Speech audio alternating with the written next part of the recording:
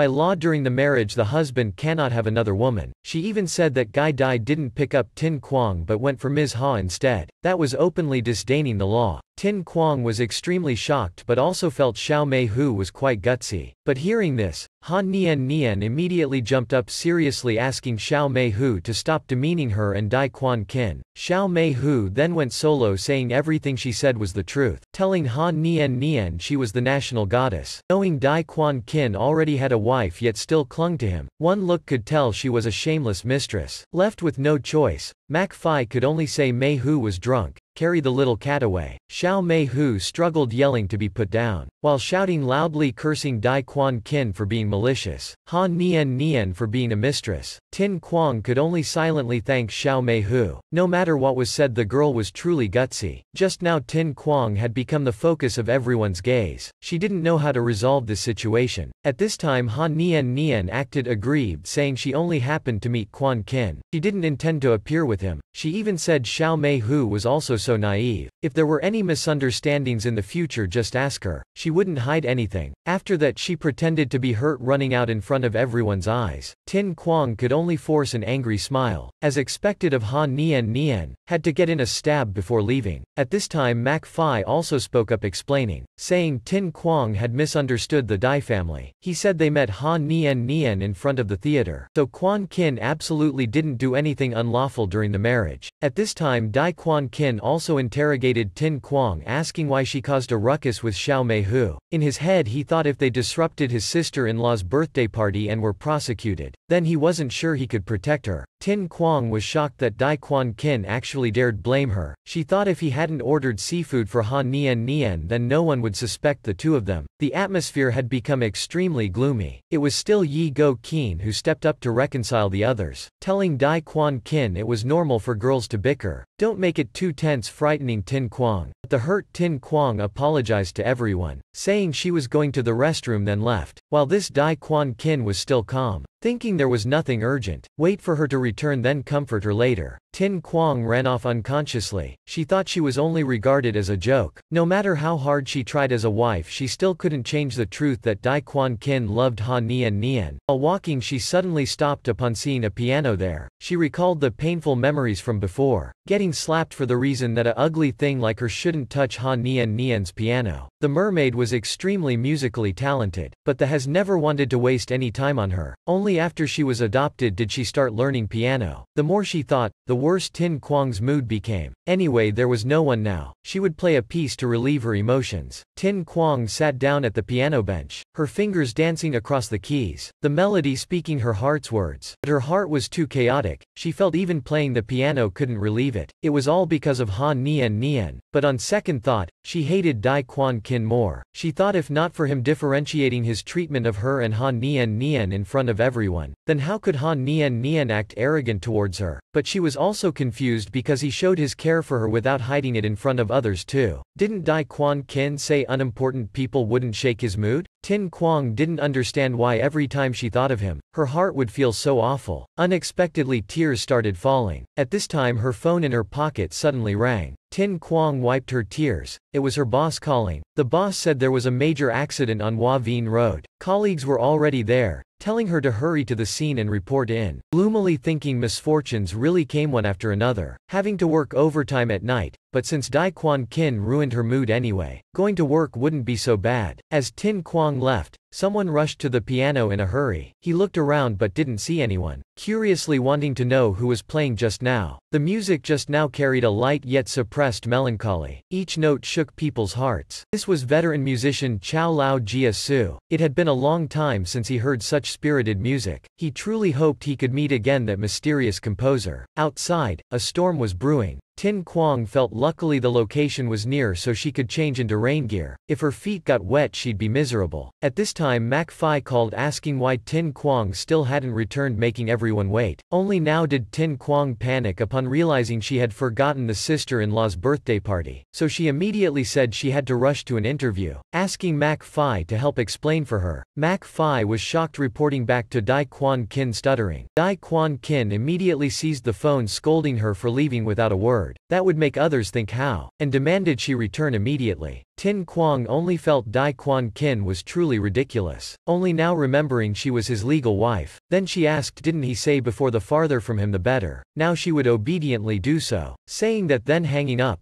Dai Quan Kin looked at the phone, he knew the little mermaid was angry again, seeing the heavy rain, he worried something would happen to her, this side, Dai Tin Quang had arrived at the scene, grabbing a mic to frantically start interviewing in a panic, rain poured down on Hua Veen Road, Tin Quang was reporting live for Coco TV station. On Wa Road there was a major chain accident of cars crashing into each other, among them a bus of elementary students on a field trip to Daddy City. Due to the sudden heavy rain Wa Road was severely flooded, posing a huge challenge for the rescue workers. Not a few good Samaritans passing by joined the rescue of the school bus. The students have all been safely evacuated from the bus now. There were no more children left inside, but right now the water around the bus kept rising. bus was also about to tip over, crash, Tin Quang didn't expect there was still another little girl on the bus. At this rate she would drown. She still remembered when she was six years old, Abandoned in the sea during a huge storm, the waves kept crashing making her feel like she was about to not make it. Tin Quang saw her own circumstances in that child. She couldn't let the tragedy repeat. She had to protect that child. Then she told the cameraman to go film something else first so she could help. Others had also noticed there was still a child so hurried to find tools. But Tin Quang worried finding tools would take too long. Standing still waiting rather than her taking action herself would be better. Later after she was adopted she often climbed trees. Tin Tin Quang thought it couldn't challenge her, and so she climbed up, simultaneously encouraging the child to hold on tight. The girl looked horribly distressed, about to not make it, finally unable to hang on. The little girl's hand slipped and she fell, eyes closed not daring to look. Luckily at the last second Tin Quang managed to grab her hand. She urgently yelled at the girl to not let go. She would pull her up but she herself also couldn't guarantee it since she had pulled with all her might already. Who knew Dai Quan Kin had been behind her for who knows how long? He was with her pulling the child up. Seeing Tin Quang kept losing focus looking at him, Dai Quan Kin reminded her to grab the child tight. Finally the girl was pulled up, crying and wailing to Tin Quang, who had to comfort her, saying she'd bring her somewhere safe. Tin Quang put her own raincoat on the girl, affirming there was no more danger. Meanwhile Dai Quan Kin called Mac Phi over to bring the child. To reassure her Tin Quang said she'd tell her a secret, that she herself was a superhero so she wasn't afraid of any danger. Who knew the girl didn't know what a superhero was, only knowing about the super mermaid. Tin Quang knew the super mermaid was a famous movie character played by by Ha Nian Nian herself about saving the world. Although troubled, Tin Quang thought that if she admitted it the girl would feel reassured, so she reluctantly acted the part of Han Nian Nian, so she told the child she herself was the super mermaid. The girl looked at Tin Quang's legs, asking why there was no fishtail, then struggled yelling that Tin Quang was lying. You're not a mermaid, you're lying. You can't protect me.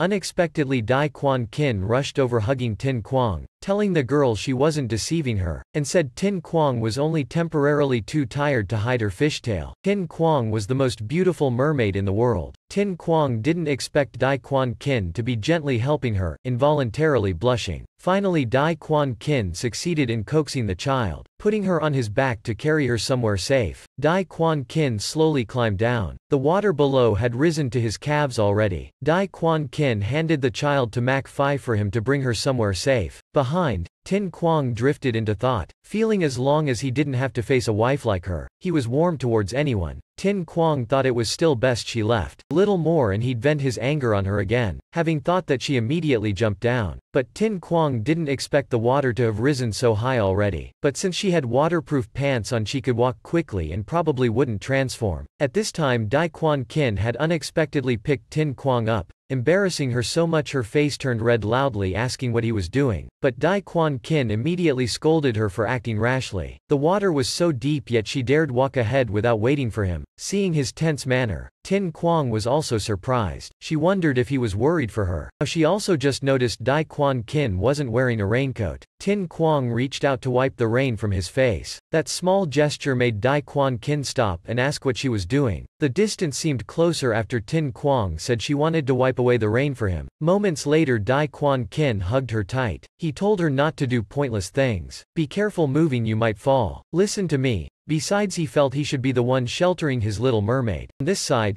Mac Phi finally brought the child somewhere safe then hurriedly wanted to return to the dais. Unexpectedly Dai Quan Kin had carried Tin Quang away already, shocking Mac Phi. After that Dai Quan Kin gently put Tin Quang down. He said elder sister had sent rescuers here already. Now he had to go there. He also told Tin Quang there were many people so he didn't want anything happening to her. Quan Kin entrusted her to Mac Phi then left. Now Mac Phi finally had a chance to tell Tin Quang not to anger Dai Quan Kin and anymore. He said seeing it rain he immediately came here to find her. Elder brother Dai Din couldn't stop him either. Only now did Tin Quang realize he was also very concerned about her. Seeing Dai Quan Kin working to help people in the rain like that, Tin Quang felt he looked really handsome like that. On the ride back, Dai Quan Kin received a call from his sister-in-law. Yi Go Keen asked who he was carrying just now. The online forums already had photos posted all over. Dai Quan Kin immediately said don't worry sister-in-law. That was Tin Quang and he'd take care of the online photos. Hearing about the online photos, the curious Tin Quang also wanted to take a look. On Lieutenant TV station's Weibo reporting the photo of Dai Quan Kin's back carrying Tin Quang with the headline Quan Kin publicly affectionate in the rain with a girl not his his mermaid goddess. Below countless fans of the mermaid goddess cursed the girl in the photo as a shameless flirt without knowing that was the mermaid goddess. Seeing Lieutenant TV stirring up trouble, Tin Quang got angry. She knew Lieutenant TV supported another powerful candidate, so especially liked spreading bad rumors about her idol Dai Din, what cracked relationship with his wife, turned his back on his younger brother Dai Quan Kin. She had long seen this kind of thing before. After that Tin Quang fiercely said she'd use her mermaid goddess account to clarify this. Dai Quan Kin unexpectedly took this chance to tease her, asking if she was hurting for him. After that he tenderly patted Tin Quang's head saying no matter what happened he would wouldn't use her as a shield. Being fondly teased, Tin Quang couldn't help but sneeze, spraying snot all over Dai Quan Kin. She could only profusely apologize, afraid he'd really be angry this time. Unexpectedly Dai Quan Kin instead caringly placed a hand on her forehead to check her temperature, saying luckily she didn't have a fever. While Tin Quang was still stunned he had covered her with a small blanket, so tight she almost couldn't breathe, but he was just worried she'd catch a cold. After that he told Mac Phi to hurry home. After showering, Little Tin Quang leisurely browsed Weibo, but the top hot search was Dai Quan Kin's affair third party appears, those unclear immediately cursed Dai Quan Kin for being a playboy. Everyone was busy rescuing but he went and cheated on the mermaid goddess, saying that who else would dare support Dai Din. They even saw the love-struck look in Dai Quan Kin's eyes, affirming the woman in his heart was truly the beloved pampered darling. Reading this Tin Quang was furious. This was clearly malicious slander. Dai Quan Kin was busy rescuing how could he be cheating. She immediately typed up a rebuttal, but love-struck look, what darling. It's me, the mermaid goddess. She really wanted to use this mermaid goddess account to clarify. Let this gossip-hungry mob unaware of the truth see clearly. But now Tin Quang was truly curious. How could netizens see the one in Dai Quan Kin's heart was his darling? Tin Quang zoomed into the photo, wanting to see where this love-struck look was, but upon zooming in she really did seem to see something like that. Of course Tin Quang had to find a way to deny that thought. She loudly screamed at herself to wake up. This was just an illusion, not real, just as she finished saying so. Unexpectedly Dai Quan Kin had been standing behind her for who knows how long and spoke up asking, What's real or fake here? Tin Quang was startled, dazedly denying it, she felt she really was hopeless. Now even finding this scoundrel handsome, Tin Quang felt she really wasn't normal. After that she could only explain to Dai Quan Kin that she just meant let her post on Weibo to tell everyone the darling he carried was her. Hearing this, Quan Kin felt extremely embarrassed. He didn't expect her to discover these feelings of his. He then gently dried Tin Quang's hair, asking if she was going to let everyone know she was the darling he doted on. Too shy, Tin Quang flusteredly denied it, saying that was a comment,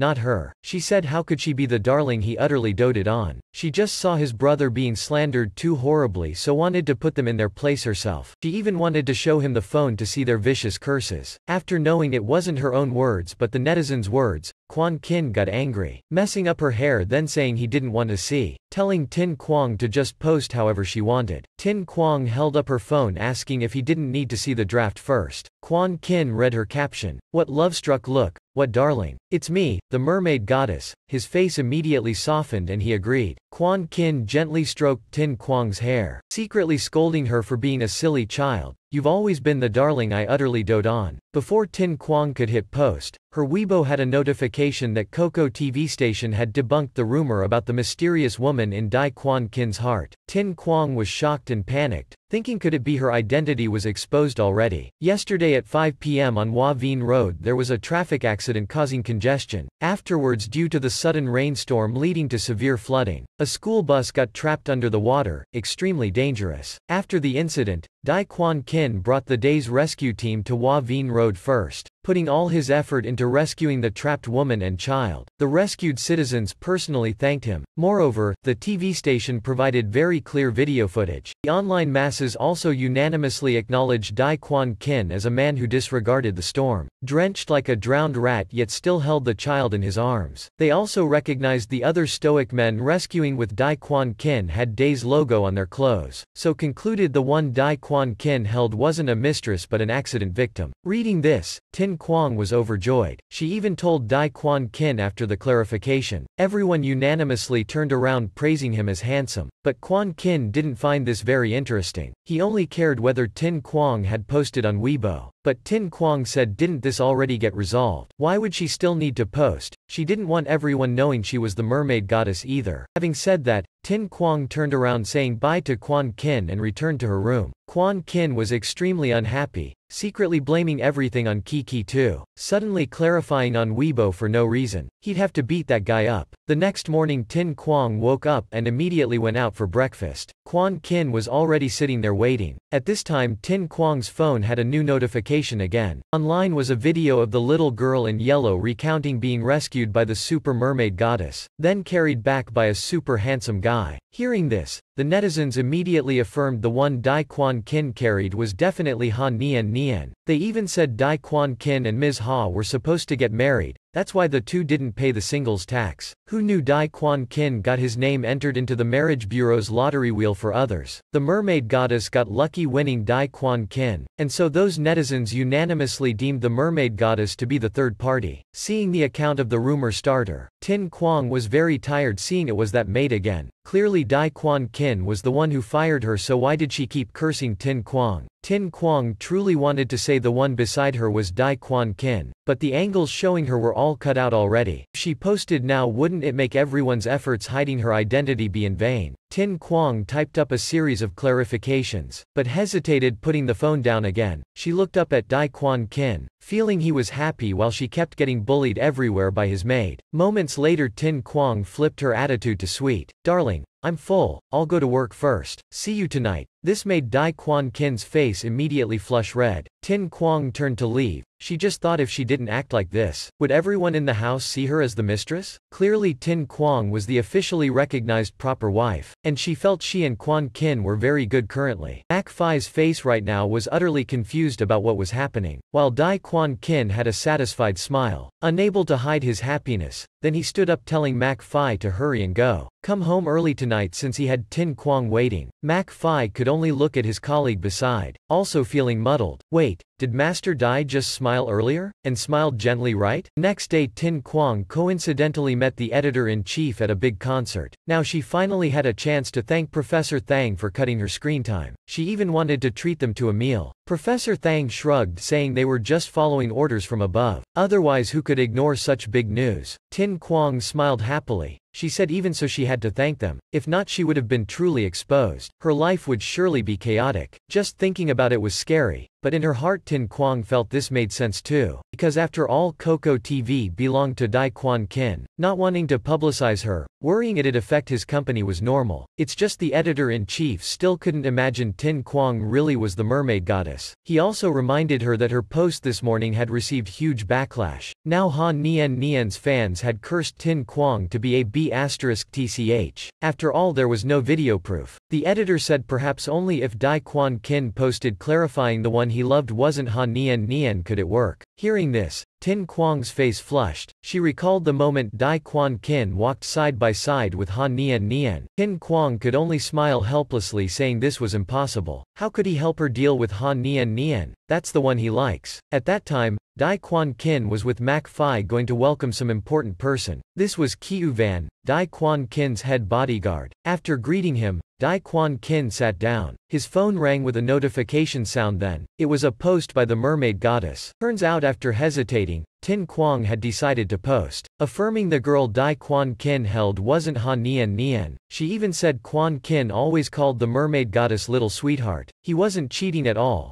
Reading the words Little Sweetheart, Dai Quan Kin was surprised. He secretly wondered if his little mermaid had realized his feelings. At this time his captain Kiu Van secretly asked Mac Phi if in the time he was away training, Boss had started dating. Seeing Mac Phi's shocked expression, Kiu Van analyzed that previously Boss wouldn't play with his phone when working, unless it was the day's distinctive ringtone reminding him. He also said Boss didn't like smiling, but looking at his expression now shocked Mac Phi. His master was indeed smiling. Mac Phi panicked not knowing who Boss was in love with that he didn't know about. Mac Phi's muddled face thought, the first person he eliminated from suspicion was little Tin Quang. Mac Phi was certain affirming Dai Quan Kin wouldn't like that girl. Thinking of Ha Nian Nian again, Mac Phi also felt they hadn't interacted recently, so who could it be? Mac Phi thought for a bit then went on Dai Quan Kin's Weibo page to take a look, his expression after couldn't hide the shock. Scene change. At this time at the music festival where Tin Quang was, a celebrity had stepped onto the red carpet, attracting countless camera flashes after. That was Ha Nian Nian arriving. Behind her was also a manager lady. She quietly reminded Ha Nian Nian that earlier Lang Han and Mr. Siu had gone inside. Ha Nian Nian couldn't let them suppress her. Ha Nian Nian instead answered very smugly. She disdainfully said she didn't believe just relying on Lang Han's throat she could match her. That would be lowering herself. Manager lady then said Mr. Siu had made a post looking for someone. She said besides Ha Nian Nian yesterday, who else could have played the piano? Just wait a bit longer for Mr. Siu to know the one he was looking for was Han Nian Nian and it'd be even more interesting. Han Nian Nian took out a pen and signed smugly. She flicked her hair smugly thinking who else in this world was worthy of the peerless mermaid beauty like her. Not far away, Tin Quang watching the performance had also seen her. At this time the entire stadium simultaneously rang with countless phone notifications. Everyone took out their phones, all surprised at the new information. That worried manager also brought a phone over for Han Nian Nian to see. It was two posts by Dai Quan Kin, he shared the mermaid goddess post, affirming his precious sweetheart was her. At the same time he also posted saying the theme Gun law firm had sent lawsuits to all rumor spreaders. Not a single one missed. These were all public actions protecting the mermaid goddess, affirming the feelings between the tycoon and his wife. Reading this, Ha Nian Nian was shocked like being struck by lightning. I don't understand what Dai Quan Kin is doing. Why did he post something like that? At this time the assistant had to quickly remind Ha Nian Nian that the media was watching her. She couldn't reveal any ugly expressions. The editor-in-chief beside Tin Quang directly stepped forward to interview, asking Miss Ha if she saw Dai Quan Kin's post yet. How are you feeling now? Ha Nian Nian could only smile and say she only wanted to answer music-related questions. But deep down she hated Tin Quang to the bone, she still felt insignificant little Tin Quang shouldn't be arrogant, because this was just politics,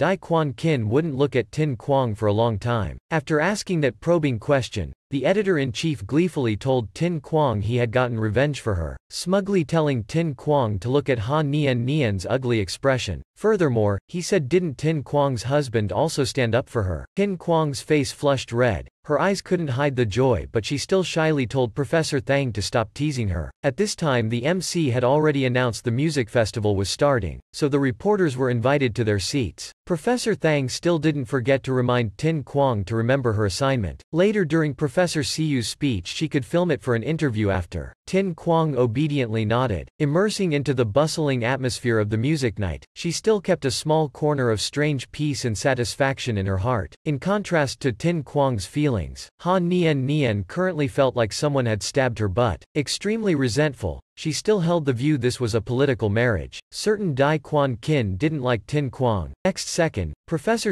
Yu was invited on stage to give an opening speech. Tin Quang was very interested in following along, quickly taking notes for her report. The MC now mentioned Professor Siu's post from yesterday, asking if he was looking for someone. Professor Siu immediately excitedly said last night he heard a piece of music. It was definitely a masterpiece. Unfortunately when he went over, that person had left. Since then old man Siu couldn't forget. He wanted to be able to hear it once more in his remaining years. Below, the audience immediately buzzed, surely all very curious about that person. In Ha Nian Nian's mind at this time suddenly came up with with an idea, she felt if she told Professor CU now that it was her yesterday, that way she could divert the media's attention. Having thought of this, Ha Nian Nian immediately made a sign to her manager. The madam caught the cue and immediately acted, saying thank you to Professor Cu for praising Ha Nian Nian. Ha Nian Nian also acted very surprised. Putting on a stunned expression, the assistant said sincerely, saying that last night Nian Nian had played a piece in the first floor lounge of Tin Tai Hien. Around 8 p.m., hearing just that much, the audience below became extremely excited to be able to receive praise from Professor Cu. As expected of Han Nian Nian, the mermaid princess of her braindead fans, Han Nian Nian now acted like she was scolding her assistant. She said didn't she tell the assistant to only speak at the end. Like this she was delaying the opening ceremony schedule. Hearing this, the assistant immediately said she always knew Nian Nian was humble, but the song she just composed made Professor Cu love it so much. He even posted online looking for the person. The the assistant said since Ha Nian Nian was here already, how could she bear to let Professor Cu be anxious searching in vain? Standing below, Tin Quang felt this play was very good. Keep going like this, Tin Quang was certain the Best Actress award this year would belong to these two hams. After that, the assistant and Nian Nian fed off each other, deciding to perform a piece for Professor Cu to see. Wanting to create a perfect ending to this music night, the MC was of course very excited to loudly introduce the next performance by Miss Ha Nian Nian. At this time Professor Cu was still looking at Nian Nian with a very happy and pleased expression. She sat down at the piano, hands on the keys, eyes closed indulging in the music. Tin Quang was also very interested in seeing her perform. When the music enveloped the huge space, the faces of the fans revealed joy and amazement, but that mattered little compared to Professor Siyu's silent sigh and disappointed expression.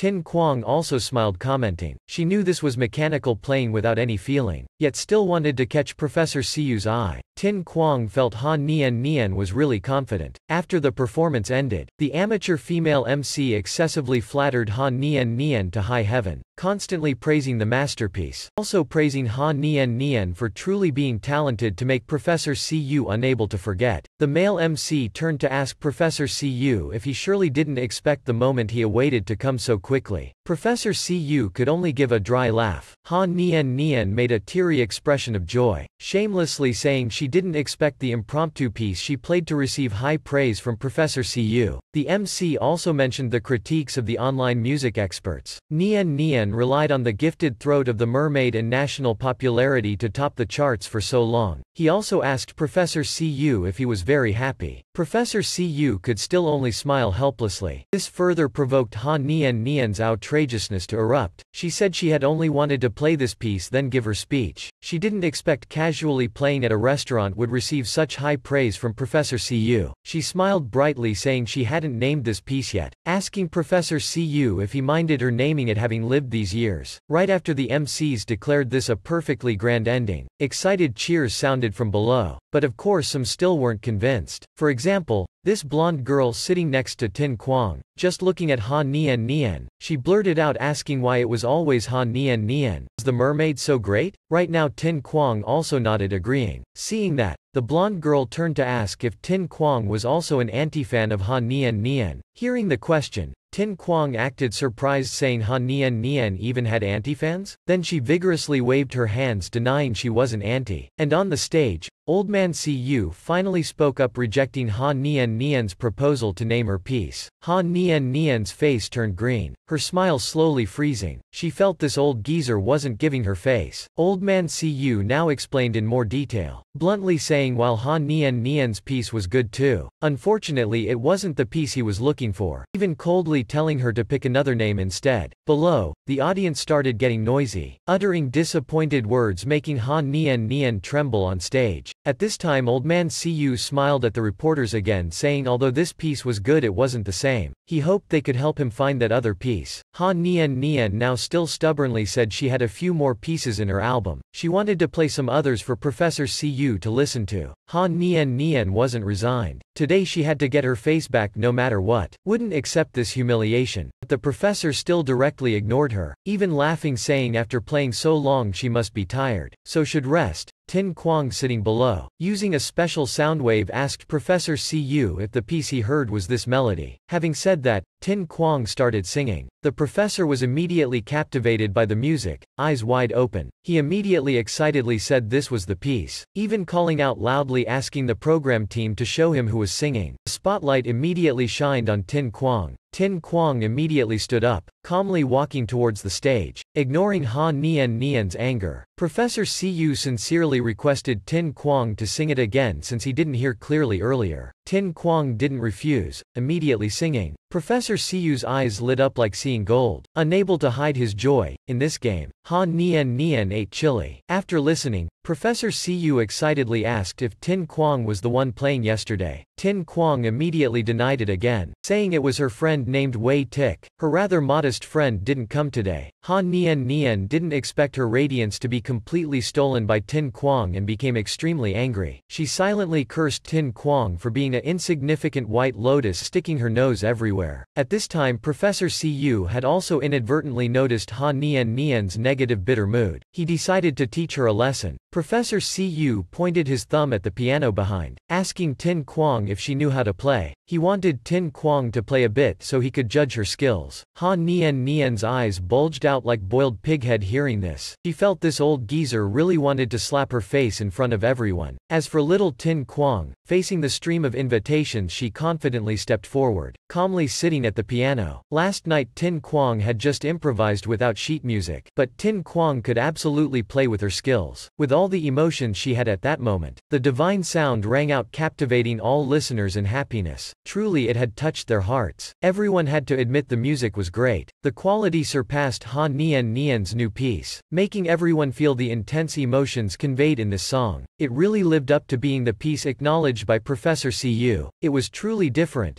Han Nian Nian was extremely bitter. That spotlight shined on Tin Quang, while she had to stand in a corner on her own stage. Tin Quang stopped playing. As soon as the music ended a panic scream rang out. Han Nian Nian fainted. The female MC immediately panicked rushing over, loudly shouting for everyone to save the national treasure. The reporters quickly raised their cameras, scrambling for the breaking news. Tin Quang was also a bit confused, blurting out asking if Han Nian Nian would be okay. Only the increasingly spicy ginger like old man CU smiled calmly answering she was fine, just pretending, only now did Tin Quang realize who had replied to her. Now she finally had a chance to greet him in a fluster. Professor Siu smiled asking for Tin's name. Yes, Tin Quang also shyly said her name. While Professor Siu had realized there was no one named Wei Tik to begin with. Yes, Tin Quang was extremely surprised asking how he knew. Professor Siu laughed merrily. He said not only did he see through her lie, he could also detect she was in love. Tin Quang felt confused and denied she didn't. Professor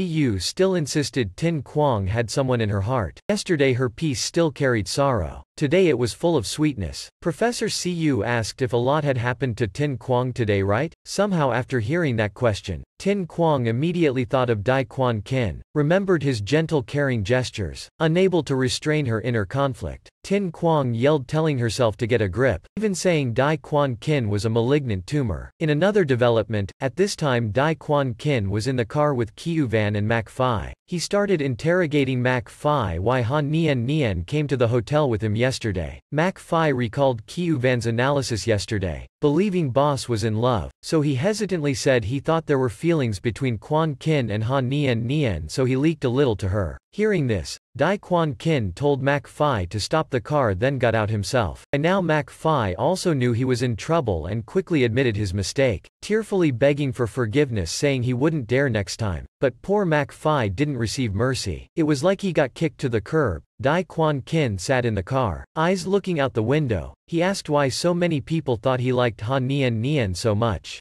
Ven explained it was because he really liked the mermaid. Mermaids were everywhere. Furthermore the only mermaid in the world was Ha Nian Nian so everyone thought that. Dai Quan Kin didn't expect his liking mermaids to be so obvious. But the mermaid in his heart, from beginning to end only had one person. He didn't expect even if he lived again he still couldn't avoid that little mermaid tale. At this time Ven continued, he said he didn't believe Dai Quan Kin liked Ha Nian Nian, he felt Boss simply liked mermaids. After that he asked if Dai Quan Kin had known Miss Tin Quang early on, and still liked her right? Having a sore spot poked, Dai Quan Kin's face flushed as he shut his eyes saying he didn't like her, didn't know, but those clumsy lies couldn't fool Captain. He knew full well Dai Quan Kin was pretending. The car stopped at the front gate. Dai Quan Kin had just gotten out when he saw Mac Phi biking over yelling something had happened. Dai Quan Kin immediately frowned tensely. Gasping tiredly, Mac Phi reported Miss Tin Quang had just been taken away. Arriving here, Dai Quan Kin impatiently shouted asking what had happened. Turns out just now the National Treasure Commission contacted Mac Phi, saying Miss Tin Quang was taken to drink herbal tea. Dai Quan Kin's face showed alarm. He had a bad premonition. He knew for sure this wasn't good. Hearing this National Treasure Protection Bureau's name, Dai Quan Kin asked Mac Phi if Tin Quang had provoked Ha Nian Nian. Kiu Van had also gotten the news, he said online rumors said the Dai family's helper was fired. To get revenge the mermaid goddess caught Ha Nian Nian, making her faint and hospitalized. Quan Kin didn't understand how this related to Tin Quang. He asked Kiu Van if the Protection Bureau knew Tin Quang was the mermaid goddess. The National Treasure Protection Bureau was the professional prep team for Ha Nian Nian. Anyway their motto was always cannot underestimate the sacred national treasure. As long as they saw Ha Nian Nian's image being damaged, they would look for someone to drink fresh herbal tea. Dai Quan Kin was extremely angry. He saw this protection bureau still wasn't disbanded. Truly too wasteful of tax money. Dai Quan Kin fiercely told Mac Phi to cancel all later schedules. Now they would go to the protection bureau. At this time in a certain hospital's hallway, Tin Quang was being harassed by a group of men. Protection Bureau staff. Tin Quang still tried her utmost to explain she was just a reporter, absolutely had no intention of harming the national treasure. She clearly said the MC pulled her up. Objectively speaking, she was shot while lying down. This immature national treasure protection guy was lecturing Tin Quang, saying in that chaotic situation she shouldn't have spoken up, also saying the country only had Ha Nian Nian as the mermaid. If she had any mishaps could Tin Quang shoulder this responsibility? This time Tin Quang still endured. But that guy pushed further, saying Tin Quang was a citizen so had to be responsible for protecting the national treasure, even threatening if Ha Nian Nian was harmed the national treasure would go extinct. This would be a tremendous loss, even worms will turn, Tin Quang couldn't stand it anymore and retorted harshly, saying if you're scared of extinction then tell her to hurry up and get married and have kids. Three years give birth to two, ten years give birth to a dozen, both increasing the population and the number of national treasures, can even gift them to other countries to increase friendship. Despite Tin Quang's anger, that guy still didn't care at all and demanded she go apologize to Ha Nian Nian then they wouldn't pursue her responsibility anymore. On the other hand if she didn't apologize Tin Quang would be punished. Detained for a month, Tin Quang was so angry she trembled. She felt why did she have to apologize to that wretch? She didn't do anything wrong.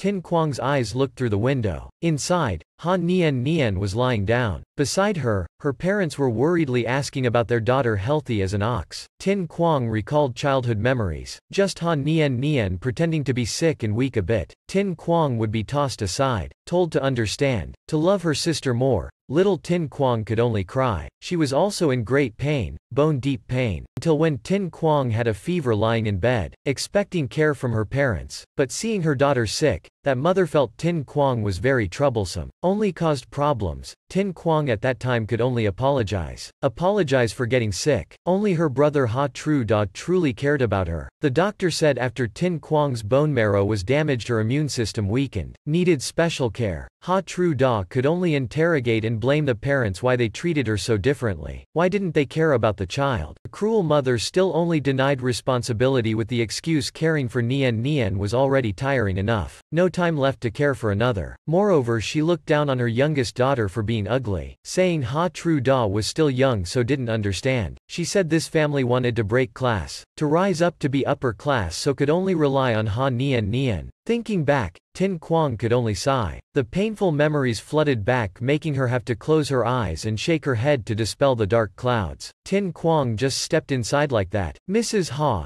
Tin Quang's birth mother looked at her with vicious bitter jealousy, she only knew this was the girl who stole the man from Nian Nian's heart. Then she snobbishly told Tin Quang to wait outside, wait until Ha Nian Nian woke up to come apologize. Hearing this, Tin Quang asked permission to smirk. As expected, she still didn't recognize her own daughter at all. Tin Quang said she didn't come to apologize but to collect debts. Then she shoved the old woman aside and barged in. Old man Ha was reading the newspaper. Seeing Tin Quang enter he jumped up. Who allowed you in here? Have you no upbringing? Tin Quang pulled up a chair, dryly laughed then sat down with arms crossed. She said her upbringing didn't allow her to respect him. The married couple panted and gritted their teeth. They didn't expect this girl to actually dare be so arrogant. They scolded Tin Quang for being shameless. Even threatened to have the Protection Bureau imprison Tin Quang. Unable to listen anymore, Tin Quang picked her ear. She sneered saying in a challenging way full of implication, the ones who'll be imprisoned by the Protection Bureau seem to be you all. Tin Quang provocatively said didn't know how many years attempted murder of a national treasure would get. Hearing this, the couple scolded Tin Quang for being crazy, even saying how could they kill their own daughter. Tin Quang glanced at the bed. Her own daughter was lying there pretending to sleep, now scrunching her face in anger. After that Tin Quang said she didn't have time to play with them. She said today she came to advise them that in the future don't bother her. Best to automatically keep their distance when seeing her. Finally those words poked that slippery eel mermaid awake. She scolded Tin Quang for speaking nonsense, even threatened if Tin Quang still refused to apologize she would immediately call the investigator. Tin Quang clapped her hands, smirking challenging her to hurry and call. She said she also wanted the investigator to come, to hear how certain parents threw away a six-year-old national treasure into the sea to let it live or die. Surely the Protection Bureau would also be very interested in this story. The whole room suddenly fell silent, all three Ha family members speechless, eyes widened, not believing their ears, still the slippery Ha Nian Nian saying her parents only gave birth to one fairy and that was her. Tin Quang smirked smiling. She said when she was little she followed her parents out to sea fishing. By chance recorded the entire process of a mermaid fairy being thrown into the ocean by Mr. and Mrs. Ha. Such a precious image. Should it be sent to the Protection Bureau to watch? The married couple was struck in the heart, still stunned as if temporarily chat banned unable to say anything. Ha Nian Nian now had to shriek defending, saying her little sister was critically ill right after being born. Since she couldn't be saved her parents could only reluctantly let her go into the sea. She even told Tin Quang not to threaten them with delusions. At this time Mrs. Ha also stuck out her neck arguing, she said that was flesh and blood from her body, saying a small child like Tin Quang knew nothing. Tin Quang dryly laughed, critically ill? She asked them wasn't it to save the most perfect mermaid fairy in the world that she got sick. Tin Quang said she heard when Ha Nian Nian was little she had chronic leukemia. The family had to sacrifice her sister's life to save her. A life for a life, Tin Quang asked in these past years living well right? Ha Nian Nian couldn't refute, stuttering asking how Tin Quang knew. Tin Quang cut in saying her family had saved that pitiful mermaid fairy and knew a lot of things, even asking if they wanted to listen. At this time Mrs. Ha's hands and feet were trembling, wanting to ask about that mermaid's condition now. Tin Quang decisively said she was already dead. Hearing this, she had to grab the table edge to stand steady. Unexpectedly after hearing her youngest daughter had died, that mother breathed a sigh of relief like a burden had lifted. Tin Quang was heartbroken, her eyes filled with tears. When she herself was thrown into the icy ocean, she could still clearly hear the curses of her flesh and blood. They said if not for Tin Quang's bone marrow being able to save Nian Nian they wouldn't have raised her for long. Because she was an ugly little thing, didn't even know shame crying and causing the Ha family to lose face. Tin Quang couldn't stand the resentment and immediately left. Behind, Ha Nian Nian still cursed after her. She said these were all Tin Quang's one-sided fabrications. She even said Dai Quan Kin loved her. Even if Tin Quang took his body, she could never have his heart. Tin Quang also refuted, saying if so then that cross-eyed trash man no one would look at. After that Tin Quang opened the door and stepped out. Unexpectedly Dai Quan Kin was behind the door. He just held Tin Quang in his arms without saying anything. This trash man wants to beg you to care for me, can I? Tin Quang was surprised and temporarily speechless, only guessed one thing, after so many terrible things happening, Dai Quan Kin's embrace was to Tin Quang like blazing sun meeting pouring rain. Dai Quan Kin's eyes also couldn't hide his love. Seeing him, old man Ha blinked repeatedly. Son-in-law you're here, visiting Nian Nian right? Tin Quang's heart ached as she shed tears. As if dragged back to reality by those two words son-in-law, she pushed Dai Quan Kin away in aggravation. Trashman,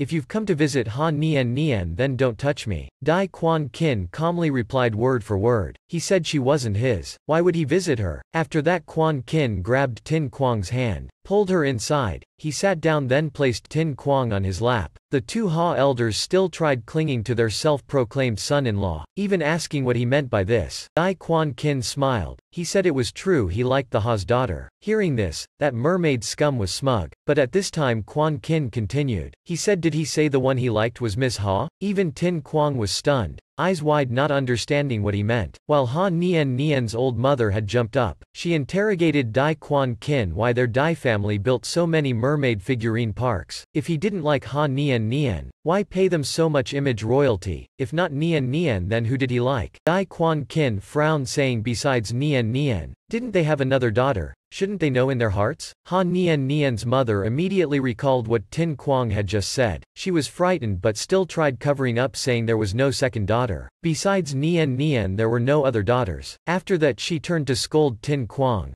Thinking Tin Quang had said nonsense in front of Dai Quan Kin, she once again asserted she never had a second daughter. Never, Tin Quang was so heartbroken she trembled. She didn't expect there to be such a heartless mother in the world. At this time it was still Dai Quan Kin hugging her tightly. He asked her wasn't she afraid of being struck by heaven saying this. Outside, Thunder rumbled angrily in succession making her shake uncontrollably. The terrified old woman collapsed to the floor, her face ghastly pale, at this time Dai Quan Kin also directly told Ha Nian Nian this engagement was the older generation's idea. He never agreed at all, he said the woman Dai Quan Kin wanted was never Ha Nian Nian, even saying if she had delusions she should hurry to the psychologist, saying so then dashingly pulling Tin Quang away. Behind, Ha Nian Nian was like a madwoman, shrieking how could Dai Quan Kin say he liked her sister. Quan Kin turned back smiling smugly asking why not. Ha Nian Nian's eyes bulged out like boiled pighead. She started uncontrollably cursing randomly, saying that little sister couldn't compare to her, even saying how could Dai Quan Kin kin take out that ugly fish to humiliate her. Hearing this,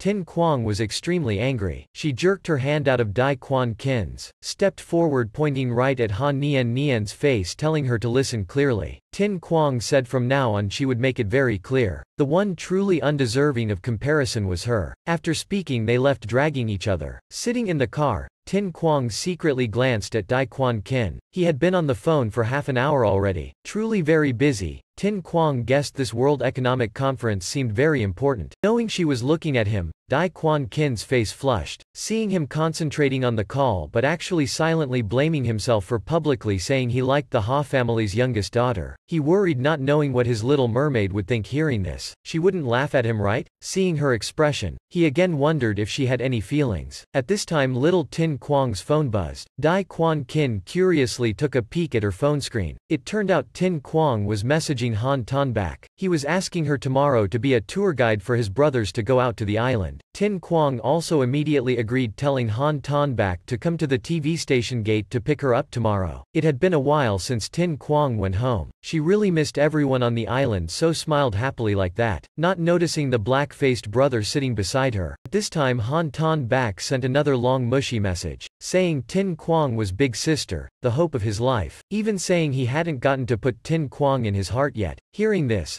Dai Quan Kin's face darkened, because this woman was his. He couldn't let the boy put her in his heart like that. Dai Quan Kin couldn't help letting out a few contemptuous dry laughs. Seeing him move, Tin Quang turned asking if he had said something. Quan Kin made an excuse that tonight he had to return to City Z. The economic conference was early tomorrow so he couldn't be absent, telling her to come with him. Hearing this, Tin Quang was extremely awkward. She made the excuse that she didn't even have clothes prepared. She was about to say tomorrow she still had things to do but Tin Quang was interrupted by Dai Quan Kin. He said today because of her he kept urgent traveling very tiringly, even saying he would have someone prepare clothes for her, so she wouldn't be without a change of clothes, seeing Dai Quan Kin's tired appearance. Tin Quang felt if she said tomorrow she had to take Han Tan Bak sightseeing, he would definitely be choked to death by him. To appease this hot and cold man, Tin Quang turned to place her small hand on his face, then gently massaged Dai Quan Kin's temples making his face flush. Tin Quang asked why Dai Quan Kin wanted to take her along. Embarrassed, Dai Quan Kin looked away avoiding her gaze. He said she was a reporter. Didn't she want an interview at the World Economic Conference? Tin Quang asked again but Dai didn't assign her to cover this area. But Dai Quan Kin said if they didn't arrange for her, then shouldn't she know to seize it herself? A soldier who doesn't want to be a general isn't a good soldier. After that he asked Tin Quang if tomorrow he arranged exclusive interviews with some big shots in the economic industry for her, asking if she would go, Tin Quang immediately happily nodded agreeing. So the girl had to turn to one side to text Han Tan Bak cancelling their appointment, saying the station suddenly announced overtime so she couldn't go. Although very disappointed, Han Tan Bak had to accept being stood up. After that he lamented to brother Luke, saying he was a young master who had seduced countless girls but now got stood up. Han Tan Bak said Tin Quang couldn't go because she had overtime tomorrow, even asking brother Luke why he was interested in a small island. Hearing this, he replied recently being busy he wanted to find a peaceful place to relax, also saying if Han Tan Bak's friend didn't have time then next time. Han Tan Bak also told brother Luke they'd set another date then said he had things to do and and left. In the room remained Brother Luke and his assistant. Seeing her boss tired, the assistant suggested arranging another island for him to vacation at. That Luke guy threw down a thick document below the table then told his assistant to look. Unexpectedly after just opening it to look, the assistant had to change color in panic crying out, This woman, what exactly was her identity? He asked if the Miss Dai that young Master Han knew was the mermaid fairy who made Dai Quan Kin waver. He asked if Miss Dai had ordinary looks. How could she make Dai Quan Kin moved? Mr. Luke stood up looking out the window. He said that was why he wanted to go to her hometown to check. He wanted to know just what kind of person this Miss Tin Quang was. In the documents information was Miss Tin Quang's details and the one the state arranged to be her fiancé, including Dai Quan Kin, Dai Family's second son, CEO of Dai Group, Cultural Entertainment Media Industries, Food,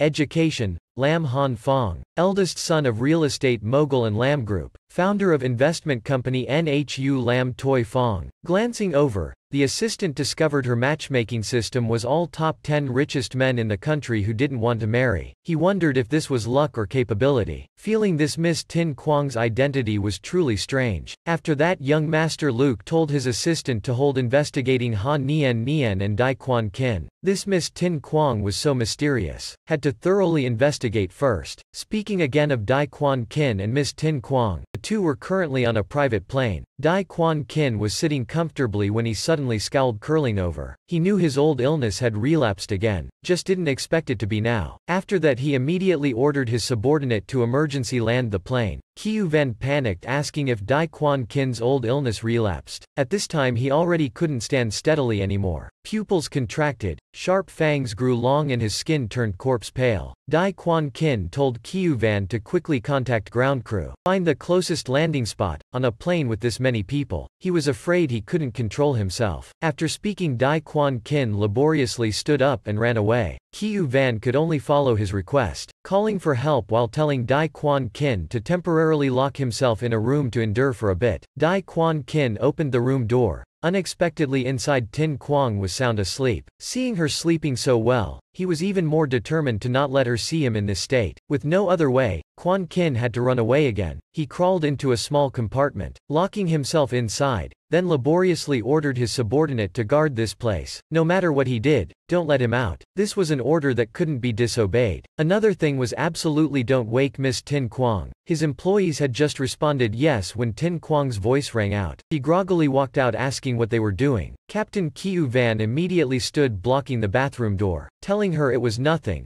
inviting Tin Quang to keep resting in her room, saying when they landed he would call her. Meanwhile inside, Dai Quan Kin had already started craving blood. Unable to endure he smashed things noisily. Tin Quang seriously interrogated them on who was inside. The employees had no choice but to lie that Dai Quan Kin got drunk and went crazy, it was nothing. Tin Quang immediately recalled Quan Kin writhing in pain on the night of the full moon. She angrily told the people, what drunk, he had a relapse of his old illness right. Even Captain Kiu Van and his entourage were shocked that she knew of the Kin family's illness. Knowing they couldn't hide it, Kiu Van explained to Tin Quang that Dai Quan Kin's illness followed no rules. Very hard to prepare prepare for, so whenever going out he had to have many guards beside him. The purpose wasn't to protect him, but to restrain him to protect others. Hearing this, Tin Quang couldn't hide her compassion. No wonder every day going to work Dai Quan Kin also had a whole convoy following him. She thought he liked showing off. So it actually had a reason. The noises from the bathroom now grew louder. All were fierce punches on the metal door. Must be very uncomfortable.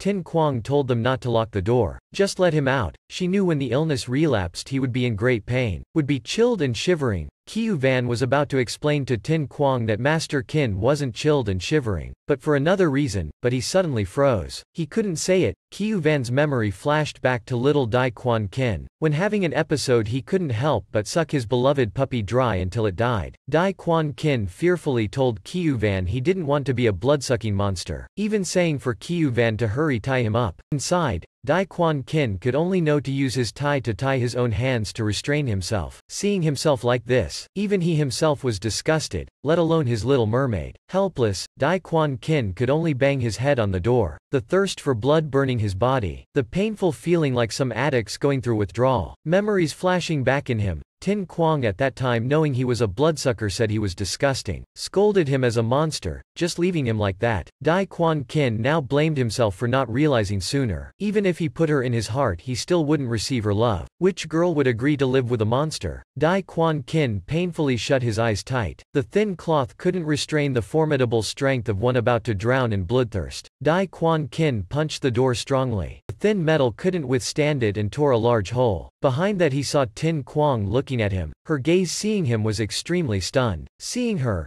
Dai Quan Kin's heart ached. He tried to restrain his actions, turning to tell Kiu Van to knock Miss Tin Quang out. Miss Tin Quang tried to rush in but was held back by everyone. She interrogated Quan Kin on what basis he did this. Inside, Dai Quan Kin still urged his captain, Kiu Van, can't you hear me? Why haven't you made a move yet? Tense, Miss Tin Quang could only plead for Kiu Van not to move. Embarrassed, Kiu Van suggested Tin Quang return to the bedroom, protect herself, listen to Master Kin. With unwavering unwavering conviction, Miss Tin Quang was still determined to persuade them. She said locking him in the bathroom did nothing. Right now he needed to lie still, best with another pillow to hug. Hearing this, the employees were surprised because they never heard before that when Master Kin had episodes he needed that. Although embarrassed, Tin Quang still had to loudly say last time he had an episode and hugged her all night like a pillow then it stopped. She insisted they move aside and let him out. The bathroom had so many germs he'd get even more sick. One confused employee still asked Tin Quang, how could Dai Quan Kin hug her all night but she wasn't bitten? Tin Quang blankly asked why would he bite her? The employee finally couldn't hold it in anymore and explained that when Kin had an episode, the thirst for blood would overwhelm reason. Hugging her all night he couldn't possibly not bite her. Hearing his secret being told to Tin Quang, Inside Dai Quan Kin angrily shouted for him to shut up. Hearing the words bloodsucker, Tin Quang turned to look at Dai Quan Kin with disbelief. Heartbroken, Dai Quan Kin knelt down. What he feared had come, his little mermaid knew now. He was afraid she knew of his strange illness. Discriminate against him even more, he actually thought correctly to some degree. Because Tin Quang was also wondering why Quan Kin's illness was the desire to drink human blood, she asked herself if he was a vampire or something. Thinking this, Tin Quang silently ran away. She entered the room, the sound of the door closing rang out. Watching her go, Dai Quan Kin's heart shattered. He saw it was still the same. She still hated him this much, the bathroom door now collapsed, unable to withstand anymore. Dai Quan Kin's whole body drenched in sweat, his eyes no longer wild but brimming with naive sadness. Kiu Van turned saying to Master Kin this way was no good. He still just grit his teeth telling Kiu Van to find something to restrain him. He absolutely could not let himself become a bloodsucking monster. Very quickly a huge iron chain bound Dai Quan Kin. Embarrassed, Kiu Van brought Dai Quan Kin a glass of cold water, comforting him that Miss Tin Quang was just a new graduate inexperienced with life so was a little afraid, heartbroken but still trying to seem fine. Dai Quan Kin told Kiu Van it was just him overthinking. In his heart he blamed himself for being too affectionate, thought she'd be like last time again. Case however much still unwilling to leave. Clinging stubbornly, History really repeated itself. How could Dai Quan Kin dare hope for a different future? He felt the state matching him with her, truly tormented her and was also tormenting him. Unexpectedly when he thought he was the most miserable, Tin Quang happily burst in, in her hands holding some kind of bowl, cheerfully shouting loudly that Dai Quan Kin was saved. Seeing the bright red bowl, Kiu Van shrieked, Panicking thinking it was precisely blood, Dai Quan Kin was even more agitated, asking Tin Quang what she was doing, why did she dare take her own blood? Seeing this, Tin Quang waved her hand telling them not to talk nonsense, saying this wasn't blood, telling Quan Kin to not worry, drinking it would cure him. Dai Quan Kin was still suspiciously pale. If not blood then what was it? He secretly thought what a silly girl. Didn't she say she hated him? Why do this? Why not avoid him but take her own blood instead? At this time Miss Tin Quang Quang still only thought of him. Seeing him this uncomfortable she said this wasn't blood, telling him to not worry and just drink a sip first. Dai Quan Kin didn't believe her.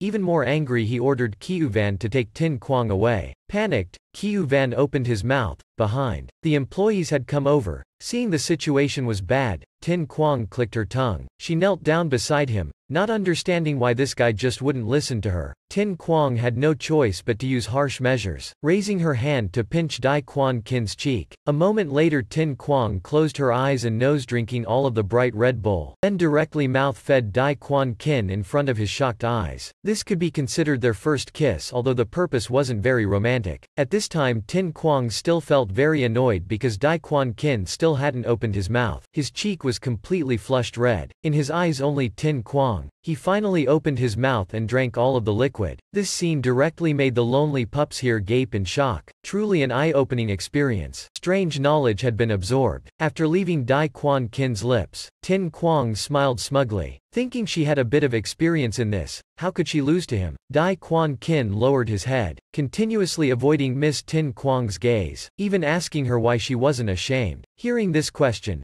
Miss Tin Quang disagreed, coming even closer saying they were a legal marriage married couple. What she did to her husband wasn't improper. Embarrassed, Dai Quan Kin refuted saying they were just a contractual couple. Hearing this, Miss Tin Quang still calmly patted Dai Quan Kin's shoulder. She told him not to worry, she still remembered this was a one-year contract. Also knew he didn't like her. He said it at the hospital already. The one he liked was the Ha family's little daughter, Miss Ha Queen Queen, Frowning, Dai Quan Kin lowered his head. That's right, the one he liked was Ha Queen Queen, but he also wanted to know when Tin Quang would acknowledge her own identity. After that Tin Quang poured the rest left in the bowl into her mouth again. Dai Quan Kin panicked turning to yell loudly asking Kiu Van what he was still standing there for, though immediately Tin Quang was carried away by a group. After that mischievous girl was taken away, the door was promptly shut behind them, restoring the quiet gloomy atmosphere to the room. Dai Quan Kin glanced again at the bright red bowl. He still couldn't believe why she could do that. Why take blood then feed him directly by mouth? He could hear Tin Quang outside still stubbornly reminding him to drink the rest of that half bowl. Blushing, Dai Quan Kin didn't know if he could believe she had changed, no longer hating him, resenting him, or wanting to leave him anymore. After researching the Blood Bowl, Kiu Van reported to Master Kin that this didn't seem to be real blood. Remorsefully he said it seemed they had misunderstood Tin Quang, even asking if Dai Quan Kin wanted him to go ask. Dai Quan Kin didn't know why he suddenly felt lost. Saying forget it, he was tired already, telling Van to keep away from him a bit. Then seeing Dai Quan Kin silently fall asleep,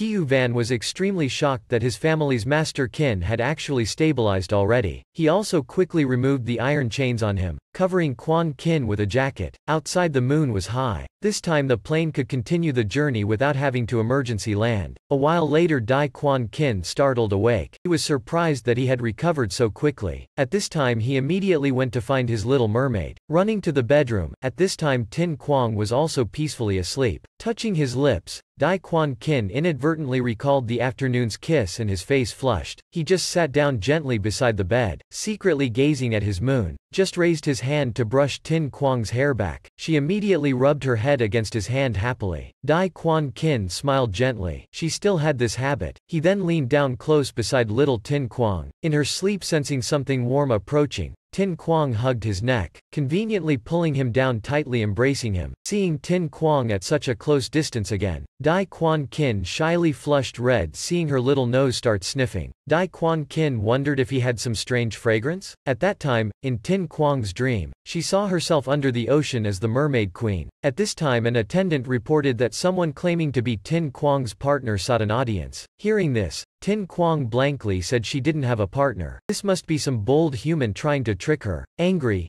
Tin Quang slammed her hand ordering the impostor to be brought in. Two mermen immediately brought in a masked man in black. Frowning, Tin Quang asked who he was, even threatening if he dared trick the mermaid queen her then he'd be killed. Unexpectedly he politely bowed then respectfully kissed her hand, sweetly calling her darling saying how could he trick her. He introduced himself as the recipient of Tin Quang's first kiss, for short her partner, right? Hearing he was the recipient of her first kiss, Tin Quang hesitated. At this time the other side suddenly rang with another voice asking how could he still not know she had a first kiss partner. Hearing the call, Tin Quang turned to that side, asking who just spoke. It was Dai Quan Kin appearing with the air of a CEO. Seeing this, Tin Quang fearfully hurriedly explained to Dai Quan Kin that she didn't know that guy, telling Dai Quan Kin not to misunderstand. Hearing this, the masked brother pulled Tin Quang's hand, saying she must know him. He was the recipient of her first kiss. On the other side, Dai Quan Kin also struggled, cursing her as a traitor for daring to have another partner behind his back. The two kept arguing continuously Helplessly, helpless, Tin Quang finally had to scream, stop arguing. Then she was startled awake by her own scream. Terrified, Tin Quang clutched her heart. That dream really frightened her to death. Dreaming again of that huge tumor Dai Quan Kin, Tin Quang was certain this was a nightmare. But remembering the masked man claiming to be her first kiss, Tin Quang was lost in thought. She remembered her first kiss was when she fell into the sea. Adrift on the rough stormy sea, Tin Quang saw a boy on a small boat rushing over, telling her to hang on. That boy saved Tin Quang. She remembered he was Tan Quan Deep, an unfortunate child who never knew happiness. To save Tin Quang, Tan Quan Deep kissed the little girl. Tin Quang knew without him, there wouldn't be her of today, but the heavens like playing tricks on people. Waves rose again, tormenting the already tattered fates of the two children. In a moment of danger, Tan Quan Deep told Tin Quang to swim away. Don't worry about him, stirred, Tin Quang suddenly remembered it was almost the anniversary of Tan Quan Deep's passing. She decided when going back she'd burn some spirit money for him. He was so poor, wiping her face. Tin Quang looked in the mirror then was confused wondering if her lips were naturally red like that. After getting ready, Tin Quang walked out in high spirits, but the people outside had wrinkled faces like monkey butts. Bewildered, Tin Quang scratched her head, feeling the atmosphere was strangely odd for some reason. At this time seeing Dai Quan Kin red-faced walking out of the room, Kiu Van awkwardly coughed. Seeing Dai Quan Kin after that shyly ask him to get some ice, Kiu Van's clever mind started analyzing. He looked at Tin Quang with admiration and surprise, not expecting the young miss looking petite was truly powerful. Sensing someone looking down on her, Tin Quang turned asking Kiu Van what the problem was. Kiu Van had no choice but to evade, saying in a bit he'd take Tin Quang to the hotel again, while Master Kin had to go somewhere else. The morning sun had gilded the whole city. Kiu Van's convoy stopped in front of the hotel hotel. Just getting out Tin Quang met a colleague asking why she was there. Tin Quang said she got an interview with a big shot so the director sent her. Her colleague happily laughed wide-eyed, saying interviewing a big shot of course they had to send the prettiest reporter of their station. This was their Coco spirit. Meanwhile Luke and An An's face looked very dissatisfied. At this time Kiu Van notified Tin Quang that soon Master Kin would dine with some famous people in financial circles, telling her she could interview them over the meal. Before letting Tin Tin Quang respond. Luke An An had perked up, really. We can eat together with Mr. Tien too? Kiu Van promptly crushed her small joy, saying Master Kin only invited Miss. Seeing this, Luke An An was unhappy objecting on what basis only Tin Quang was invited when they were also Coco reporters. Kiu Van truly at this time just resented he couldn't tell her. Of course it was because Miss was the one in Master Kin's heart. Tin Quang had to speak up explaining her partner introduced and helped contact Mr. Tien for her. Then was about to leave, Unexpectedly Luke An An still pulled Tin Quang's hand back, furious saying she was the one who arranged the financial conference interview, she thought Tin Quang was stealing her credit. Furthermore, Luke An An felt Tin Quang was resentful about having her boyfriend stolen so grew vengeful. Agitated, Luke An An said T Doan then let her on first, saying if Tin Quang liked T Doan then that much then she could give him back to Tin Quang. Irritated, Tin Quang yanked her hand back, saying Luke An An overthought already, her stolen credit, showed it basically didn't belong to her in the first place. Secondly Tin Quang said she didn't care about T Doan then already, if they married she could even bless them to grow old together. Thirdly Tin Quang said Luke An An could also ask her partner to arrange an interview if she wanted, but immediately Tin Quang Quang mockingly said it seemed Luke An An's partner wasn't that great. After saying her piece, Tin Quang arrogantly left, leaving behind the resentful Luke An Ann wondering just how amazing was Miss Tin Quang's partner. She was still bothered by the image of Tin Quang getting into that fancy gold car. Luke An Ann didn't expect Tin Quang's partner could pick her up in a luxury car, and arrange an interview for Tin Quang with the financial boss too. At this time, out of jealousy and envy Luke An An thought if it wasn't for Tin Quang pushing T Don then on her, he would have been hers already. Meanwhile, Kiu Van had brought Tin Quang to the meeting building. He reminded Tin Quang that Master Kin hadn't arrived yet, telling her to go inside first. The empty seat was Master Kin's. She should sit next to that seat. Cracking the door open, inside was the noisy laughter of the financial bigwigs. She took a deep breath to calm down then raised her hand to knock. Tin Quang walked in,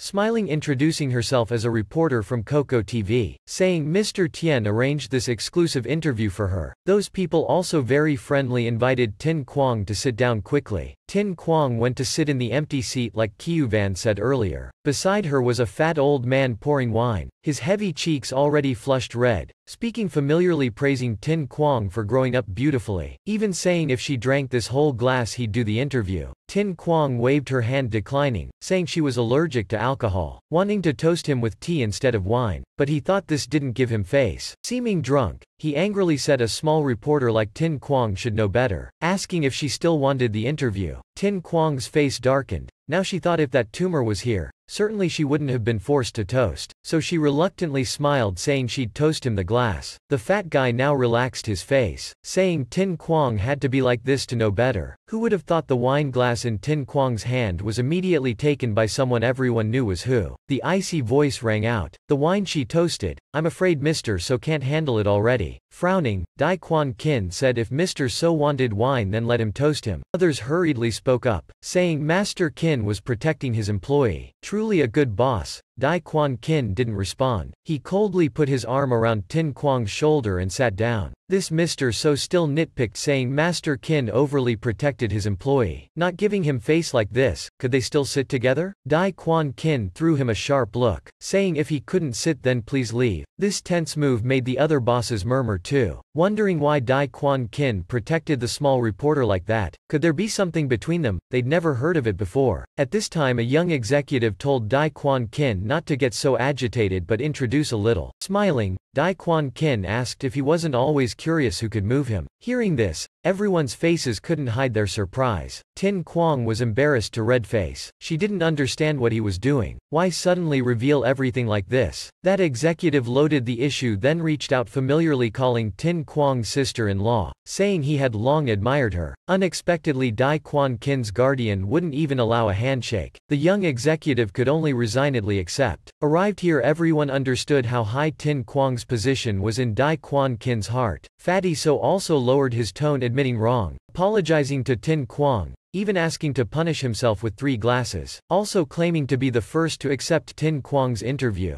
Don't fight me for it. Watching him drink sloppily, for a moment Tin Quang was confused, unable to say anything. The young man now said fatty so didn't need to fight over it, because the first to get sister-in-law's interview must be him, if not he'd feel guilty. Seeing this, Dai Quan Kin got jealous again asking what fate he and Tin Quang had. Unexpectedly, the young executive happily held up his phone bragging he was Lam Han Fong. His fate with Miss Tin Quang was the comma sign. Indeed, on his phone was still the system notification, saying Lam Han Fong was listed as one of Miss Tin Quang's randomly matched prospects. Seeing this, Tin Quang also had to admit it was true. This time was right when she did the lottery draw at the civil office. Han Fong now resentfully asked why Tin Quang didn't choose him, when his number was the nice 88,888,888. Recalling it, at the time Tin Quang really wanted to choose this grand lucky number but the system gave her too short a selection time. She hadn't chosen yet when the system automatically spun for her already. The two chatted happily, not noticing someone unhappy behind them at all. Dai Quan Kin later saw the system notification saying Lam Han Fong was eliminated by another player. No fate with the young miss. Try harder to increase competitiveness to successfully escape singleness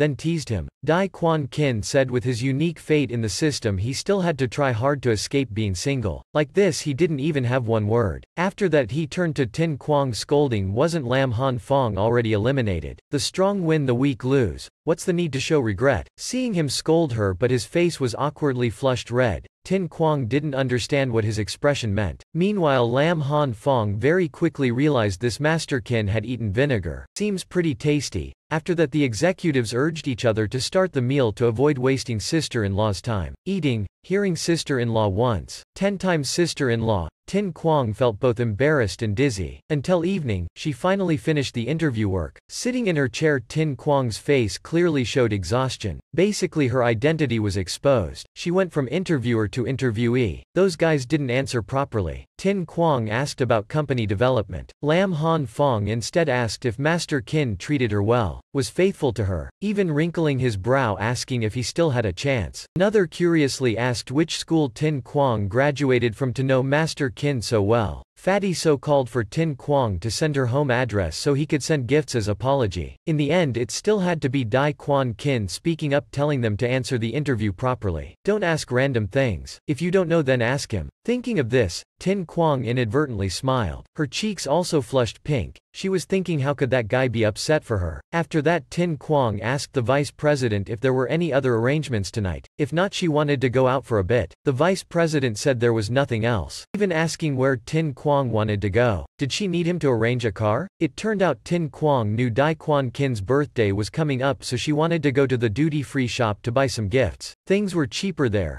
the vice president now recalled Kiu Van's analysis, guessing the one in Dai Quan Kin's heart was Tin Quang so he knew the chance to make amends had come. He knew the young miss was a new graduate, surely didn't have much money yet, buying gifts for Master Kin would be difficult. Therefore the vice president generously took out the duty-free shop's credit card to give Tin Quang to use. Tin Quang was very hesitant because this was to buy Dai Quan Kin a birthday present. Using the vice president's card to buy would be inappropriate. Seeing this, the vice president put on a trustworthy expression telling Tin Quang not to worry. The important thing was the thought, who paid Master Kin certainly wouldn't care. After a while, the vice president enthusiastically even prepared a car for her, telling her to shop at ease, he would definitely keep it secret. Tin Quang also had to accept the vice president's good intentions. Done, the vice president happily called Master Kin, telling him to guess where Tin Quang asked him to prepare the car to go earlier. Bored of this beating around the bush, Dai Quan Kin told him to fart it out or he'd hang up. Later,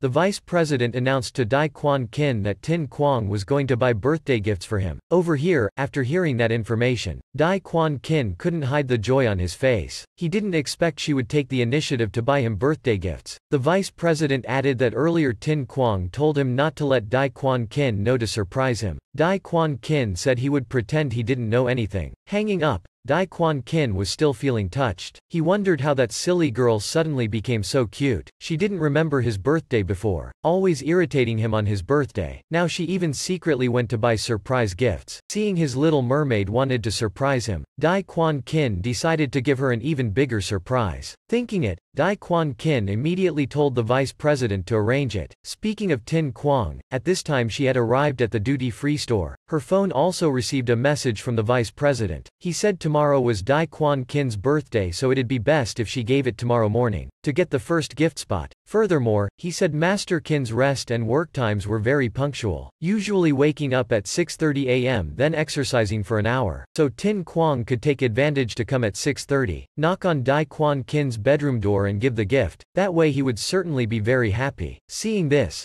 Tin Quang asked if Master Kin wanted a party at home, so could could she give the gift at midnight tonight instead? But according to the vice president, at midnight Master Kin would be sleeping already. His sleep was very punctual, starting rest at 10.30. Seeing this, Tin Quang felt a little regretful, because if not giving the birthday gift right at 000 then what was the point? She started plotting, already knowing tomorrow was Dai Quan Kin's birthday and also Tan Quan Deep's Memorial Day. Dai Quan Kin would be resting after 10.30. Tin Quang thought why not do Tan Quan Deep's memorial service first tonight at midnight. At exactly midnight, Tin Quang thought now that tumor must certainly be asleep already. She decided to run far to burn spirit money or it wouldn't look good. So Tin Quang sneakily took some spirit money bundles and went to a distant corner to start burning. Tan Quan Deep, I'll burn more for you. Don't be stingy spending it okay? You came from an impoverished rural area. Three generations were poor, barely finishing elementary school already having to work for money. Truly life was not easy at all. Tin Quang was sad thinking of Tan Quan Deep having to be shark bait to save her. Tin Quang knew she really could have saved herself then even though she was still small. Still confiding to Tan Quan Deep, Tin Quang suddenly sensed someone's footsteps approaching. Looking up,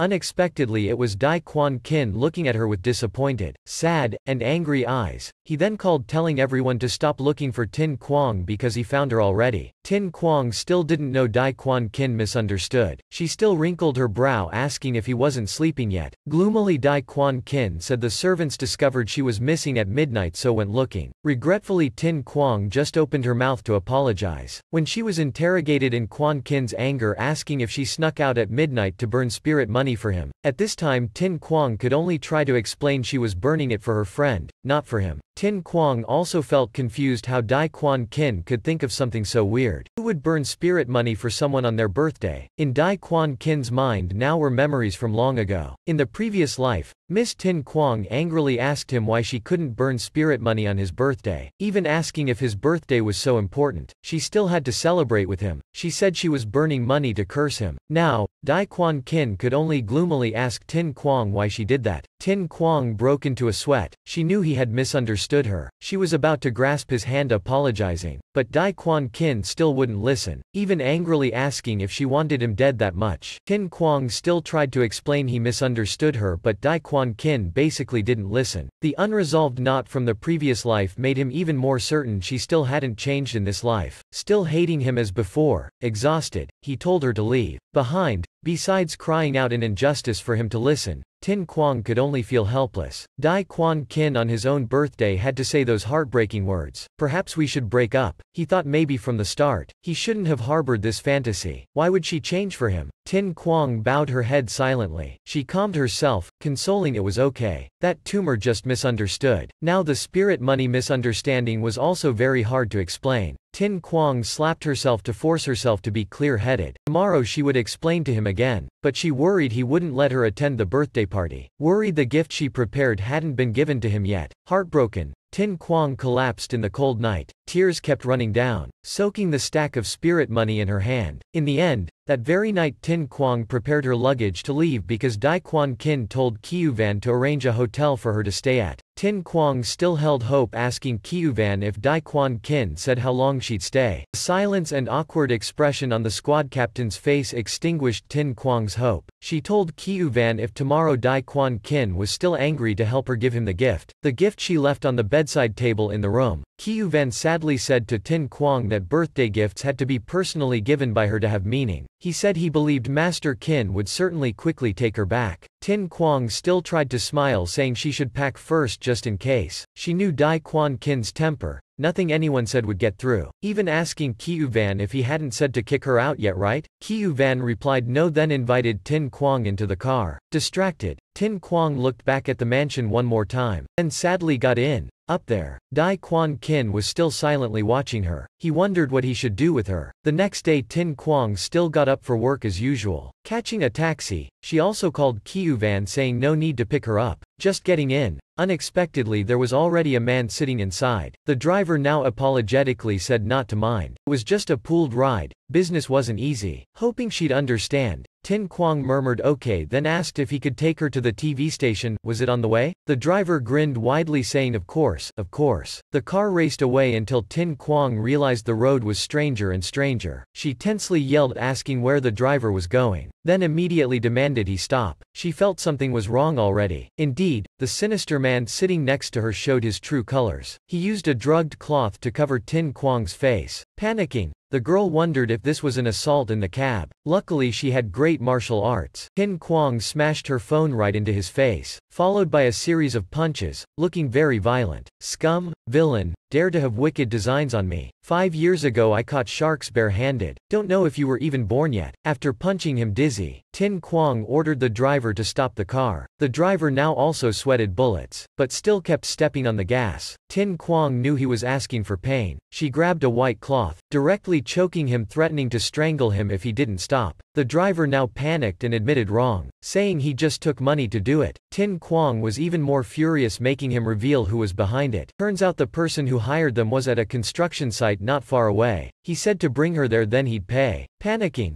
Tin Quang told him to quickly drive back. The driver agreed on the surface but thought this brat had some skill but her mind wasn't so good. Because they were almost at the site now, he knew even if she sprouted wings she'd hardly escape. Very quickly, the car arrived at a large abandoned construction site. The driver had nothing left to fear and raced in, then shouted calling his buddies out, saying inside was a very tough woman, had already knocked a tam out. Immediately, a group of punks appeared, speaking arrogantly asking what nonsense the driver was spewing. Now a tam was tossed out of the car. Tin Quang arrogantly stepped out, facing the gangsters head on. She wasn't afraid of any punk. Twisting her wrist Tin Quang asked who wanted to go first or if they'd all go together. Those guys weren't real men either, encouraging each other to surround Tin Quang. In another development, at this time Dai Quan Kin was holding his own birthday party with countless prestigious guests attending. Seeing the vice president, he worriedly asked if he still hadn't contacted Tin Quang yet. The dumbfounded vice president apologetically said he still hadn't contacted her yet. Dai Quan Kin was even more worried. He thought this little mermaid couldn't have left home already right? At this time, Ha Tru Da also slowly walked over asking Dai Quan Kin why he looked so glum on his birthday, also asking where was his spouse, could they have fought? Meanwhile, Dai Quan Kin seemed to have received some news from Van. He immediately stood up, his murderous face making Han Fong shrink back. Like that Quan Kin went straight with his subordinates. Not a word, leaving Ha Tru Da standing bewildered wondering who provoked that man again. Dai Quan Kin had just left when the assistant of Ha Niem Niem tearfully ran to Ha Tru Da saying his sister was about to be beaten to death. He said it was Master Kin's spouse, Miss Tin Quang. Angered at being kicked out by Master Kin, she made a mess at the Ha house. The assistant said Tin Quang was crazy. It was clearly the Ha house servant speaking nonsense, but she still made a mess at the Ha house. Right now in Ha Tru Da's house, many things were smashed. The house was about to collapse. This news immediately shook up the whole party. They all thought the online news was true. Dai Quan Kin and Ha Niem Niem truly loved each other. Now the assistant also kept urging Ha Tru Da to quickly return. Hearing this, Dai Quan Kin stopped. He said he also had to go see his spouse missing all day, why was she at the Ha House? Dai Quan Kin was certain his little mermaid couldn't randomly lose contact. Moreover go make trouble at the Ha House. Something must have happened. Tin Quang carried a baseball bat, fiercely dragging a Tam from the car, saying she wanted him to clearly see the face of the one who hired him. Like that dragging a Tam,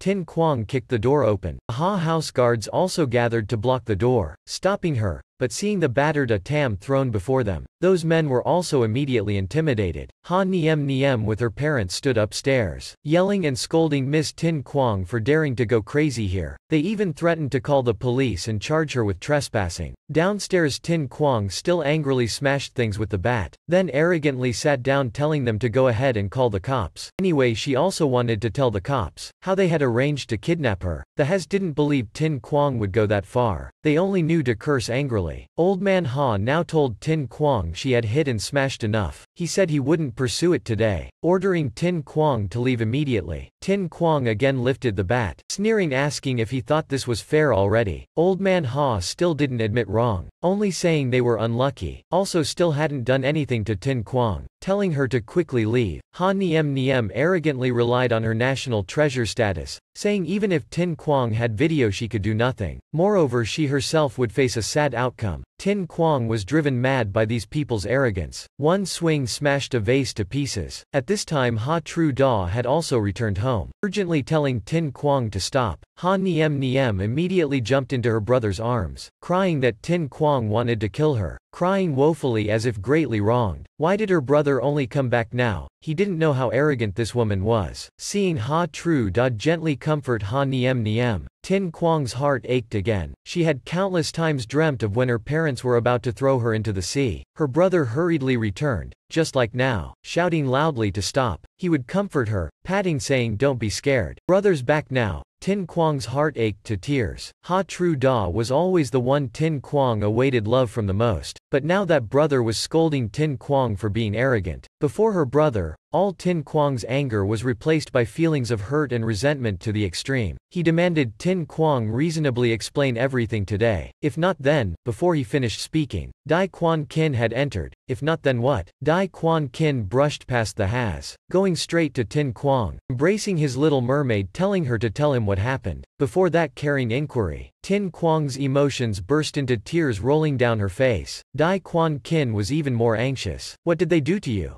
Madam Ha now told told Dai Quan Kin that he didn't know what awful state Miss Tin Quang smashed their house into, how crazily she went. Of course Dai Quan Kin believed everything had a reason, he asked if they'd speak now, or should he call someone to ask. Having spoken, Dai Quan Kin glanced at a tam crawling on the ground trying to sneak away. Hearing that, he immediately stood up hurriedly denying having any involvement. About to confess, Ha Niem Niem's golden hair flicked as she fearfully silenced Atam. But the frightened Atam still decided to confess, saying someone hired them to kidnap Miss Tin Quang, force her to hand over a video recording, also saying the client said they just had to get the recording then directly silence her. Ha Tru Da still basically didn't understand the issue. He frantically asked what video recording, also saying if someone was hired then why did they mess up his house, Old man Ha now hurriedly told his son not to listen to others' nonsense, again helped by Ha Niem Niem's lies that Tin Quang came to make trouble out of jealousy for her. Seeing their family still unwilling to speak, Dai Quan Kin decided he would tell Ha Tru Da himself. He said Tin Quang had recorded a video 16 years ago of Ha Tru Da's parents throwing his little sister into the sea. Hearing this, Ha Tru Da was shocked, not believing his own ears. Dai Quan Kin continued, he said he couldn't help but laugh at Ha Tru Da's naivete, asking if he really believed his sister had jumped into the sea to run away from home? The girl was only a few years old then, he heard she was seriously ill then. How could a seriously ill child run away from home? Ha Tru Da was too shocked by what he just heard. He furiously asked his family if what Dai Quan Kin said was true. Of course those phony intellectual scum didn't admit it. But the more Ha Tru Da thought back on the oddities of his parents then, the more he believed Dai Quan Kin. His little sister was only six then. When Ha Tru Da returned home, his parents said she had run off on her own, a six-year-old girl with a frail body like that. At this time Dai Quan Kin told Ha Tru Da he had gotten the reasonable explanation he wanted, also saying Tin Quang was the benefactor who saved his sister's life. Hearing that,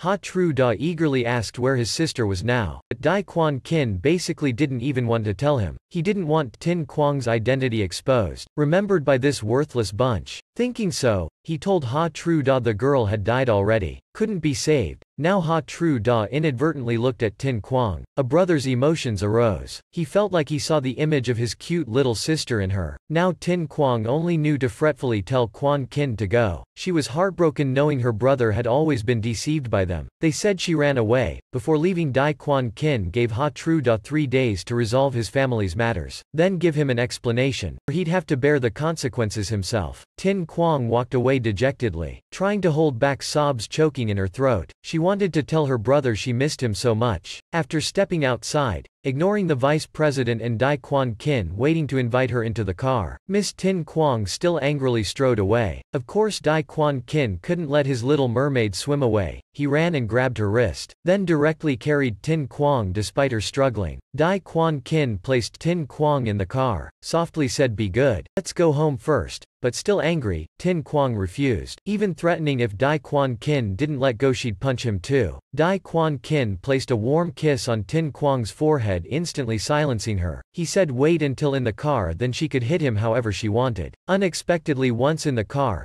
the little girl just sat sobbing silently in a corner. Still the man in any case should take initiative. When she is silent and avoids him then he should know to approach and ask. Miss Tin Quang now cried aggrievedly telling Dai Quan Kin not to touch her. A tip to coax your girlfriend is the more she pushes you away, the closer you should get. Dai Quan Kin applied that rule, reached out to hug Tin Quang's waist then embraced her tightly. Tin Quang still sulked saying wasn't it he who didn't want to see her, wanted her to leave his world? Why was he hugging her? Dai Quan Kin, had he become too cowardly? Of course a smart man would admit being a coward to his wife, only asking her to return home with him. Dai Quan Kin gently admitted wrong, saying those late-night words were only because he was too angry. He said today was his birthday. There was a party at home, Everyone was waiting for them to return. Tin Quang looked at him, felt his sincerity. Dai Quan Kin in his heart truly hoped she would return. He was also waiting for her birthday present for him. Tin Quang also took this chance to explain, saying last night she really was burning spirit money for her friend not cursing him. Seeing Dai Quan Kin was still doubtful. Tin Quang firmly said if he didn't believe he could have the vice president investigate. On this day 10 years ago, her friend died saving her. The savvy vice president also poked his head down saying he'd investigate immediately. At this Dai Quan Kin embraced her. He felt even without that person it was fine. Her willingness to explain to him already made him very satisfied. Vice president was also very reliable. Hadn't even started yet already investigated and affirmed Tin Quang wasn't lying. On this day 10 years ago, someone named Tan Quan Deep died in a shipwreck. Dai Quan Kin looked at that Tan Quan Deep's profile. He was startled seeing the time and location were correct. 10 summers ago, Tin Quang had indeed encountered an assassination at sea. Strangely, Dai Quan Kin also had those memories. As if he was Tan Quan Deep, Quan Kin didn't think much of it. He embraced Tin Quang, saying he was wrong to misunderstand her, also dotingly telling Tin Quang at the villa there was lots of delicious food waiting for her. Cakes, seafood, grilled meat, juice, very quickly Tin Quang was back at the villa, in a glittering party dress with dishes she loved. While happily enjoying, a little girl ran over hugging Tin Quang.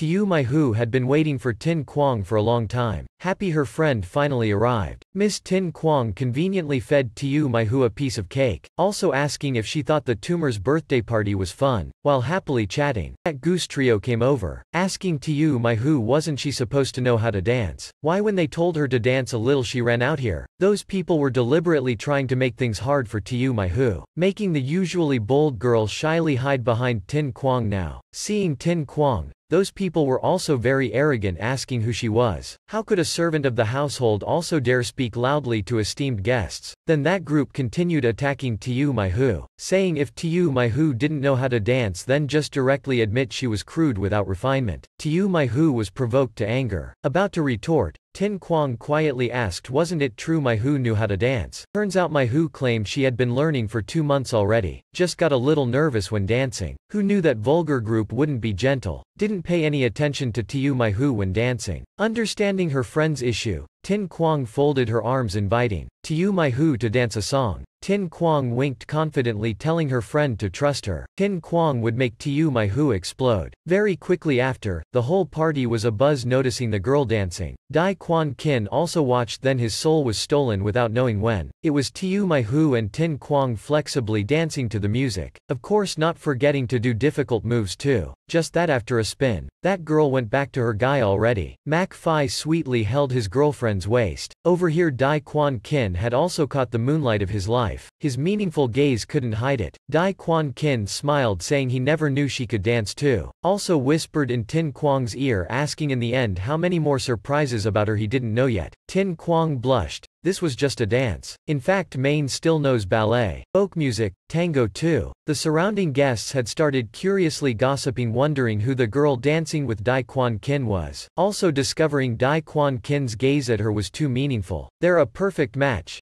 Dai Quan Kin closed the dance with a romantic move, successfully reaping huge thunderous applause from the watching audience. They then crowded around asking about this girl's identity, telling him to hurry and introduce Tin Quang to the public. Surrounded by the crowd Tin Quang silently slipped away. Her target was the table full of food. First she had to fill her stomach, not even crawling to the buffet yet. Tin Quang stopped seeing Dai Quan Kin sitting at the piano. Under the stage lights, he said today he'd introduce a person to his friends here. The stage lights immediately shone on Tin Quang, just as she still didn't understand what was happening. Dai Quan Kin's fingers were already on the piano keys. The music rang out, Tin Quang immediately recognized this was the song that made the late master fall in love at first sight with her. She didn't understand why he was playing this song. Dai Quan Kin then raised his voice inviting everyone to listen to him sing this song. The warm singing voice rang out, the lyrics like the words he wanted to tell the girl he loved. Do you know you're the shining star tonight of mine? This fate is so funny. I really wanted to hold your hand walking the Milky Way. When our eyes meet, Captain Kiu Van cleverly invited Tin Quang to Dai Quan Kin's side. Tin Quang still didn't know what he intended. Her feet stepped but it was too dark to see. But romantically, he had carefully prepared. Every step she took, the stars shone. A dreamscape making men marvel, women admire, Tin Quang blush going forward. Dai Quan Kin looked at her, continued singing. If we could meet again, what I want most is you'll also love me. Could it be you can step on my twinkling stars? The song ended in melodious music and gentle light. Dai Quan Kin took her hand hinting for her to cut the birthday cake with him. The cake worth several new grads' monthly wages was brought out. Dai Quan Kin held Tin Quang's hand. Together they lowered the knife cutting the celebratory cake. Amidst the cheering guests, he gently fed her a piece. They exchanged a look affirming the deep affection they held for each other. Of course a good man would give the first cake piece to his important person. Now an excited guest curiously asked Dai Quan Kin what was the name of the song he just sang. It sounded so good. Dai Quan Kin immediately replied it's a song recently very hot online called You're the Shining Star Tonight of Mine. Dai Quan Kin looked at Tin Quang, said he had written the lyrics based on her name. The last three words of the song were her name. At the same time, he also introduced to everyone that she was the fated match heaven had arranged for him. Miss Tin Quang. Hearing that, the girls exclaimed clever, also asking if they could post the recording on Weibo. Miss Tin Quang now still wanted to clarify that this song was originally sung by her friend, Ah Queen Queen, and the lyricist was Dai Quan Kin. Then she told that guest if they liked it, go ahead and post it. She even thanked them for helping her promote the song. That guest then playfully teased Tin Quang, saying this was Master Kin publicly confessing, implying she was the shining star in his night. Miss Tin Quang was still shyly denying it was just coincidence, was immediately lifted up by Dai Quan Kin, before all those eyes. He said they should freely enjoy. Remaining time he wanted to be alone with the woman heaven had arranged for him. Dai Quan Kin carried the little fish to a corner, shyly blushing, Tin Quang told him not to make a scene like that. Quan Kin kicked open the door. Startled, Tin Quang realized this was his bedroom. Then she turned saying Dai Quan Kin better not mess around, or she wouldn't be polite with him. After, she reminded him not to forget they only had a contractual marriage. They'd separate after a year. Dai Quan Kin bent down getting right in Tin Quang's face, asking hadn't she ever heard this saying? Dai Quan Kin sat down. He said if women's words could be believed, Pigs could climb trees. Looks like he wanted to completely deny that contractual marriage business. After, Dai Quan Kin's mind was very unstable, kept scooting close to Tin Quang smiling wickedly, making the girl panic and push him away, telling him to calm down a little.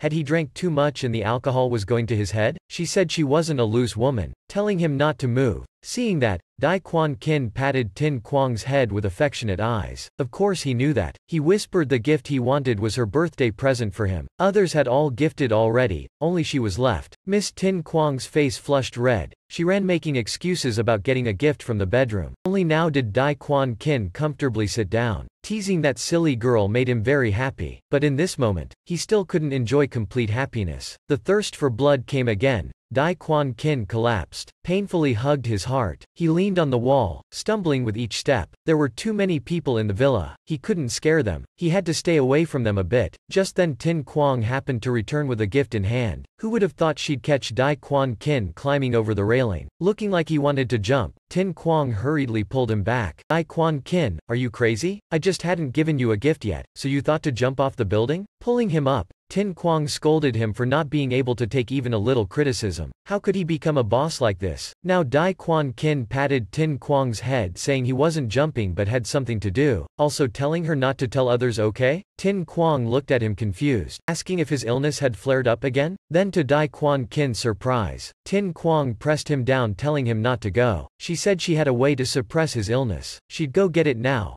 also saying he had to trust her. After, Tin Quang brought a cup of water, telling him to see, it wasn't blood at all. Then she took out a pearl necklace, useless to others but happened to suppress Dai Quan Kin's bloodthirst. Very effective, Tin Quang then asked about the origin, how long he'd been sick, Dai Quan Kin calmly said it was from an accident. Ten years already, hearing that long period of time, she couldn't restrain her shock asking if he hadn't drunk blood for ten years? She recalled his bodyguard said he locked himself away to avoid drinking blood. How strong his will must be. Dai Quan Kin looked at the bright red water. He couldn't help covering his nose frowning asking why this smelled like blood. Tin Quang had to explain a type of seaweed smelled very similar to fresh blood. These pearls she had were cultivated among that seaweed so had that fishy bloody smell smell. Tin Quang held up the cup, moved it toward Dai Quan Kin, saying it smelled very alike but wasn't blood. She absolutely wouldn't trick him into drinking what he disliked. Seeing Dai Quan Kin hesitate, Tin Quang kept encouraging him at his side. Drinking it could suppress his bloodthirst already. Dai Quan Kin took the chance to tease, putting on a spoiled face saying he'd only drink if Tin Quang fed him. Tin Quang had no choice but to indulge him, brought the cup to Dai Quan Kin's mouth coaxing the child to drink medicine. If he didn't drink it he'd get a spanking. After making that overgrown child drink it all, Tin Quang carefully wiped his mouth, then standing far flung the birthday gift at Dai Quan Kin, telling him sleep well, Remember to close the door for her when he left. Dai Quan Kin refused and ran over pinning Tin Quang to the wall, reminding her this was his room, then pulled Tin Quang's hand startling her, not knowing what he intended. Dai Quan Kin made Tin Quang lie on her back on the bed while he was on top of her, smiling teasingly asking if the birthday gift was only this, then brought his mouth close to her fair smooth skin asking if there wasn't anything else. When the situation was critical like this, a phone ring happened to free Miss Tin Quang, she said it was her father calling. Dai Quan Kin embraced Tin Quang, asking why she panicked like that, telling her to hurry and answer, then he himself took the call. To Miss Tin Quang's shock, Quan Kin spoke confidently and politely. Son greets father, have a nice evening father. Dai Quan Kin held his little wife sitting in his embrace, speaking very politely with her parents. Over here, the old couple was also very curious taking turns looking at their son-in-law. The boy named Dai their country had chosen for their daughter. Proudly, Tin Quang for the first time introduced him to her parents, also asking if they thought Dai Quan Kin was handsome. Seeing her son-in-law, Tin Quang's mother started instructing him, telling him her daughter could cook, could also work outside, only one thing she couldn't do was swim, telling him not to take her to dangerous deep waters. Hearing that, Dai Quan Kin forced a laugh, his head immediately recalling the awful taste of the beefsteak Tin Quang had cooked before. Tin Quang's father also came instructing his son-in-law. He said his daughter had a frail body, extremely delicate strength, she couldn't even step on an ant, saying not to bully his daughter, to pamper Tin Quang a lot. Hearing this frail body bit again, Dai Quan Kin was confused if they were talking about Tin Quang. this girl standing tall with head in heaven and feet on earth, but to please the parents, Dai Quan Kin hurriedly replied yes, saying he would definitely take good care of this frail girl. After talking a while it was getting late. After telling the parents not to worry, he would take care of their daughter well. He bid the parents good night to rest. At this time Tin Quang also didn't need to worry her parents would be too concerned for her anymore. After ending the call, Tin Quang patted Dai Quan Kin's shoulder, praising he wasn't bad, also knew to coordinate with her, hadn't wasted her giving him medicine. Tin Quang passed things to Quan Kin, smiling happily telling him to hurry and open it. Dai Quan Kin took the gift and opened it. Inside was a very beautiful watch. Seeing that watch on Dai Quan Kin's wrist, Tin Quang exclaimed it was worthy of the watch she chose. So beautiful. Now Dai Quan Kin knew his bloodthirst was suppressed but he seemed to sense another thirst had appeared. He shyly asked if her medicine had any side effects. Moreover he kept swinging his legs, crossing them as if covering something, but seems like legs couldn't cover it anymore. He grabbed a pillow, pressed it on his lap to hide it. He asked Tin Quang if anyone else had drank this medicine before, if they mentioned any side effects. Miss Tin Quang seriously pondered. She said he was the first one. Now she suddenly remembered back then she saw someone else taking the medicine. People drinking this could prevent blood thirst but would ignite the flames of love. If it was their partner, don't be careless letting them drink recklessly. After, Tin Quang sympathetically said to Dai Quan Kin he probably didn't have any issues. After all they were only legally married on paper. Dai Quan Kin looked at her, Wondering if Tin Quang was trapping or tormenting him, Tin Quang still didn't really understand the issue, worriedly approached asking if Quan Kin felt uncomfortable anywhere, if he had any side effects. Quan Kin still hugged the pillow tightly, blushing replied no he wasn't uncomfortable. Tin Quang worried more telling him to say where he felt uncomfortable. Embarrassed, Dai Quan Kin bowed his head asking what she thought igniting the flames of love meant. Tin Quang awkwardly laughed saying she didn't drink it either. How would she know? then told him to just hang himself. This time she wouldn't stop his jumping. He should boldly go ahead and jump. Dai Quan Kin started whining, saying he didn't know what side effect this was. He just wanted to hear her say loving words, wanted to embrace her, didn't want to be apart. His mind now only had Tin Quang's image. Also wanted to hear her call him Dear Kin, just wanted to say he loved her too. Also asking if Tin Quang took advantage of his illness to make a move on him, pretending to be aggrieved saying he didn't expect she was this kind of person. Miss Tin Quang hurriedly soothed him, saying she truly forgot the side effect. When young she heard about it but didn't remember clearly, she truly didn't cast any love spells on him. Seeing Tin Quang apologetic, Dai Quan Kin whined for her to say loving words to ease him, made her call him Dear Kin a few times. He said now he really wanted her to call him that. Miss Tin Quang also had to indulge the sick man, shyly called out Dear Kin, but Dai Quan Kin still demanded she put more emotion into it. Calling like that how could it be enough to extinguish the flames of love burning in his heart? Tin Quang's face flushed red, she reached out embracing Dai Quan Kin's face, sweetly called Dear Kin once more. She asked how he felt now. Dai Quan Kin felt his body burning hot. He said seems like it had some effect already, also telling her to keep going add a bit more emotion. Cooperating, Miss Tin Quang whispered in his ear calling again. At this Dai Quan Kin jumped up saying he had to go to the bathroom, also telling Tin Quang to hurry and rest. He didn't know how long this side effect would last. Now Tin Quang also felt like her body was burning. Before leaving, Dai Quan Kin said the side effect might last 3 to 5 days, telling her to prepare some affectionate words tomorrow to say to him, the dear Kin still wasn't enough. Hearing the side effect would last so long, Tin Quang immediately froze for three seconds. Dai Quan Kin returned and immediately showered with cold water. In his heart he still couldn't believe the little fishtail truly didn't mean it, but seems he overdid the cold shower and was about to catch a cold, sneezing. But Dai Quan Kin still felt the cold shower didn't seem effective. He gritted his teeth saying Miss Tin Quang just wait. Tin Quang had long fallen asleep in her room, not knowing what she dreamed that she mumbled Dear Kin in her sleep. Early next morning Tin Quang woke up latest in the house. At the dining table the men were already eating breakfast. While eating, Dai Quan Kin couldn't help continuously sneezing making the younger brothers panic asking if his red face meant he had a fever? Dai Quan Kin denied saying he was fine, but showering cold 30 times. How could Quan Kin endure it? When Miss Tin Quang pulled out the chair next to him and sat down, the younger brothers happened to notice Dai Quan Kin's new watch too. Tactless KYKY2 even uncouthly commented the watch was only tens of thousands. Too cheap, unworthy of Dai Quan Kin. The brat had just said that. The atmosphere at the whole dining table immediately became strange. Under the piercing gazes of Tin Quang and Quan Kin, it was still the vice captain who explained to KY2 that this was Tin Quang's birthday present for Dai Quan Kin. Quan Kin also proudly said this was from Tin Quang using her first month's wages to buy for him. He wasn't lacking watches tormenting himself. KYKY2 still let his mouth run away. He said little Tin Quang only got paid a few thousand yuan a month. Intern time also deducted 20%. could still buy this watch. It wasn't fake right? Tin Quang immediately firmly corrected. Ignore the vice captain signals. She still declared it was real. It was the vice captain who lent her his credit card, saying to let her buy a birthday gift for Dai Quan Kin, or else even using up her whole salary wouldn't be enough. Poor vice captain now immediately got a piercing glare from the boss. The vice captain could only turn his head not daring to look straight. After,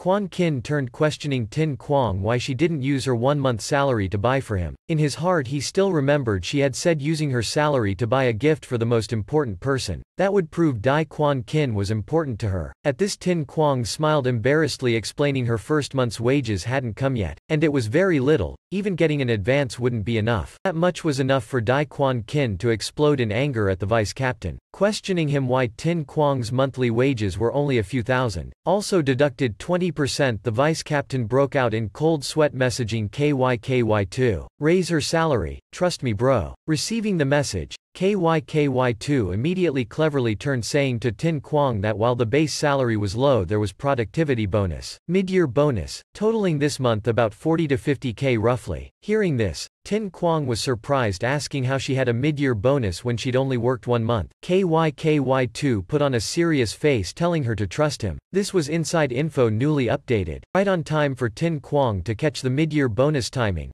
Moreover Tin Quang had interviewed many big shots. Extremely productive, KYKY2 was very smug. Basically he could make up whatever he wanted. A poor monkey like Tin Quang hearing money immediately had bright eyes. Then calculated this way, minus what she advanced, plus the vice captain's card. She still had quite a bit left, Tin Quang smiled brightly looking at Dai Quan Kin, saying this way she could buy that shirt she had her eye on the other day. She felt using the vice captain's card was still very awkward. Waving her arms and legs excitedly, Tin Quang asked Quan Kin if he liked the kind with ruffles at the chest. That white shirt, did he like it? Did he think it was cheap? After a glance from Dai Quan Kin, K Y 2 immediately told Miss Tin Quang today was payday so he'd give her the morning off, saying she'd been tired lately, should take a walk to unwind. Hearing this Tin Quang was extremely excited praising what a good boss. After the act, KYKY2 didn't forget to flash a trustworthy smile to Dai Quan Kin. When Master Quan Kin stood up, before leaving he didn't forget to remind Tin Quang to send him a message after an hour. What to send she should figure it out herself. Duong Chao and KYKY2 quickly caught on grinning knowingly. Tin Quang on the other hand only knew to stare after him blankly, not expecting this poisonous love to be so powerful. He thought once the side effects ended, Quan Kin would surely regret it a lot. One hour later, right now Dai Quan Kin was chairing a very serious intense meeting. The atmosphere looked extremely grave and tense. At this moment Dai Dai Quan Kin's phone suddenly buzzed. It was Tin Quang texting him on time, asking if he was still okay? Here's a big hug. Dai Quan Kin immediately smiled gently in reply. What do you think, Tin Quang? Seeing this, Tin Quang texted apologizing for not knowing the side effect would be so big. His reaction after getting Tin Quang's message really changed too obviously. Seeing that smile from Dai Quan Kin, his subordinates were moved to tears. Thanking heaven and earth Tin Quang got the day off today, so was free to text him steadily. At 11 she texted him a cheesy line. At 12 noon another one. I'm tall but can't reach you. You can bend down. At 1 p.m. a text saying it was 1 already but she didn't miss him. Let's say she missed him at 1.30 Dai Quan Kin of course thoroughly enjoyed this feeling. On the contrary, Tin Quang felt so awkward she had nowhere to hide. This side effect really harmed people too much. She originally couldn't say these kinds of words. Moreover Dai Quan Kin would never do this kind of thing. This was clearly fireworks ignited by love. But saying goes saying comes. Tin Quang felt after the side effect, Dai Quan Kin's usual cold demeanor seemed much more lovable. Another hour passed, Another message was sent from Miss Tin Quang reminding Quan Kin it was time to miss her now. After sending it, Tin Quang was shocked by her own cheesiness. She told herself she couldn't fall deeper into this love trap anymore. Afterwards she went to the mall, observed for a while and spotted a very nice shirt, extremely suited Dai Quan Kin. She decided to check out, just after checking out this item, Tin Quang saw two figures approaching behind her. It was Ha Nian Nian walking in with Ha Tru Da. Her mouth kept sweet talking consoling her brother not to be mad about yesterday, saying the parents didn't mean it, and she only recently learned of her sister's situation, sincerely missing her younger sister. Tin Quang abruptly turned around. Seeing Ha Nian Nian she immediately felt very unlucky. Ha Nian Nian also saw Miss Tin Quang and came over to greet, also asking if she was buying a shirt for Dai Quan Kin. After Tin Quang's um Ha Nian Nian started concealed attacks, jabbing at her, Miss, it's not me splashing you with cold water, but this brand is too cheap. Master Quan Kin only wears designer brands. Tin Quang had to hurry and console her not to worry, also saying she told dear Kin this morning he made her feel too highly she couldn't reach, but he replied it was fine. He could bend down lower. This laughter, this bragging immediately choked Ha Nian Nian speechless with anger. Ha Tru Da sensitively told Tin Quang gifts were important for the heart, not differentiating noble or lowly. He believed as long as it was Mrs. Gift, Dai Quan Kin would like it. Ha Tru Da then apologetically told Tin Quang about that day, also expressed wanting to treat her to a meal to apologize. In Ha Tru Da's heart, he also didn't know why just looking in Tin Quang's eyes made him think of his younger sister. Seeing him so apologetic, Tin Quang quickly said it wasn't his fault. Finally after a few sentences Tin Quang agreed to eat with Ha Tru Da. She felt extremely happy because finally she could openly and above board eat with Big Brother. Just one thing, Ha Nian Nian was also here. Tin Quang felt a bit annoyed. Afterwards they went to a high-end restaurant. Ha Tru Da expressed wanting Tin Quang to tell him about his younger sister's life when she was still at her house. Tin Quang was also very willing to casually make up stories. She said at that time Queen Queen's health wasn't good. Her parents tried their best to care for her but in less than two years Queen Queen still couldn't make it. But in those last two years, she composed some songs. Hearing their sister could compose music, the two were very surprised. Tin Quang also took the chance chance to say she had played one of Queen Queen's songs at a restaurant and got praised by the old master. At the time she didn't say the truth for convenience's sake and took the pen name Wei Tick for Queen Queen. But Ha Nian Nian still didn't believe it, saying the girl didn't understand music, couldn't even play an instrument. Seeing her attitude, Tin Quang recalled her past cold treatment, not even allowed to touch the piano. She continued saying she remembered young Queen Queen told that her older sister had strong self-respect and always wanted to be the best, in order not to provoke her older sister, so Queen Queen always hid her musical talents, letting her older sister Ha Nian Nian have the spotlight. Hearing this, Ha Nian Nian jumped up furious, while Tin Quang was also determined today to make the older sister die of anger, or she wouldn't be Miss Tin Quang. Afterwards Tin Lin Quang turned calling Ha Tru Da brother Ha, also asking if her calling him like this, the same as Queen Queen, would he mind? She gave Ha Tru Da a music piece, saying it was composed by Queen Queen and the lyrics were written by Dai Quan Kin. Tin Quang told Ha Tru Da that Dai Quan Kin said for Queen Queen Song, he had to write the lyrics, to be worthy of the beautiful love. Tin Quang wanted to use this to get back at Ha Nian Nian. El Ha Tru Da was very concerned hearing this was a song his younger sister wrote. On the side, Ha Nian Nian knew she was humiliated so felt very resentful. Afterwards this sinister tea quickly regained calmness, ready to bite Tin Quang. Ha Nian Nian smiled saying if her younger sister could become the irreplaceable white moonlight in Dai Quan Kin's heart,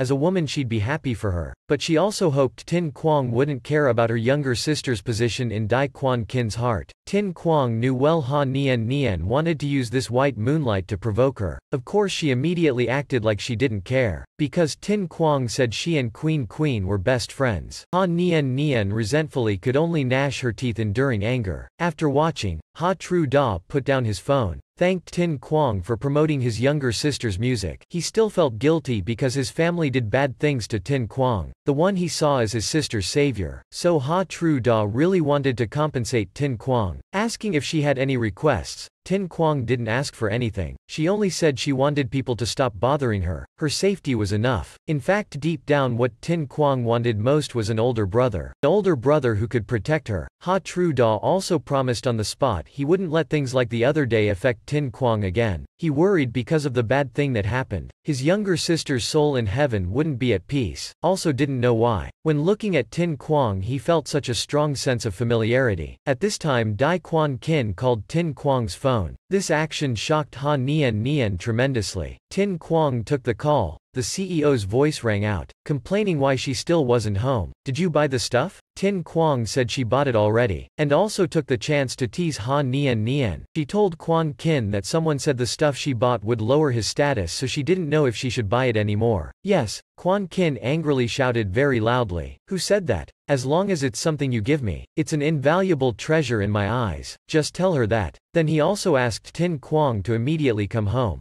Because he already missed her to the point of going crazy, Tin Quang also tenderly pampered Yes, my darling kin in front of Ha Nian Nian. Now Tin Quang suddenly felt that a man struck by love poison is really shameless. Like this would make Ha Nian Nian die of anger. Tin Quang then stood up and said she had to go, because her darling Akin at home can't leave her for even one second. She also told Ha Tru Da that he didn't need to explain last night's events to Yes, my darling Kin because she would tell him herself. Consider this meal as clearing debts. After saying that, Tin Quang arrogantly left, leaving behind one regretful, one resentful. Ha Nian Nian jumped up, grabbed her brother's hand, saying yes, my darling kin why do you say you like ha queen queen but act so cheesy with Miss Tin Quang? Ha Tru Da didn't know what to say about that, but he only knew to tell his younger sister one thing, Dai Quan Kin didn't like her, telling Ha Nian Nian to accept the truth. It seems today Ha Nian Nian was provoked to madness by Tin Quang. She started having malicious schemes. In her madness, Ha Nian Nian told her brother the president gave her the privilege to choose a man. She asked Ha Tru Da,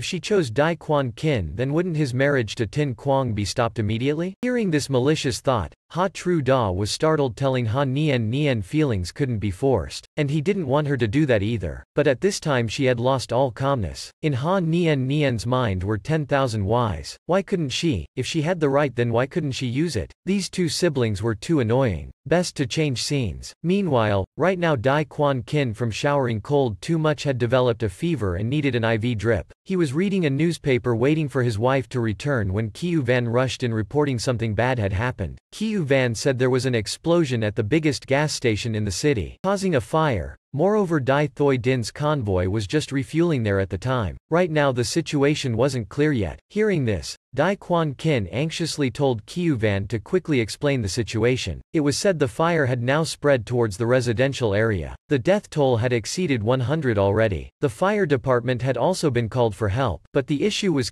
Van had contacted Dai Thoi Din's head of security but couldn't get through. At this time Dai Quan Kin also couldn't maintain calmness. He blankly looked at his phone. Inside were images capturing the scene. It was truly a terrible accident. Most frighteningly, Dai Quan Kin saw the car that usually picked up Miss Tin Quang, his wife's ride, overturned and wrecked, tragically in the sea of flames. Dai Quan Kin was even more worried. He immediately called Tin Quang's phone but no one picked up. Tense, Dai Quan Kin tossed the phone back to team leader Kiu Van, yelling for him to immediately call the Little Mermaid's company. Miss Tin Quang, Finally he got through to the company. Only then could Quan Kin's nerves relax a bit to ask about her situation. Who knew the company's attitude was so hesitant? Dai Quan Kin was scared to the point he could barely stand firmly. The terrible news was Miss Tin Quang had rushed into the sea of flames. Hearing this, Dai Quan Kin's pupils immediately constricted. Panicked and horrified, the gas station exploded, so at that time after getting off the car holding her phone to cover it, as a result she heard Dai Thoi Din's convoy was refueling inside so rushed into the flames. Hearing this,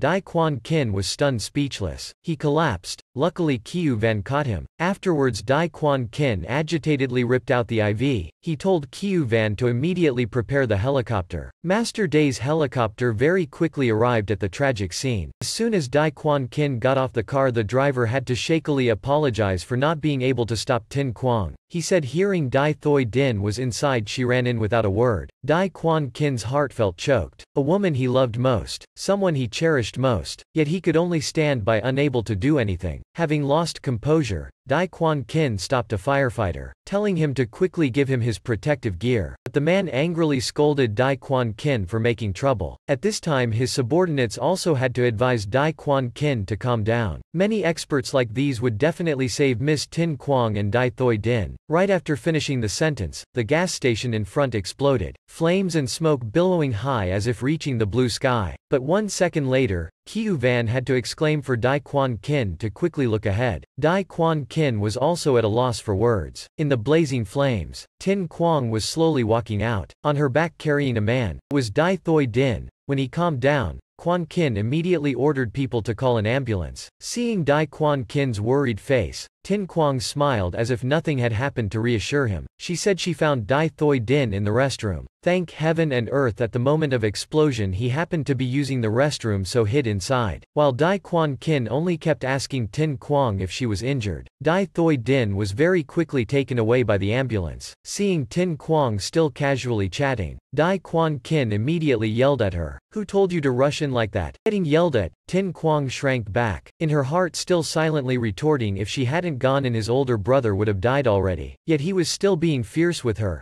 Dai Quan Kin was just too worried. He hugged her, blaming her for thinking she was a superhero, asking if she thought of the consequences, thought about how worried he was, seeing his tension. Tin Quang also understood his care and worry for her. Tin Quang smiled reassuringly, saying she wasn't stupid. She was sure of her own safety before going in to rescue others. Heartbroken, Dai Quan Kin carried Tin Quang back. He hugged her tightly to the point of hurting her a bit. Tin Quang knew although he had a foul mouth, he still appeared whenever she needed him most. Dai Quan Kin seemed to have lost Tin Quang, lost the bright star in his dark night. Now seeing her safe before him, unable to contain his emotions, he buried himself in Tin Quang's embrace. Afraid to lose her again, only silly Tin Quang still thought he cared for her this much because of the poison, secretly wishing if he usually worried for her this much it'd be so great. Afterwards everyone went to the hospital. Dai Quan Kin also demanded the doctor do a full examination on Tin Quang no matter how she refused and insisted she was fine. Tin Quang was afraid if they examined her and found her body wasn't normal, her mermaid identity would be exposed. Afterwards Tin Quang made an excuse to shoo Dai Quan Kin away to go check on Dai Thoi Din's emergency treatment. Unexpectedly Dai Quan Kin said he had called his sister-in-law over so there were enough people there, and forced Tin Quang into the exam room. After an examination in the VIP room,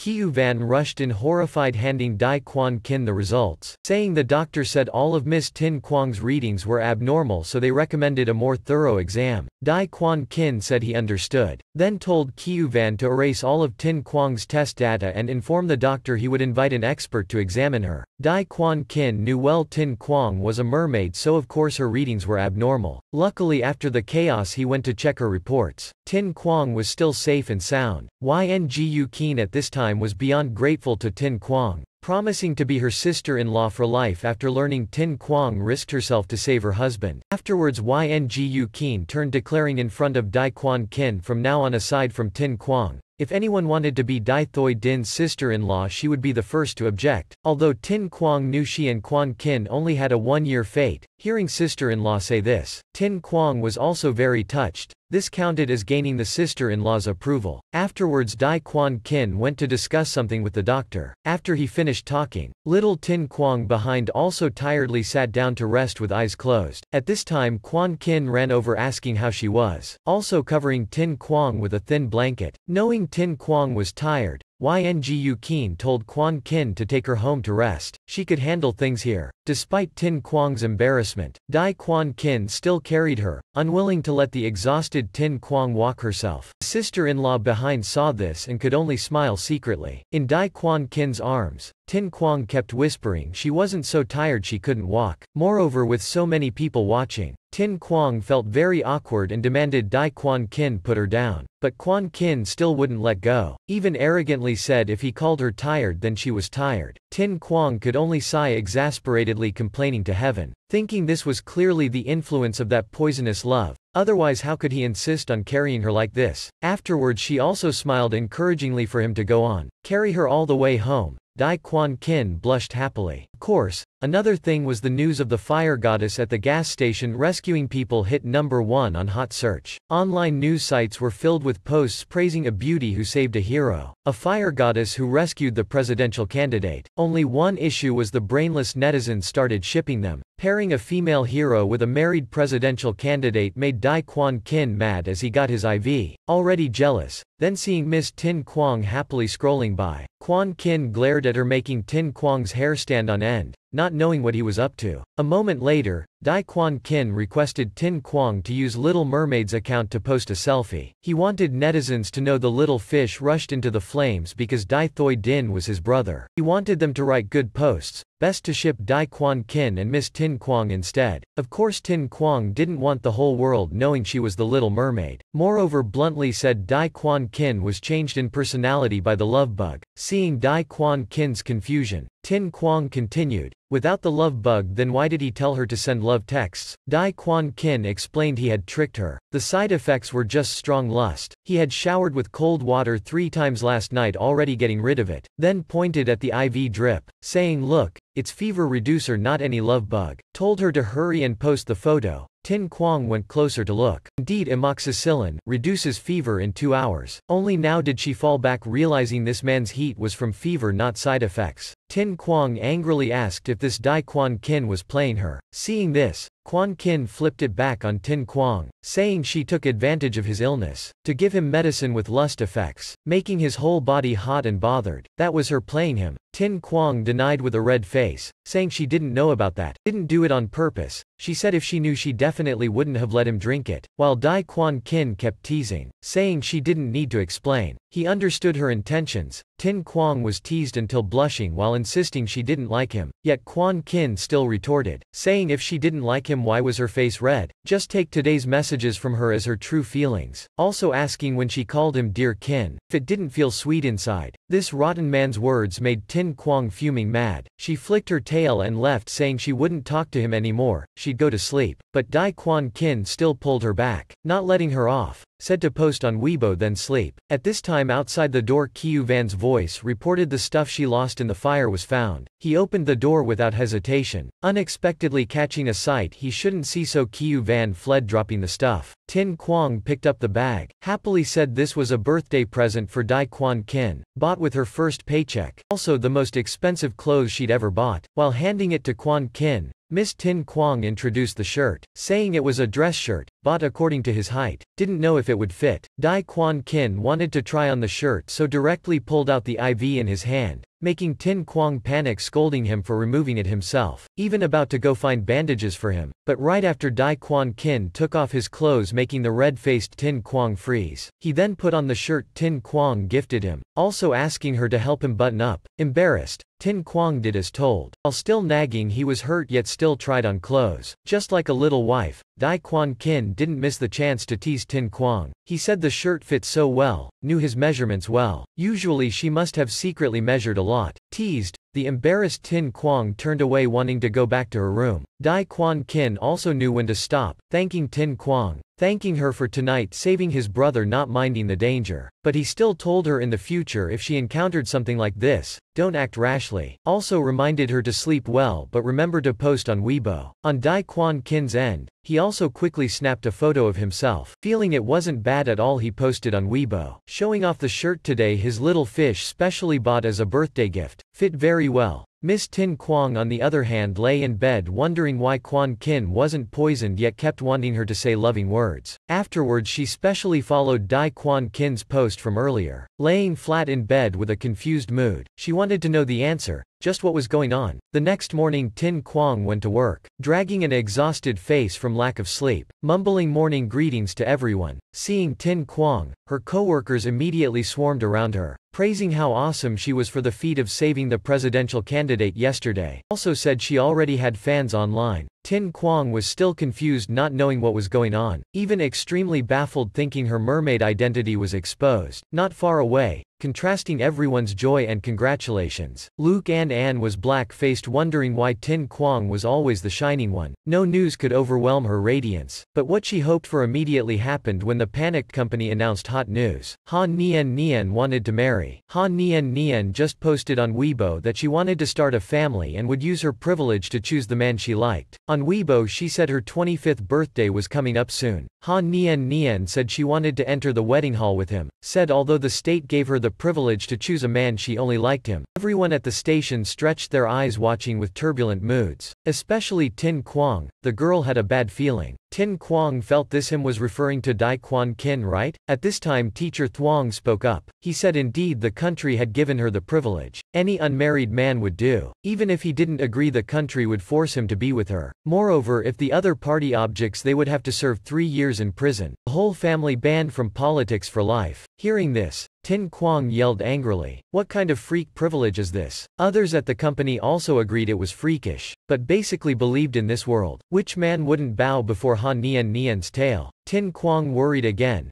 she wondered if Dai Quan Kin would reject Han Nian Nian? Moreover right now was the critical time for Dai Thoi Din to run for president. How could the whole family participate? How could Thoi Din continue running if banned from politics? Tin Quang thought at that time Dai Quan Kin was forced to marry her for his brother. Now there's no way he'd marry Han Nian Nian right? That night at the hospital room, Han Nian Nian actually came to visit Dai Thoi Din. Right then Tin Quang also poked her head in asking the big bro. Seeing Tin Quang, Dai Thoi Din immediately smiled without needing watering, saying he was much better, also lucky to be saved by sister-in-law. Of course he also had to warn her not to do such dangerous things again, or else he couldn't return an intact wife to Quan Kin. Tin Quang still said the same things, affirming she considered the stakes carefully before rescuing him. At this time another esteemed guest came to visit. It was Dean Back, Dai Thoi Din's friend, the incumbent president only 35 this year. Seeing Dai Thoi Din, Dean Back hurriedly asked how he was, also praising Dai Thoi Din for his luck. Such a big explosion explosion yet didn't die. Face still so handsome.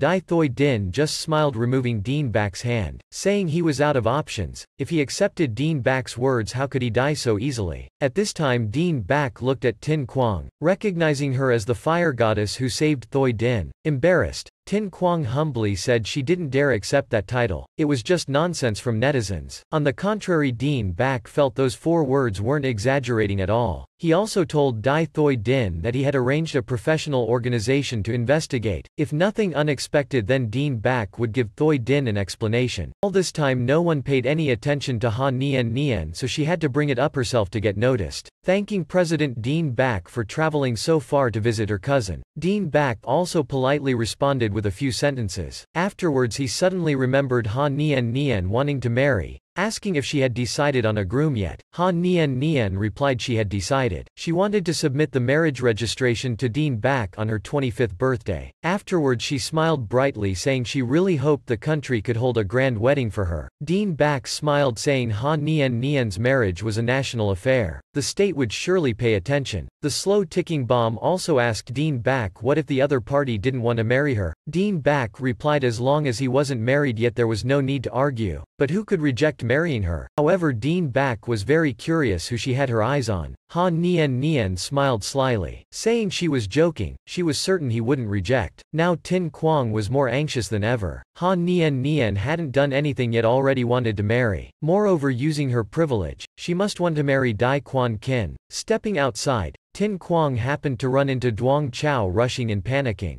Tin Quang wondered asking deputy why Duong Chao was like that. Deputy guessed Duong Chao must have been shaken. Moreover the one who caused it was her arch enemy. At this time Dai Quan Kin was still leisurely sipping tea as usual. He thought since the country had allocated this way, it meant there was no issue. He saw so many paired targets succeeded. Why wouldn't Duong Chao give it a try? Tin Quang could only silently grieve over Han Nian Nian's matter. She asked Dai Quan Kin if just a mandated marriage had to be carried out unconditionally, worried it'd affect Dai Thoi Din's election. Even if Duong Chao refused, the effect on Dai Thoi Din would be very small. On the contrary Dai Quan Kin said she oversimplified things. The more Tin Quang spoke the angrier she got. Tears streaming as she interrogated Dai Quan Kin, could it be as long as it affected his brother then other people's happiness could be disregarded? As long as it benefited his brother he would accept any arrangement? Dai Quan Kin was startled by Tin Quang's attitude. Tin Quang also didn't understand what was happening. Her feelings were terrible. When Tin Quang was about to leave,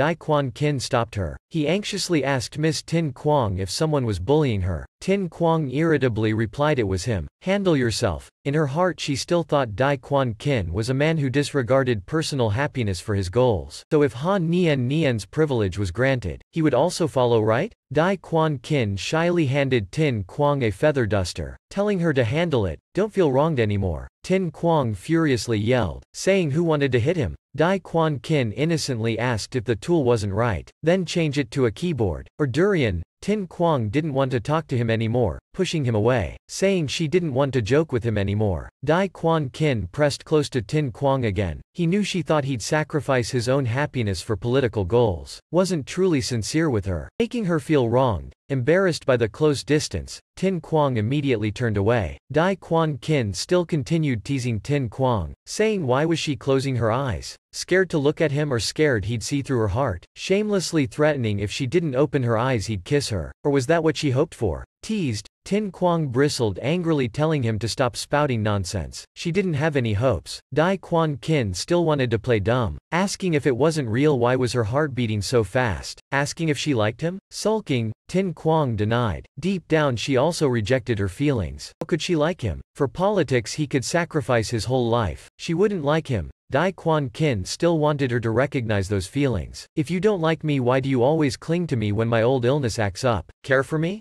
Just as Tin Quang was about to deny, Dai Quan Kin jumped in. He said she did it because she liked him, so seeing him unwell made her heart ache. If you didn't like me why react so strongly? Tin Quang, tell me do you like me or not? Want to turn one year into a lifetime with me? He blocked Tin Quang's mouth again. Dai Quan Kin didn't want to hear her lies. He only wanted to hear her heart. I heard your heart. You said you didn't hope this love was political from the start. I heard you want to date me. Finishing speaking, Dai Quan Kin placed a kiss on Tin Quang's lips. Afterwards Tin Quang also also closed her eyes accepting and enjoying it. Until her senses returned, she startled and pushed Dai Quan Kin away, her heart fiercely denied, still not believing she wanted to date him, thinking he was shameless, must be drugged by something. She wiped her lips then ran away without looking back. In the locked room, Tin Quang lay in bed rolling around yelling. She touched her lips again, recalling Dai Quan Kin's eyes and words. Dazed she wondered if she really liked him. Then Tin Quang immediately shook her head tossing away that thought. Her face was bright red and body burning hot. Tin Quang Huang decided she had to visit Duong Chao and comfort her. She ran outside into the cold, dark night. On a bench in the corner was the dejected, head down Duong Chao, with KYKY2 and deputy beside her trying to comfort in frustration. Duong Chao was very unwell, kept saying she didn't want to be married off. KYKY2 comforted saying Duong Chao was shaken now, so accept the state's decree. Thinking of that man who kept wanting her, Duong Chao went mad, she wanted to castrate that man into a eunuch. Deputy was also tired of misthinking she was a man, having to fan and encourage her, saying Duong Chao was originally a girl. Being swayed by a boy was normal, then asked why she didn't pay the singles tax. Duong Chao dejectedly said she already paid, but her spot was stolen so she paid 20 years tax at once. Hearing this, Tin Quang was confused, while KYKY2 started mocking Duong Chao, saying people pay max 10 years at once, she paid 20 years at once, the system would definitely think she was political, if not giving her a match then who? Criticized,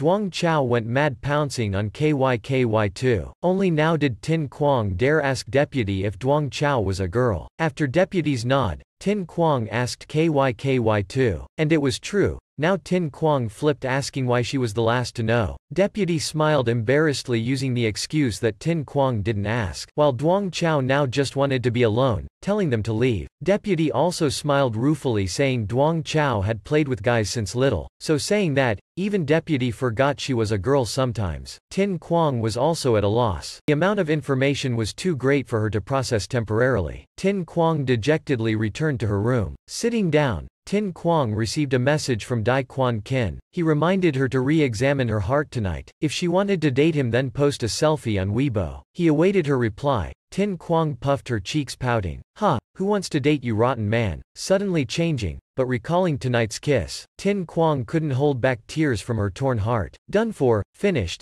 yet not bad thinking about it. Now all Tin Quang could think about was Dai Quan Kin. Unresigned, Tin Quang decided to find something to distract herself. She called Han Tan Bak. He was overjoyed little miss finally called him. Tin Quang then asked Han Tan Bak if anyone wanted to buy regret potion recently. Unexpectedly there was a real customer. Han Tan Bak said it was a friend of his. His sister died young, only now learning the truth why she died. He wanted to buy Tin Quang's regret potion, Price negotiable. Hearing this, the suspicious Tin Quang asked Tan Bak's friend's name. Why his sister passed away. Indeed, Han Tan Bak asked if Tin Quang had heard of State Treasurer Ha Nian Nian's brother, Ha Hu Da's CEO of Mermaid Corporation? Excited, Tin Quang dropped the call. Unexpectedly Big Bro wanted the regret potion to go back and save her. She wondered if Big Bro regretted it and wanted to go back to the past to save her? Han Tan Bak was still urging Tin Quang for an answer. Would she take this order? Tin Quang smiled coldly then said she wouldn't take it. This customer didn't match her criteria. Also didn't explain further to Han Tan Bak, Ignoring his shouts asking for a clear reason, Tin Quang hung up. She knew although Big Bro meant well she didn't want to change her life. Remembering a past customer she had advised, Tin Quang was curious if he was online. The next day, Tin Quang also just got off work at Coco TV station. In her heart she still worried about Dai Quan Kin demanding she post a selfie on Weibo. She thought, why not take a few photos herself? Or else waiting for Han Nian Nian to tell the president and steal Dai Quan Kin from her? Tin Quang was afraid that was because she and Dai Quan Kin only had a certificate of cohabitation, not yet marriage registration. Just thinking about Han Nian Nian's smug face, Tin Quang got mad again, she could lose to anyone in this life. The only one she absolutely couldn't lose to was Han Nian Nian. Thinking so, Tin Quang raised her phone to take a photo. that time a car drove up behind her. A man walked over asking if she was Miss Tin Quang. Seeing he had the right person, he opened the car door inviting her to come along. But the confused Tin Quang asked who he was. Why make her go with him? He promptly showed his work badge. This was Tan Dao, aide to the president. Tan Dao said a few days ago Tin Quang must have seen him outside VIP patient Dai Thoi Din's room. President Dean Back wanted to meet her today. Hearing the president wanted to see her, Tin Quang felt uneasy, suspecting Ha Nian Nian had made her move. Seeing Tan Dao's serious expression, Tin Quang could only obediently follow along. The car had just departed when Tan Dao demanded Tin Quang hand over her phone. When Tin Quang resisted asking why, Tan Dao simply replied no reason. Just an order, finished speaking, he outright snatched Tin Quang's phone, even cuffed her hands too. Agitated, Tin Quang repeatedly asked what was he doing, did he know this was illegal? Yet Tan Dao said whether Tin Quang was guilty or not, she knew clearly in her heart. He said the president had no time to argue with her, so required her cooperation. Tin Quang was utterly confused. She didn't know what they wanted to do. That night, Tin Quang was escorted to a mansion. Unexpectedly Han Nian Nian emerged from somewhere, smiling smugly asking Tan Dao why Miss was handcuffed. Could it be she committed some crime?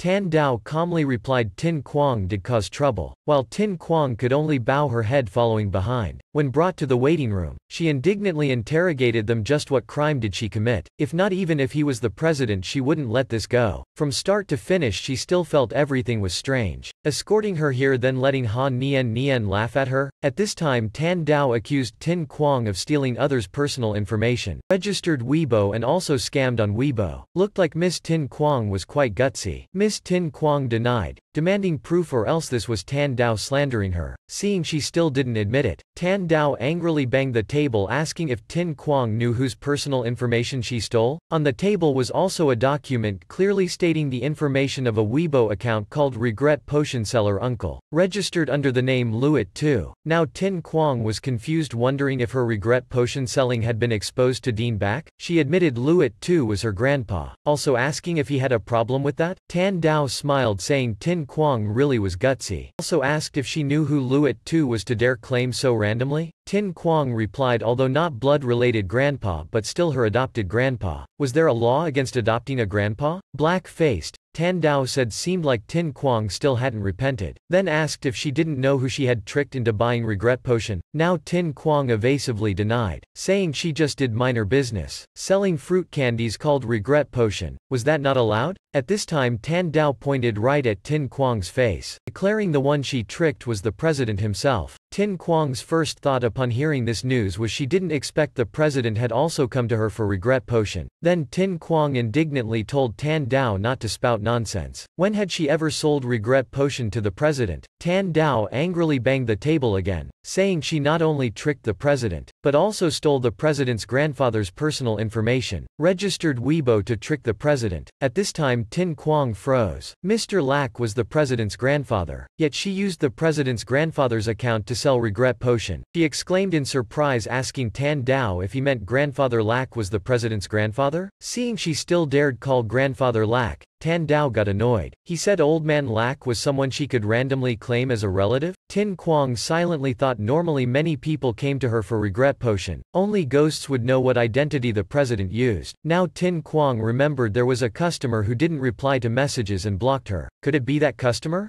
At this time Tan Dao warned Tin Quang that if she dared leak anything related to the president, watch out for her life. Just as Tan Dao finished speaking, the door was pushed open from outside. It was the victim, President Dean Back himself. Seeing Tin Quang, he was surprised asking Tan Dao if it was her. Tan Dao firmly confirmed Tin Quang was the one who not only impersonated Lak Tu but also claimed to be Lak Tu's adopted grandchild. Tin Quang still didn't admit this crime. He said Lak Tu was originally her adoptive grandpa, saying if they didn't believe then call grandfather Lak to personally clear things up for her. After a glance from Dean back, Tan Dao understood and left. Tin Quang shouted for Tan Dao to wait, because her phone was still in his hands. She insisted he return her phone so she could call grandfather Lack, telling her grandpa that his grandson's dog was bullying her. After that Dean Back also agreed to let Tin Quang make the call. Tan Dao had no choice but to obey, taking out the phone and returning it to Tin Quang. After a long hopeless dial tone, Tan Dao smiled smugly at Tin Quang telling her to stop pretending. Tin Quang said she didn't bother pretending, and was certain grandfather Lack was busy so didn't hear the phone. She guessed maybe he was fishing so wanted to call again. Seeing Dean Back smile, Tin Quang grew even more panicked inside, desperately hoping grandfather Lack would hurry and save her, or else his granddaughter would be killed. After Tin Quang called for a while, Uncle Lee picked up. The uncle immediately scolded her for finally remembering Uncle Lee. Impatient, Tin Quang asked if Uncle Lee was with Grandfather Lack. Luckily he was. She immediately demanded to speak to Grandfather Lack. Seeing her grandpa,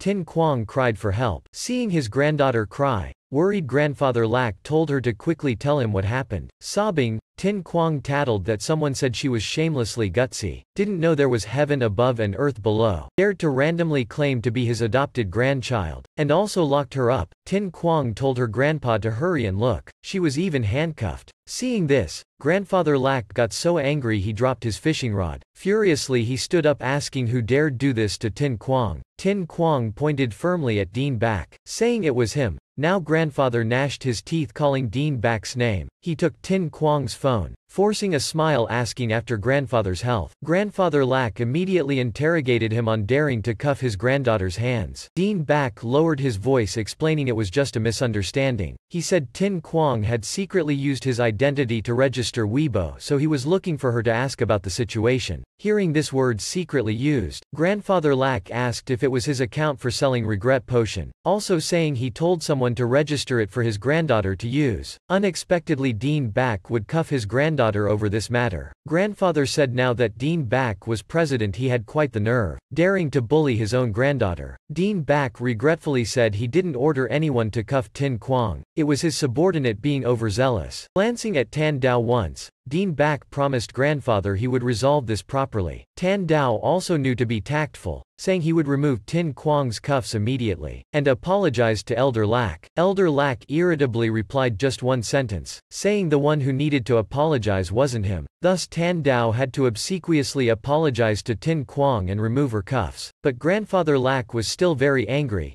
declaring to ignore Dean Back's face, then gently told Tin Quang he had taught that punk a lesson for her. In the future Dean Back wouldn't dare bully Tin Quang again, also worriedly asked if her wrist still hurt. Tears streaming, Tin Quang whined saying the pain was gone, just that she really missed her grandpa's grilled fish, seeing Tin Quang and Elder Lack happily chatting. Tan Dao and Dean Back never expected there'd come a day they were scolded like this. Tan Dao even whispered to Dean Back asking if the person in that video could really be his grandfather? Hearing this, Dean Back felt Tan Dao was saying unnecessary things. Of course that person was his grandfather. It even made him feel like he was the adopted one. Now finished, Tin Quang happily bid her grandpa goodbye. Before hanging up, Grandfather Lack still didn't forget to scold Dean back to take good care of his granddaughter, also saying later if anyone in the capital dared bully the girl, he would find and settle scores with them. Dean back could only laugh helplessly saying he understood. The call ended, Tin Quang glanced at Tan Dao once, asking if he believed now? Tan Dao had to admit he had eyes but failed to recognize Mount Tai. Tin Quang still wanted to tease, telling him to kneel down. Seeing Tan Dao still hesitating, she asked if he was reluctant to kneel just this little for her. In the end Tin Quang still didn't want to make things hard for him,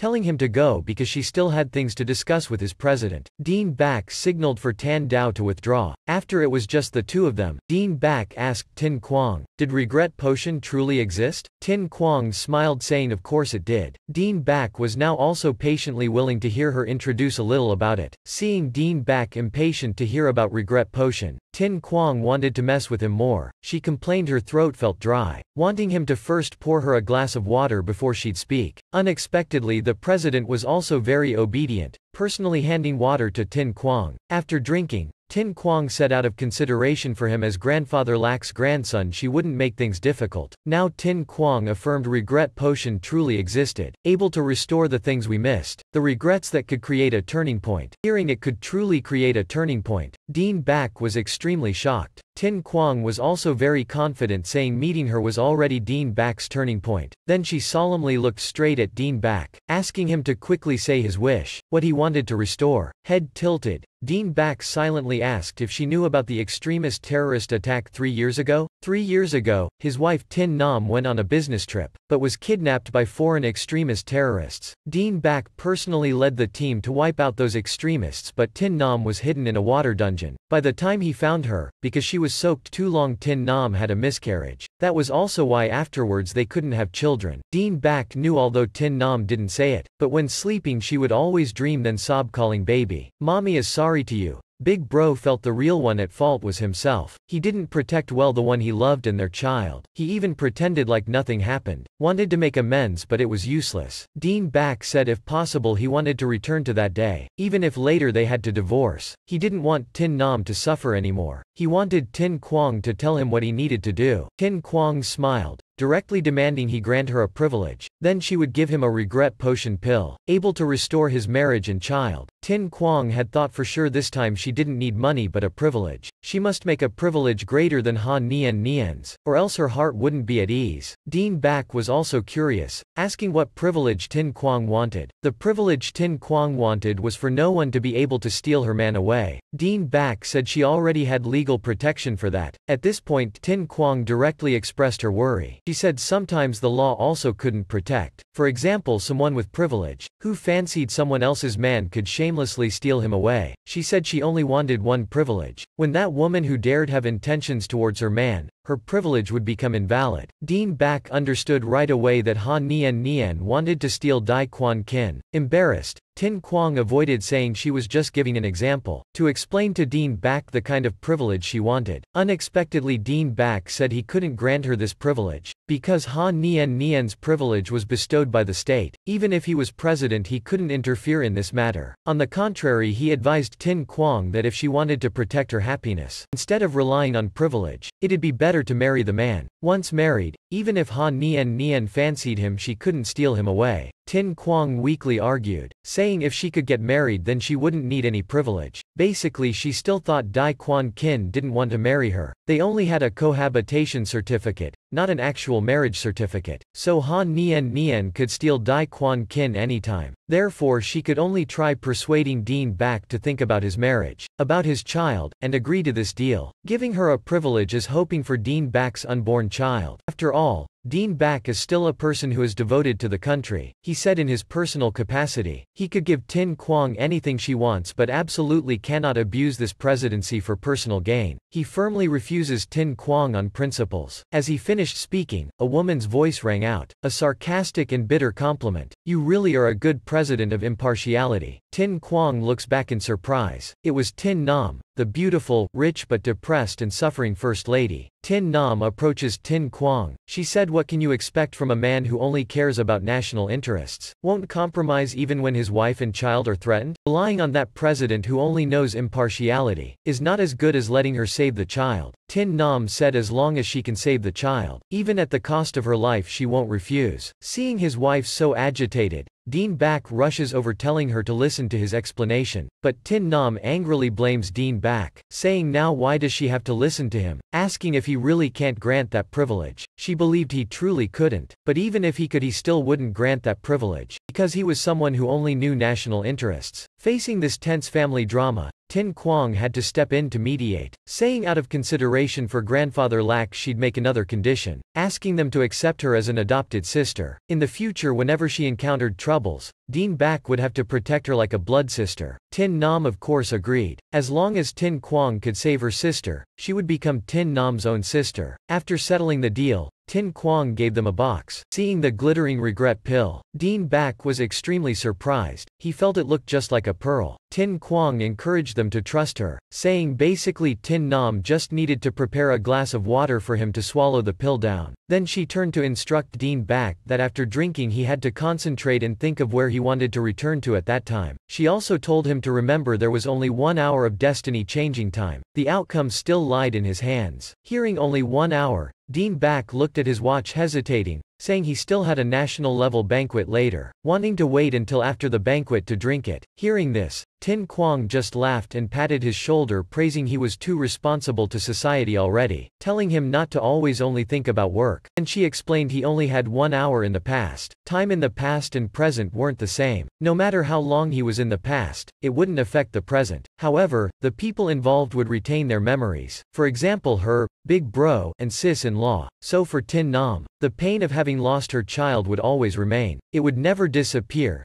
Dean Back looked at his wife, imploring that if he could save their child, then could they please not divorce? Hesitating a little, she handed him the glass of water then told him to go save their child first then come back and talk. After that Tin Kwong pulled her sister-in-law out first so as not to disturb Big Bro. The two stepped outside. A moment later, Tin Nam was stunned, saying it seemed she could hear their child's cries. Behind them now rang a little girl's voice. Mommy, mommy. Both Tin Kwong and Tin Nam were flustered looking back. Turned out when he returned to the past, Dean Back had tried his best to save his wife and child first. Tin Nam had also successfully kept the fetus safe. The baby was later born, Dean Back and his wife named their daughter Dean Tran Thich. Returning to the present, now Tin Nam couldn't hold back tears seeing in her husband's arms their three-year-old daughter eagerly calling for mommy. Tin Nam immediately ran towards her daughter, for the first time holding her child in her arms. All the mother's pain and resentment seemed to be erased. The adorable daughter seeing her mom cry puffed out her cheeks blowing to soothe her mom. Seeing the happy family, Tin Kwong also felt warmth in her heart. Tin Kwong then quietly turned to leave. Now a staff member member stepped out politely bowing, asking if she was Tin Kuang.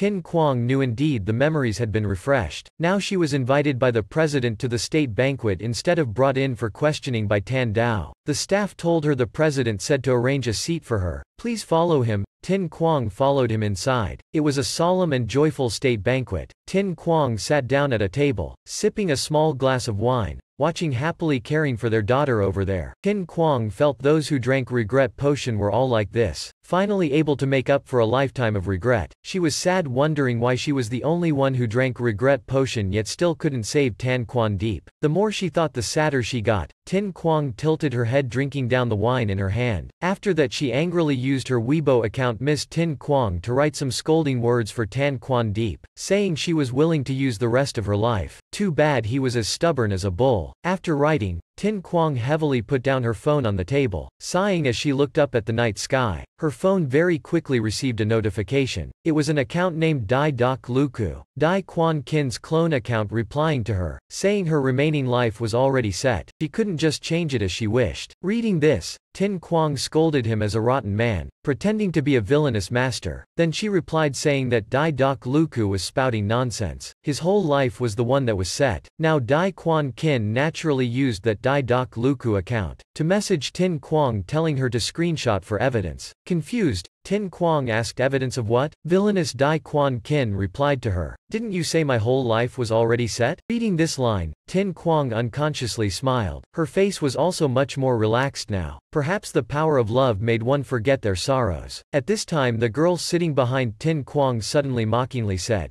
Unexpectedly the national treasure of country A represented the highest musical level of country A. Turns out it was just like this, ears hurt, Tin Kuang retorted, saying the national treasure was just her country's spokesperson, also saying every girl from country A was a treasure, talented and skilled, also saying if the young miss didn't believe, she would sing her a song to try. The pink-haired girl was still bent on winning, saying her country's singers compared to the national treasure Country A was much better, saying in the future it'd be best if Country A didn't take the title of world's number one singer belonging to Country A anymore. The pink-haired girl was trying to compare national treasure Ha Nian Nian to the howling of seals at sea. Hearing her words, Tin Kwong thought, this girl had some skills, she might have been sent by Country K to disrupt the hall. Of course Tin Kwong wouldn't let this happen. After that Tin Kwong stood up and told that girl that who said the national treasure wanted to compete with her. To compete with her, just casually bringing anyone would do. Then Tin Kuang pointed at her own face, saying for example, me, the pink-haired girl got so angry she slammed the table standing up asking Tin Kuang's name. Tin Kuang introduced herself as a nameless little soldier of country A. After saying her name she asked the other's name. Seeing this, Pink Hair's assistant stood up introducing her as the noble supreme princess Tritiatrin of their country K. Hearing this, Tin Kuang recognized she was the famous singer. Princess Tritiatron, no wonder she wanted to sing. Now Tritiatron whispered something into her assistant's ear. Then the assistant obediently left. At the same time, the audience had burst into excited applause as Han Nian Nian finished her performance. The MC on stage then introduced the next act would be by Country K's delegation. Country K's Princess Tritiatron was invited to sing. Tritiatron's face clearly showed confidence as she breezed past Han Nian Nian. Down below, why Go Keen also knew Tritiatron wanted to compete in singing with Ha Nian Nian so told her. Indeed she was a skilled singer. Tritiatron's singing voice caused Ha Nian Nian to be stunned. After that she grumpily sat down, saying had she known earlier Tritiatron wanted to compete she would have sung a bit higher just now. Also blamed Tritiatron for waiting until she finished singing before saying she wanted to compete. Ha Nian Nian felt this was outrageously oppressing people because this round she also hadn't displayed her best yet. Ha Nian Nian bitterly blamed herself for being careless. Earlier the Minister of Culture had come to greet them, this time country K visiting,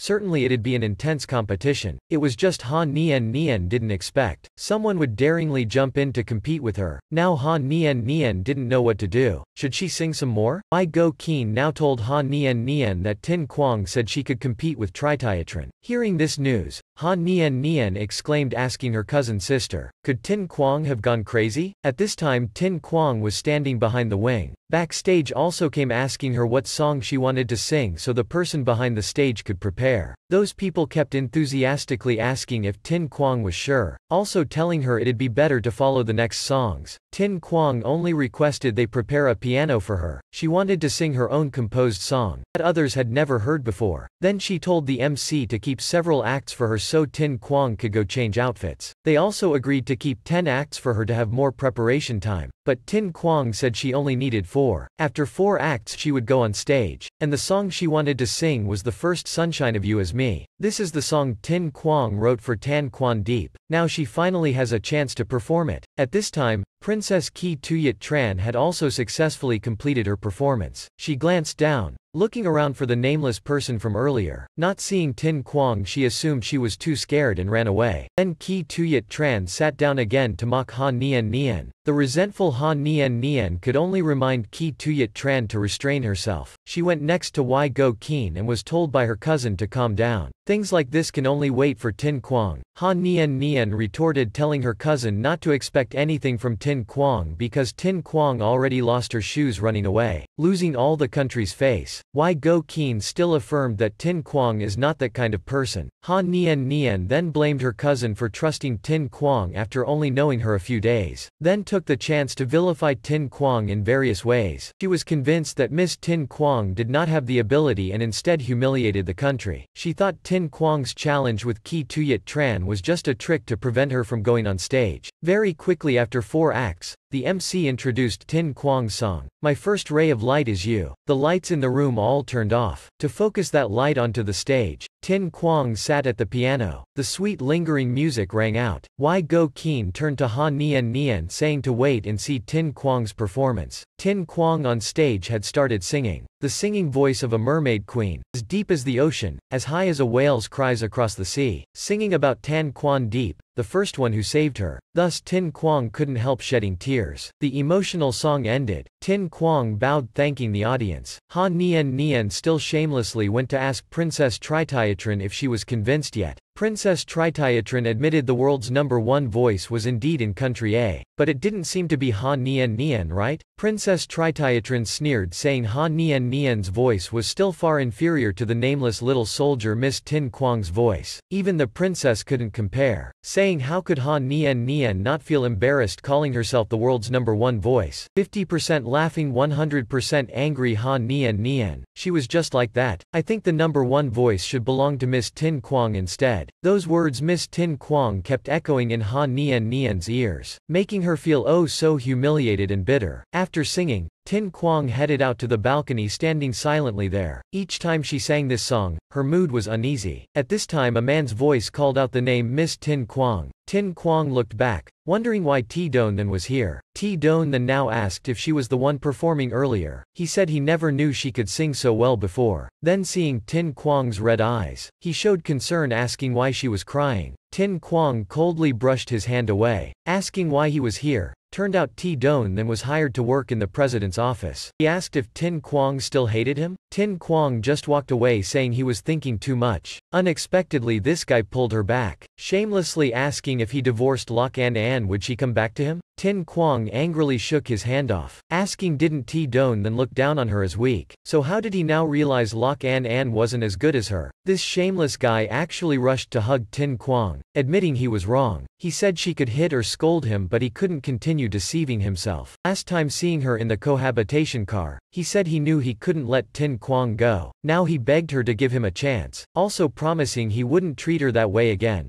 Tin Kuang immediately pushed him away, affirming she wouldn't chew back up the grass she had spit out. Then she gave him another slap for daring to shamelessly hug her, Tin Kwong declared they would each go their own way from now on, telling him not to bother her. Ti Doan then stood there silently holding his cheek, while Tin Kwong turned her back and left. Unexpectedly someone had taken a photo of them. At Dai Manor, Big Bro Dai Quan Kin had just finished showering when deputy excitedly said he should quickly look at this. Dai Quan Kin picked up his phone. Inside was the scene of Ti Doan then hugging Tin Kwong. Dai Quan Kin didn't get angry yet. He only asked deputy who sent this to him. Turned out it was an employee of a rival media company who spread it on Weibo, with a VIP big shot backing it to boost propagation. Someone recognized it was Tin Kuang so forwarded it to deputy. Dai Quan Kin heard this and immediately knew someone was plotting against Tin Kuang. He was wondering who it was. Then he told deputy to handle the photo cleanly. Don't leave any loopholes. At this time team leader Kiu Van walked in saying there was something he wanted Dai Quan Kin to see. Dai Quan Kin still asked the same question. Asking who sent this, Kiu Van said it was a friend of his currently working as security in the president's office who forwarded it. It was the video of Tin Kwong singing last night. Dai Quan Kin immediately recognized the song lyrics were the words he had said to Little Mermaid before. Also wondering could it be she specially wrote this for him? He asked Kiu Van the song title. After knowing my first ray of light is you was the title. Dai Quan Kin had to try very hard to hide his happy smile. Then he told Kiu Van to go out. send him this video later, only now did Dai Quan Kin show his true emotions, happily surprised that he had just gifted Tin Kwong a song yet so quickly she had responded. Dai Quan Kin immediately called Tin Kwong. he still happily thought that turned out in Tin Kwong's heart. He was the son, just that calling Tin Kwong only got voicemail. His emotions gradually faded after five minutes of no connection. By the tenth minute the flames of anger burned within him. He wanted to know who she was talking to for so long. Right now Tin Kwong was talking to Han Tan Bak to resolve that photo issue. She said she didn't know who took it. Wanting Han Tan Bak to give her a smooth solution for this matter, Han Tan Bak was very confident he could handle this matter smoothly, only that he didn't know where the original photo came from. The most important thing now was to find the original photo to investigate who was behind this incident. Tin Kwong thanked Tan Bak. She knew she had to check the cameras to see who had harmed her. Hearing this,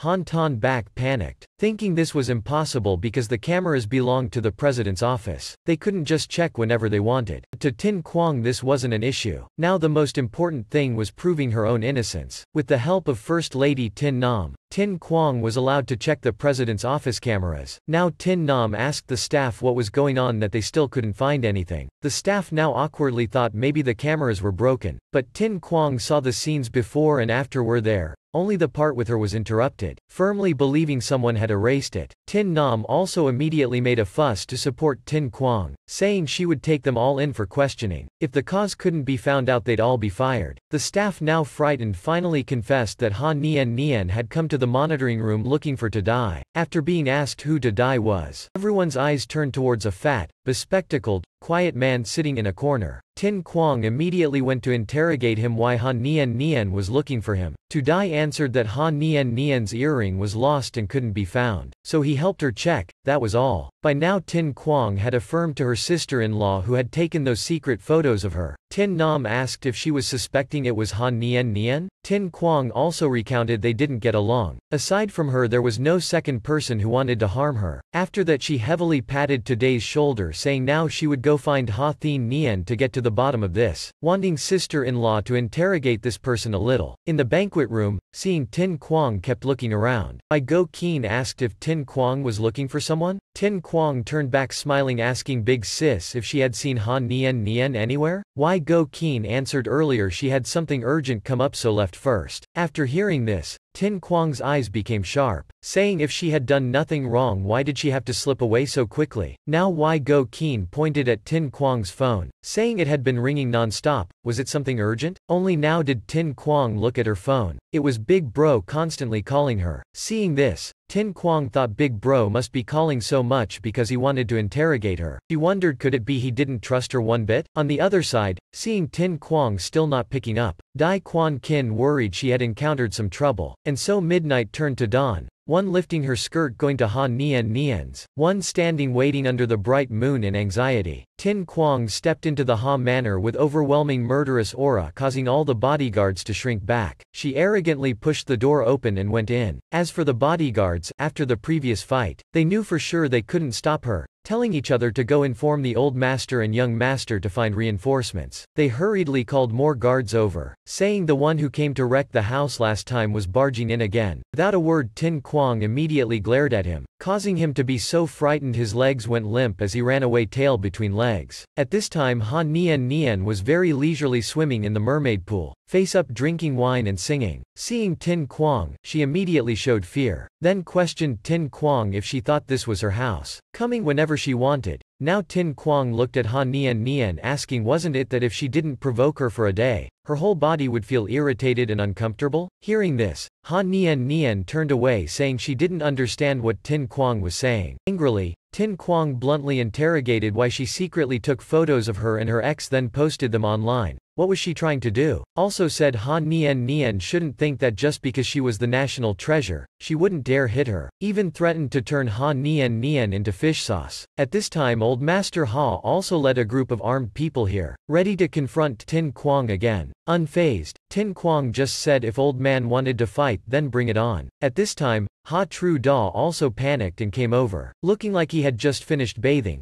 clothes still not neat but was told by the family to come stop everything. Dejectedly he asked Tin Kuang what was going on now. Seeing Big Brother, Tin Kuang immediately turned back into the image of a wrongfully aggrieved little girl, telling him to go ask Ha Nian Nian. Ha Tru Da questioned his sister what was going on, why she was in conflict with Tin Kuang. Ha Nian Nian indifferently said Tin Kuang was so ferocious. How dare she provoke her? Plus last time Big Bro said Tin Kwong was the benefactor who saved his sister's life, said Han Nian Nian had to be grateful. She said she still remembered clearly. Seeing her still denying it, Tin Kwong held up that photo asking if this was the gratitude she was talking about. Furiously, Tin Kwong interrogated Ha Nian Nian if it was because she didn't get Dai Quan Kin so she was venting on her, telling her not to think that just erasing all evidence from the CCTV meant she wouldn't know it was her doing. Ha Nian Nian said Tin Kwong was spewing nonsense. Still angry, Tin Kwong shouted demanding she hand over the original photo. If not she would give the police the video of their family slaughtering her loved one. At worst the fish dies and the net splits. When Tin Kwong was agitated, Dai Quan Kin waiting anxiously at home called again. Tin Kwong angrily picked up, telling him not to call anymore, she would explain it all later, also said couldn't he give her some time? With troubles at home,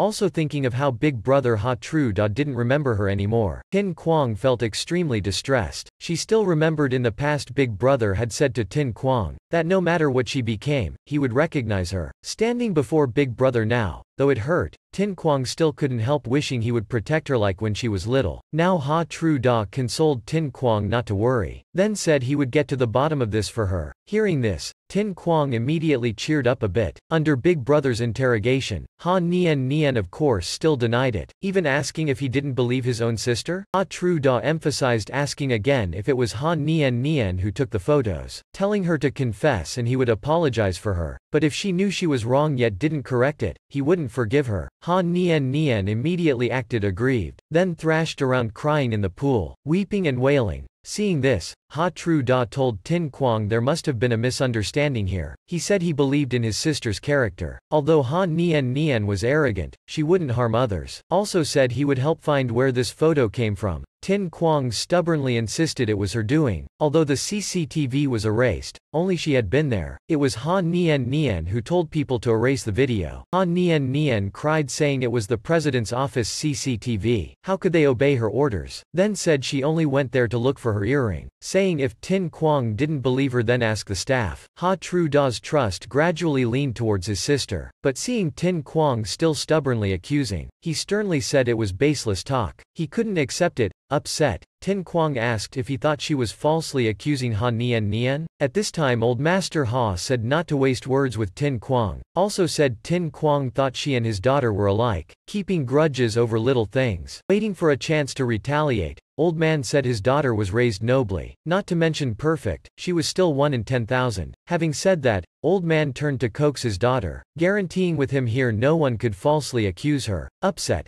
Tin Kuang didn't know where to vent. She had to remind herself that Ha Nian Nian was still Big Brother's sister. How could Big Brother side with her when there was no evidence? When Ha Tru Da's eyes met Tin Kuang's gaze, something within him stirred, a familiar feeling but he didn't know why. While Tin Kuang was like one waking from a dream, she knew in this world there was no one for her to rely on. She wouldn't hope for anyone. Even more wouldn't be like when she was little, behind parents watching them defend Ha Nian Nian and everything. Also holding onto the dream of waving her tail begging for mercy. Seeing Tin Kuang so silent, Ha Tru Da suddenly felt pity. He called out Miss worriedly. Now Tin Kuang turned her head to leave. She said loudly if they wanted to protect Ha Nian Nian, felt she was innocent then she had nothing more to say. She told them to just wait for the police to come investigate the truth of Ms. Hoi Queen Queen being murdered by the Ha bloodline tomorrow. Hearing this, old master Ha panicked and hastily stopped Tin Kwong. Very quickly all the bodyguards surrounded her. Tin Kwong just smiled asking if he thought she had come unprepared. Tin Kwong said she had arranged everything. Just half an hour more and if she didn't leave the Ha manor, Someone would hand over the video recording to the police. Not much time left. Old Master Ha had no choice but to grit his teeth and told the servants to back down. He asked resentfully what Tin Kuang wanted. Tin Kuang still only wanted to demand the photos and check if Han Nian Nian had sold it to anyone else. She said if tonight Han Nian Nian still didn't tell the truth then the fish dies and the net splits. Time now was running out. A family head like old Master Ha anxiously shouted at his daughter, telling her if she did it to quickly hand over the photo. But Han Nian Nian stubbornly refused to admit it. Not believing it, he forced his daughter to hand over her phone.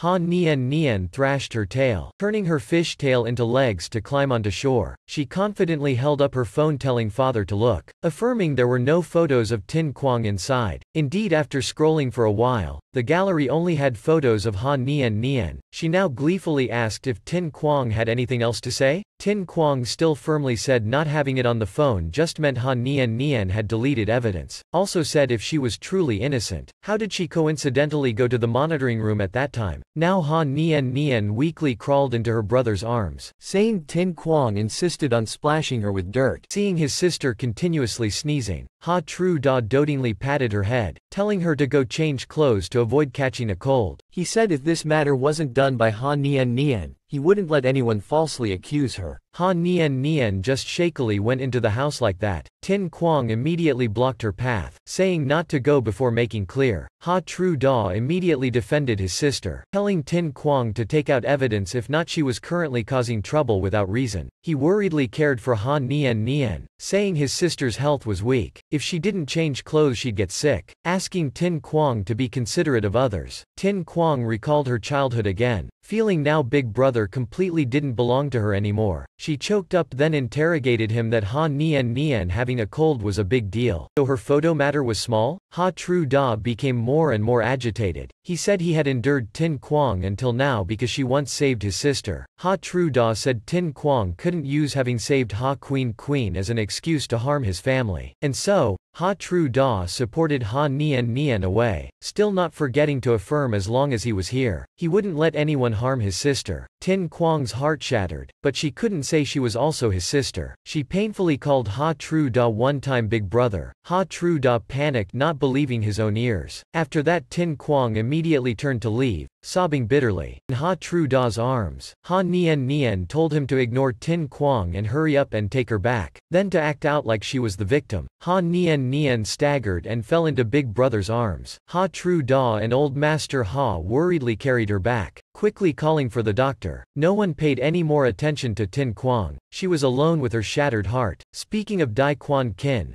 Waiting for Tin Kwong he still hadn't slept, watching her singing video over and over. At this time Kiu Van reported he had confirmed Tin Kwong's location to be at the Ha Manor. Dai Quan Kin then asked why she had run to the Ha Manor. Kiu Van answered Tin Kwong suspected those photos were secretly taken by Ha Nian Nian so went to settle scores. Dai Quan Kin still didn't understand why that silly girl had run over there alone. He worried she'd be bullied and immediately arranged a plane to fly back. Stepping outside, while changing Dai Quan Kin hurriedly called ordering his younger brother Mac Phi to lead people to the Ha Manor to protect his sister-in-law, also said now no matter how crazy she was just let her be, but if the Ha family bullied Tin Kuang then don't be courteous with them. After that he told Duong Chao to cleanly handle those online photos of Tin Kuang, while he hurried back. On the way back, Dai Quan Kin received a call from Mac Phi. He immediately asked if Tin Quang was bullied at the Ha Manor. Mac Phi gloomily reported they had arrived late, hearing from the Ha guards that Tin Quang had cried while running out of the Ha Manor. Hearing his beloved was bullied, Dai Quan Kin was extremely furious. He asked where Tin Quang was now. Mac Phi had contacted Tin Quang and knew she was on the way to the president's residence. When Mac Phi asked if Tin Quang needed help, she said no need because the president would help her. Hearing this, Dai Quan Kin suspiciously asked again who would help Tin Quang. Mac Phi affirmed it was President Dean Back. After that Duong Chao called to say big bro, what you told me to do is done. Also said even if she didn't make a move, those photos would still be handled by Han Tan Bak. She said afterwards she went to find Deepla to see if any were left. Result was Deepla had already been taken away by the president. Hearing it was Dean Back and Han Tan Bak again, Dai Quan Kin became jealous. He felt Tin Quang was the same as before. Anytime something happened she looked for Dean Back. He recalled Dean Back's words telling him that he and Tin Quang should just get a divorce. That would be best for them both always advising divorce not reconciliation, Dai Quan Kin saw Dean back as the rock blocking his path of love. At this time Tin Quang had been brought by Han Tan Bak to the president's residence. He panicked and questioned if they could really go inside this late at night? Miss Tin Quang confidently said after one call from her. Someone would come out to receive them,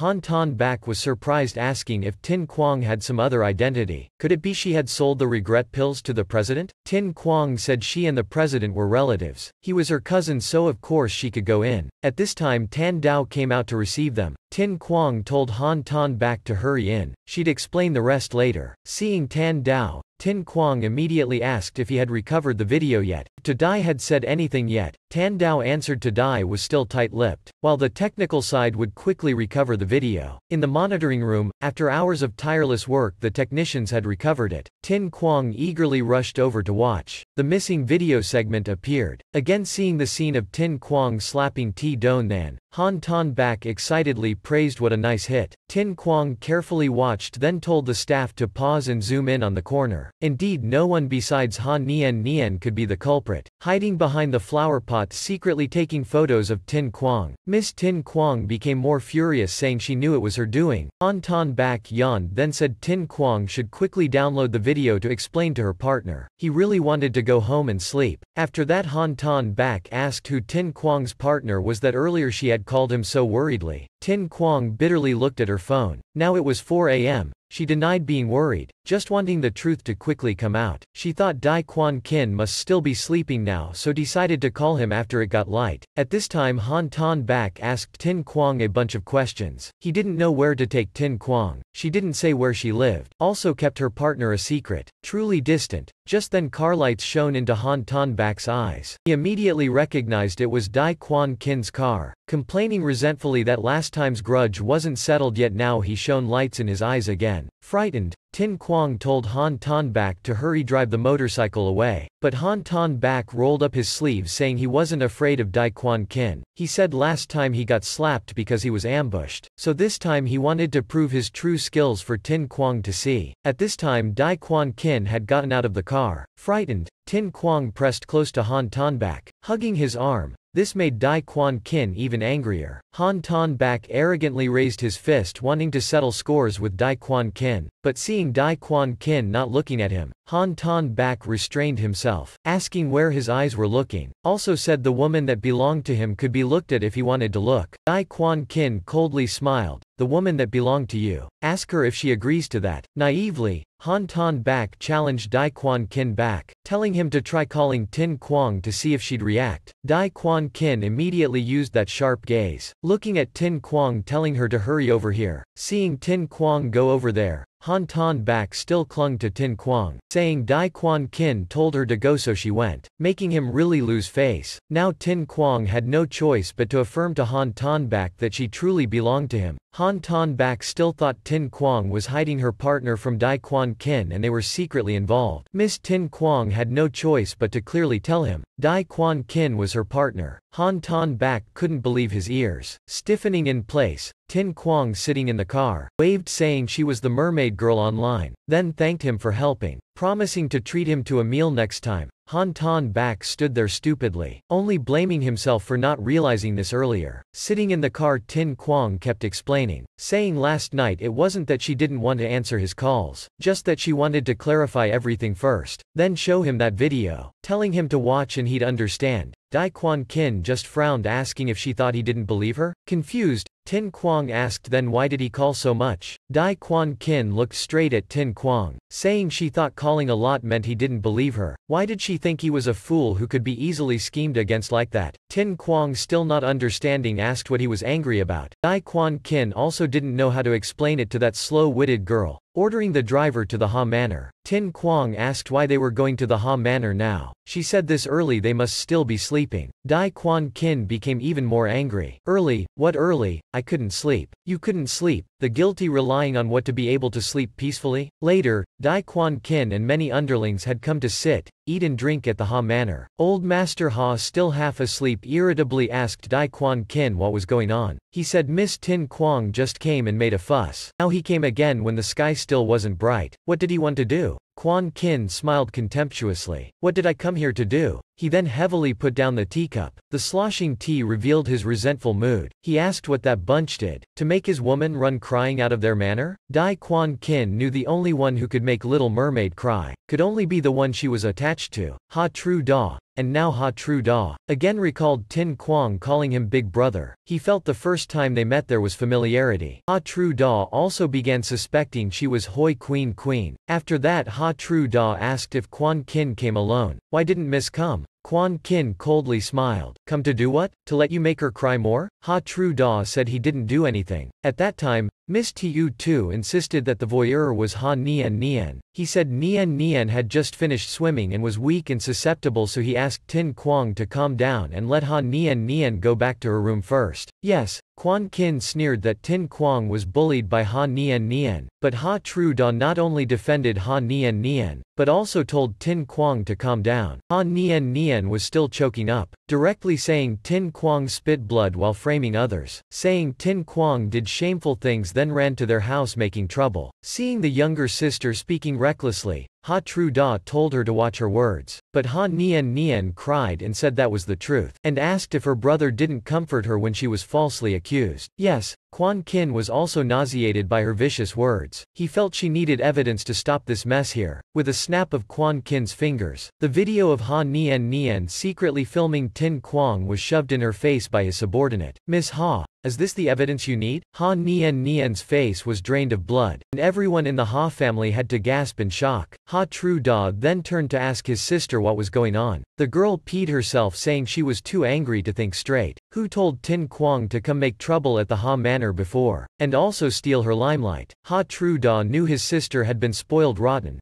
telling her to come with him to apologize to Tin Kwong, Dai Quan Kin coldly said his woman didn't need those kinds of things. He wanted 10% of Ha Group shares for Tin Kwong as compensation for mental distress. Hearing this, old master Ha lost his temper scolding Dai Quan Kin for being a robber, while Ha Nian Nian said Quan Kin was crazy because even she only had 20% of the shares. How could they have to give Tin Kwong 10% over this little matter? Enraged, Quan Kin stood up asking her, in her eyes, plotting against his woman was a small matter? He said again, her hiring someone to kill his wife, why still no explanation until now? After that he ordered his men to give the Ha family a transfer deed, with a warning that if they didn't sign then Dai Group and Ha Group would become enemies. Dai Group would use all resources to regain justice for Madam Chief Financial Officer. Even if the fish dies and the net splits, both sides suffer losses. If it didn't make the Ha family go bankrupt, Dai Quan Kin wouldn't stop. At this time Ha Tru Da cautiously asked if Dai Quan Kin could let him meet Tin Quang. Dai Quan Kin bluntly said no. He he wouldn't let him have another chance to hurt her again, just asked if Ha True Dog gave the shares yet, hurry up and decide, at this side old Master Ha threatened if his son gave them he'd sever ties. Ha Tru Da said they couldn't confront the Ha family. He decided to give Tin Kwong 10 of his own shares. Hearing this,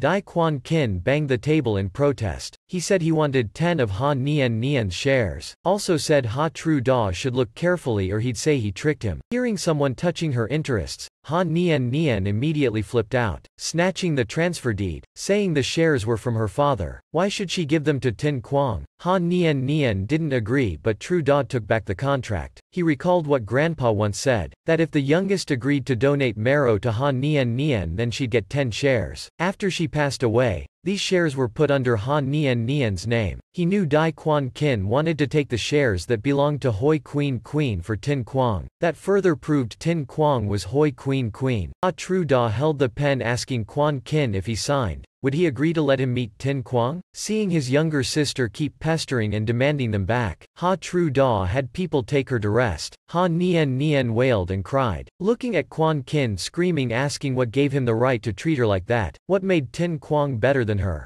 Dai Quan Kin gave Han Nian Nian a loving gaze filled with affection to answer, that she was his woman. At this time Tin Quang sitting in the car waited a while and finally saw Dai Quan Kin come out. She eagerly asked what took him so long in there, also said she heard Han Nian Nien shrieks out here. Dai Quan Kin didn't say, just asked if Tin Quang thought about where she was wrong yet. Flustered, Tin Quang guessed he was jealous over Han Tan Bak and explained she only asked him for help, truly nothing happened. At this time Dai Quan Kin arrogantly raised her chin, then deeply kissed her in one breath. After that kiss, Tin Quang shyly covered her mouth, blushing. Only now did Dai Quan Kin interrogate her why she didn't answer after he called so much. Tin Quang opened her mouth to explain but he said to forget it, no need to say more. He thought she'd surely say things to anger him again, then say he didn't believe her. While Tin Quang saw his attitude and knew she was busted, he must be overthinking and misunderstanding on his own. At times like this, she still had to be gentle. Move closer, hug his arm, whisper that she was afraid he'd get angry so hurried to find evidence to prove her innocence before calling to explain to him. Dai Quan Kin coolly asked who said he would get angry, then gave Tin Kwong the transfer deed. Seeing Tin Kwong's surprised expression, he explained it was compensation for mental distress that Ha Tru Da gave her. Tin Kwong's eyes widened in shock asking if Quan Kin rushing to the Ha Manor made them willingly cut their flesh to compensate her. He explained these were originally Hoi Queen Queen's shares that fell into Ha Nian Nian's hands. Also said if she dared bully Tin Kwong, then should cut her own flesh to compensate. Only now did Tin Kwong recall Grandpa's words, that if she donated marrow to Ha Nian Nian then she'd get 10%. After that Tin Kwong looked at Quan Kin with extremely grateful eyes. Dai Quan Kin also winked at her making Tin Quang immediately fall for his handsome looks. Tin Quang held his hand saying thanks, she said she didn't know he had done so much. Embarrassed, Dai Quan Kin turned away, also reminding Tin Quang to keep her distance from Dean Back and his gossiping wife from now on. Tin Quang curiously asked why. Weren't the president and his wife very close with Dai Quan Kin's older brother? Quan Kin didn't explain, just told her to remember his words well. That couple was very sinister. Then he knocked on Tin Quang's head lecturing her that in the future if anything came up she couldn't resolve, had to call him right away. Tin Kwong raised her face asking what if he was busy and didn't have time to help her. Quan Kin said he wasn't that busy. No matter how busy she still had to call him right away. After that he punished Tin Kwong to go home and write this sentence 100 times. Though unwilling Tin Kwong had to accept it. Not until much later did they return home. Dai Quan Kin hurriedly dragged Tin Kwong away, giving her pen and paper to start the punishment copying, or he'd use the clan's punishments. Ignoring Tin Kwong's strong protests from behind.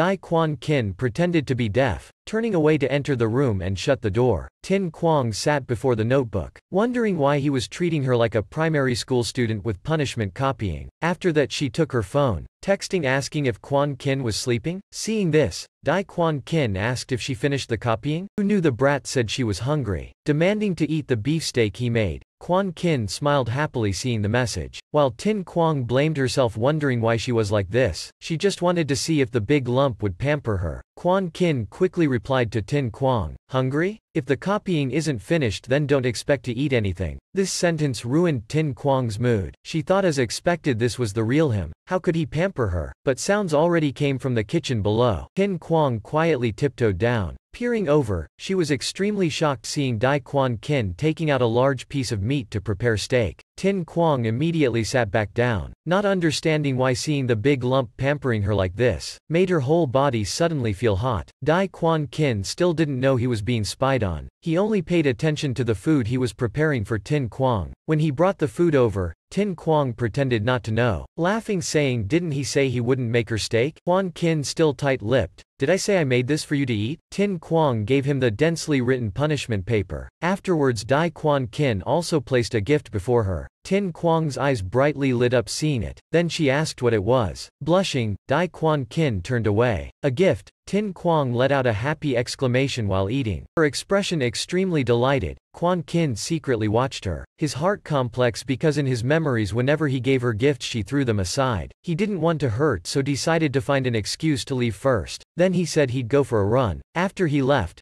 Tin Quang showed her true nature, eyes shining like stars looking at the gift, feeling the big lump giving a gift was a blooming century plant. Once in a hundred years, the gift was also very exquisite, a beautiful pair of gemstone earrings. While admiring them, Tin Quang couldn't help praising he had good taste. After thinking of something, she rushed into the room, rummaging the wardrobe. After changing into a purple dress matching the earrings, Tin Quang took a selfie. Then she used the Mermaid Girl account to post it. Didn't the big lump always want her to post selfies? Looking at this gift, she wanted to satisfy him. She was curious what reaction he'd have seeing her photo. But before anything, Tin Quang received a Weibo notification saying her post violated community standards, forcing her to change the content. Tin Kwong's eyes bulged out, not expecting her own selfie could violate regulations. After posting several times, that notice still appeared. Furious, Tin Kwong was determined to defy Weibo. That night, in Dai Thoi Din's hospital room, Quan Kin had come to visit his brother. Duong Chao and some others were also there. At this time Quan Kin's face was gloomy as he asked Duong Chao if all of Tin Kwong's photos were blocked now. Duong Chao answered with a very smug expression, even saying Dai Quan Kin didn't know how hard she worked worked, also said yesterday on average Tin Kwong posted every three minutes, forcing her and the whole team to exert max effort to delete them in time.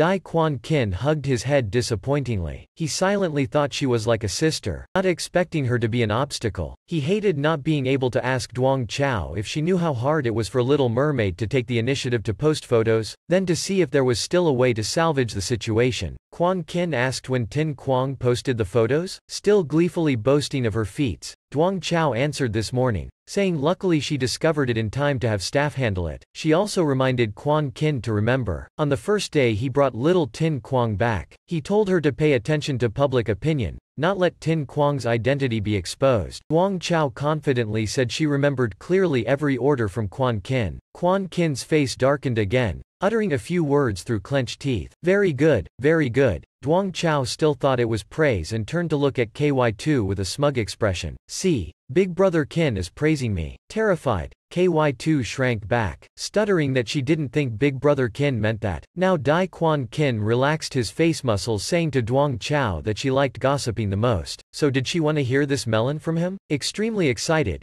Duong Chao told him to hurry and say it. At this time Dai Quan Kin affirmed he liked Tin Quang, and asked Duong Chao what she thought of this melon. This immediately made Duong Chao and KY2 freeze. After that KY2 panicked asking if Quan Kin was sure. They still thought the one he liked was Han Nian Nian, so were very shocked now, even Dai Thoi Din spoke up asking if his younger brother was certain, since Quan Kin and Tin Quang had only known each other over a month. While sister Nok Kin's expression was extremely eager for gossip, Dai Quan Kin just calmly said this kind of liking couldn't be defined by short or long time. KY2 still didn't understand, asking why Quan Kin established the mermaid theme park, made mermaid goods, invested so much only to change his feelings for Han Nian Nian? Quan Kin enunciated each word clearly. He said he didn't like Ha Nian Nian one bit. Also said even if he invested in the mermaid it wasn't because of her. He didn't want to hear careless idle gossip, because the only one he loved was Tin Quang. After saying this,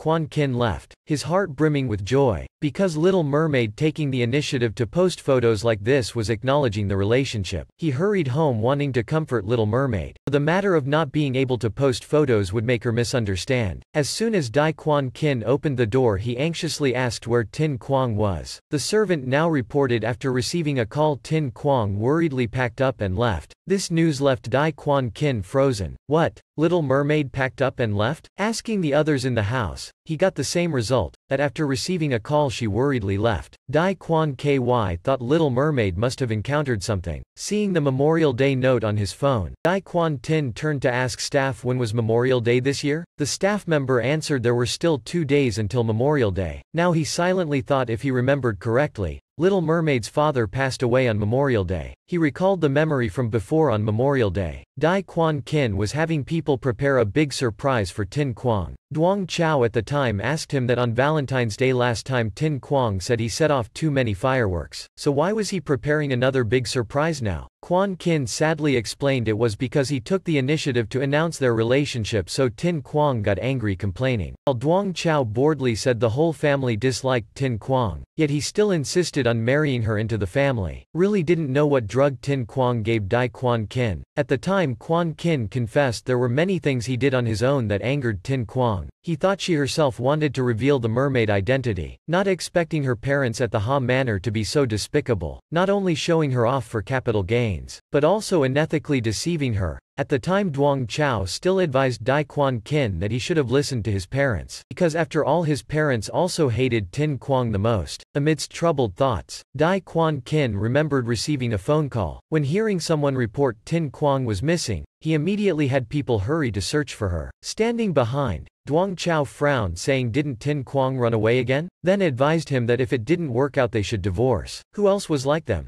At the time Quan Kin still resolutely said he couldn't divorce because he loved her. After that he ran off leaving Duong Chao behind sighing. He loved her but it wasn't certain she loved him. Then Quan Kin went to the hospital. Only then did he scold himself why didn't he know his father-in-law had passed away. Seeing Tin Quang sitting crying alone over there, he quietly approached calling. When Tin Quang turned around her face was already filled with grief and her lifeless eyes didn't speak. the time Dai Quan Kin blamed himself, when Tin Quang needed him most, yet he was busy with useless romantic things. Returning to the present, Dai Quan Kin tightly gripped the phone in his hand. This time he wouldn't force her to marry him anymore. Their lives had changed already, but he also thought his father-in-law's life could change too. Then he hurriedly rushed to the hospital. Now Miss Tin Kwong's mother was crying her eyes out outside the kidney clinic. Now Tin Kwong had also rushed over, anxiously asking her mother about her father's condition. Her mother now forced a smile to comfort her child saying it was nothing, just his old illness recurring. But Tin Kwong already knew everything and sobbed, saying didn't he go for regular dialysis? Why did the doctor announce it was critical illness? She was extremely agitated and wanted to go find that unscrupulous doctor, because she had found many sponsors for his research institute. Now hearing it was critical illness, Tin Kwong said wasn't that money spent in vain? But now her mother pulled Tin Kwong back, Smiling telling her to hurry in and see her father because he'd certainly be very happy knowing she came back. In the hospital her father lay in bed, tubes all over his body, his hollow cheeks already sunken in,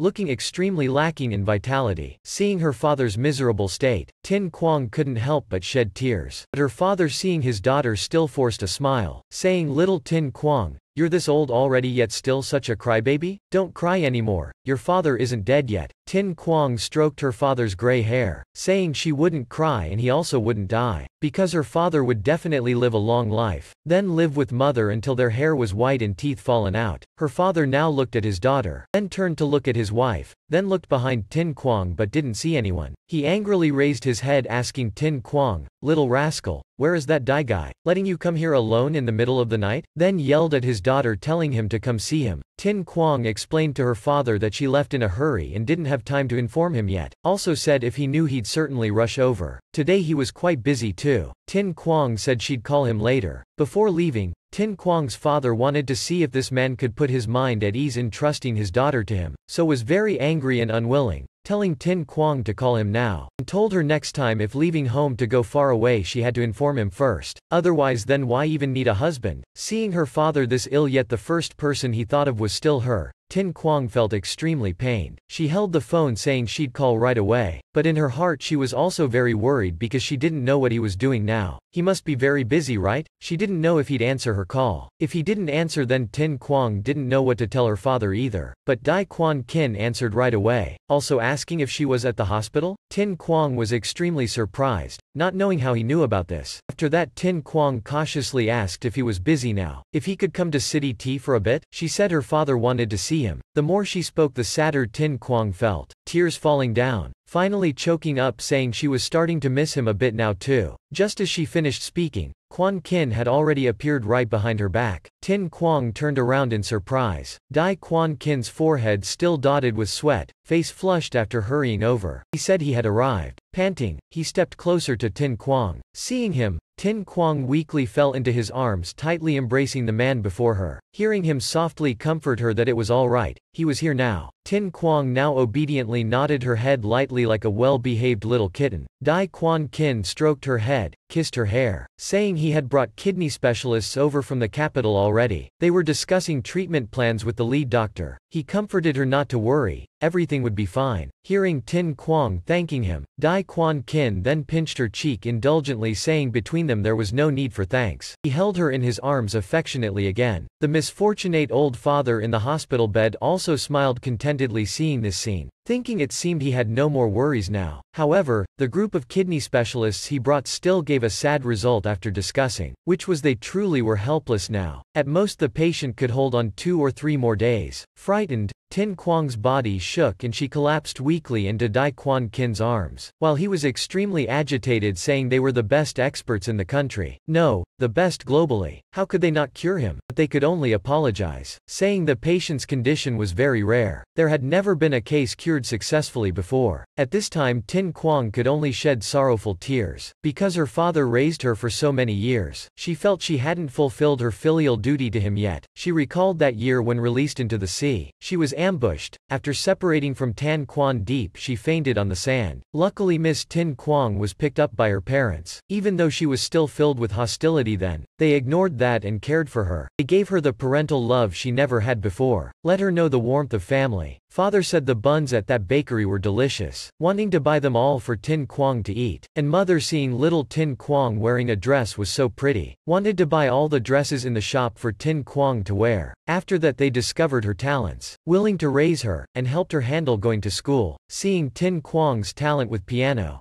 Father even bought her a piano to nurture it. He said little Tin Kwong just had to be happy and they'd do anything for her. Becoming their child was the happiest thing in her life, but now facing having to lose her dear father soon, Tin Quang could only plead for Dai Quan Kin to save her father. Seeing Little Mermaid crying pained his heart. He comforted her to cheer up and not cry. Otherwise when her father woke up later he'd also be pained, and a miracle could still happen. Hearing his encouragement, Tin Quang wiped away her tears, smiling saying she was mermaid fairy. She was a mermaid with very good luck. She silently encouraged herself to become truly strong. Otherwise when her father woke up later seeing her cry he'd be very sad. Dai Quan Kin embraced her. In his mind, he was feeling very conflicted. Could it be he had to use his way to make her father continue living? After Tin Quang stepped outside, team leader U Van quietly asked Quan Kin in this situation, should they prepare funeral arrangements first? Dai Quan Kin was struggling to think and asked U Van a question. If you were about to die now but there was a way for you to live on, but it wasn't a good way, could even say it was the beginning of another torment. Do you want to live or want to die? Kiu Van didn't understand but answered he'd want to live. Dai Quan Kin asked again, what if it was the beginning of other torment then? Kiu Van replied he still had parents, still had people he couldn't let go of, even if it was the start of other kinds of torment, he would still choose to live, a miserable life was better than having to die. Dai Quan Kin silently didn't speak, his hand unconsciously clenched tightly, until night when there was only Tin Quang's father left in the room. Quan Kin opened the door stepping in, he stood before her father asking if he could save him, but had to pay another price, a different kind of torment, would he agree? Not understanding his meaning, her father asked what the price was. Quan Kin painfully gritted his teeth saying the price to pay was blood drinking. Of course hearing this anyone would be unable to hide their shock. Dai Quan Kin continued explaining. Then there would be an unbearable thirst to go drink blood, like a vampire but not easy to control. He said drinking blood would be very agonizing but could save his life. Seeing her father silent, Dai Quan Kin continued speaking. He painfully said Tin Quang didn't want to lose her father. He also didn't want to see her so heartbroken, but he didn't want to force him either. He told his father to think it over then tell him again. Her father now sat silently on the bed. It was a very long time later before he spoke asking Dai Quan Kin so you aren't human, but a vampire right? You aren't human, you are a bloodsucking ghost. Hearing her father's questions, Dai Quan Kin could only lower his head silently. After that he affirmed saying he was human, but he could give his father the first embrace, protect his life. The price to pay was from now on there would be an uncontrollable thirst for blood. Dai Quan Kin said he was once severely injured. On the verge of death, he had accepted the choice of the first embrace, although since then he couldn't control his blood thirst, but he also said he never regretted that choice. He couldn't abandon those he loved. At this time Dai Quan Kin received a call from Tin Quang. She said her mother had fainted, was in the emergency room telling him to hurry over. Dai Quan Kin then hurriedly said he had something urgent to take care of and would be back. His father-in-law now still lay in bed surrounded by all kinds of thoughts. So vampires really existed in this world. The things in movies were real, but he didn't expect his son-in-law said he wasn't a vampire. So now he started wondering what kind of magical creature it was. He turned and looked at the family photo placed at the head of the bed, painfully wondering if after he passed whether his wife and child could accept it. He hadn't gotten to live with Lan Go until their hair turned white yet, hadn't gotten to hold Tin Kwong's hand walking her down the aisle yet, hadn't gotten to hold his grandchild yet. He wept, clenching his teeth. He knew he didn't want to leave them. The room door was pushed open again. Dai Quan Kin entered. The old father wiped his tears asking why his wife and Tin Kwong hadn't come back yet. What happened? Quan Kin recalled earlier when the doctor said they wanted to bring father home, Tin Kwong sobbed but she still didn't want to miss this, because she still hoped a miracle would happen. He still clearly remembered the pained look in her eyes when she asked if he believed a miracle would happen. Dai Quan Kin then told his father just now mother was agitated and fainted but a body check showed she was fine. His father-in-law now could only sigh. He seemed hesitant and asked if the first embrace he mentioned was real. Quan Kin said he himself was the one who survived after the first embrace. The situation was dangerous then,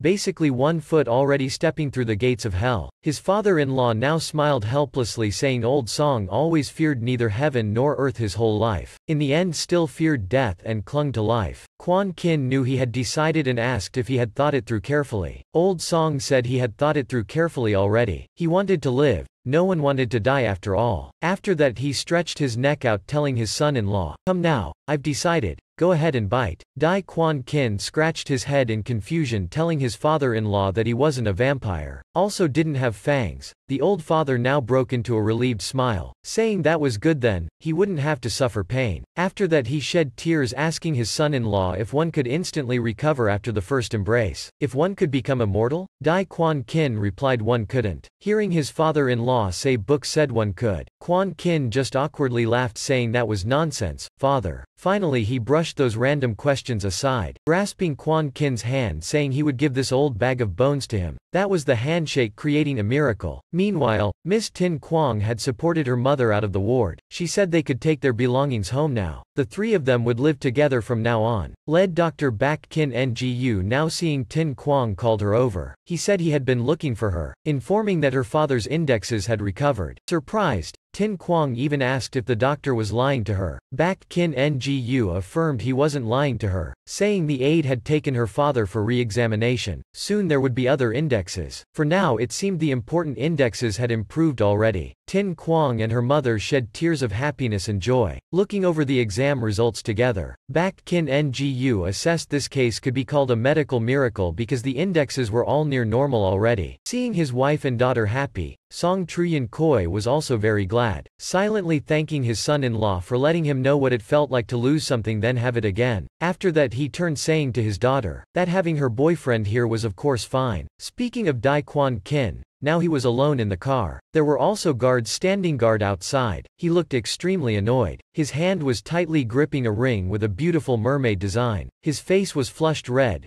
veins bulging on his neck, teeth clenched, looking extremely agonized. For him after performing the first embrace ritual was when it was most difficult to get through. A while later he suddenly sat up, his whole body drenched in sweat, flushed face, panting for breath. His phone was ringing. It was his little mermaid calling. Dai Quan Kin answered, his voice extremely weary. Tin Quang happily informed him her father's condition had improved. Dai Quan Kin then asked if she felt more at ease now. Tin Quang happily said now with him by her side she was very good, she really wanted to hug him. Hearing these words, Quan Kin felt much more comfortable himself, as if there was a mermaid fairy right beside him embracing him. After that he lied to her that he felt a bit sleepy so would find a hotel to sleep and rest, told her not to worry about him. Tin Quang said she just wanted to share this happy news with him, then told him to sleep soon, rest properly, wished him good night. Dai Quan Kin held the phone close wishing her the same. After that he played the song Tin Quang sang to listen to, You Are My First Ray of Sunlight, with the melodious music and song his lover wrote for him. Dai Quan Kin hoped it could be a way to help him get through this difficult period. By Monday Quan Kin had recovered and returned to the hospital. Now Tin Quang's family were gathered together in the ward. He then told his in-laws that he wanted to take Tin Quang back to the hotel to rest. Her parents immediately told him to take her away quickly. Look after her, she hadn't slept properly for a long time and now had dark circles under her eyes. At this time Dai Quan Kin gently leaned over picking up the sound asleep Tin Quang into his arms. Behind them was mother-in-law's happy voice praising what a good-looking couple the two were. Tin Quang lightly stirred embracing him, her precious gemstone earrings clinking together catching Quan Kin's attention. This made him happily think everything would change. In the past she never wore what he gave her, now it was different, the two of them were settled in a hotel room. Quan Kin silently admired his sleeping mermaid fairy. After that he indulgently placed a kiss on her forehead. He gently got off the bed pulling the curtains looking outside. Out there was a large poster celebrating Memorial Day. Only now did he suddenly remember today was Memorial Day. Then immediately called his underling telling them to buy flowers and bring them over. In another development, Duong Chao's people had been up through the night glued to their computers without sleep. Dark circles clearly visible under their eyes. Exerting all their capacity, they finally gained control of the hot searches regarding the mudslinging incidents about Miss Du Thoi Din. Duong Chao then praised his underlings for a job well done, encouraging them to keep at it for one more hour than rest. But these employees were already so exhausted they were foaming at the mouth. One more hour meant working until morning. They told Duong Chao today was Memorial Day, pleading to spare their poor souls today. Duong Chao retorted what did this day have to do with hot searches? Another colleague hurriedly reminded the perpetually single Duong Chao to get a grip. Some colleagues still wanted to go out and celebrate Memorial Day. Duong Chao reflexively argued back that she wasn't single as she had Quan as her partner. As soon as the words left her mouth she knew she had slipped up. Then before her employees she spat out a mouthful of saliva, acting as if she never said anything, causing them to freeze up immediately. Tongue-tied, not knowing how to explain, Duong Chao told the staff whoever had a partner should go celebrate Memorial Day with them. An hour later looking at the empty office, Duong Chao could only resign herself, not expecting just earlier they were like lifeless corpses. At her dismissal they instantly transformed into energetic people. Truly formidable, Duong Chao's phone now also received a message notification. It was from that land guy sending it. He asked since today was Memorial Day yet she still hadn't gone home. Did she intend to go astray? He even threatened to go report to the matchmaking agency. Duong Chao had happily devoted herself to work from morning to night, now being accused of intending to go astray. She got angry wanting to retort, but now she received a message from Dai Quan Kin. He asked her to make his post trend. Seeing this, Duong Chao opened Weibo and went to see what Dai Quan Kin had posted. In Weibo was a photo of Tin Quang sleeping soundly next to him, as beautiful as a newly bloomed flower. More importantly, he had also also tagged the mermaid fairy's name with the caption Thank you, country. Duong Chao immediately blew her top scolding. Kin brother, do you feel I haven't worked overtime enough? Just then some kind of sound could be heard, making Duong Chao look around to see what was going on. At this time, Lan Tram Mac, Duong Chao's partner, suddenly appeared right behind her, even audaciously whispering in her ear, As expected you're working overtime, never thought you were this productive. Duong Chao was startled thinking it was a ghost whispering by her ear. She shriveled up, seeing it was Lan Tram Mac she yelled at him to not startle others like that in the future if possible. Unexpectedly, that Lan was able to easily lift Duong Chao up by the collar with just one hand causing Duong Chao to struggle asking what he was doing, to quickly let her go so she could continue working overtime. After hearing the two words working overtime, Lan Tram Mac then sneered, telling her there was a power outage notice, did she still want to work overtime? After that he pinned her against the wall, exactly like an arrogant boss asking if she was trying to avoid him. Duong Chao's face turned red as she immediately pushed him away, saying who cared to avoid him, also felt he was overestimating himself. She said it was just because she didn't see the notice. In the end, Duong Chao also couldn't escape her fate being dragged home by Lan Tram Mac. Because the matchmaking laws said on a lover's day like this the partners must be together, he threatened if Duong Chao didn't fulfill her duties he would report to the marriage bureau. Duong Chao of course could only be angrily resigned, saying this was her house telling him to stop whipping out those laws to threaten her. So as everyone had seen, the girl who always considered herself a macho man now also had a partner. And this guy was her rival from 20 years ago. This Lan was the Kin family's rival rival, so Duong Chao also saw he was her rival. Now seeing Duong Chao looking at him, that Lan Tram Mac who was anything but tranquil then sneered, asking what she was looking at, had she fallen for him. Duong Chao recalled 10 years ago, to scare this rival, the brat had brought a worm close to Lan Tram Mac's face. Who knew the tanned brat would close his book, Look at her and ask an eternal question, fallen for me? This directly made Duong Chao jerk in shock, involuntarily squeezing the worm dead in her hand. After that, she was the one who got scared by the mess and ran away. When she grew up a bit, once Duong Chao saw Lan Tram Mac talking to a girl, she hid behind bushes taking photos, wanting evidence to accuse Tram Mac of a premature relationship with the teacher. In the end, she was still teased by that guy until her face turned red. Looking at what? Fallen for me? Duong Chao got startled and fell backward. Her hand also smacked some brown stuff. Recalling this, Duong Chao could only sigh because this guy was still as hateful as 10 odd years ago. She leaned back saying Tram Mac was truly shameless, reminding him that right now he was freeloading in her house. She said to just consider consider she was taking care of a junior, so he should know his place. In Duong Chao's mind she was just comforting herself, saying it was because she saw him fail in the fight over inheriting the family clan, getting kicked out and looking so pitiful that she took him in, not because of some matchmaking draw or anything. Surely that was it, Duong Chao laid down on the chair at the beach, exhausted, her stomach now gurgling after a whole day of working overtime at full capacity on deadlines, thinking about the image of her brother Dai Quan Kin going down to the kitchen for his girlfriend. At this time Duong Chao commanded Lan Tram Mac, saying as someone she had taken in, now after boss here had spoken, he should also make a late-night meal to show his gratitude. Who knew Lan Tram Mac would just answer her with three indifferent words, don't know how, Duong Chao was so angry she lectured him, saying in life there were not only elegance but also necessary needs. After that she used her strength to push Lan Tram Mac out of the house for the reason that if he couldn't even cook, what more use did she have for him? Seeing Lan Tram Mac obediently cooking, Duong Chao felt extremely satisfied, silently thinking seeing a person who was once high and mighty with the most power in the Lan clan now ordered by her to cook food.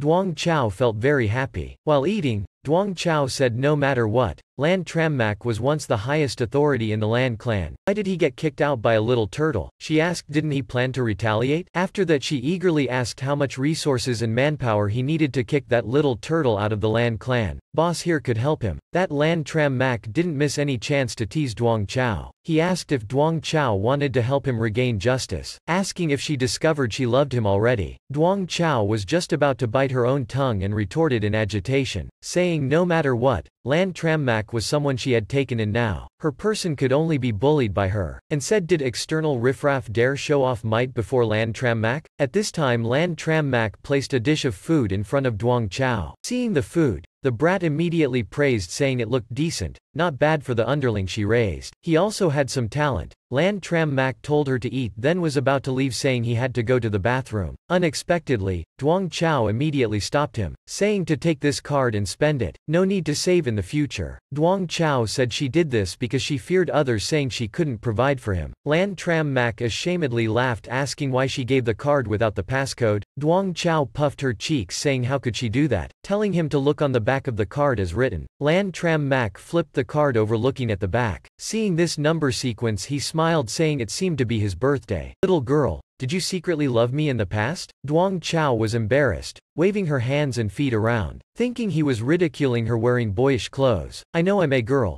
don't need you to keep emphasizing it like that. After that Duong Chao explained she had just randomly set the passcode that no one could guess. She said the enemy's birthday. She felt it was the most secret, Lan Tram Mac then took the card turning to leave, still waving it saying he would use it carefully. At this time Duong Chao covered her reddening face, silently thinking how unlucky she was to have drawn lots and gotten matched to this guy born to cross words with her. As for our main couple, waking up they were still embracing each other sleeping in the hotel. Getting here, Surely no girl wouldn't be envious of Tin Quang. As soon as she opened her eyes, a strong, blurry male body was right before her. When Tin Quang was still groggy, Dai Quan Kin had greeted good morning Tin Quang. After that, not giving her time to react, he fed her a delicious tongue porridge. After that Dai Quan Kin released her lips, thinking he was done but who knew he was just letting her catch her breath before continuing to kiss her. This was also too much for Tin Quang already, so early yet he was already using his charm on her like this. Who could resist? Tin Quang sank deep into that kiss, blurrily enjoying it but when reason gradually took control of her brain, Tin Quang finally came to her senses pushing him away then shyly covered her face running off, leaving Dai Quan Kin sitting there in disheveled clothes blankly. Guess he was already satisfied. Tin Quang in the bathroom kept pouring cold water on herself, pouring while cursing Dai Quan Kin to death silently. She almost lost control just now because of him. Looking in the mirror, Tin Quang reminded herself to keep some integrity for the wedding night. Tin Quang stepped out of the bathroom with an extremely serious expression, not even glancing at her lover as she turned away saying she had to go visit her dad at the hospital. Dai Quan Kin then informed her that her father-in-law had gone out with her mother-in-law already, telling her not to bother them. Blushing, Tin Quang argued back that her father would never say such things. Quan Kin then showed her the message from father-in-law he sent him, saying he and her mother had gone to celebrate Memorial Day, and told told Quan Kin not to let Tin Quang come bother them.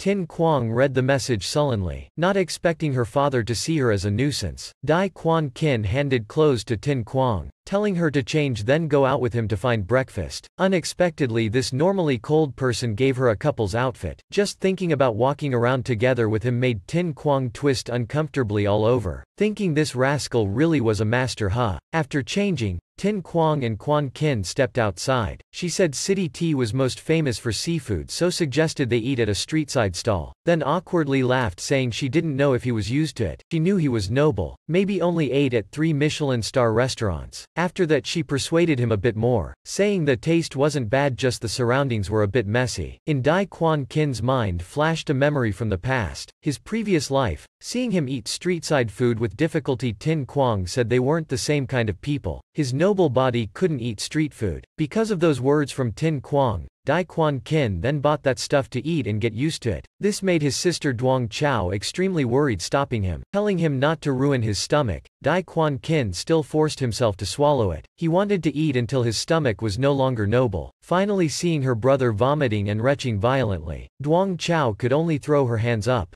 feeling he really was beyond saving, having lost his mind for that woman. In this present, Quan Kin firmly said he could eat it. Because of this Tin Quang was very happy saying today she would treat him as the host. They passed by a shop, Meta Girl inviting them to scan for a code to get free bunny ears. Also praised his girlfriend was so pretty. Wearing bunny ears would surely look cute. At this time Dai Quan Kin just laughed saying Tin Quang wasn't his girlfriend. This directly made Tin Quang confused interrogating him, asking if he didn't see her as his girlfriend why were they wearing couples outfits. Had kissed her that morning, also said though he didn't successfully upload the confirmation pic they were still partners. How is he being so unreasonable? The next moment Dai Quan Kin grasped Tin Quang's hand smiling telling the shopgirl she was his fiancée. These words of his of course made Tin Quang very happily beam. They successfully got two bunny ears, entering the eatery eating while teasing each other. Tin Quang kept asking Quan Kin to put them on, also asking didn't he want to match her wearing bunny ears. Finally Quan Kin still helplessly had to accept Tin Quang forcing the bunny ears on his head. His cute appearance directly made Tin Quang's heart flutter chaotically. Quan Kin blushed turning away, looking silly didn't he? Of course Tin Quang's answer would be, adorably silly to death, the two lovebirds chirped at each other all morning. The lives of people in love were truly beautiful. On the contrary, Han Nian Nian seemed uncomfortable. That morning seeing Dai Quan Kin posting Tin Quang's pic, she immediately smashed her phone in anger. Seeing this, her assistant carefully and tactfully approached to persuade her, saying she should let go. Lately Luke Han Lam, Luke Qian Wen's younger brother wasn't pursuing her? The assistant said his older brother and Dai Quan Kin's older brother were both running for president. Their powers were quite comparable,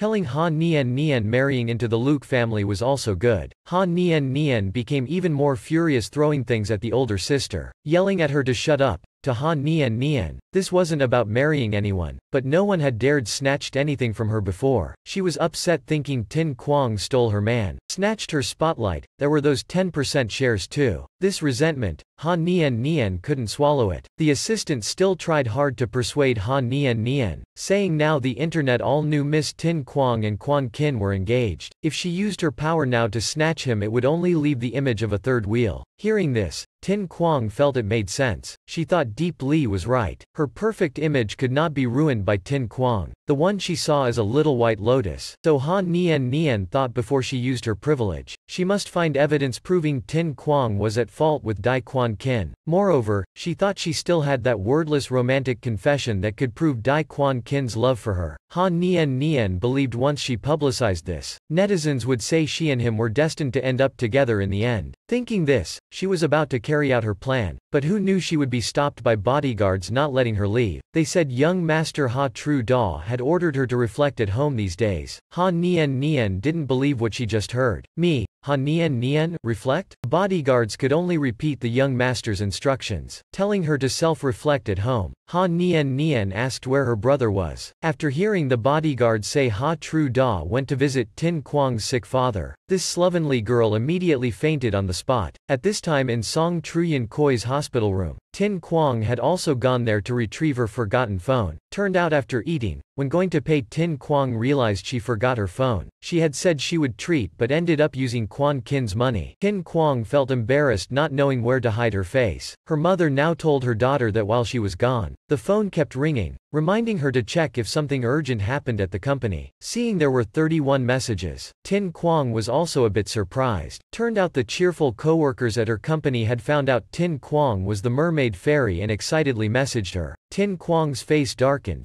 not expecting her identity to be exposed, she was wondering who did such an unethical thing, but on the hot search, Tin Quang saw the info of Dai Quan Kin publicizing her, Tin Quang's face flushed seeing his post. The comments below were also very lively. Unexpectedly the mermaid fairy was the fiery beauty goddess. Tin Quang looked wondering when did he take this pic. Even posted on Weibo thanking the country. Though confused, Tin Quang still couldn't hide the smile on her lips. Just then there was a knock on the door. Seeing Ha brother walk in, Tin Quang was extremely surprised. He even brought fruit saying he couldn't find Tin Quang in the capital. Hearing her family was severely ill and she returned to Tea City so he came over to see. Seeing Tin Quang's parents, Ha Tru Da set down the fruit basket on the table then bowed deeply in greeting. Ha Brother's slightly ostentatious actions made Tin Quang's parents bewildered. Tin Quang could only introduce this was the CEO of the Ha Clan Corporation. Ha Tru Da, someone she knew from the capital. After that Tin Quang took the thermos saying she was going out for hot water. Ha Tru Da unexpectedly told her parents he would go help Tin Quang. At this time the elderly couple could only exchange bewildered looks. Tin Quang stepped outside feeling chaotic. She didn't know what this older brother was up to. She wondered if he had recognized her or wanted to repay her family for saving Ha Queen Queen. Very quickly,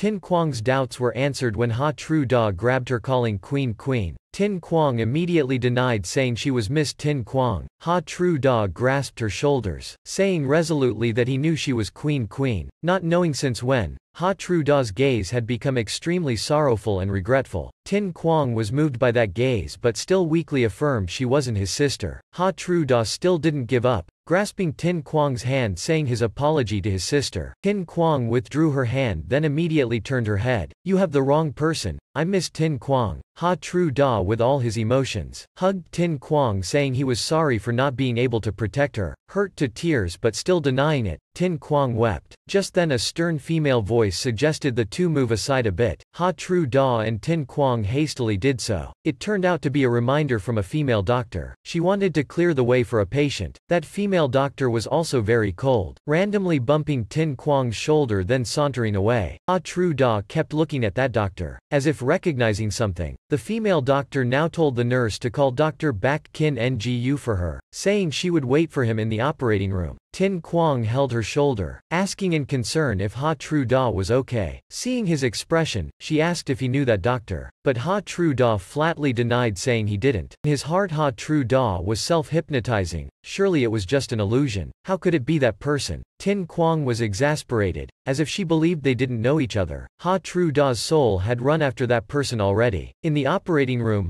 Dr. Bak now said to that female doctor that her condition today wasn't very good. Could something have happened? She replied the surgery had no mistakes. Then sighed saying she had met Ha Tru Da. She also realized she still couldn't do it yet, still couldn't see him as a stranger. The female doctor leaned against the wall, facing the sky with a bitter laugh asking Bak Kin Ngu if she was very useless. Bak Kin Ngu asked where she met him. The female doctor replied it was at the neurology department, also said it seemed Ha Tru Da had a new girlfriend. She thought he wasn't the sentimental type, believed the girl who could make him take the initiative to hug her at the hospital must be the one he loved. Bak Kin Ngu could only advise her not to overthink. He felt she was adorable. Tin Quang was still interrogating him, asking if he really had a solution, telling him to be frank with her. Quan Kin just said he wasn't too sure. He sighed saying 50-50, things had come to this, they could only gamble once. At this time, Tin Quang looked at him and firmly assured him to just do it. Even if the final result was not what they wanted, she would have ways to handle the aftermath for him, as long as his heart was always with her. Hearing these words, Quan Kin stroked her head affectionately, saying he would immediately go do it, as long as she supported him from behind and didn't let him be eliminated. She then pulled his head down, and placed a kiss on his forehead, saying to give him some strength from love. Yes, Quan Kin shyly blushed red, then pointed at his cheek saying he wanted one here too. Tin Quang immediately indulged him, and at this time, at the Ha house, Wai Go Keen and her mother were sitting talking. Wai Go Keen's mother asked if Nian Nian really had to do this. Ha Nian Nian said whatever, telling her not to advise her anymore, telling her to go rest since this condition wasn't suitable for examining patients. But the female doctor said she had professional ethics, guaranteeing she wouldn't let personal matters affect her work. Hearing this,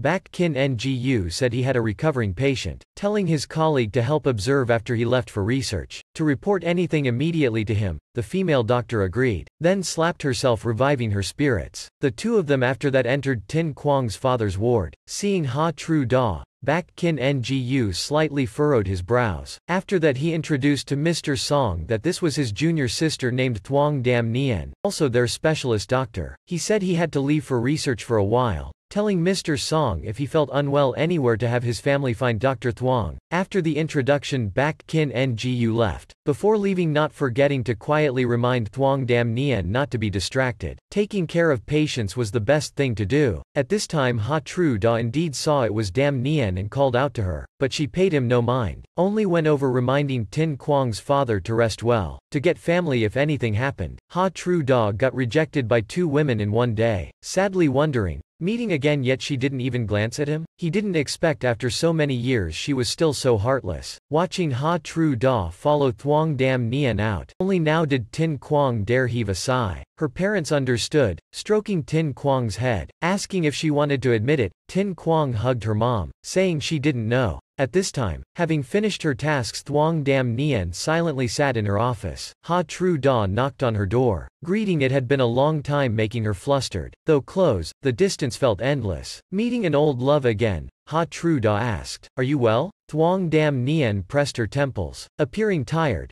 coldly asking Ha Tru Da if he had any business. If not then please leave if it didn't relate to the illness. Ha Tru Da pulled over a chair sitting down, saying he wanted to ask about the condition of the patient in room 19. Thuong Dam Nien said if he wasn't family she wouldn't disclose the patient's condition. Ha Tru Da affirmed he was family already, also considered the son's half already. In his heart he thought if Uncle Song was his sister's foster father then he was also his father. He truly just wanted an excuse to talk with Dr. Thuong, who knew his manner of speaking made her misunderstand he was her son-in-law. Though unwilling, Dr. Thuong still arranged Mr. Song's medical record to tell him about it. Just then a nurse came in reporting the patient in room 56 had taken a turn for the worse, so Thuong Dam Nien had to leave Ha Tru Da there waiting while she dealt with it. Ha Tru Da smiled saying he wasn't in a hurry, but after Thuong Dam Nien left, he held his head tiredly. Just then Thuong Dam Nien's phone lit up with a call from her son. His heart ached. To verify he had to press answer. Not expecting that little bow to immediately call out for his mom. Ha Tru Da hurriedly asked who the kid was looking for. What's his mom's name? The boy said he was looking for his mom, Thuong Dam Nien, and asked who this mister was in return. Ha Tru Da punched the wall angrily. His heart complicated, since when did she have a child? After that he asked who its father was. The boy said Bak Kin Ngu, also asking why this mister stole his mom's phone, and threatened that he had installed a virus and tracker on the phone, saying if he didn't return it to his mom the phone would explode. Ha Tru Da had no choice but to tell it that Thuong Dam Nien had gone to the ward already. The sly boy snicked snickered. Oh,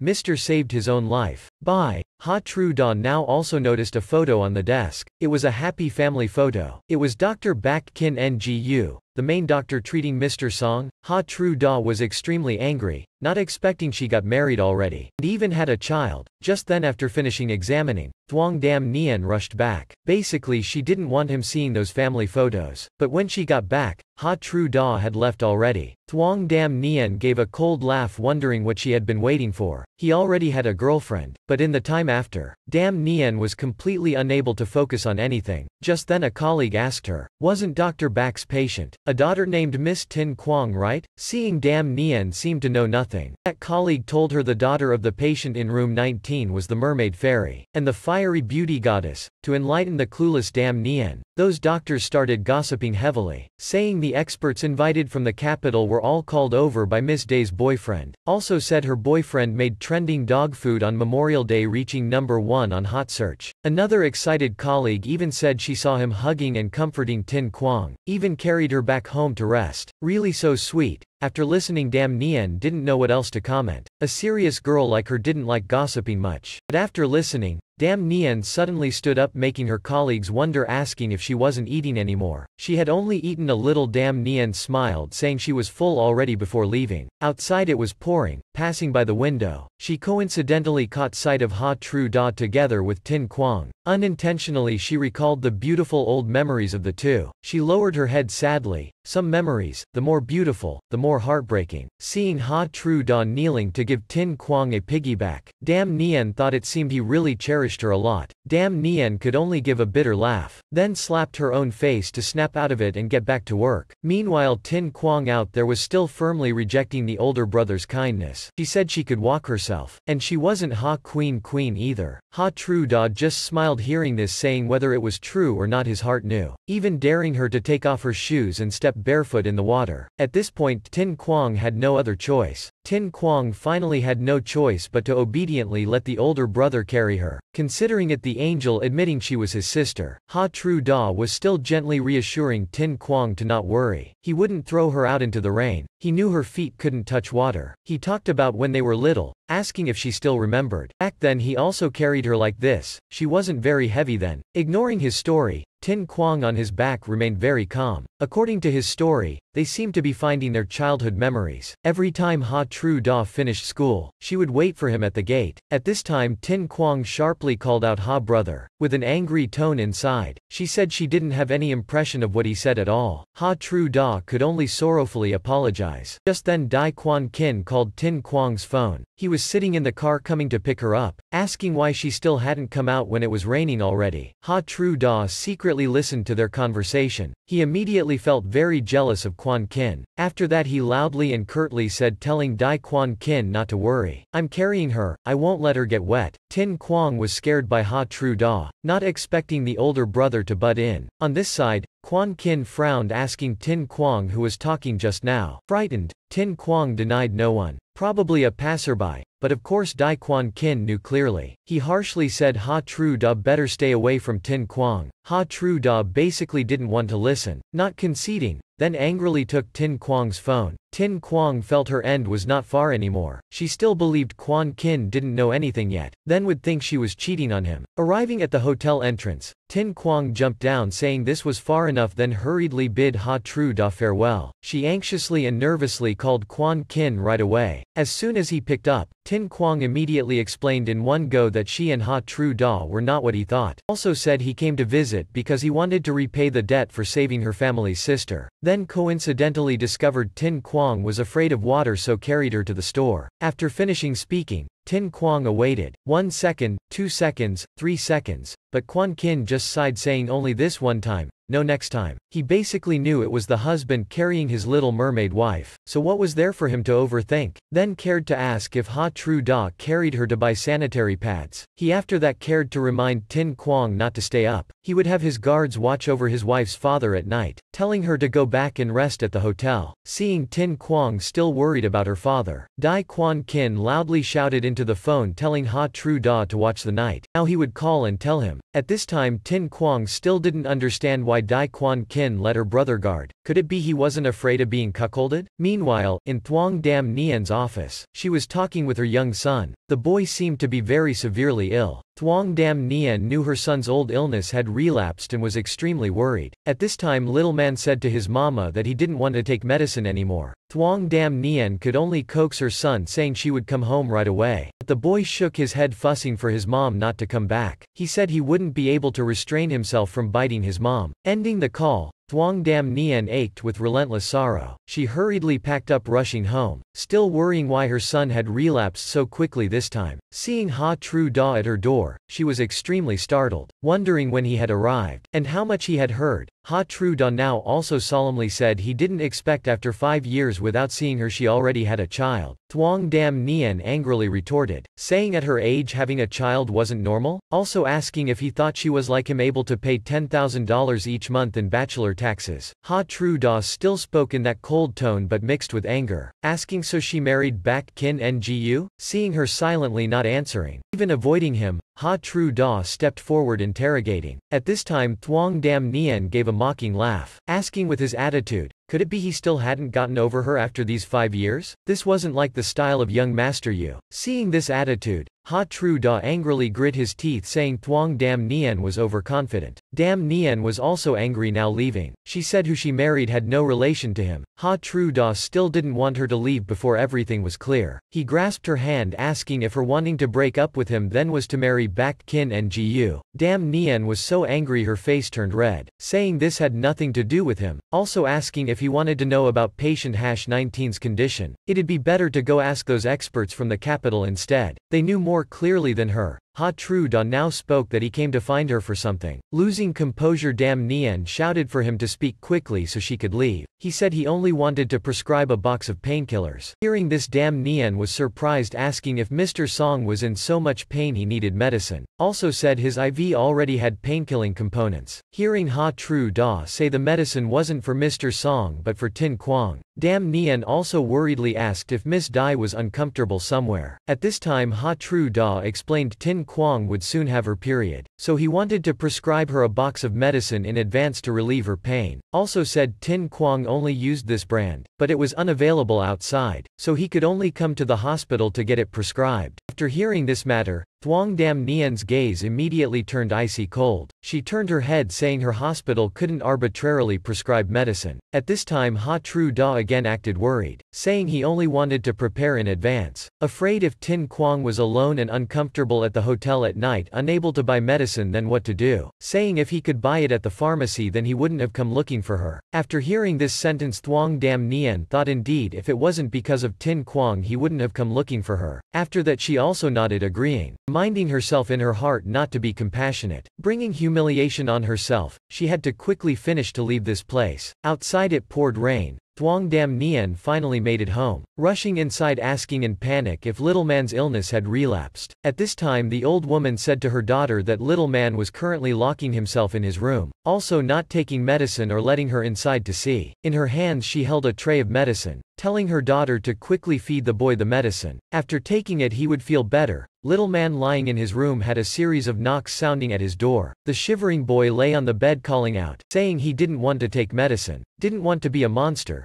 turns out after learning of the boy's condition, the bad kids at school all ridiculed saying little man was the kindergarten freak, blood-drinking monster, they all avoided and provoked the boy, gradually forming a psychological shadow in his heart. Little man lay on the bed holding his head uncomfortably, biting his lips continuously denying it. Thuong Dam Nien could only helplessly take the medicine back out turning around. Outside in the living room, her mother's voice sounded asking why her beloved grandson wouldn't take his medicine, then scolded Thuong Dam Nien for being a doctor. Kin Ngu was also a doctor, both were doctors yet couldn't cure a child's illness. Then how could they be parents? Thuong Dam Nien was also extremely pained only knowing sorrowful apologies. The rain continued pouring for days. Ah Tru Da didn't have a day he didn't carry Tin Quang back, making her wonder if the older brother was deliberately softening her, taking care of her so attentively. At this time she truly wanted to call him older brother already in her heart. Seeing the little sister sniffling, Ha Tru Da wiped her nose. After that Tin Quang jumped down smiling saying after all she wasn't Ha Queen Queen,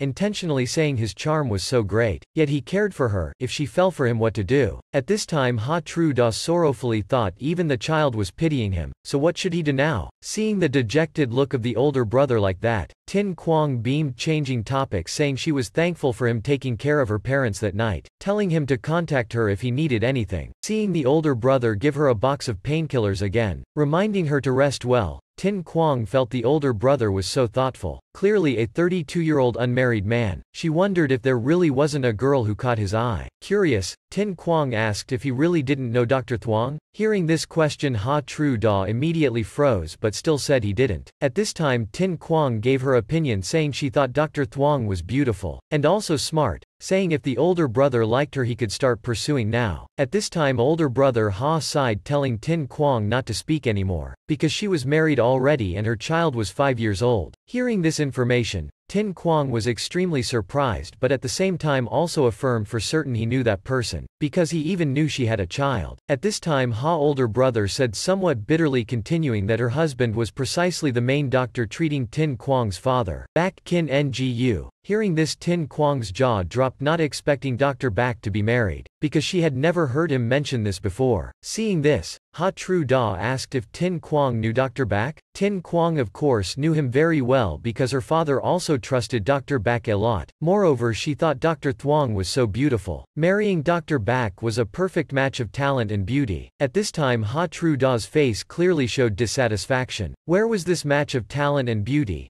Tin Quang still innocently said wasn't it obvious they were a perfect doctor couple. Moreover Bak Kin Ngu was also very famous in the medical field. Tin Quang said he was stable. Marrying someone like him would certainly be happy. After hearing this Ha Tru Da lowered his head dejectedly, then cursorily bid Tin Quang farewell before walking away. So after those probing words, Tin Quang could be certain there was an issue here. Also hearing her large tumor was the older brother's good friend. Tin Quang called him to ask if he knew anything between between the older brother and Dr. Thuong, the curious flame within her blazed. As soon as Dai Quan Kin picked up she excitedly asked if he knew if Ha Tru Da had a girlfriend before. Hearing him say out Thuong Dam Nian's name, Tin Quang became extremely excited. Sure enough those two had issues. She told Dai Quan Kin that today older brother Ha looked upset seeing Dr. Thuong. His soul immediately departed. Quan Kin then told her that the two of them used to be in love, but five years ago Thuong Dam Nien dumped Ha Tru Da. After that she married Tin Quang's father's main doctor Bak Kin Ngu. At this time Tin Quang was also very curious asking the reason for their breakup. Quan Kin replied love matters outsiders shouldn't intrude on, and he he only knew that Ha Tru Da gave Thuong Dam Nien a sum of money after which Thuong Dam Nien left Ha Tru Da. Hearing Thuong Dam Nien was this materialistic, Tin Quang was extremely shocked, while Quan Kin was certain something fishy was going on here. Because what kind of person Ha Tru Da was Tin Quang already knew clearly. Remembering her biological father, Tin Quang believed he was someone she knew best. It seemed this was deliberately sabotaging a relationship. At this time Quan Kin asked if Ha Tru Da had seen Little Man yet. She hadn't heard of this and asked who Little Man was. But at this time Quan Kin suddenly realized he was saying too much and went silent. Tin Quang urged him to speak quickly instead. In the end he had no choice but to say little man was Thuong Dam Nian's son. Hearing she already had a child Tin Quang felt great regret believing this meant her brother had no more hope.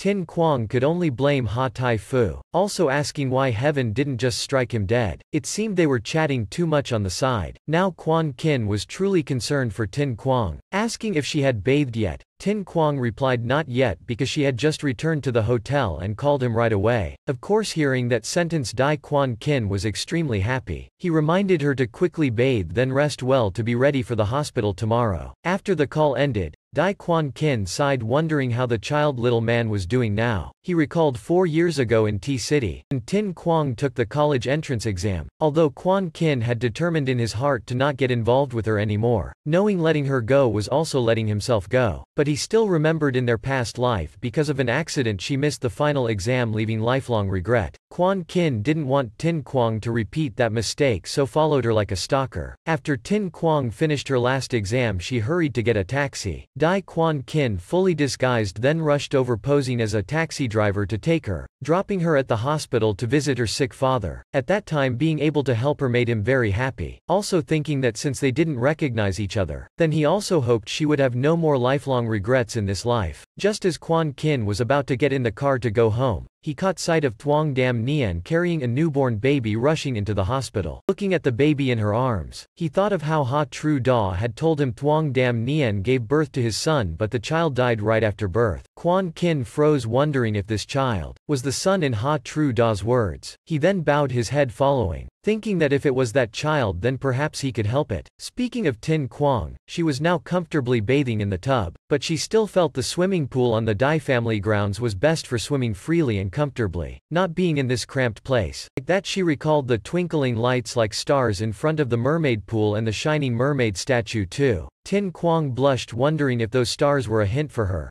Finally Tin Quang had to dunk herself to calm down again, she thought there was no way that could happen, she was just being delusional. Tin Quang picked up the remote turning on the TV, thinking she should watch TV to think less. On the TV now was breaking news of a gas station explosion killing five people. The reporters surrounded Dai Thoi Din, asking how he felt, if this would affect this year's presidential election, asking if the exact cause of the gas station explosion had been investigated yet, could it be someone really wanted to assassinate him, asked if any organization had claimed responsibility for this incident. Was this related to his opponent in this election, Luke Chien Wen? Dai Thoi Din declined all questions. He said he had to attend a memorial service for the guards. They had all heroically sacrificed so he was extremely heartbroken now. In another development, Someone was also extremely angry still unable to find the culprit behind this incident, and also felt someone was planning to harm Luke Chien Wen. Han Tan Bak said to Luke Chien Wen that now during the sensitive presidential election period, he thought Dai Thoi Din was staging a misery scheme, otherwise why was only he unharmed while the others all died? Unexpectedly after hearing this Luke Chien Wen laughed saying this was quite a good idea. After that he immediately ordered his lackeys to go do something. Han Tan Bak understood this Luke wanted to guide misguide public opinion to make this seem like a misery scheme staged by Dai Thoi Din himself, even praising Luke Chien Wen for being so capable. But Han Tan Bak was still worried if public opinion's sharp point was directed at the misery scheme Thoi Din supposedly staged himself, wouldn't Tin Quang also be affected? Hearing this Luke Qian Wen sneered. Han Tan Bak immediately put on a serious face saying he could guide public opinion however he wanted he didn't care, but he wouldn't allow him to harm Tin Quang. Luke Qian Wen then acted intrigued asking if it seemed Han Tan Bak was very concerned about this girl. Han Tan Bak extremely agitated said Tin Quang was the light of his life. Anyone who dared harm her was this Han Tan Bak's enemy. Luke Qian Wen set his teacup down, asking if Han Tan Bak loved a married woman, also said she was already the legal wife of Dai Quan Kin, but Han Tan Bak said the love he had for her was not romantic love but pure devotion. She was the faith of his life. At this time Han Tan Bak suddenly received a call. While listening his face seemed calm but after hanging up he was extremely agitated. He said said his old man had called him home. Before leaving he seriously warned Luke Qian not to touch his faith no matter what. After the door slammed shut and Han Tan Bak left, at this time one of Luke Qian subordinates placed a file before him. Inside were documents about information on Tin Quang. Moreover there were also seemingly intimate photos of Tin Quang and Ha Tru Da. After looking Luke Qian asked the employee who sent this. He replied anonymous, then asked if Luke Qian wanted to make these photos public. But he waved his hand saying these photos were unrelated related to him, they didn't affect Dai Thoi Din and even less so Dai Quan Kin. Moreover he knew his younger brother Han Lam was pursuing Han Nian Nian. After that Luke Chien Win changed the topic asking the employee about last time when he told him to investigate Tin Quang. What was the progress now? The employee said her father's name was Tong Truyen Koi, mother Bok Lan Go, he couldn't find anything special about them, he was certain Tin Quang was their adopted child. Her real identity still couldn't be found yet. He thought Ha Tru Da was also so concerned about Tin Quang, suspecting perhaps this young miss identity wasn't as simple as they thought. Luke Chien Win said this was an issue that didn't require investigating. The urgent matter now was finding out who splashed the dirty water on him, and at the same time regain his image from this gas station experience explosion incident. Looking at the photo in hand,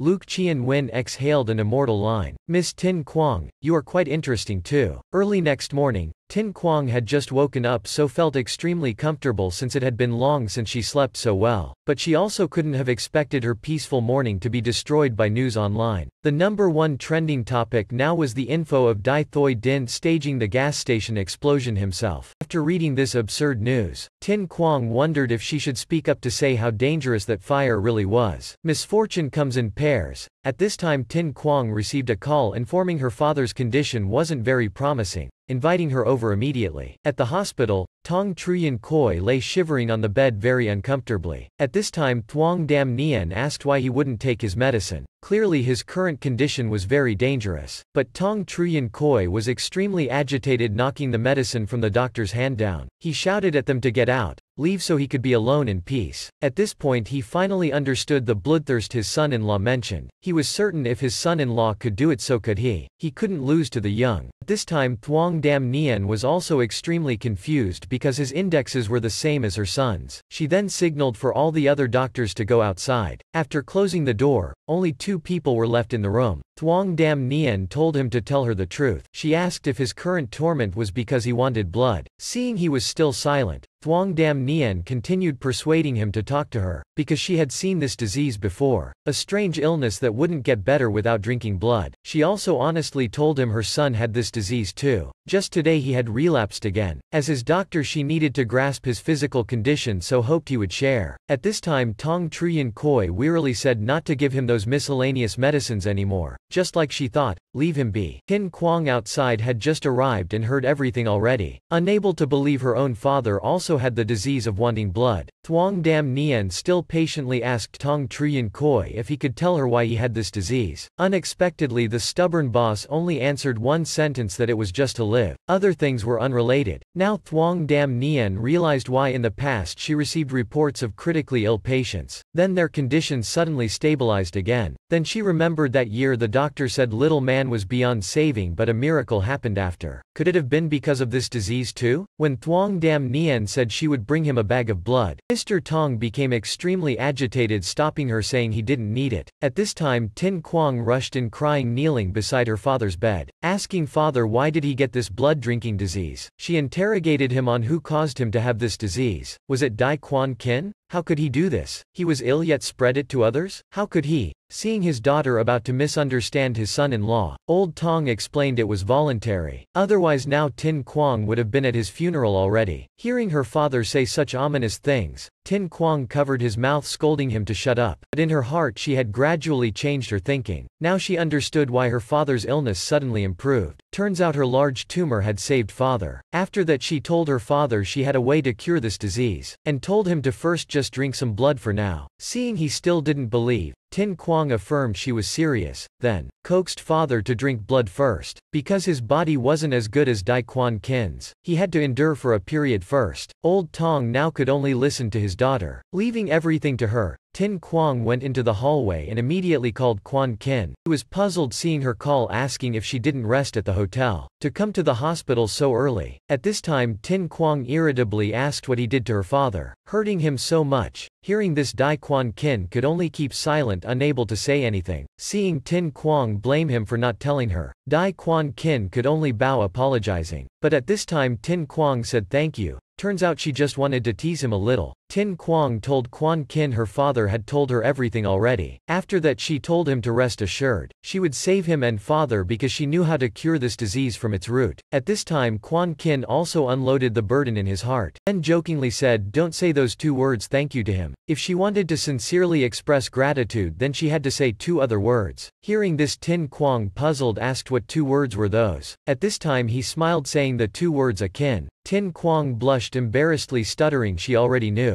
he still teased her after, that she had to use these two words at the end of each sentence. For example just now she could have said knew already akin. Tin Quang was so embarrassed she quickly bid him goodbye then hung up. Her face was flushed but her lips smiled softly. Hugging the phone to her chest her heart felt warm, knowing he teased her to the point of embarrassment. That big tumor texted comforting her to be good. After replying to him with a cute cat icon, Tin Quang was fired up, now is the time for her to do the right thing, to cure father's and Dai Quan Kin's disease from its root. It seemed she had to go to the ocean this time. Just didn't expect older brother Ha Tru Da having her followed here already. Thinking she was about to return to the hotel he wanted to take her, Tin Quang apologetically told older brother Ha he was up all night watching her father last night already. Rest tonight also said if he was busy to return to the capital first because she still had things to do, but Ha Tru Da said he wasn't busy and still wanted to go with Tin Quang. Tin Quang declined saying this was her private matter so he didn't need to follow. Then she turned leaving first, leaving Ha Tru Da still standing there watching her unblinking. Half a day passed, at this time Tin Quang was driving a boat out at sea. After driving tiredly for hours Tin Quang was very sleepy. Thinking it was just her, hearing a noise behind Tin Quang turned back shocked to see it was older brother Ha. She agitatedly asked why he followed her. Ha Tru Da replied he was worried so had no choice but to follow. Also said if she was sleeping sleepy then quickly go rest while he took over driving. At this time Tin Quang was still stunned that there was another living person secretly following yet she didn't detect. But the main issue was that place, she couldn't let her older brother know. But turning back the shore was nowhere in sight. Tin Quang also had to let it go since they already went so far. After that she agreed to let him drive instead, told him to just follow her map. When they arrive call her,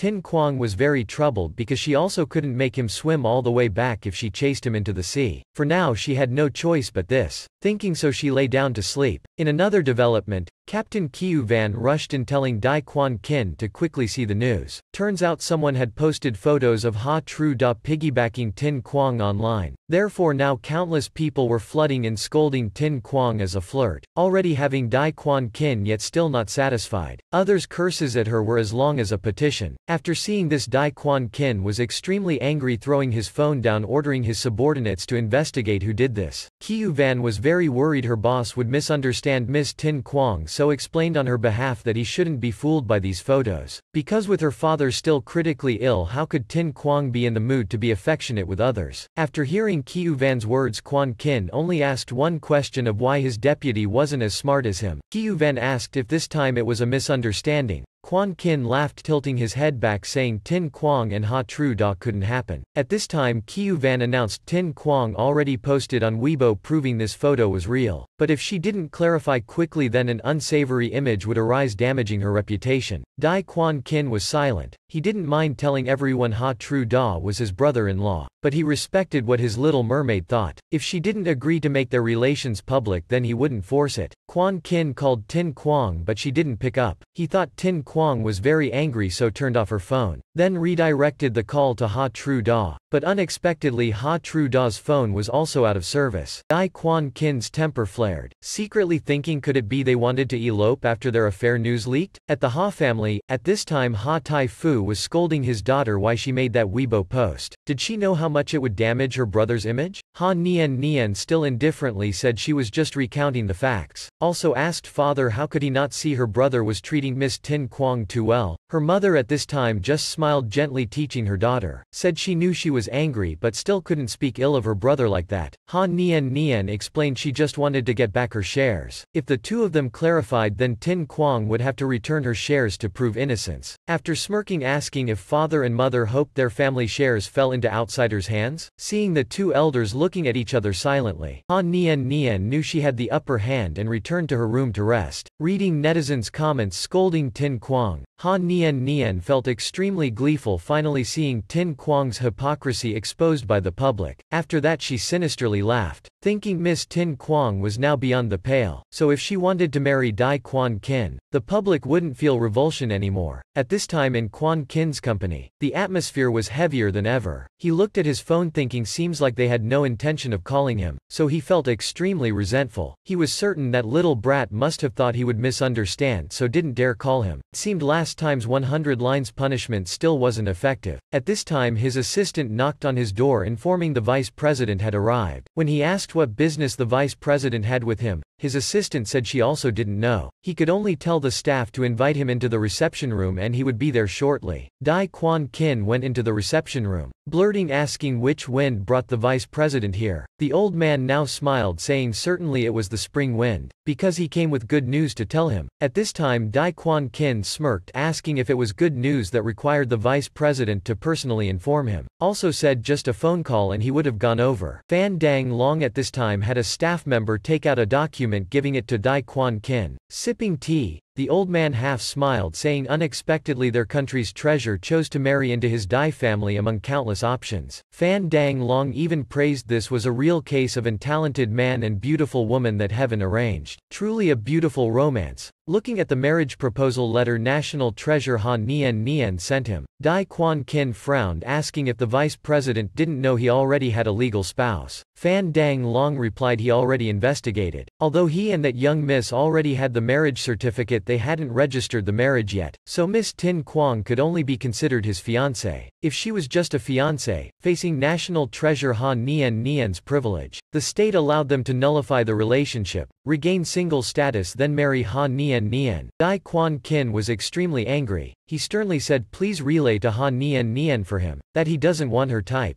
He said tomorrow he would go register his marriage with Tin Quang, but Fan Dang Long said according to the law protecting national treasures, once Han Nian Nian submitted the marriage application, the Civil Affairs Bureau could no longer process marriage registrations for him with others, and now Quan Kin only had two options left, one was to accept marrying Han Nian Nian, two was to accept criminal prosecution. Dai Quan Kin was extremely frustrated and defiantly said, Then prosecute. Vice President Fan Dang Long's assistant now spoke up telling him to think carefully, because once he accepted prosecution he would have to serve three years in prison. Moreover, his Dai family including parents and brothers, would also entirely lose political rights and privileges. He said his older brother was still in the presidential election period. If he refused to marry Ha Nian Nian then Dai Thoi Din would immediately lose his eligibility to run. Old Fan Dang Long now stood up telling him to slowly think it over. He and Ha Nian Nian would would give him three days to make a decision. If after three days his answer was refusal, they would request a criminal trial in court. After requesting a criminal trial, Dai Thoi Din would immediately lose eligibility to run, being removed from the presidential candidate list. Dai Quan Kin sat silently in the room. His mood was extremely chaotic. His younger siblings now popped their heads in asking how it was. Seeing Han Nian Nian's marriage proposal letter on the table, Duong Chao was extremely angry. Unable to believe she could do this kind of thing, KY2 smirked praising that family was so capable. Ha Tru Da stole little Tin Quang, while his sister stole Quan Kin. This was certainly with the intent of destroying others' marital bliss. KY2 then worriedly asked if Quan Kin planned to compromise with them. Before letting Dai Quan Kin answer, Duong Chao said of course that was it. She repeated Dai Quan Kin's words to her before, that the marriages of people like them were to consolidate the country including Dai Quan Kin's marriage were all for Dai Thoi Din, also said even if not for older brother Din then for the siblings who lived and died together, their marriages couldn't cater to personal preferences. Duong Chao proudly repeated Dai Quan Kin's words, that once they became famous, it would be the leverage raising Dai Thoi Din to the presidency, only then would they be a political family. Duong Chao was very proud because she remembered every word Dai Quan Kin said, otherwise she would have refused to take in that cold-faced one, while KYKY2 now could only hold his head helpless at his unreasonable child. He knew the situation now was Dai Quan Kin unwilling, yet the current circumstances still demanded he sacrifice for politics. Did he now have to tell Thoi Din to ask him to withdraw from the presidential race? The more KY2 thought the more headache he felt sighing. It seemed the Dai family and little Tin Quang really had to part ways. Speaking of Tin Quang and Ha Tru Da, at this time their boat had docked at an island. She happily introduced this place where she lived as a child to her older brother. Older brother Ha was surprised asking if she and her adoptive parents all lived here. Tin Quang recounted she was only adopted by her parents at 12 years old, before that she lived here. They walked into the forest together, seeing such a pristine environment. He still couldn't believe asking if she lived here six years. Tin Quang still innocently laughed saying the living conditions here were actually very good. There was even a very beautiful waterfall over there. Hearing this, older brother Ha blamed himself more for giving up searching for his sister that year, leaving her to live in this godforsaken place. Crossing the clear babbling creek, they arrived arrived at a small wooden house. This was where Tin Quang wanted to go. She happily called loudly inside, Granny, Granny come see who's back. The sound of the creaky wooden door rang out. An old woman in ethnic clothing stepped out. Seeing Tin Quang she called out two words Ku Tu. Tin Quang quickly rushed over hugging her, saying little Ku Tu missed Granny so much. Did Granny miss her? Ha Tru Da hearing this name was puzzled asking who Ku Tu was. Tin Quang replied that was her name here, Muak A Ku Tu. Then Tin Quang told her brother to wait outside because she and Granny had a lot to catch up on. Hearing the door slam shut right in front of him, Ah True Da immediately felt very awkward. Granny now put down her cane saying a child like Tin Quang couldn't just randomly visit her. After that she told her to quickly say what happened that caused her to dangerously return. She now said her adoptive father contracted the blood-drinking disease, asking Granny how she should treat him. Hearing this Granny wondered asking why her adoptive father got this illness. Could it be they found her already? Tin Quang quickly waved her hand saying no, then smiled saying this story was a bit long, just urging her to quickly tell her so she could return to treat her adoptive father. Granny said the solution was very simple, she just had to return and inherit the throne. Tin Quang was so shocked she fell off her chair then angrily said how is this related to her inheriting the throne. Granny clearly knew if she inherited the throne they would force her to marry the successor of the blood-drinking clan. Tin Quang had no interest in the throne, even less interest in that successor, but Granny said the only way she could think of was inheriting the throne, marrying the blood clan's heir. Anyway the antidote was in their marriage ceremony items. Hearing this Tin Quang cracked her knuckles asking who that heir was. She really wanted to punch him until he vomited out the antidote, but even Granny didn't know, she didn't know who it was. She only heard 10 years ago the old clan leader chose an heir, and he also told the boy, as long as he was willing to marry their clan's queen he he could inherit everything from him. In the end he refused. Hearing this Tin Quang said wasn't that perfect already. The man was uninterested, the woman also unwilling. But this way she wouldn't get the antidote. So Granny still advised her to inherit the throne. Marry the heir then the ceremony items would be brought over. Tin Quang was increasingly getting a headache because it went back to this matter endlessly. She told Granny to quickly select a queen to marry over there. Granny said that year Tin Quang defeated all the other heirs. Aside from her no one else was qualified to become queen, so only her marrying over would be proper and righteous. Tin Quang now realized she almost forgot about this matter. She was also very confused, wondering why she could defeat them all back then. That year after being abandoned by her parents in the sea, she was washed onto Bo Cock Island by chance parents. That was how she met Granny. Thanks to Granny she learned under the sea was a mysterious kingdom. Adak land de tu ket qua di te tu.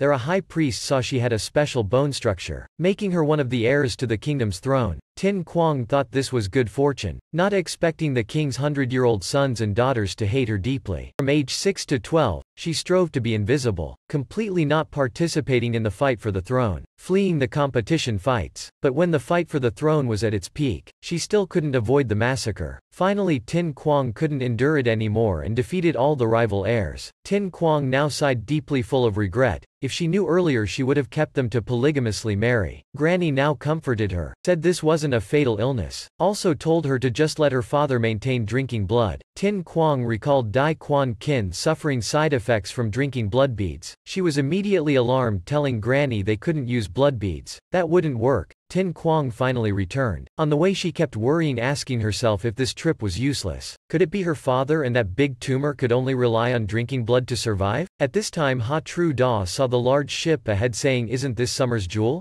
Why did it stop here? Seeing Tin Quang didn't know, he explained. Summer's Jewel, Every summer it goes out to sea for pleasure cruises. On that ship were all unique elites. He also said this year if not for a reason he would have participated too. Just now didn't know why they stopped here. Tin Quang observed then pointed over there asking her brother if he saw the motorboat surrounding the large ship. After a moment older brother Ha immediately recognized Summer's jewel was surrounded by pirates. Hearing pirates hijacking a ship, Tin Quang was very shocked. Seeing Summer's jewel surrounded, older brother Ha immediately held up his phone saying they must quickly call the police. While Tin Quang didn't expect the robbers would dare enter her territory to commit crimes, then told her older brother to quickly steer over there so she could teach those guys a lesson. Seeing no signal, Older brother Ha said they should run to find the naval patrol instead. How could the two of them defeat pirates? Seeing her brother steering the boat away, Tin Quang impatiently asked what he was doing. She still had to go clean up those pirates, but her brother insisted on not turning back. Tin Quang had no choice but to use force. She said she'd have to knock him out to go handle them herself. Saying so she grabbed a fire extinguisher hitting him over the head. At this time on Summer's Jewel a group of brazen pirates were assaulting the cruise passengers. They were all armed, saying everyone better obey or face unpleasant consequences. They then shouted for anyone who hadn't handed over money to quickly give it all here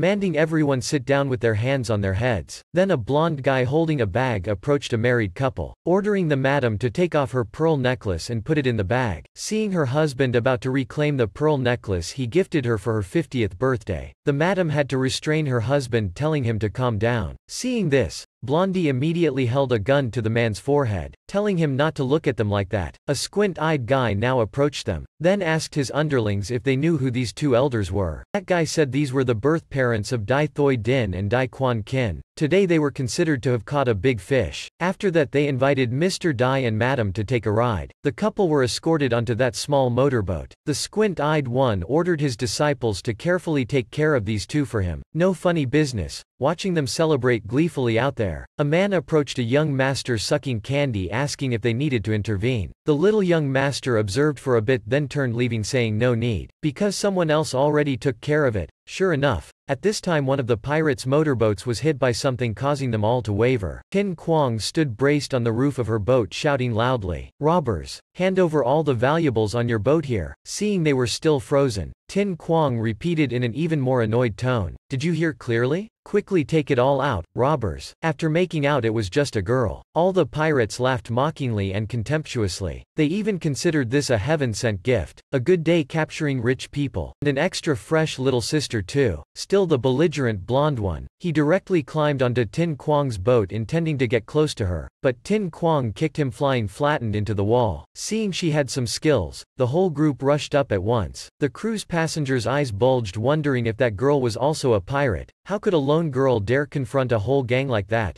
some thought this was just black eating black, they were all pirates, in no time the group of men were beaten into the sea by her. Tin Quang still stood proudly saying she already told them to quickly hand over the people and money if they wanted to be spared. She mockingly added they only had some cat scratching skills yet dared go rob on the seas. At this time a gunshot rang out. A bullet whizzed past Tin Quang. The squint-eyed one sinisterly laughed. He said she better not move or she die. Hearing someone threaten her life, Tin Quang smiled then began singing. In an instant the pirates were enraptured by her voice. Their bodies went limp, but it didn't stop there. Now they were startled awake seeing a group of at least 10 sharks swimming over surrounding them. Seeing sharks, they immediately panicked gripping their weapons raising their alertness. Seeing this, Tin Quang smirked asking who was now struggling to survive. Blondie heard this and frantically asked if she called these sharks here. They still basically didn't believe this was just coincidence, because how could sharks obey humans? Sitting at the boat's bow, Tin Quang told them to just try it. Today if they didn't hand over the people and money,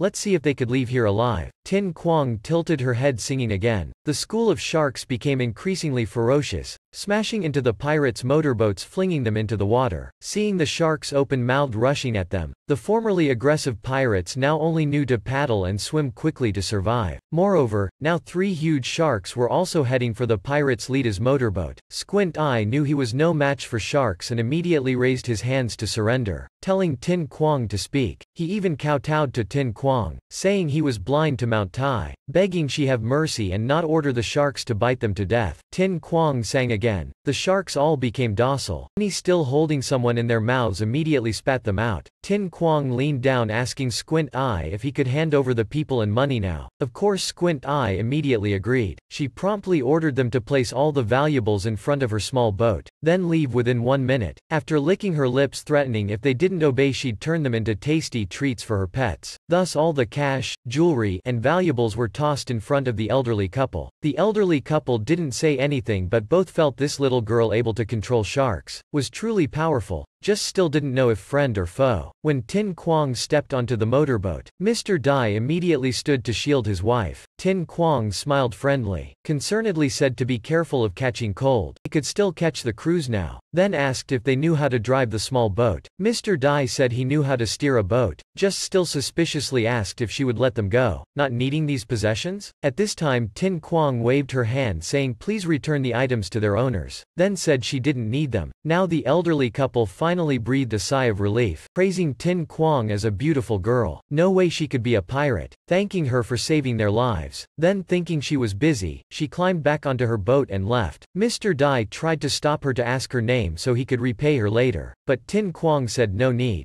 also said if they wanted to remember who she was, then just remember her benefactor's name. Her benefactor's name was Tan Quan Deep. Tin Quang thus leapt away leaving Mr. Dai still reluctant. Seeing this, his wife poked him saying knowing the girl's benefactor's name was enough. When they returned they could investigate a bit. They must go thank that girl's family. Mr. Dai hugged his wife praising the young girl doing good without leaving her name. They certainly must properly thank her. Tin Quang returned. Seeing her flattened brother on the chair, she felt very apologetic, it was an emergency so she had no choice but to do that to him. After that she steered the boat back to the city for him. It wasn't until next morning that Ha Tru Da woke up frowning asking his sister. Tin Quang asked how he was, telling him they were back in the city already. Ha Tru Da held his head asking after knocking him out, did she go handle those pirates? Tin Quang laughed saying she only got carried away. After knocking him out she calmed down, even sailed faster than him. Seeing her brother father's skeptical gaze, Tin Quang acted weak saying how could she beat pirates with guns? Hearing this, Ha Tru Da could only silently retort, weak his foot, saying his men could defeat her? Now back, Tru Da's phone finally had signal. He looked at his phone then asked Tin Quang if she still refused to admit being his sister? Tin Quang still denied it. He then showed her the online information, saying if she didn't admit being blood siblings then afraid what was written here was true. Seeing the information, Tin Quang was extremely shocked. She immediately grabbed her phone, seeing the big tumor calling. Tin Quang knew she was done for. As soon as she picked up, Quan Kin asked if her previous punishment wasn't enough, Tin Quang said she just saw his call, then hurriedly explained it wasn't what he thought online, but Quan Kin just angrily ordered her to write her punishment 100 times then talk, then immediately hung up, Tin Quang's face was sullen as if near death, she thought he believed she cuckolded him. Seeing Quan Kin hang up, thinking he must be very angry, Tin Quang called back. Indeed Quan Kin was furious. As soon as he heard Tin Quang's call he immediately cursed Ha Tru Da, saying his sister had submitted a marriage application to the state, and the name she wrote on it was Quan Kin's. Quan Kin furiously said to pass on to her that he wanted her to know, she wants to marry him?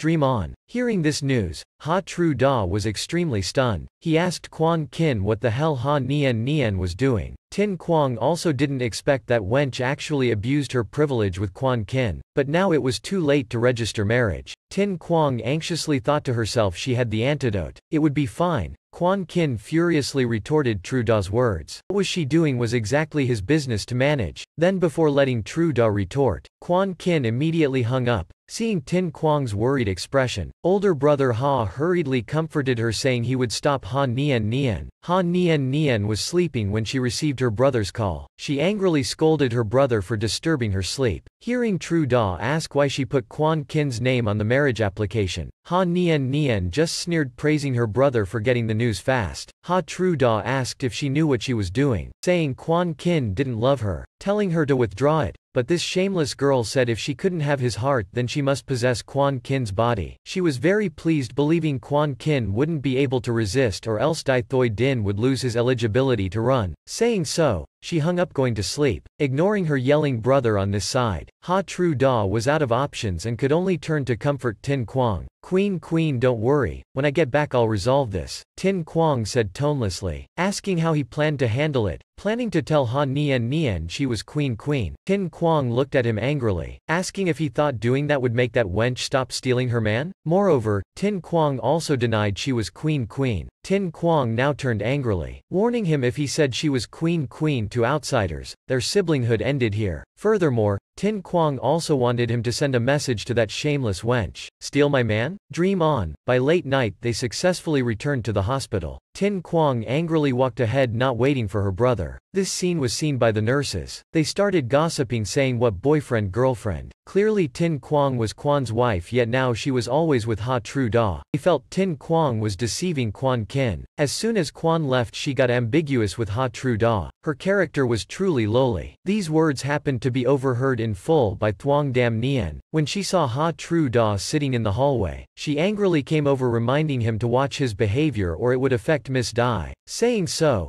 she tried to leave but Ha Tru Da held her back asking what she meant. Dam Nian frowned saying he knew what she meant, telling him not to harm Tin Quang. That girl wasn't bad, don't let her be ruined by him. Seeing Tru Da's sullen face, Thuong Dam Nian became flustered asking what he planned to do. Tru Da said he wouldn't do anything, just wanted to ask what she was doing. Concerning herself with his matters like that, could it be she still couldn't forget him? Dam Nian immediately struggled denying it, saying if she couldn't forget him then why did she break up with him that year? Ha Tru Da frowned, tilting her chin up, saying she could also after breaking up with him, discover her current husband wasn't as good as him and regret it. Dam Nian still explained she was just concerned for a patient's family member. Right now their photos were all over the internet. Even the nurses at the hospital were gossiping actively. Dam Nian advised him if he truly liked Miss Tin Quang then he should keep his distance to avoid causing her trouble. Also said he didn't know how that affected girls. Saying so, she tried to leave but was blocked by Sa's arm. He said it wasn't like Dam Nian thought. Dam Nian embarrassedly reminded him to be more careful since this was a hospital. Ha Tru Da now realized she misunderstood and explained Tin Quang was the long-lost sister he told her about. Dam Nian humphed asking what about him saying he was also her adoptive father's son. Tru Da felt this wasn't an issue at all. He saved her sister so of course he would also treat him as father. In the future he must treat him even better. At this time Tin Quang walked out of the ward.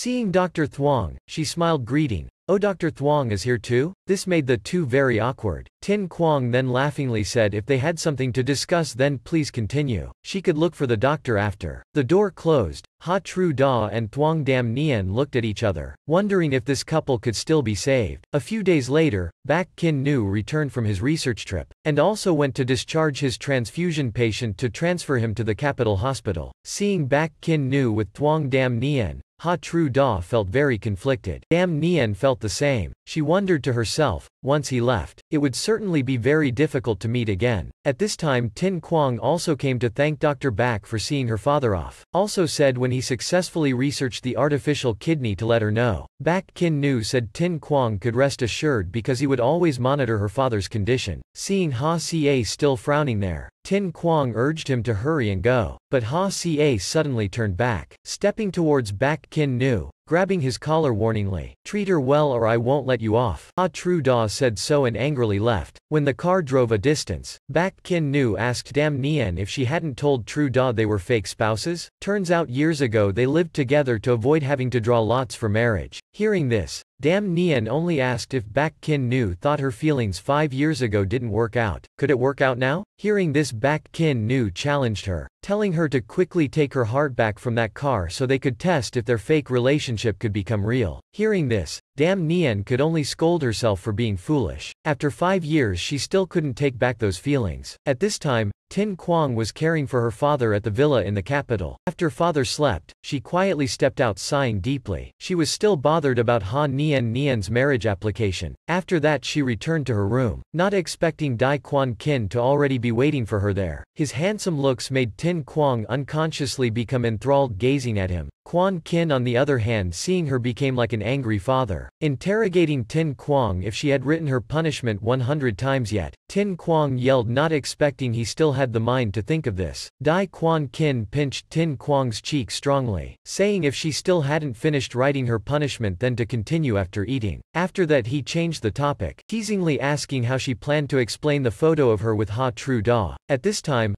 Ha Tru Da suddenly walked in saying he had prepared a press conference already. He said he wanted to announce Tin Quang as his sister. By then this would be clarified. Dai Quan Kin hugged Tin Quang, smiling coolly asking if Tru Da wanted to announce it. Had he thought about if Tin Quang agreed to be associated with that rotten group of relatives again? Ha Tru Da was extremely awkward because Queen Queen was his sister. If he didn't say so this matter would be endless. Quan Kin bluntly told Tru Da that his woman only had Tong Truyen Koi Choi and Bok Lan Go as parents, and warned Tru Da not to arbitrarily decide. Tru Da still refused to back down arguing stubbornly that she was his sister. Dai Quan Kin scolded Tru Da for being completely unfit as a brother, saying if Tru Da didn't run to City T then they wouldn't have this mess. Tin Quang standing on the side felt puzzled. Her brother should stop but the big tumor acted as if he knew she was Ha Queen Queen. Tin Quang still didn't dare believe the big tumor knew her identity and hypnotized herself it was just an illusion. She raised her hand saying she had to clarify she wasn't Ha Queen Queen, immediately scolded to shut up by both men, but Tin Quang thought in this case she was the one with the right to speak. After that she stubbornly denied her identity with Brother Ha, saying even if he held a press conference she wouldn't acknowledge it. Then she smiled saying to Quan Kin that they didn't need to explain the photo. The innocent will naturally be innocent.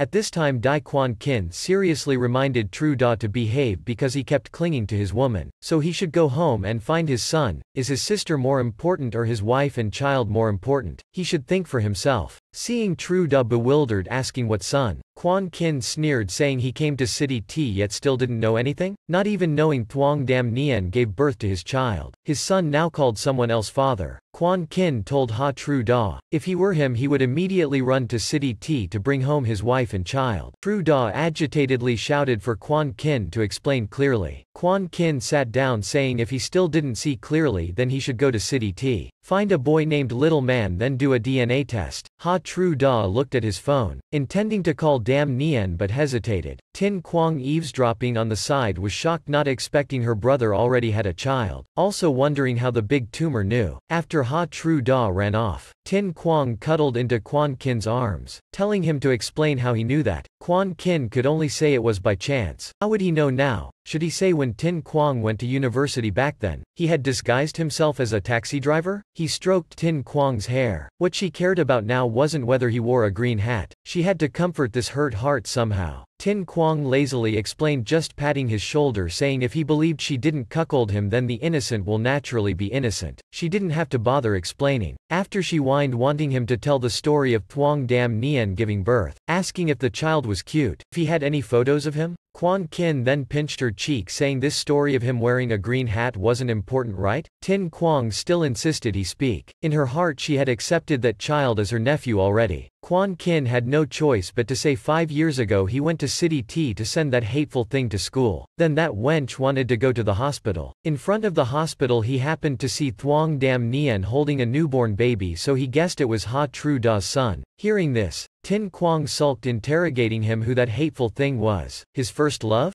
Seeing her attitude, Quan Kin asked if she was jealous? Tin Quang said everyone had a past. She didn't care to eat his stale vinegar, but angrily kicked his butt, then ran off saying she refused to talk to him anymore. She had to go find her father. Quan Kin watched her leave, the corners of his lips curled up, his gaze showing tender love. Then he also followed her to visit father. He told father if not for the good facilities here he wouldn't have wanted them to travel this far. At this time, Mother Bok Lan Go explained to her son-in-law that Tin Quang and Tru Da weren't what he thought. Quan Kin just laughed saying he didn't misunderstand. He and Tru Da were close friends. Tru Da said Tin Quang was his sister so he also asked Tru Da to take care of Tin Quang. Bok Lan Go sighed deeply, saying if Quan Kin was a close friend then help her advise Tru Da not to misunderstand Tin Kwong as his sister. Quan Kin said mother could rest assured, saying he would promptly advise him, but hearing her say this, he also believed they didn't want the little mermaid to regain her birth parents either. Bok Lan Go asked if he thought of a way to handle the online information yet, Quan Kin said mother needn't worry, saying he had a way to resolve this. He already blocked the news and instructed the guards to prevent reporters from disturbing them. Quan Kin gave her a new phone, telling her to temporarily turn off her phone for now. Use this one to have some peace. Tin Quang took the phone. She said she had turned it off long ago or it would have been bombarded with notifications and bothered her to death. After that seeing Quan Kin still at the villa, Tin Quang curiously asked why he didn't go back. Quan Kin replied he also had a storm to avoid. Relaxing at the villa was quite nice. He thought to himself at home he'd definitely be pestered to death, each advising him to prioritize the big picture. Quan Kin then told Tin Quang to shower first then he would shower. Since Kiu Van still hadn't brought his personal items over, he was busy,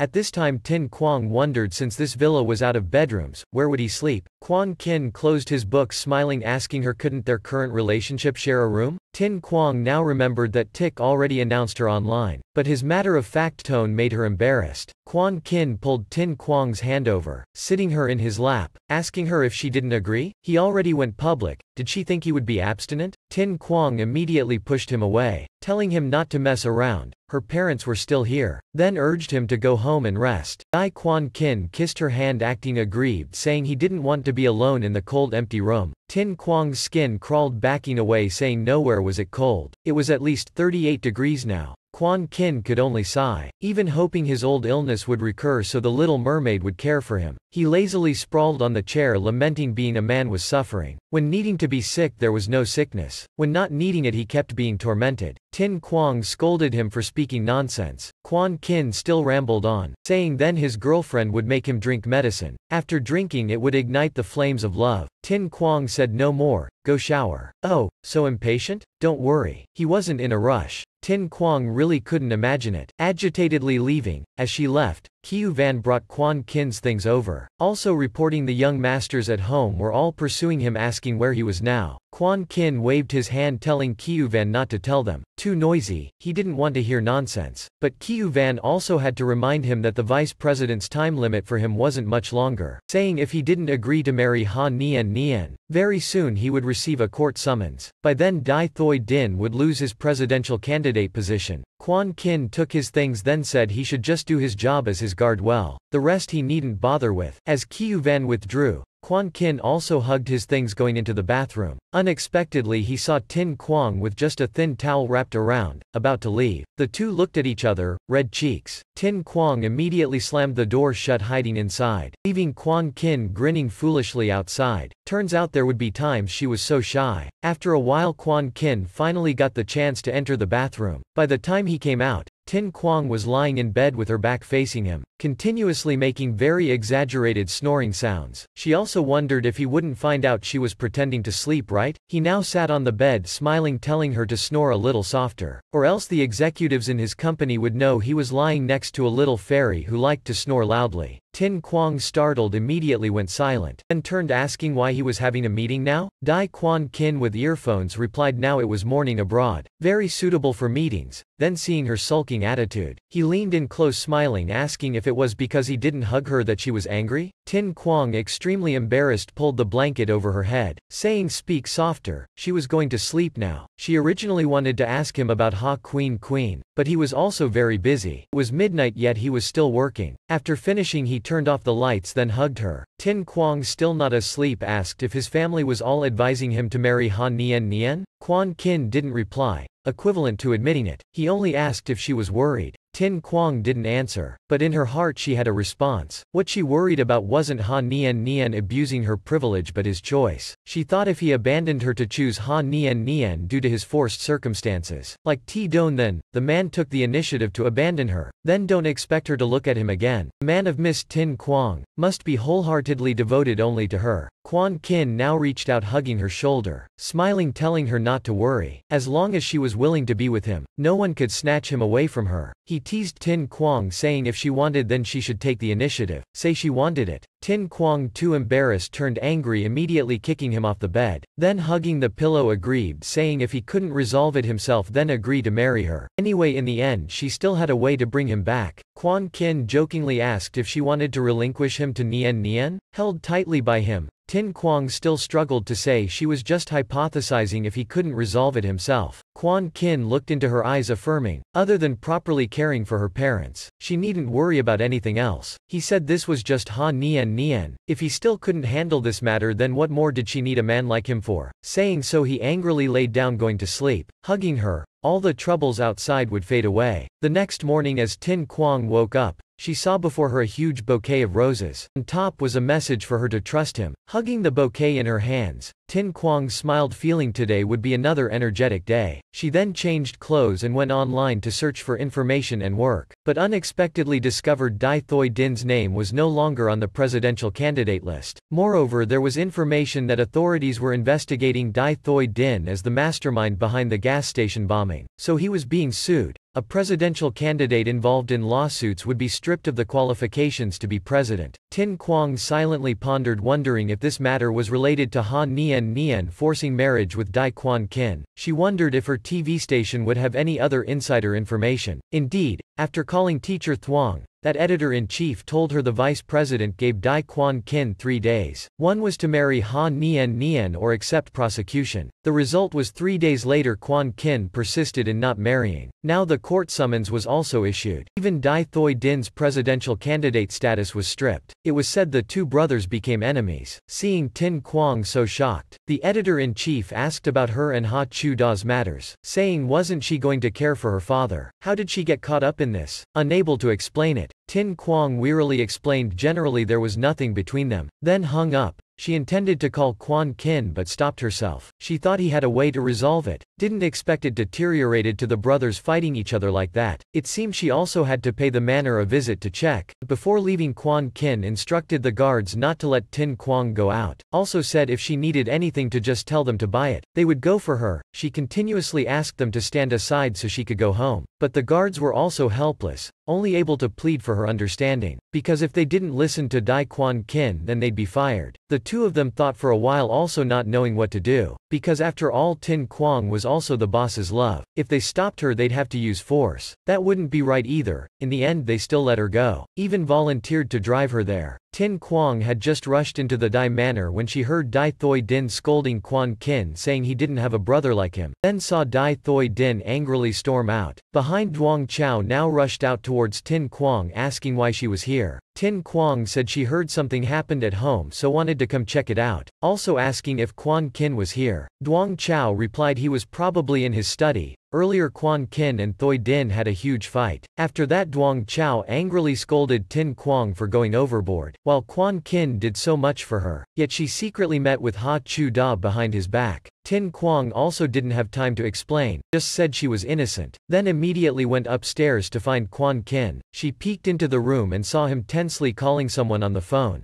Tin Quang couldn't help running over to hug him from behind. Quan Kin helplessly could only smile and sigh asking why she ran over here. Hadn't he told her to stay calmly at the villa? Tin Quang said she saw the news that his brother lost his presidential candidate status. Worried so came to check. Tin Quang interrogated him saying he had a way to resolve it. Why did it become like this? Also said if he refused it would be three years in prison. Hearing Dai Quan Kin ask if she was afraid he'd go to jail, Tin Quang replied she wasn't afraid, because deep down she had a way to resolve this mess for him, but it was a bit difficult because the antidote wouldn't be ready until next month. Right now she was a bit anxious. At this time Quan Kin gently asked her not afraid meant trusting him, or not caring if he went to jail or not. Tin Quang flung his hand away, saying she trusted herself. For some reason, seeing her blindly confident and calm expression, Auntie, I'm telling you, it would be better for her sister-in-law to advise Tin Quang to let Quan Kin go. Why Go Keen was furious but still calmly asked her once again, You definitely won't withdraw the marriage application right? Ha Nian Nian said this was her doing. They could mutually benefit. She was married over, then they would be sisters-in-law. Relying on her influence, the public would support brother-in-law even more. While what could Dai Tin Quang bring to the Ha family? Auntie grasped her sister-in-law's hand asking didn't she want Auntie's happiness? Why must she make it difficult for Auntie to believe in that outsider child Dai Tin Quang? Go Keen extremely angry flung her hand away saying she herself wanted happiness yet stubbornly insisted on marrying someone who didn't love her. What kind of happiness was that? Also clearly knowing brother-in-law was in the presidential election period yet still did this. Sister-in-law sneered asking who was making it difficult for who. In her heart she knew clearly. Han Nian Nian was still stubbornly confused. Hugging her sister-in-law telling her to quickly advise Dai Quan Kin to let Tin Quang go. That way both sides benefit. She said now he still hadn't agreed to marry her, meaning his side still hadn't pressured him enough. Why Go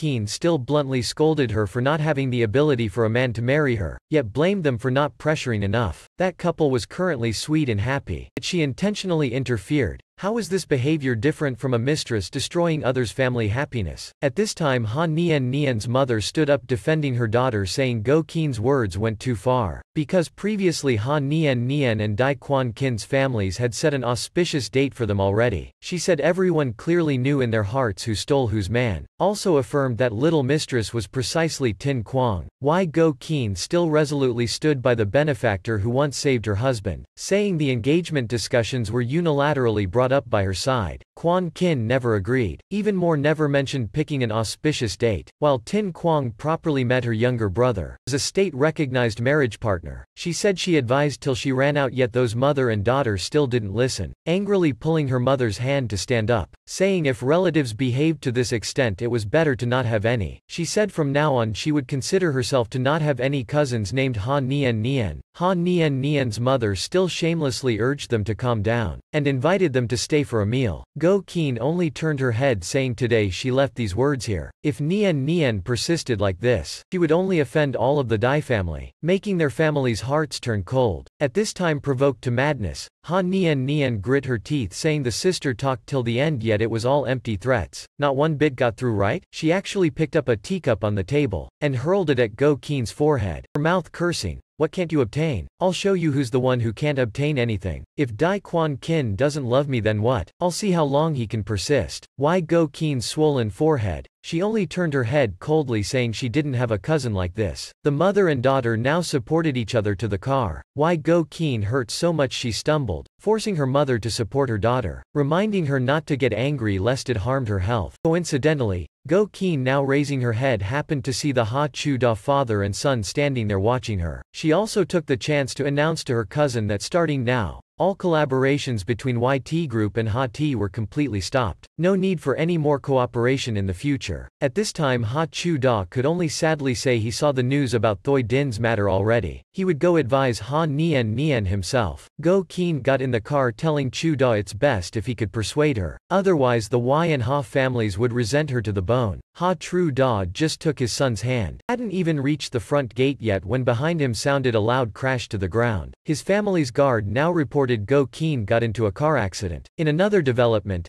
at this time Han Tan Bak came to Luke Chien Wen asking if this time it really wasn't him who leaked cousin Tiu Tin Quang's photos. Luke Chien Wen's assistant immediately explained on his behalf that his boss didn't have time for things like this. Tan Bak now waved his phone saying today Tru Da released surveillance video evidence on Weibo proving Tin Quang had nothing to do with Ha Tru Da. On the contrary there were many supporters of them, also said to Luke Chien Wen no matter who uploaded this video they should be disappointed now. That assistant now asked Tan Bak if he really wanted to see Go Keen return empty-handed. Tan Bak now recounted Go Keen going to the Ha family to beg Ha Nian Nian to let go but unfortunately Ha Nian Nian's attitude was too resolute, angering her to the point of unsteadily driving, even crashing straight into your family's front gate. In the end you had to personally send her back to the Y family. Could this be fake? Luke Qian Wen's assistant now also searched the news saying after Go Keen returned to YT Group, she terminated all collaborative projects with Ha T. It seemed she had no other choice but to force the Ha family to back down. Han Tan Bak also said he didn't expect Quan Kin to persist this much for cousin Tiu Tin Quang, Go Qin could also only use this method to soften the Ha family. Luke Qian Wen thought this matter wasn't simple at all. After all Dai Quan Kin wasn't an impulsive man who for a girl would overlook his brother's presidential campaign. According to their investigation, after Dai Thoi Din was eliminated from the presidential candidate list, the negative impact Luke Chien Win received in the gas station bombing incident was completely washed away. Public support had risen significantly and now Luke Chien Win's only opponent left was Fan Dang Long, but Luke Chien Win knew as long as Quan Kin let go, Dai Thoi Din would reappear on the presidential candidate list. With the final voting one week away this couldn't be underestimated. This bunch still wanted to provoke Ha Nian Nian to cling on tighter. Because with her personality even if the fish died the net broke she had to achieve her goal. Han Tan Bak supported this. He said as long as Dai Quan Kin and Tiu Tin Quang broke up, he would immediately marry her. Han Nian Nian now was smashing things, crying while talking on the phone with someone named Tian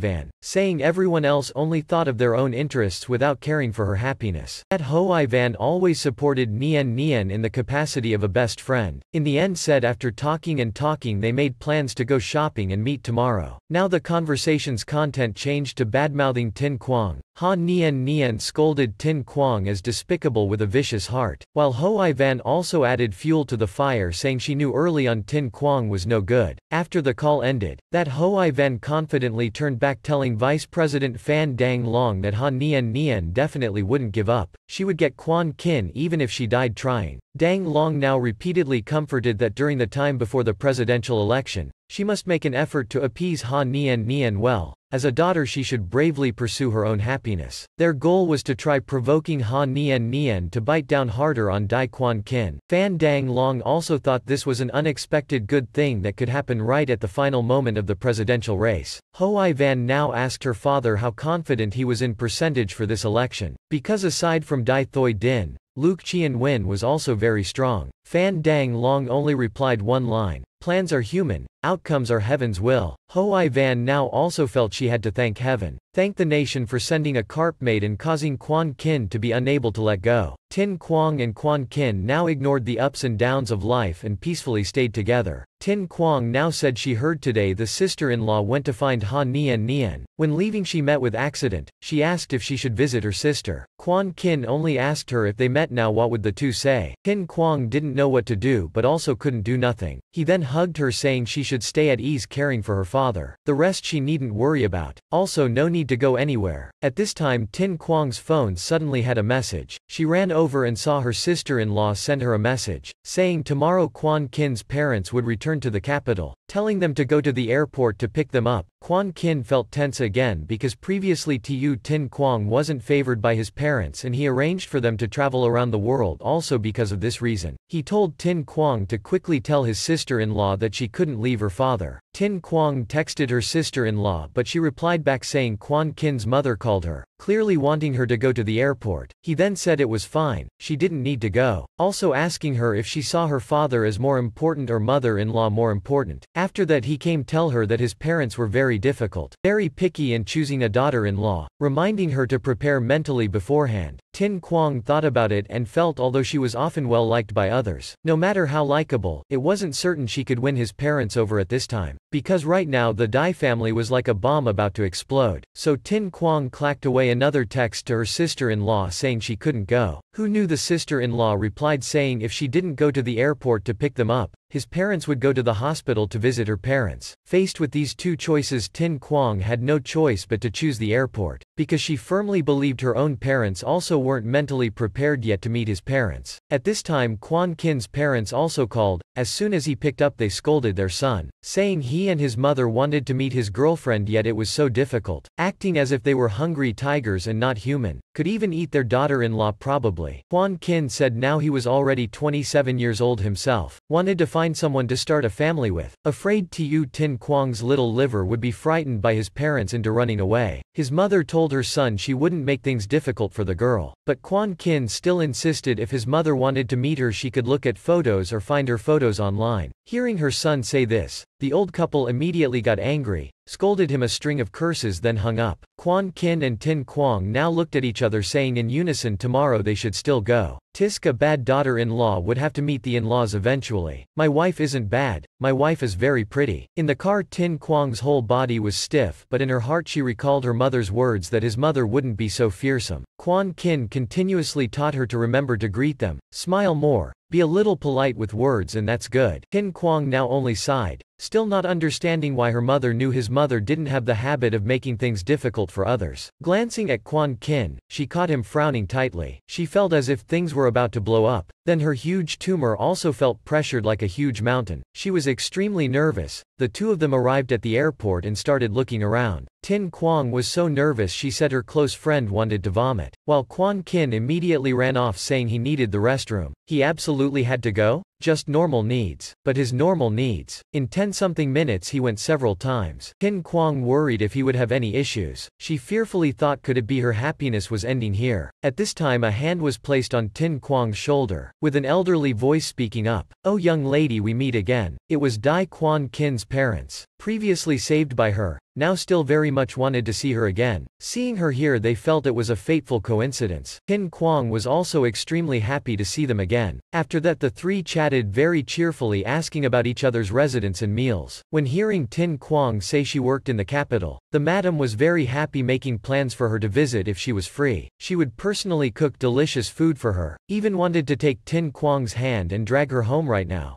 Tin Quang had to make plans for another day because she was busy today. She told them she was waiting for future mother-in-law so was a little nervous now. She'd visit the madam's home another day. Hearing this, the madam asked which parents had such blessings, then encouraged Tin Quang not to worry because if they had a good daughter-in-law like her they'd be happy beyond words. Tin Quang now shyly said it seemed the in-laws didn't like her much. Because her boyfriend was so nervous he hid in the restroom and still hadn't come out. Then asked the madam to teach her some common polite phrases to charm elders. The madam seemed confused, said a good girl like Tin Quang, who wouldn't like her, Tin Quang explained perhaps due to some objective reasons, the in-laws could ask her and her boyfriend to break up. Tin Quang now sadly said in case such a situation occurred, she didn't know how to handle it. The madam now put on a grave expression telling Tin Quang to listen to her. A marriage the elders don't value must be careful. If truly unsuccessful then separate. Dai Quan Kin now walked over. Hearing this hastily asked his mother what she was saying. He stood blocking Tin Quang, saying if his mother scared her away then don't expect to have granted grandchildren. Dai Tien-sin's elderly couple now tensely didn't know what to say, also asking where was his girlfriend, why was she standing here alone, hiding behind Quan Kin's back. Tin Quang now peeked out introducing herself as his girlfriend. She awkwardly smiled saying what a coincidence, but in her heart she shamefully wanted to smash her head into a block of tofu and just die because she had babbled a bit much earlier. Why Go Keen now was also very worried. The sister stood outside the car, Afraid what if the in-laws didn't like Tin Quang, what to do then, so she decided to run in, if anything happened she could still help her sister-in-law and younger brother, but seeing Tin Quang very intimate with the in-laws, Go Keen was very concerned asking the in-laws if their travels were fun. The parents said it seemed earlier they ran into reporters so decided to get in the car first then talk. After hearing about the in-laws pirate encounter, why Go Keen was extremely surprised. The madam now grasped Tin Quang's hand, saying luckily there was the daughter mother-in-law to assist, otherwise the consequences would be uncertain. Go Keen breathed a sigh of relief feeling truly fortunate, but upon knowing her sister-in-law could even control sharks she felt it was extremely miraculous. Tuyen Kwang randomly lied that as a child she had saved a baby shark. It was probably the Shark King so later all sharks listened to her. Tin Quang said these were all just coincidences but why Go Keen had believed Tin Quang was a heaven-sent luck star. The lucky daughter-in-law of the Dai family. Previously saved, Thoi Din now saved his parents. After that the sister told her mother this time Quan Kin hit the jackpot with Tin Quang. Way better than if it was Ha Nian Nian by 10,000 times. Hearing this, the madam was also very irritated wondering what was wrong with this Han Nian Nian. The engagement failed but there was still courtesy. How could she take advantage of privileges in this time to harm their family like this? Go Keen also helplessly said she already tried every possible way to make her concede, but she persisted and wouldn't let go. Elder Tian Sin now frowned asserting his Dai family's turn hadn't come for a wench to intimidate them. Then he turned to pat Tin Quang's head saying she should be at ease. For a daughter-in-law like her they would definitely keep her. By nightfall, all their siblings returned to the Dai family villa. Even Dai Thoi Din returned. At the dinner table because he was pressed too much, Quan Kin also had to angrily yell for them to be quiet and not mention this anymore. Because he absolutely could not marry Ha Nian Nian, he said if this presidential election failed then wait another four years. But marriage was a lifetime matter. He could not agree. The young masters of the Dai family now jokingly said wasn't it you who advised Duong Chao to marry for the clan before? So how come now it's your turn yet you can't do it? Duong Wang Chao sitting quietly also got hit, silently murmuring for them not to drag her in. Thoi Din now spoke up saying he also hoped for his younger brother's happiness, but there was one matter Quan Kin could understand more than anyone. His sharp gaze asked Quan Kin, or did you get tired of being director and want to be a prisoner? Quan Kin still resolutely said it was his own matter, if he didn't want to then no one could force him. Even if he had to be jailed for three, six, or nine years it wouldn't be an issue.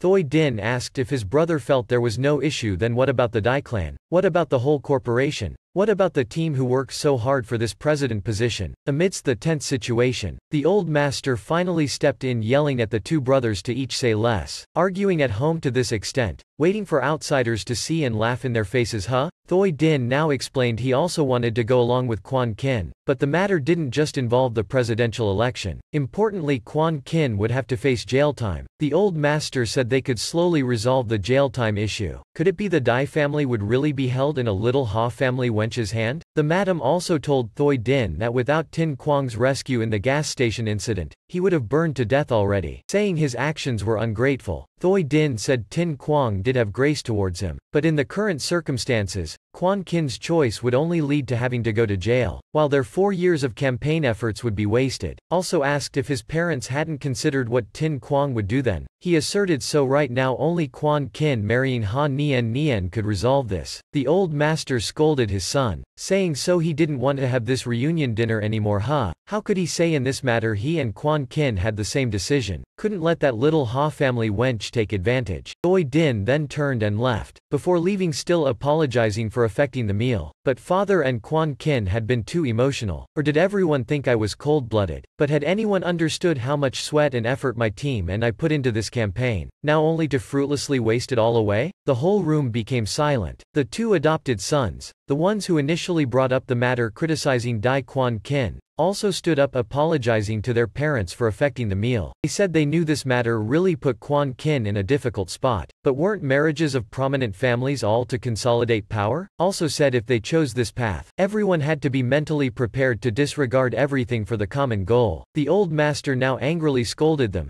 you two brats have grown wings already. Don't want dinner then scram. The brothers really did scram. The madam now had to turn to comfort her daughter-in-law, telling Tin Quang not to mind them, hurry and eat. Tin Quang felt extremely conflicted. She didn't want the two of them to become like this. Although the repentance drug could return to the past and create a turning point, its effects on the people around were not insignificant. So if this time Dai Thoi Din failed the presidential election, then he could really miss this opportunity. Tin Quang lowered her head sadly. She knew the repentance drug wasn't omnipotent either. Back in the room, she asked Quan Kin how to resolve this matter. If his brother's presidential election could be ensured not to fail, she feared time was running out. If by chance it failed, would Dai Thoi Din resent her? Quan Kin came to embrace Tin Quang, saying he didn't care about others' feelings, so she needn't pay them any mind. Tin Quang said but after all he's still the older brother. Quan Kin drank some water to calm down. He feared that even Dai Thoi Din had now forgotten that he was the older brother. Tin Quang sighed troubled. She opened her phone now and saw information on a live broadcast interview with Dai Thoi Din, faced with accusations of being behind the gas station explosion, playing dirty against Luke Chien Win to seize the president position. Dai Thoi Din still didn't speak up to defend himself one bit. Seeing this, Tin Quang immediately jumped up asking why the big brother didn't defend himself. Clearly he was stripped of the right to run for president not because of the exploded gas station, but because Ha Nian Nian wanted to force Quan Kin to marry her and he didn't agree. Quan Kin said again to Tin Quang that he had made her leave him, yet she still cared if he was scolded or not. Tin Quang still felt each matter had its reason. She even wanted to help the big brother explain because she had quite a lot of Weibo fans. Quan Kin immediately snatched her phone, scolding her for what she was doing. Could it be she wanted netizens to bite and scold him for not caring about sibling bonds? He said even his sibling who grew up with him didn't think for him, let alone the netizens. Quan Kin knocked on Tin Quang's head for her to understand, saying now the big brother was pressuring him with the family. Who knew when it was exposed if he would use public pressure to force him to do it? Tin Quang felt Quan Kin made sense. She firmly believed Dai Thoi Din's opponents in this presidential race were also gleefully rubbing their hands seeing him scolded. She wondered why Dai Ti's media outlets also didn't stand up to defend, so it was because of the huge tumor huh, she could only look up at the sky and sigh. Considering this really was a fraternal fight, Quan Kin now still had the spirit to tease Tin Quang, telling her not to sigh anymore. It hadn't reached the point for her to worry yet. He said he forgot to tell her that tomorrow his mother invited her shopping, reminding her to obediently sleep early a bit to prepare. Hearing about the mother-in-law inviting her shopping, Tin Quang was extremely surprised. The next day Tin Quang dressed up beautifully. She told herself it was nothing, just going shopping with mother-in-law that's all. Nothing to be scared of, the mother-in-law's temperament was kind. But unexpectedly as soon as she entered, Tin Quang caught Ha Nian Nian shopping with Hoai Van, Tin Quang hurriedly hid behind that tree over there. Han Nian Nian was telling her best friend she heard last night Dai Quan Kin's parents returned. He and his older brother directly argued with each other. Hoi Van asked how she knew. Turns out Han Nian Nian had bribed some of his servants. Any slightest thing in his household they would immediately report to her. She now worriedly and resentfully said upon hearing the maid say Dai Tin Quang rescued Quan Kin's parents from pirates. Now those two accepted that wench as a daughter-in-law, basically not caring about the presidential election. Tin Quang now understood. No wonder every time something happened she immediately found out, so there were ghosts in the house. Ha Nian Nian now told her friend to hurry back and tell her father to quickly open a trial session so Dai Quan Kin would change his mind. She let Dai Thoi Din really fail the election, she would be resented by Grandma and the Dai family. Ai Van immediately agreed. In her heart she sinisterly hoped Quan Kin would persist. That way Thoi Din wouldn't qualify, increasing her father's chances of winning. Tin Quang saw rumors circulating online. Inside there were spies reporting to Ha Nian Nian anytime this game was truly difficult. Tin Quang was still hiding there when the mother-in-law stood behind asking what she was doing. Tin Quang shyly greeted auntie, immediately looking for mother-in-law to knock on her head and teach her to greet with mother. The mother and child then cheerfully went shopping. The mother-in-law now introduced herself to the clerk as Bok Lan Go, having placed clothes orders here, today coming to get them, the clerk then went to fetch them for the mother and child to wait there. Very quickly a pile of dresses were brought over. Total three dresses for Tin Quang to see. Seeing them, Tin Quang was extremely eager taking one set telling her mother she would go try it inside. Outside, the clerk was heartily praising Tin Quang's beauty to Bok Lan Go, making the madam very proud. But now she noticed Ha Nian Nian and Ho I Van coming over to choose one of the three dresses Bok Lan Go ordered, even saying she could buy it at any price. Ho I Van now expressed she had her eyes on this dress and still wanted Bok Lan Go to give it to her, agreeing to pay 10 times the price. Bok Lan Go put down her teacup smiling saying her family wasn't lacking money. Ha Nian Nian now turned to the clerk asking if there were any more of this dress design in the shop. But the shop's rule was custom-made designs. There there had never been any similarities in designs before. No two sets existed in the same design, but Ha Nian Nian with her arrogant personality said she insisted on wanting this set. Otherwise to give this set to her. The clothes hadn't been given to the customer yet so still belonged to the shop. The clerk was scared stiff but still had to apologize because that would affect the shop's reputation. The designer didn't allow her to do that. The wench was even more resentful then walked towards Dai Quan Kin's mother introducing herself as Han Nian Nian, saying the madam must have seen her on TV before, and this was Vice President Fan Dang Long's daughter. The wench said they didn't intend to rob, just wanted to buy it for a high price. Her faces showed they were forcing her, forcing Bach Lan Go to reconsider if she should give this set to them or not. Bach Lan Go with the madam's elegant bearing still indifferently smiled reading the newspaper until Tin Quang came out from the changing room in the beautiful dress, happily saying mother look, Tin Quang's beauty made Bok Lan Go and the clerk enthralled, while Ha Nian Nian's eyes nearly popped out. Bok Lan Go extremely pleased exclaimed in admiration, So beautiful, mother's daughter is truly beautiful. Ha Nian Nian now pointed a finger at Tin Quang's face yelling excitedly, How is it you, Little Bok Lin, seeing this, Hoi Ven whispered in Ha Nian Nian's ear asking if she was Tin Quang. Nian Nian ground her teeth confirming it was her. After that the wench even turned smiling mockingly saying no wonder the madam was so shameless. So it was the mother of this little Bok Lin. Indeed it was what kind of people would have what kind of children. Hearing her cursing her mother-in-law, Tin Quang was about to charge over but was stopped by Bok Lan Go. Bok Lan Go smiled introducing that to be precise she wasn't only Dai Tin Quang Huang's mother, but also the mother of the one she sabotaged causing him to lose the qualification to participate in the presidential election, Dai Thoi Din, and even more the one she desperately wants to marry, Dai Quan Kin. Han Nian Nian was horrified, nearly fainting, Bok Lan Go still smiled saying she was shameless already, asking Ha Nian Nian why the child she gave birth to, she just kept biting and wouldn't let go, not even letting the stammering Ha Nian Nian get out a complete word. Bok Lan Go turned saying to the clerk to hurry and pack all the clothes for her, so she and her beloved daughter could go elsewhere to continue shopping crushing that evil karma in one minute. Tin Quang felt her mother-in-law was truly amazing. The mother and child happily departed, seeing her daughter-in-law ask if buying so many dresses wasn't too much. The mother-in-law replied the money was spent anyway. Clothes replace people, also asking didn't Tin Quang still owe the president's wife a dress? Tin Quang now thought if Dai Quan Kin still couldn't change the circumstances, then she would use the excuse of gifting the dress to the president's residence, then tell the president she was also the mermaid. Five days later, holding the Supreme Court summons in hand, Tin Quang felt extremely anxious because at noon today the trial session opened but Dai Quan Kin still had no movements, so she decided to act, taking that dress to gift the president's wife exactly as she had planned in her head. After gifting it, Tin Quang told the president's wife that in fact she also had a matter so dared to intrude here, then asked if cousin was home. Tin Nam immediately told her Dean Back was in a meeting, but also told Tin Quang to wait at ease. After he was done she would arrange for them to meet. Twenty minutes passed and Tin Quang still saw no movements, becoming very impatient. At this time Dean Back had opened the door and come in. Knowing he was very busy, Tin Quang went straight to the point saying she wanted to ask if national treasures had privileges. Hearing this,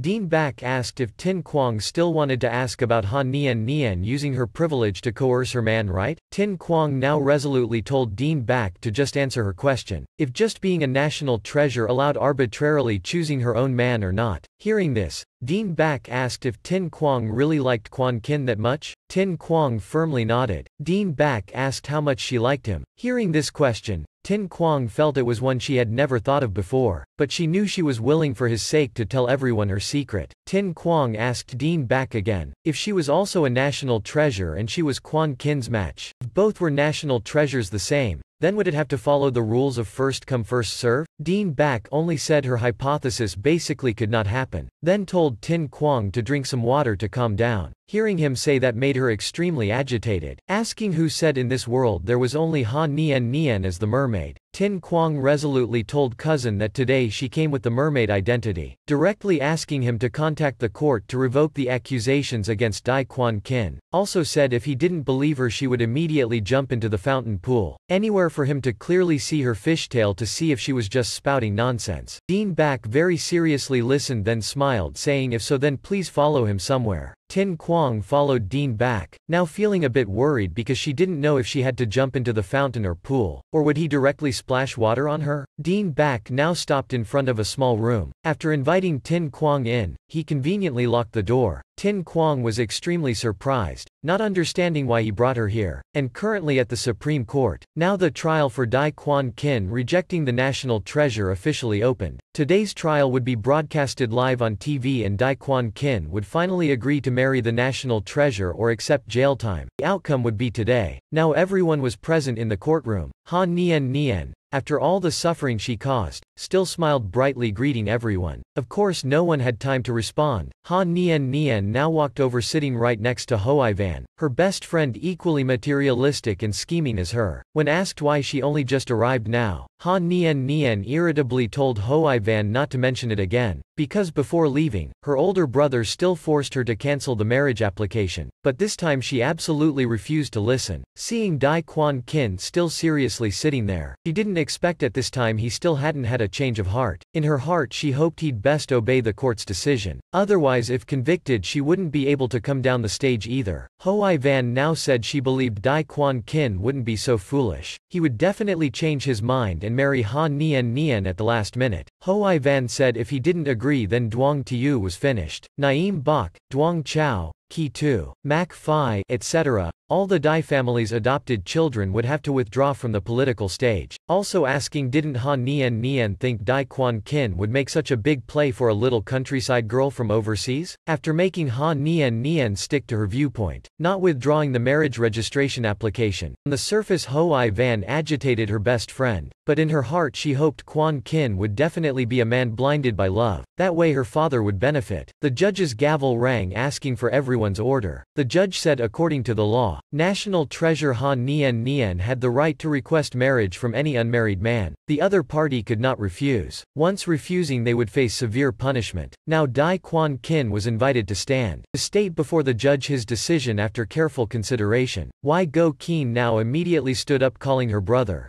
Hoping he could change his decision, Duong Chao agitatedly told Quan Kin to think of brotherly bonds. Could it be for a girl he had just known for a few months he would abandon the siblings who grew up together? The judge now banged the gavel yelling for silence, but Duong Chao still agitatedly could not be silent, her fate falling into others' hands. Everything she had never done yet had to end her career because Dai Quan Kin rejected marrying the national treasure. How could she be silent? Why Go Keen's eyes brimmed with tears looking at Dai Quan Kin, her throat choked up, younger brother, sister begs you. Quan Kin now also looked at his sister-in-law, his gaze still resolute apologizing to his sister. The judge now asked Quan Kin to hurry and state his decision, if he would reject Ha Nian Nian's marriage proposal or not. Ha Nian Nian and Hoai Van now both smiled sinisterly. Everyone had their own thoughts and desires. Why Go Keen and the Dai family's people on the other hand had extremely desperate and grieved expressions. Quan Kin closed his eyes and thought. He knew in his heart there was only one mermaid. Then he declared, saying he rejected Ha Nian Nian's marriage proposal. His whole life he would never marry her, the decision was made, all the Dai family's people stood frozen still, while Han Nian Nian was agitated like going insane, blaming Dai Quan Kin in the end what was so awful about her that he'd rather abandon his siblings than deign to marry her. Hearing this question, Quan Kin just glanced at her then coldly laughed once. Now was the moment the court would announce the final verdict, asking everyone to stand. The judge said regarding the defendant Dai Quan Kin rejecting the national treasure case, the facts were clear, evidence convincing. Defendant Dai Quan Kin was sentenced to three years imprisonment, all Dai family members' election rights revoked. Now from below came Wai Go Keen's grieved cry. Turns out she couldn't withstand the blow and fainted. Her mother hugged the girls looking at Han Nian Nian with furious eyes. Now was she satisfied? Han Nian Nian covered her mouth, horrified looking at the reality before her. She didn't expect everything to turn out like this in the end. Quan Kin's hands were cuffed in shackles. If not held back, Han Nian Nian surely would have leapt towards Quan Kin. Dai Quan Kin, I hate you. She thought because of him now not only did she become the enemy in the Dai family's hearts, even her cousins, aunts and uncles would all be unable to forgive her. Quan Kin only silently turned his head back for a second, then the door closed shut. The outcome was decided, now outside Hoi Van took the chance to call her father. Reporting on the situation,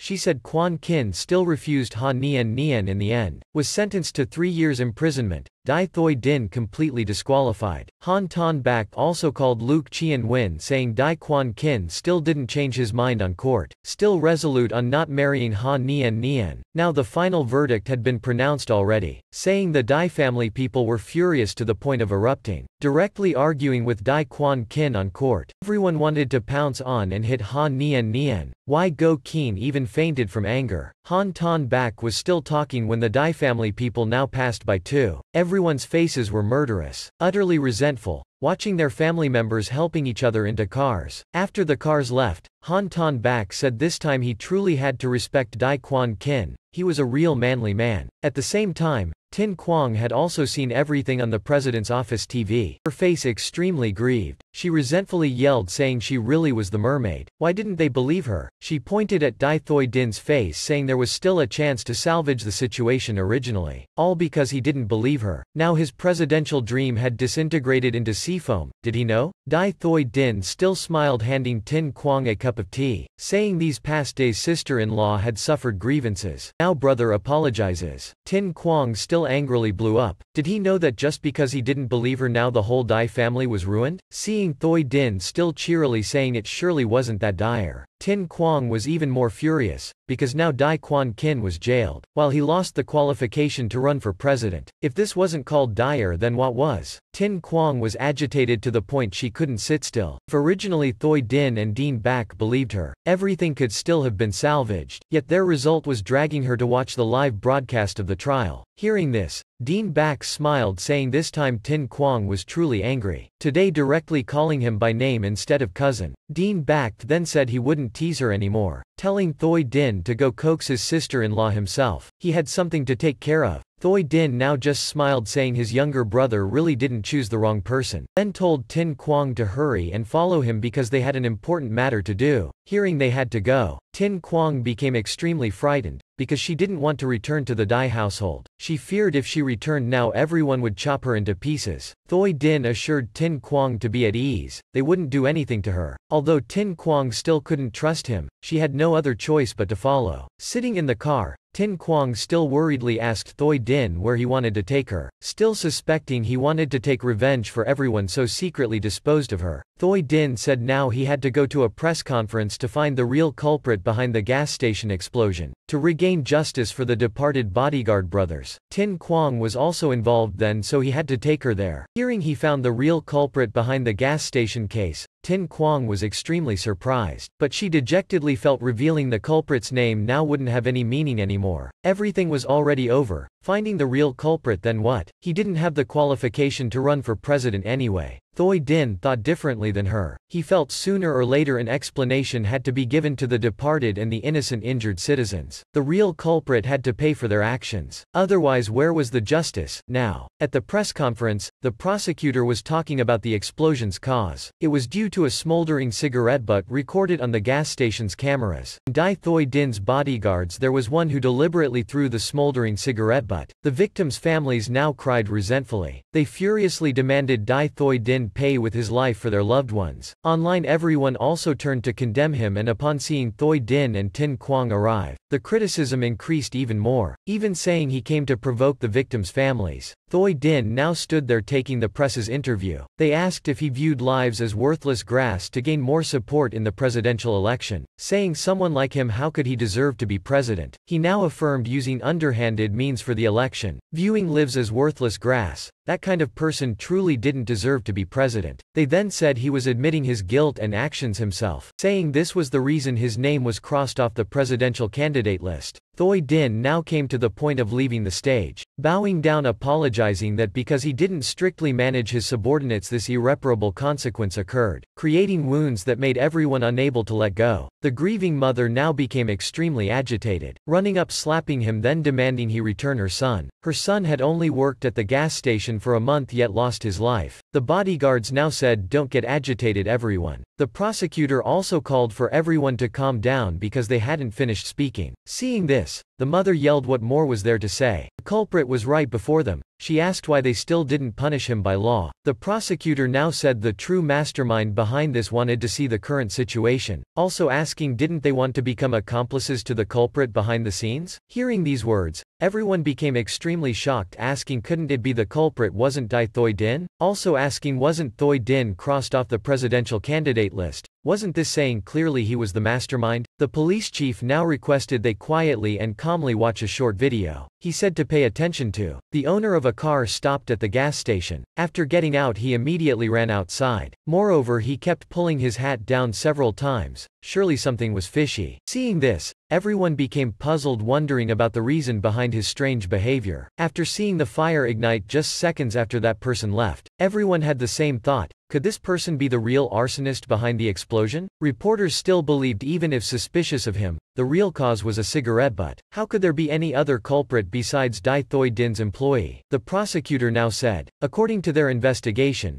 Dai Thoi Din's bodyguard Trong had asthma. What he inhaled wasn't cigarettes but a handheld inhaler. The shape of this medicine was quite similar to cigarettes. The prosecutor also affirmed they said the explosion's cause was a cigarette butt, but didn't say it was bodyguard Trong who threw that cigarette butt. All the reporters immediately froze. The prosecutor also affirmed this misunderstanding was exactly the result the mastermind behind the scenes wanted. The victims' families now turned asking Dai Thoi Din why earlier did he apologize to them, and say those words words when he wasn't the culprit, Dai Thoi Din still affirmed if not for someone scheming against him like this then he believed this gas station explosion wouldn't have happened, so he thought no matter how things were, he couldn't shirk responsibility. Now bowing to sincerely apologize to everyone present here once more, then looking straight into the camera, saying with a sharp gaze he knew the schemer was still leisurely sitting at home watching this press conference, not above using underhanded means, very capable. Hearing this, Everyone thought there were multiple culprits, also collectively changing their attitudes to sympathize with Dai Thoi Din because although the victim he still apologized. When everyone turned to question why such a responsible person was crossed off the presidential candidate list, the truth was revealed before the public's eyes. The reason was because the National Treasure's marriage proposal failed so the entire Dai family's political rights were revoked. Luke Chien-wen now also knew public opinion currently wasn't advantageous, directly speculating on Weibo He and Vice President Fan were the pinned suspects, also saying this time Thoi Din had no way of running for president so wanted to drag both of them down too. As for the real mastermind behind the explosion, Vice President Fan Dang Long was extremely furious. His assistant affirmed the explosion matter was already cleanly handled. It's just online opinion was leaning heavily towards supporting Dai Thoi Din, even demanding his presidential candidacy be reinstated. He didn't expect netizens still didn't know the reason reason Dai Thoi Din was disqualified, also unwilling to let Dai Thoi Din climb the political stage again. After the press conference, Dai Thoi Din and Tin Quang returned. Tin Quang still felt now even if he cleared his name he still couldn't run for president. She still demanded to immediately jump into the river now to prove she was a mermaid for him to see. Tin Quang told him to quickly drive near the city outskirts so she could jump into the river and transform into a fish for him to see. Thoi Din smiled saying sister-in-law go home first then jump. Because the city river was very dirty. There was a swimming pool at home, Tin Quang could only dejectedly gaze out the window because he still didn't believe her. Arriving at the Dai family villa, Tin Quang was stunned seeing everyone busily working. After seeing the Dai siblings gaze towards her, Tin Quang was so scared she trembled, feeling like she was about to fall into the wolf's mouth. But sister-in-law Y Go still gently said Tin Quang came right on time to help sister look over this press release. Remembering when sister-in-law fainted at the courthouse, she concernedly asked if sister-in-law was better now. Unexpectedly sister-in-law smiled brightly saying she was pretending, then immediately pushed Tin Quang to work helping her hand handle the pile of drafts and press releases. Tin Quang still wonderingly asked sister why she pretended to faint. Sister-in-law replied of course it was to anger someone. Tin Quang still worriedly asked what exactly happened, because she was very impatient wanting to visit Quan Kin. Sister-in-law just smiled saying don't worry, the family would definitely not leave her lonely for three years in the empty room. Now someone told sister-in-law to look at the documents. Why Go Keen had no choice but to bid sister-in-law and go over there. Looking extremely busy, Tin Quang looked at the bustling surroundings then the documents again. She discovered this was all for the presidential election campaign. She wondered if Big Brother could still participate in the presidential election. After finishing talking to that woman, sister-in-law came over whispering she had something to ask Tin Quang for help with. Turns out she wanted to ask her to sing a song tomorrow night at the presidential election rally dinner. Also said originally Ha Nian Nian was booked but now she didn't want to see her face. Sister also said Tin Quang's performance at the presidential president's office's senior dinner received very good feedback, though if she agreed to go on stage there would be many audience members captivated and won over by her. Tin Quang still hesitated a bit because this was originally Han Nian Nian's performance slot, but she finally reluctantly agreed. Just one thing, she asked if Big Brother could still run for president? Why Go Keen winked mischievously saying Tin Quang would know tomorrow night. Then she would just need to sing really well and sister would gift her a little brother as a bolster. Then sister-in-law hurriedly bid her goodbye to handle work. Thinking of Dai Quan Kin, Tin Quang felt her best friend didn't lack bolsters, just worried for him suffering injustice in jail. How could he rest at night? Although she didn't know how Big Brother could still run for president, just seeing everyone so busy like this, Tin Quang believed everything would surely be fine. 24 hours until presidential election day, seeing Dai Thoi Din's name back on the presidential candidate list again, Fan Dang Long was extremely angry not knowing what was going on. He immediately called high-ranking officials saying they were violating principles by doing this, demanding the immediate cessation of these irrational actions. But they told Vice President Fan there were no irrational activities. Because the president had used his pardon powers, Fan Dang Long didn't expect this, his old face clearly showing anger. Meanwhile in Luke Chien Wen's office. Now he knew this was the real reason for Dai Quan Kin arrogantly rejecting Han Nian Nian. It was to put on an act of a deeply affectionate man to gain a good reputation, at the same time also helping Dai Thoi Din escape suspicion in the gas station explosion case, to make Dai Thoi Din the person the public looked towards. Luke Chien Wen now felt these brothers were truly deceitful. It was all an act, his assistant now reported Dai Quan Kin's Weibo was currently top 1 in hot search for Dai Thoi Din, thanking the public for helping prove their innocence. Moreover he also announced in the video tonight at 7.30 pm at a northern stadium a ceremony would be held hoping voters come to the stadium and participate. Luke Chien Win stood frozen there. He knew the outcome of this battle was at hand. The stadium now also completed preparations for tonight's election rally. While Tin Quang was putting on makeup in the room when she received a call from Han Nian Nian, she said don't think you've won Tin Quang. Also saying Tin Quang and that slut were alike. You were just a pawn in Quan Kin's hand. Tin Quang immediately retorted, saying even if she was a pawn she didn't lose anything, because she and him only knew each other a few months. He wasn't because of her but because of his brother wasn't that very normal? But Tin Quang knew they still had a lot of time interacting together. One day he could forsake his whole world for her. On the other hand Ha Nian Nian now had to be so angry she called her. Tin Quang asked if she lost her only reliance? After speaking Tin Quang hung up. Giving the phone to her assistant to hold then stepped onto the stage. Thoi Din now also introduced that next his sister-in-law, the mermaid girl would present everyone with a song. In Tin Quang's heart, after knowing Dai Quan Kin was because of his brother, this outcome made her very relieved. At least she wouldn't feel guilty anymore. She didn't hope a man she just met a few months, just because of her became hostile with his brother, betraying his family, that would be illogical and selfish. Tin Quang now shone brightly under the stage lights. Hello everyone, I'm the mermaid girl. After being jailed for 17 hours, the deputy now drove to the courthouse prison cell to pick him up. Brother Kin really suffered, Please get in the car. He then reminded him not to play so big in the future, because if the president didn't use his pardon power at the last minute, it would have really been finished. Quan Kin calmly replied he wouldn't fight a battle without preparations. Looking at him, the deputy didn't know where he got his confidence from anymore. Currently the voting scores between Thoi Din and Fan Dang Long already had a considerable gap.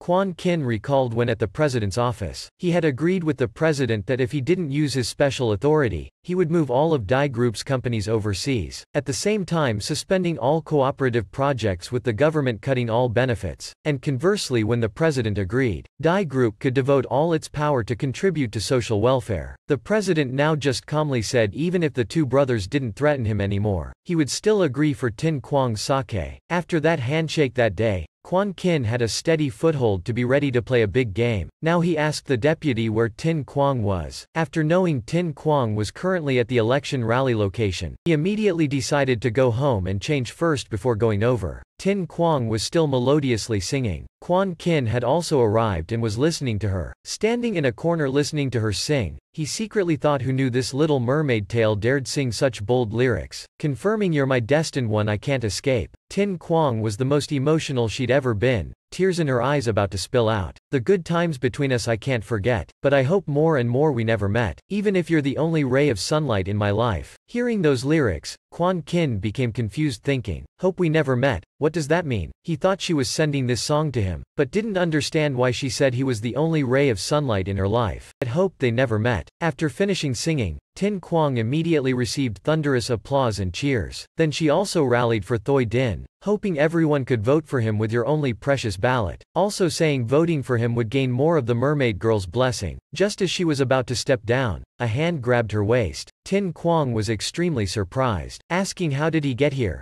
how did he get out? Quan Kin just leaned in next to her ear, expressing his earlier confusion asking why when clearly unforgettable she hoped they never met. He didn't believe her words were just lyrics, he wanted her to quickly tell him her true feelings. Tin Quang now sorrowfully said because meeting her he was taken by the Reaper. If they never met it would have been so much better. That way he wouldn't have died. He hugged her saying Tin Quang was being silly. Wasn't he still alive and well right here? Quan Kin didn't understand why Tin Quang kept thinking he had to die. She really had zero positivity. Tin Quang buried herself in his embrace, still sadly saying it was because of her that Tan Quan Deep died. This name Tan Quan Deep immediately shattered Quan Kin's delusions. He questioned her why this song could be written for Tan Quan Deep. He asked if she was certain those lyrics were meant for him then angrily shook Tin Quang, asking if her walnut-sized brain was having memory issues. Tin Quang pushed him away still insisting it was Tan Quan Deep who said those words to her, also saying how could she mix up the benefactor who saved her life. Now the deputy had invited Brother Kin onto the stage because he was the representative to give a speech rallying votes for Dai Thoi Din. Quan Kin sternly told Tin Quang to remember clearly. This song couldn't be written for Tan Quan Deep, even more she couldn't shed tears for him. He warned her if she still dared shed tears for Tan Quan Deep again he would make her hold back her tears until late night. To have her sobbing bitterly for him, Tin Quang felt Quan Kin was being unreasonable so kicked her leg into his butt. Dai Quan Kin then gave the hot-tempered girl a kiss, also saying if she dared consider his words as fleeting wind he would wring her tears dry tonight, to see how many excess tears she still had to shed for that damn Tan Quan Deep.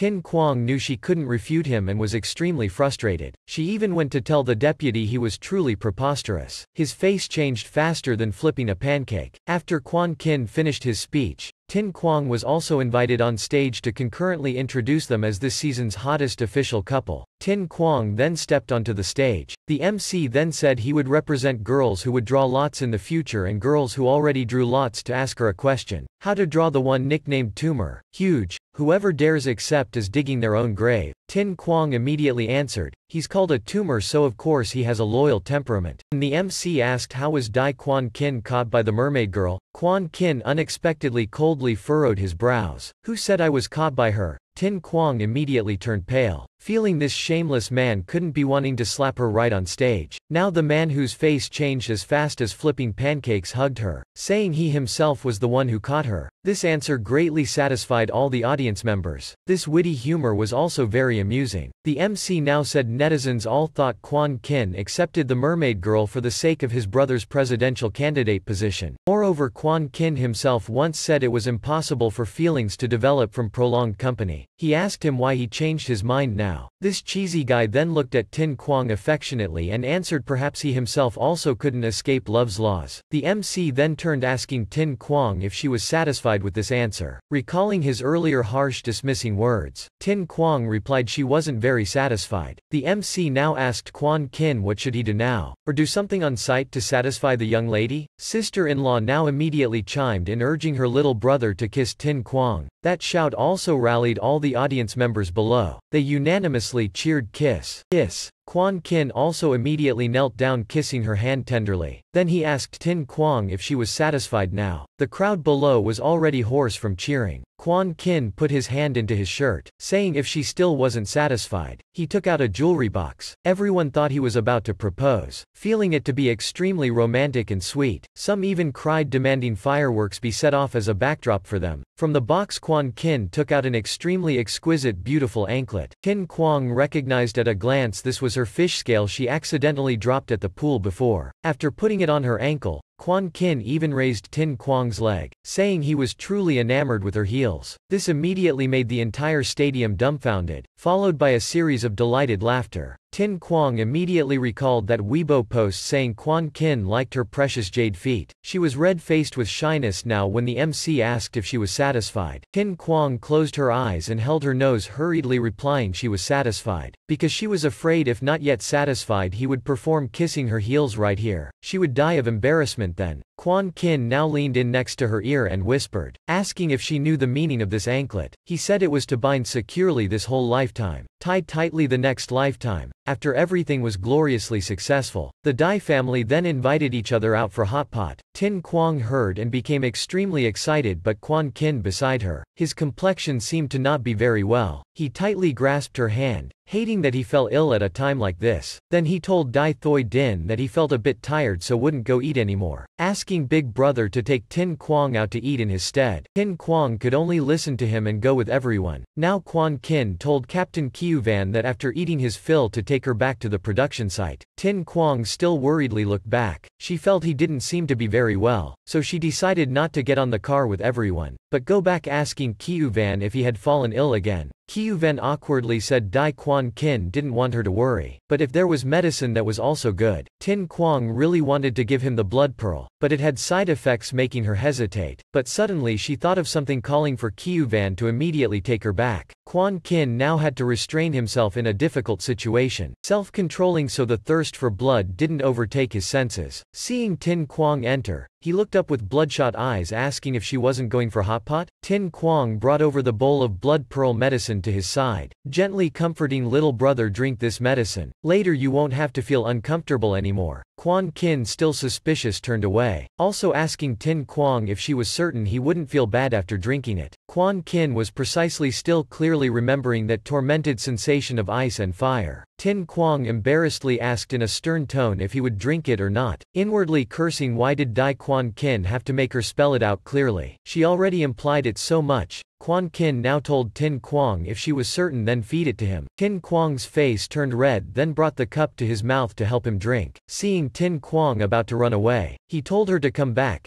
Asking her couldn't she untie him? Like this what was he to do? As soon as the rope was loosened, Quan Kin pounced on Tin Quang like a beast. This action of his made her a little flustered and panicked. Quan Kin held her entire body. Ignoring Tin Quang's struggles did you think it through already? You know I won't let you off right? Tin Quang still kicked and shouted for him to let her go. She believed the antidote side effects couldn't have acted so quickly. Quan Kin just sternly asked for Tin Quang's answer. Her answer was silence and avoiding his gaze. He'll take that as her agreeing, Quan Kin immediately carried her into the room. Under the blood pearl's side effect, the flames of love were ignited. Tin Quang helped Quan Kin satisfy it, officially living up to their husband and wife relationship. Meanwhile at the hot pot restaurant, everyone was anxiously awaiting the upcoming vote starting in half an hour. Dai Thoi Din couldn't get through to his little brother and was extremely worried. His wife seeing this just laughed saying there was still the sister-in-law there. Surely it was nothing, he too sighed. He knew Brother Kin's old illness had relapsed. No one could help, only little Tin Quang remained. Why Go Keen didn't expect her little brother's illness truly had no cure, also not knowing why he contracted such a strange illness. This was also sister's first time hearing because normally the younger bros hid it. Ki too explained it wasn't because they wanted to hide it but also didn't know where it came from. Just knew over 10 years ago he went out to sea and was heavily injured. When he returned had to be hospitalized over a month in the ICU. After he recovered he had this illness since. Why Go Keen wondered what Quan Kin went out out to sea for at the time. Could it be he encountered pirates so was injured that severely? Key Tu told her to ask the deputy. Only the deputy accompanied brother Kin then. The deputy then recounted at the time they were young and fearless, so went to do corporate espionage, wanting to steal a competitor's trade secrets so boarded their ship. Quan Kin was crazy then, even unwilling to change his looks. In the end he had to wait till he was sound asleep then put makeup on him, because afraid of drifting out to sea, specially waterproofed his makeup. Why Go Keen asked how did Quan Kin not notice then? Didn't he look in the mirror? She also asked what the deputy made him look like. The deputy then said he was busy with espionage, didn't even wash his face, basically no time to look in the mirror, and what he was made to look like was also forgotten. Anyway it was a normal style. A common face, the deputy said remembering he picked up an ID card on the seashore so based the makeup on that face for Quan Kin, then stuffed that ID card into his pocket afterwards. Hearing afterwards Quan Kin was captured, Why Go Keen was extremely surprised. Luckily the changed looks made him unrecognizable, just got lost somewhere at sea. The deputy stayed behind to continue the mission while Ki Tu went to fish brother Kin up. Unexpectedly he couldn't find him, he too scolded the deputy for changing Quan Kin's looks without telling anyone. How were they supposed to recognize him then? He too had to admit this brat's makeup skills were sublime. By the time they found Brother Kin he was already drifting at sea. Forget about the makeup being smeared from drifting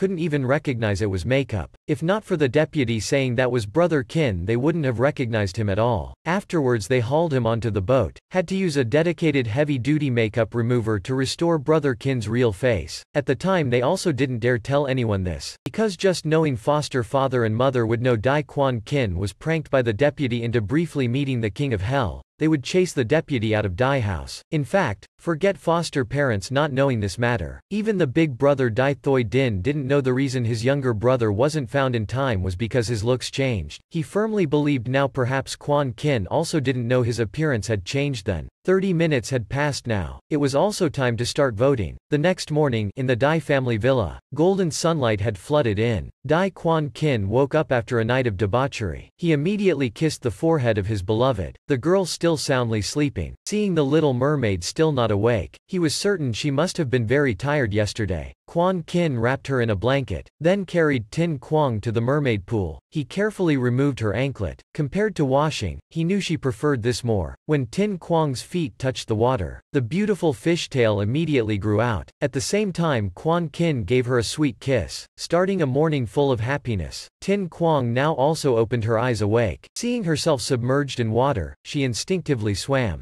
her face full of joy, until she realized this wasn't a dream. Tin Quang immediately surfaced, feeling how could she carelessly transform into a mermaid. Quan Kin sitting on the shore waiting for her for a while now, seeing Tin Quang finally awake asked, Did you sleep well my mermaid? Tin Quang immediately splashed water flying everywhere. Quan Kin smiled telling her not to run. Come up and eat, aren't you hungry? Tin Quang still soaked in the water. Ignoring him, Quan Kin still very gently coaxed her, Come here, let me dry your hair, I'll pull you up, what do you want to eat today? Tin Quang widened her eyes looking at him, then said didn't he have anything he wanted to ask her? Quan Kin pulled Tin Quang onto shore, wrapped her in a thin blanket, carried her in his arms, her fishtail turned back into slender legs. He sat down drying her hair, while gently saying didn't he ask earlier what she wanted to eat? Tin Quang said she wasn't talking about that, so Quan Kin pointed at her legs, asking if she wanted him to ask about her fishtail. Tin Quang wondered why he didn't have a shred of surprise, his attitude made her feel something was off. Because in this country everyone knew there was only one mermaid, Han Nian Nian, now there was another mermaid appearing, she wondered why he wasn't puzzled. Quan Kin said he had known for a long time already. Tin Quang didn't believe him, thinking his older brother must have told him, because she only told Dai Thoi Din about being a mermaid, but she hadn't proven it by jumping into the pool yet, how could he just believe it so easily? Hearing this, Quan Kin interrogated asking why his older brother knew about this. Tin Quang refuted that wasn't the point. But how did he know she was a mermaid for a long time already? Quan Kin smiled brightly asking her to think carefully. Who was the one who named her? Tin Quang still obliviously answered it was Tan Quan Deep. The smile on his face gradually froze. He asked if besides that name she could remember anyone else in her brain, even who named her she remembered incorrectly. He then showed her the old photo of himself for her to see. Tin Quang immediately praised him for being handsome since little. He thus also very confidently asked if she remembered who named her yet. Tin Quang exasperatedly answered it was Tan Quan Deep, also saying she wasn't an idiot. She remembered that person's face very clearly. She remembered not liking her original name much so Tan Quan Deep gave her a new one. That night, they were at the seaside taking shelter. Looking up was a sky full of stars. Then Tan Quan Deep said her name was Dai Tin Quang. Quan Kin also helplessly sighed Ha Nian Nian, just what was in your brain? He grabbed her hand, seriously teaching her, Ha Nian Nian, listen carefully. He then started recounting, 10 years ago, at Moon Crescent Bay Strait, there was an injured teenage boy. The smell of his blood spread attracting a school of sharks. He didn't have the strength to resist anymore, almost became dinner for the sharks. The young man met a mermaid girl. After the danger temporarily passed, seeing she didn't want to tell him her name, he wanted to give her another name, because she was even more beautiful than the stars so he called her Dai Tin Quang. Tin Quang, hearing this immediately got angry then, not accepting, even chasing him away. Hearing this, Tin Quang was extremely shocked. This was the eighth time she drank the regret potion to revisit events from her youth. She didn't expect he would know about this. The dialogue was also not wrong by a single word. Quan Kin then affirmed the teenage boy was him, but Tin Quang just waved her hand saying this was absolutely impossible. But she also said it was possible, unless he changed his looks into Tan Quan Deeps. Quan Kin hearing this immediately became furious, but Tin Quang insisted she couldn't be wrong about this, because he was her life lifesaver. She also coaxed him not to pretend to be Tan Quan Deep out of jealousy. That wouldn't be good. Quan Kin now laughed dryly and helplessly a few times, then angrily left in a huff. Seeing him slam the door right in front of her, she wondered why he kept competing with Tan Quan Deep. Now Tin Quang received a phone call. It was Thuong Dam calling. As soon as Tin Quang picked up she pleaded for her help. Tin Quang had to tell her to slowly say what happened. Don't be impatient, after asking what happened. Dr. Thuong sobbed pleading for Tin Quang to help arrange a meeting with Ha Tru Da, and ask him to return her child to her. Hearing Mr. Ha kidnapped her son,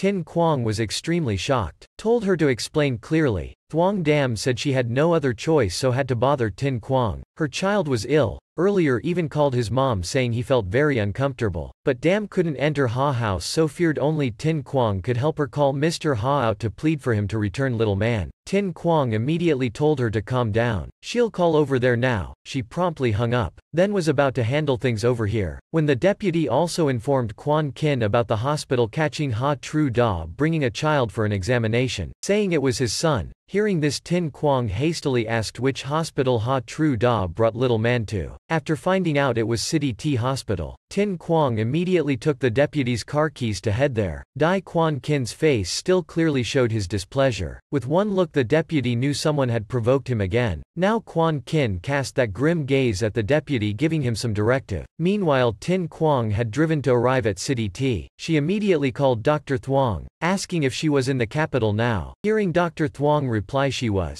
Tin Quang told her to hurry to City T Hospital to pick up little man. Thuong Dam immediately said she'll rush right over there, and asked Tin Quang to quickly tell Ha Tru Da to buy a blood bag from the hospital for little man to drink, because he had the same illness as her father. Only drinking blood could cure it. Tin Quang was surprised there were so many people with this illness. She agreed then continued speeding over. As soon as Tin Quang entered the ward, she caught little man violently resisting an injection. She knew the boy was already uncomfortable, now also having blood drawn for tests. For him this was torture, she immediately rushed over, picked little man up, while shooting the old Mrs. Ha a resolute look. Seeing this, the old woman scolded Tin Quang, first stealing her daughter's man now also snatching her grandson away. Ignoring her shouting kidnapping accusations, Tin Quang fled carrying the child. The old woman now yelled at her son to not stand there blankly but chase after them, but Ha Si-a affirmed with his mother that Tin Quang wouldn't harm little man, telling her to wait here. On this side, Tin Quang had brought little man into the car, also introduced herself to the boy that his mom asked her to come rescue him. Little man then started crying saying he missed his mom, asking Tin Quang where his mom was. Tin Quang stroked his head comforting him that his mom will be here soon, also saying she'll bring him to get treated first now. Hearing this, little man immediately muttered saying he won't take medicine, also won't drink blood,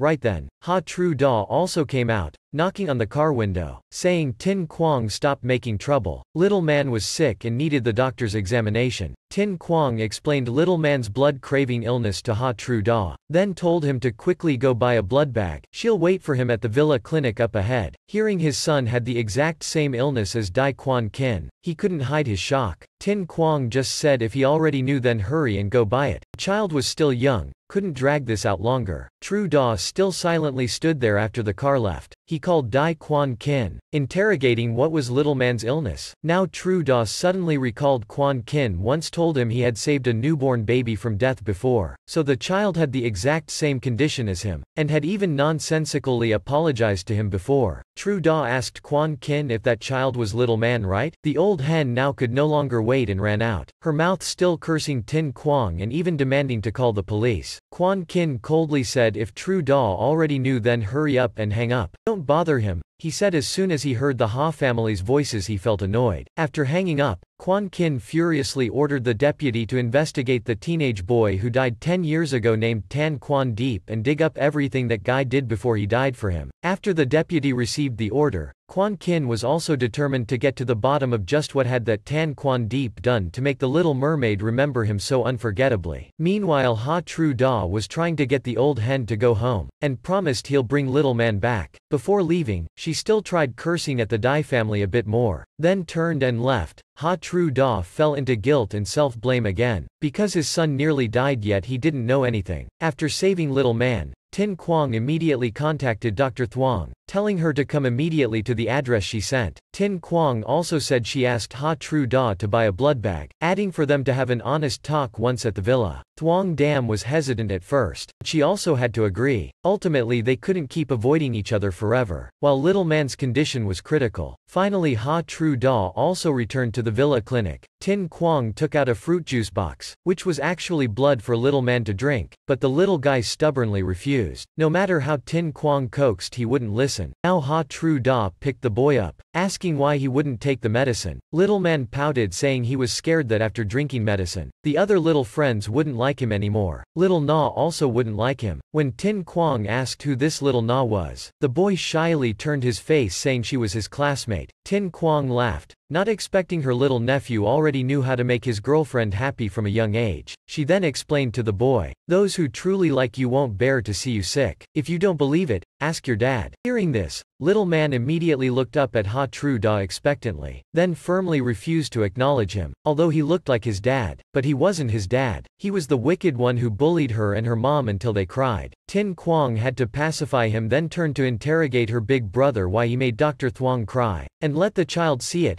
Ha Tru Da immediately complained she hid his child from him and married another man, even pretended not to know him. Tin Quang said to leave that mushy romantic business for later. Right now they had to get little man to drink his medicine first. The boy was still drowsy now. The child desperately wanted to meet a super cute princess. Not only wouldn't look down on him for drinking medicine but would cheer him on. Speak of the devil, now a little girl had entered through the door, cheering little big brother to drink his medicine. Seeing Miss Dean Tran the president's daughter, Tin Quang was surprised wondering why she was here, while Dean Tran Tik was already happily chatting with her little brother. Little man asked if she wasn't grossed out by him drinking medicine. Unexpectedly, Tran Tik took out a little bunny, saying if big brother drank his medicine she'll give him this bunny. Little man still asked if she wasn't scared seeing him drink medicine would be very frightening. Little miss Tran Tik acted upset saying if little big brother didn't drink his medicine then she wouldn't play with him anymore. Then cheerfully encouraged little man with the bunny. Little man with a bit of love immediately took the juice box, closing his eyes and nose to sucked vigorously. This scene disgusted Tin Quang, Obviously coaxing him for half a day wasn't as effective as the little Loli's few sentences. His dad next to him also told his son to drink slower or he'll choke. Right after finishing drinking, the boy demanded to immediately go play with Tran Tik. The two kids discussed playing doctor, with the bunny being the patient, then little man even bragged to his sister that his parents were both doctors, you know. This statement pained Ha Tru Da a bit. Now Tin Quang pulled him aside asking what happened between him and Dr. Thuong. She said he took little man away. Turns out Ha Tru Da was still angry that Dr. Thuong denied her relationship with him, while the boy was his son had no relation to that heartless doctor. While Tin Quang scolded her second brother only contributed a sperm. While she had raised the child for five years already, she asked if he ever thought about a mother's feelings. Perhaps Dr. Thuong also had her own pains, but Ha Tru Da agitatedly said if she had problems then speak directly. Five years of no news then suddenly separating, leaving his son with another man. She didn't love him then why keep the child? Seeing he was going a bit too far, Tin Quang had to cover his mouth. The kids were still basically here after all. Watching the boy play happily, Ha Tru Da smiled. Now that he knew of his son's existence, he certainly couldn't ignore him indifferently. Tin Quang said she had heard her sister's big tumor say a few things. Surely there were still misunderstandings between them so told them to be clear with each other. Now the ward door was also opened. Thuong Dam immediately rushed towards Little Man as soon as she entered. Little Man also turned and called mom. She now tightly embraced her son. The smart boy also consoled his crying mom. Tin Quang told Dr. Thuong not to worry because little man was fine after drinking his medicine. The older sister thanked Tin Quang, then looked towards Ha Tru Da again. Both had things they wanted to say to each other. Understanding, Tin Quang took her little guest outside to give the family some privacy. The scene now only had silence, restraint from Ha Tru Da's side, anger from the mother's, Tru Da exhaled then raised his hand in surrender, admitting he was wrong to take the child. Hearing this, Thuong Dam scolded him for a while, then coldly prepared to take her son home, but Tru Da couldn't let his wife and child leave. He pulled her back asking if she wanted to leave without a word of explanation again, just like when they broke up before. He asked if she wanted to run away with their child again. Dam agitatedly yelled she wasn't running away, also didn't have to explain anything to him. It was still Little Man who stepped in to mediate, saying mom and the wicked one shouldn't fight anymore. His teacher said little friends who fight should hold hands. That way any misunderstandings would be resolved. Tru Da also opportunistically grabbed Dam's hand. She continuously struggled, silently thinking after five years she thought she could let go, but she didn't want to be forced anymore. Tru Da now gently softened his tone, saying each should take a step back. He also wouldn't force her to explain anymore, and asked her not to force him to let their mother and child go. He said whether she still loved him now or not. Little man was still his own blood and flesh. Now he had to take responsibility to make up for the boy. Little man turned and asked his mom if Tru Da was also his dad. No wonder he thought the brat looked like him. Tru Da immediately picked his son up, saying he was born looking like his dad and in this world only his dad was his dad. That other guy was just a foster father. Little man now also reluctantly accepted this new dad it seemed. Thuong Dam looked at this scene, then awkwardly turned her face away, but Tru Da was certain she would give him a chance. Now Quan Kin also arrived, along with Tin Quang greeting the president's family. Tran Tik was holding her parents' hands. Seeing little big brother she happily beamed. Seeing the two happy kids, Ha Tru Da Cox Dam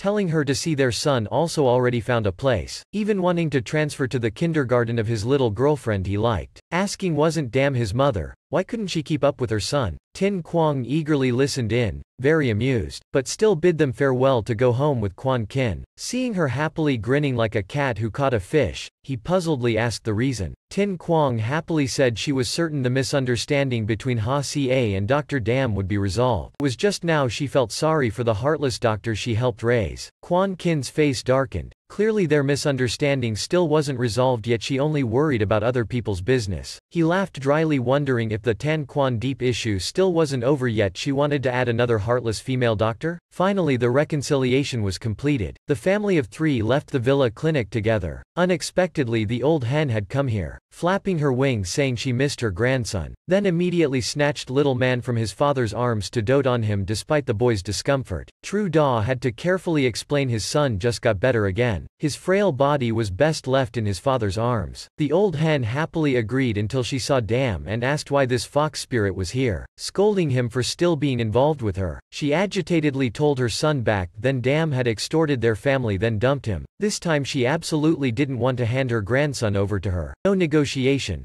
Ha Tru Da was extremely pained seriously requesting she not say such things in front of the child. The old woman still stretched her neck yelling at Tru Da for being bewitched, even saying she wouldn't let that vixen set foot in their house clearly revealing discriminatory attitude thinking Dam now was a married woman. Tru Da hugged his wife and child clearly stating his standpoint that if she didn't like it they could move to an apartment downtown. Then ignored the old hen still clucking behind them. He still paid her no heed, ignoring those curses, yelling at him so much yet he didn't care, and still clung to this vixen. They were like stepping on prejudices and shackles while walking forward. Dam unknowingly was pulled back to the happy memories from before with him. It was the cheerful youthful days together. Carefreely playing in the rain, back then he had also bought a house, for them to build a new home together. Now standing before the Ha family garden, Dam was very sentimental. He urged her to stop standing blankly and follow him. Little man asked Wicked Dad Dad, what is this place? Tru Da pinched his son's cheek, telling him to ask his mom, and corrected him to call him Dad Dad. No need to add the word wicked. The boy argued if he didn't add the word wicked how could he differentiate from foster dad dad at home. Tru Da then suggested the boy call him beloved precious old father. The boy giggled saying that was too cheesy. The father and son were chatting very happily. He then turned and told Dam to go to the supermarket to buy slippers for little man since there were only their stuff in the house. No children's items yet, by now. Thuong Dam could also comfortably enjoy the happiness that belonged to her, comfortably smiling in agreement. This prolonged presidential election was finally nearing its end. Under the effect of yesterday's big move, Dai Thoi Din now had an overwhelming lead over his opponent. He really was the dark horse, just returned to the race yet his votes had exceeded 50% of the total. And tonight the election countdown began its final minutes. If there were no other incidents, the outcome was clear as day. Tin Quang now sent a congratulatory message to the couple. At the same time she was also invited to the Dai family's intimate kin group chat. Tin Quang didn't expect the serious Dai family to even name it this, she had to laugh. As soon as Tin Quang entered, Everyone sent welcoming messages. Sister-in-law, to reward everyone's efforts, even happily gave red envelopes. Indeed when all the red envelopes were taken out, Tin Quang became the lucky one getting 10 fen, while the others only got 0.00 something yuan. Duong Chao immediately complained sister-in-law only gave a few mao, making her get 8 fen, KY2 opportunistically took advantage of Tin Quang being the lucky one to beg her for a red envelope, seeing she got 0.1 yuan but still had to be punished. Tin Quang was very wrong, about to send a red envelope but Duong Chao stopped her, saying Tin Quang's punishment was to answer three questions. KY2 and Duong Chao were now at Coco TV station, sending Tin Quang the first question, asking who her first kiss was with. Knowing the big tumor was also here, Tin Quang feared losing face. Thinking this was like the Big Dare, she chose Big Dare, but Duong Chao said no way,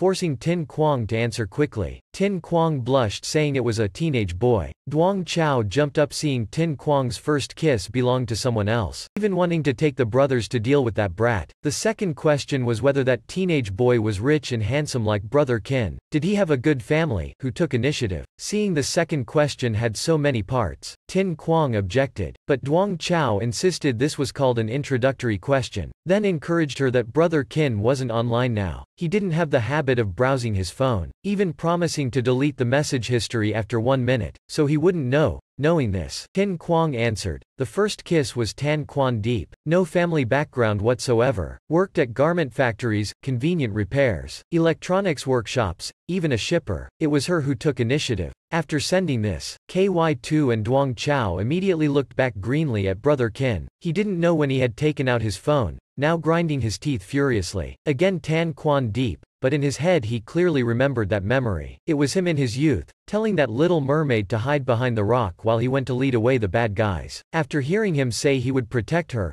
Tin Quang immediately took initiative to kiss him. Now remembering it, Quan Kin still blushed. Duong Chao then insisted Quan Deep was very handsome demanding his photo. After it was sent up, they immediately ogled it. Now KY2 suddenly felt this person was familiar. He excitedly slammed the table hard startling Duong Chao who scolded KY2 three more minutes until the election ended yet he was already flipping out. While KY2 was certain this face. Back then the deputy made up, spending half a day on it. Little Tin Quang's first kiss was actually from the Kin family. Now it made sense why Tin Quang only took one month to catch Quan Kin. Turned out they had known each other for a long time already, but KY2 still wondered why he was so gravely injured back then. Could it be related to Tin Quang? Now Tin Quang received a private message from KY2, asking how she met Tan Quan Deep, and what else happened with him. But Tin Quang didn't want to play anymore, turning off her phone saying she wanted to sleep. Now Duong Chao turned to tell KY2 the countdown was about to start. All of Dai's family tensely looked up at the screen. Finally Thoi Din officially became the 28th incumbent president. This was the fruit of the entire crew's efforts. Dai Quan Kin also happily smiled for his brother. Then they were busy again, some making feature stories, others notifying the press for media outlets. By 3 a.m., they left the company like zombies. The deputy returned home,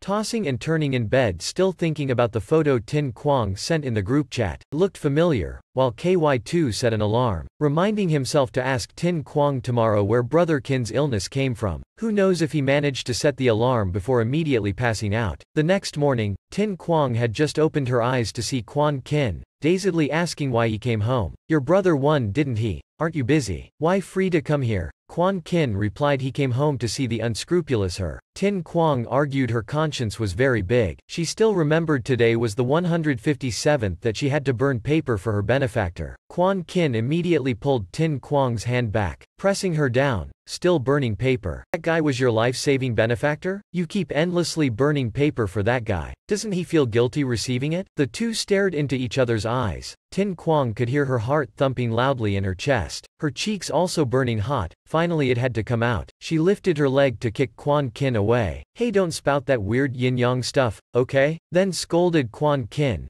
if you have nothing to do hurry and visit her dad. After all he really misses his son-in-law. Quan Kin unwillingly, felt out of favor, could only silently curse that wretched Tan Quan Deep. Then Tin Quang went out to buy offerings, telling him to obediently stay home and care for dad. He could only helplessly sigh, while KY2 after waking up immediately rushed to find little Tin Quang, but arriving only saw sullen brother Kin standing there. KY2 laughingly teased asking who made him angry. Quan Kin still coldly asked what his little brother came here for. KY2 said he simply wanted to ask a bit. 10 years ago what happened between little Tin Quang and him out at sea. Because he saw brother didn't say so he could only ask the other party involved. Then babbled praising brother Kin's righteousness. Clearly he had known Tin Quang for 10 years already. Even stole her first kiss yet didn't let anyone know. KY2 said yesterday little Tin Quang sent a photo of Tan Quan Deep to the group chat. As soon as he saw that photo he recognized it was brother after changing his looks. Hearing this, Quan Kin was extremely shocked telling KY2 to explain clearly. Now KY2 asked wasn't Quan Kin unaware Tan Quan Deep was him after disguising himself? Seeing he was still stunned, he recounted 10 years ago. Brother had an accident at sea, they searched but couldn't find him. Later contacting the deputy, they found out he had disguised brother as someone else. Seeing the photo last night, it was certainly Quan Kin after changing his looks. Quan Kin now could only click his tongue.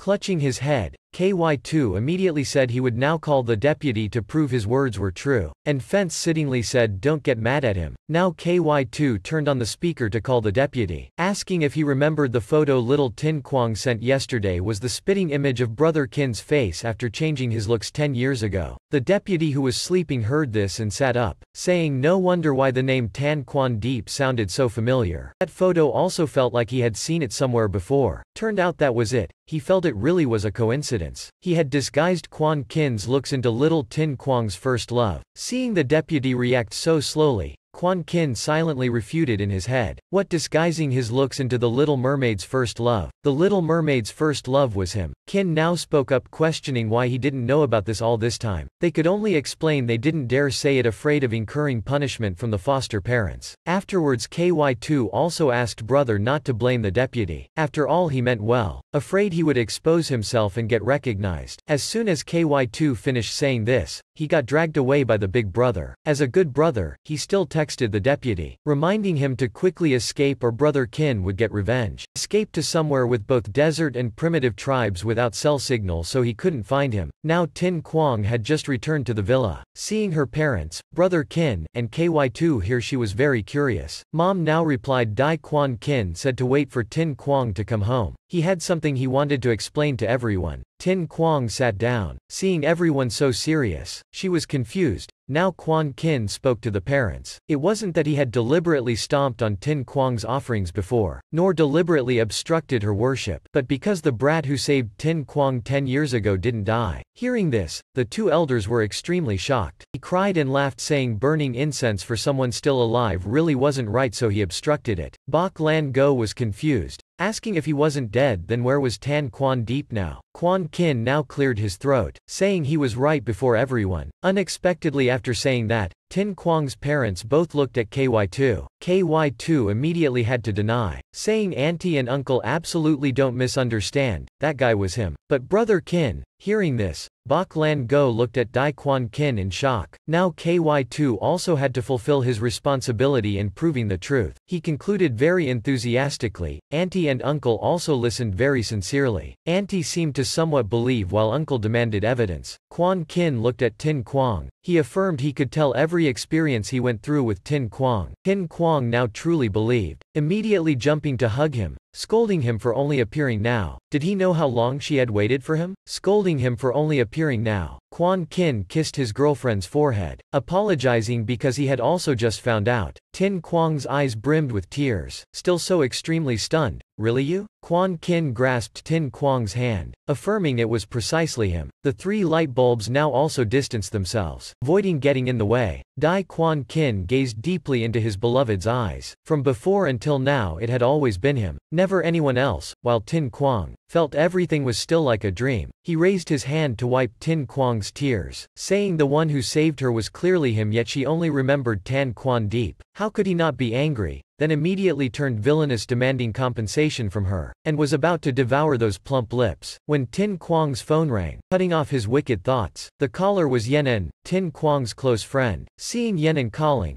Tin Quang felt both happy and surprised. She didn't expect her friend to have her number. She thought last time she went to the island looking for Yenin but didn't see her. Surely Granny gave her number to her. But to Yenin, those things didn't matter. The important thing was my queen. What are you doing? You're in love now? Hearing this Tin Quang was shocked, asking how she knew. Turned out Tin Quang's relationship was linked to the entire kingdom. Tin Quang's mood was synchronized with the entire kingdom. That was because Tin Quang was the appointed successor. The sacred tree had long acknowledged her as master. It said last night the entire kingdom went through a turbulent emotional rollercoaster. The 30-year-old sacred tree that never bloomed suddenly. Bloomed flowers all over. The elders were all dying of anger. Because after all if Tin Quang fell for someone else then how could she marry the heir of the vampire clan? While Tin Quang was still stunned, not expecting her heart to make the tree bloom. She then asked Yen and why when she loved someone else before, it didn't bloom, Yenin didn't even see Tin Quang dating. Tin Quang said that was a year ago. They broke up two months ago. Yenin said during that time they didn't feel her love. Hearing this Tin Quang breathed a sigh of relief thinking the tree wasn't effective. It couldn't be linked to Tin Quang's relationships. Yenin was silent, then said that could only prove the previous person wasn't her true love. Tin Quang was quiet for a bit, then her cheeks flushed red seeing Yenin was right. Yenin said the reason she called Tin Quang was to warn her because the elders would absolutely not let her love anyone anyone else besides the vampire clan's heir, and advised Tin Quang not to get discouraged or the entire kingdom would be affected. Not all moods could be felt, only Tin Quang's fluctuating moods of love, or extreme joy or sadness, they would feel together. Hearing this, Quan Kin deliberately teased Tin Quang more. She immediately flusteredly told Yen and she'd call back later. Quan Kin still whined that she had gone to talk on the phone with someone else before compensating him. Tin Quang raised her hand to pat that whiny puppy's head. Consolingly, Dai Quan Kin took it further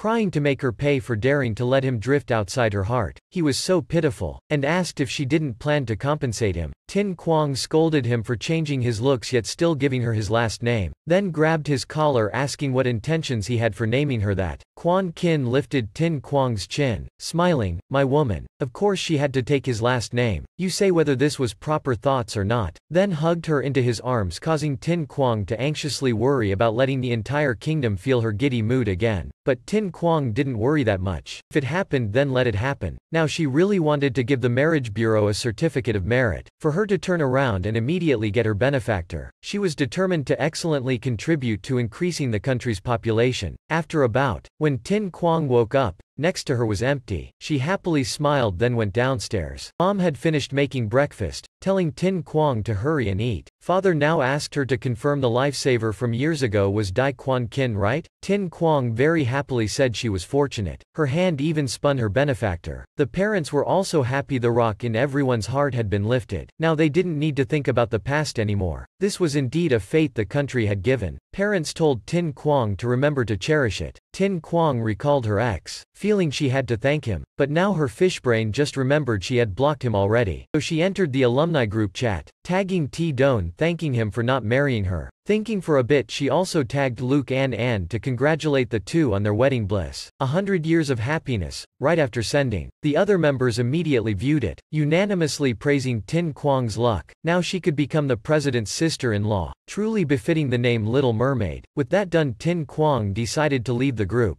Tinkering a bit she decided to change Quan Kin's nickname in their chat box. seeing calling him Big Tumor was still a bit simple, she changed it to Big Tumor that swallows fish bones and all. This little joy of Tin Quang's made her laugh brightly, not noticing her parents also sitting eating breakfast together. Turned out they were talking about how it had been so long yet they didn't see Tin Quang's in-laws come visit. Asking what arrangements they planned, Tin Quang said her in-laws had long wanted to visit her at the hospital but she declined. She wanted to wait until dad's health stabilized before meeting. Old dad immediately flexed saying he was very healthy now, telling his daughter to quickly discuss with her son-in-law, taking advantage of them still being in the capital to quickly set a wedding date. Tin Quang felt this was a bit bit rushed but from her parents' standpoint, she had lived there for so long already, if she didn't want to marry yet then just get engaged first then slowly prepare the wedding later. Tin Quang could only indulge her parents, saying she'd text Quan Kin about this. Mom even told her for this matter the man should take initiative, otherwise the woman would lose face. In Tin Quang's heart she actually already wanted to text the big tumor asking what he was doing. It was just she still didn't have a reason, now she could righteously text him. She felt very happy. At the office building, Quan Kin was working when a message notification chime sounded. Quan Kin immediately sent her a voice message, saying to sleep more during the day so she could stay up with him at night. Not expecting this, Tin Quang turned up the speaker to listen. Her parents could only pretend not to hear anything, but Tin Quang wasn't any less embarrassed because of it. Feeling so mortified she wanted to just die. Dai Quan Kin also announced everything with his family was resolved so they would probably visit Tin Quang's parents at the hospital. Seeing Tin Quang extremely excited hearing this, he guessed she probably knew her parents' intentions, to set a marriage agreement between them which was why she was so agitated. He smiled gently then told told Tin Quang the wedding couldn't be delayed. That was his parents' intentions, after all one should marry upon engagement. Tin Quang also strongly agreed on this matter. She silently praised her wise in-laws, not letting anyone take advantage of this opportunity, especially Han Nian Nian and that hidden vampire heir. Then she reminded Big Tumor to arrange time with his parents, because her parents were still resting at the villa, not going anywhere. Quan Kin immediately set it for tomorrow, but he had a business trip tomorrow. He couldn't go with his parents. Hearing it was a three-day business trip Tin Quang was very shocked. When she heard him gently ask if she needed any gifts, Tin Quang recalled the city he was going to had a very delicious sweet and sour radish. She demanded two jars from him as gifts. Hearing this, Quan Kin silently felt this was truly the lowest maintenance mermaid in history. At the villa, Tin Quang's mother had busily cleaned up the whole morning, very impatiently awaiting the in-laws. She went out to throw the trash and coincidentally heard. Dai Quan Kin's mother and the newly elected president Dai Thoi Din's family were also coming. Seeing Tin Quang's mother, Quan Kin's mother also looked shocked. In her head she panicked, Lan Go. Turned out to be Bok Lan Go. After finishing throwing the trash tin Quang's mother didn't notice the people behind her and turned to go back inside. Now Quan Kin's mother made an excuse, telling her husband Dai Bok too. she felt the outfit she had on didn't suit her. She wanted to go home and change, telling everyone to go meet the in-laws first. Dai Bok Tu felt confused, about to advise his wife to just go meet the in-laws first but his face immediately stiffened seeing Song Tru Koi heading out, so he followed his wife back to the car, making up some unbelievable excuses to rush home, leaving the newlywed president and his wife standing there not understanding anything. Dai Thoi Din said to his mother their outfits today looked very nice too. Why change? But Bok Lan Go insisted meeting the in-laws couldn't be careless, so she went ahead first, telling her son and daughter-in-law to meet the in-laws in their stead. Dai Bok Tu also mumbled following his wife, insisting on going home immediately. The Dai Thoi Din couple could only look at each other then went inside, sitting before Tin Quang's parents. After asking about Song Truyen Koi's health, Thoi Din could only explain his parents had something come up so they couldn't come. Chatting for a bit, Tin Quang's dad immediately asked Thoi Din if his parents planned to come today after taking care of things over there. Thoi Din and Go Keen were silent. They silently looked at each other. Of course these two also really wanted to know. Now, Quan Kin's mother was anxiously calling her son to ask if Tin Quang's mother's name was Bok Lan Go. Quan Kin replied not wrong, and asked if his parents had arrived there yet. He wanted them today to smoothly settle the engagement, then he could propose afterwards, but now his mother fell silent, then said they should discuss the engagement again. Quan Kin was shocked by his mother's words. He turned to tell Kiu Van his right eye was twitching a bit. Kiu Van explained to him that a twitching right eye meant impending misfortune. He was even more worried, saying to his mother that he was also in a hurry, and asked wasn't she very fond of Tin Quang, wanting to hold a grandchild or something, she was silent, not answering, her heart very complicated, she did want that but hesitantly wondered how such a coincidence could happen in this world. Then she told her son to just hire someone to pretend to be his mother to go meet them. Hearing this, Quan Kin of course felt baffled, then he said to explain to Tin Quang that it wasn't that she disliked her, then made an excuse about expensive phone bills and hung up. Quan Kin was extremely confused so decided to call dad to ask. As soon as he picked up,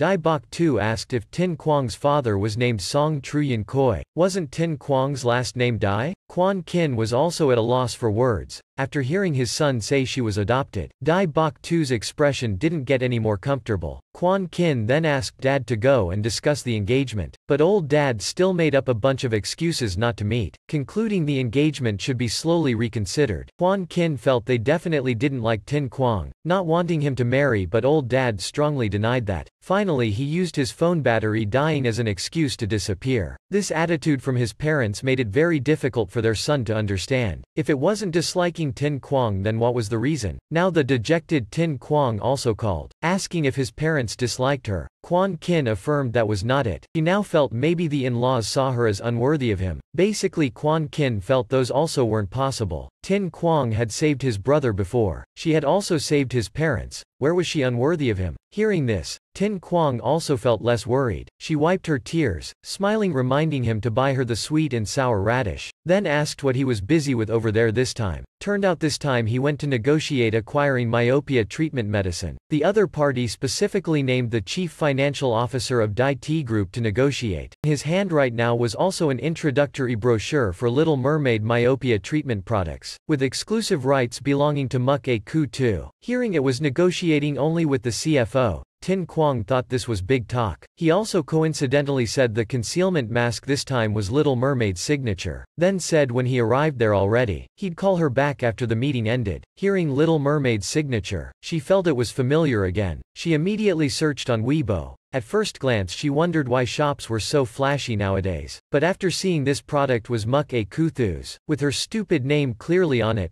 Tin Quang panicked. She, when did Muk A 2 take over myopia treatment? Why didn't she know about this? Of course, it wasn't difficult for Tin Quang to guess the mastermind of this. She angrily grabbed her phone. Hello, Yenin, right? Yenin had just picked up saying she was busy, she'd call back later. Tin Quang immediately erupted asking why Yenin dared sell her emblem to others. Hearing she was caught, Yenin could only praise Tin Quang's swiftness. Then she told Tin Quang she was currently negotiating the contract. She'd call her back when done. Over the phone, Tin Quang still suspiciously felt like she heard the breathing of her big tumor. She was astounded thinking she had fallen into love's trap so now always thought of him. Then sternly asked Yenin who her partner was. This couldn't be careless. Yenin looked at Quan Kin, women indeed. Then informed Tin Quang her partner was a handsome guy. Hearing this, Tin Quang thought that guy was probably like her guy at home, telling Yenin to negotiate this contract well, to not suffer losses. Tin Quang even told Yenin to take eight portions, leave them just two,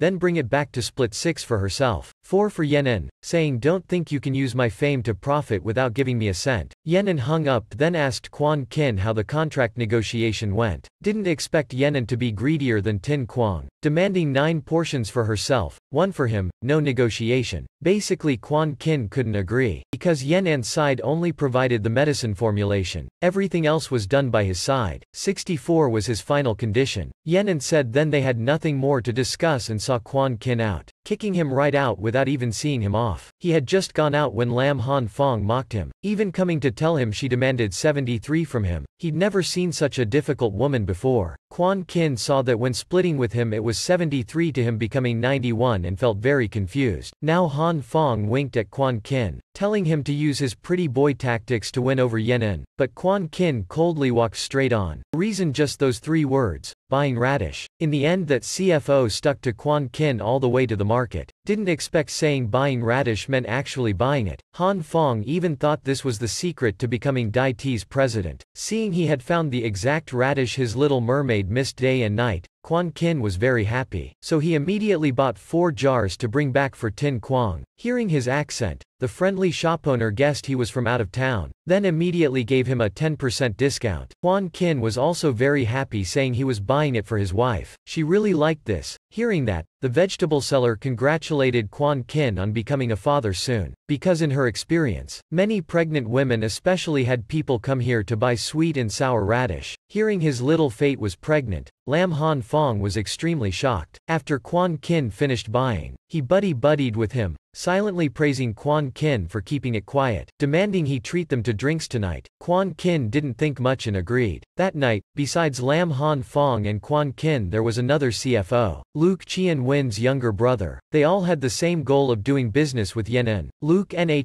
Thu now was still very confident, feeling this was just a normal acquisition, nothing to be anxious about but Lam Han Fong was very impatient, because he knew once this medicine was announced, it would make a huge splash, Luke Nhi Thu's competitive spirit was provoked to compete to see who could partner with the other side. He immediately demanded to bet against Quan Kin, Basically he felt their game of competing for president had ended, so next it was his and Quan Kin's turn to compete. Faced with this brash proposal, Quan Kin only replied he wasn't interested, he thought Quan Kin didn't dare, continuously provoking him, in his heart he still resented the Han Nian Nian matter, the woman he pursued yet Quan Kin chose jail over accepting. Now Quan Kin smiled asking what he wanted to bet. Luke Nhi Thu wanted all the rights to Little Mermaid theme park if he won, saying if Quan Kin got the contract he could ask for anything. Seeing him stay silent, he continued provoking, saying the blessings of mermaid Miss Dai Tin Quang couldn't guarantee him any support? Quan Kin finally couldn't stand it when he brought up his Tin Quang. His condition was, if he won,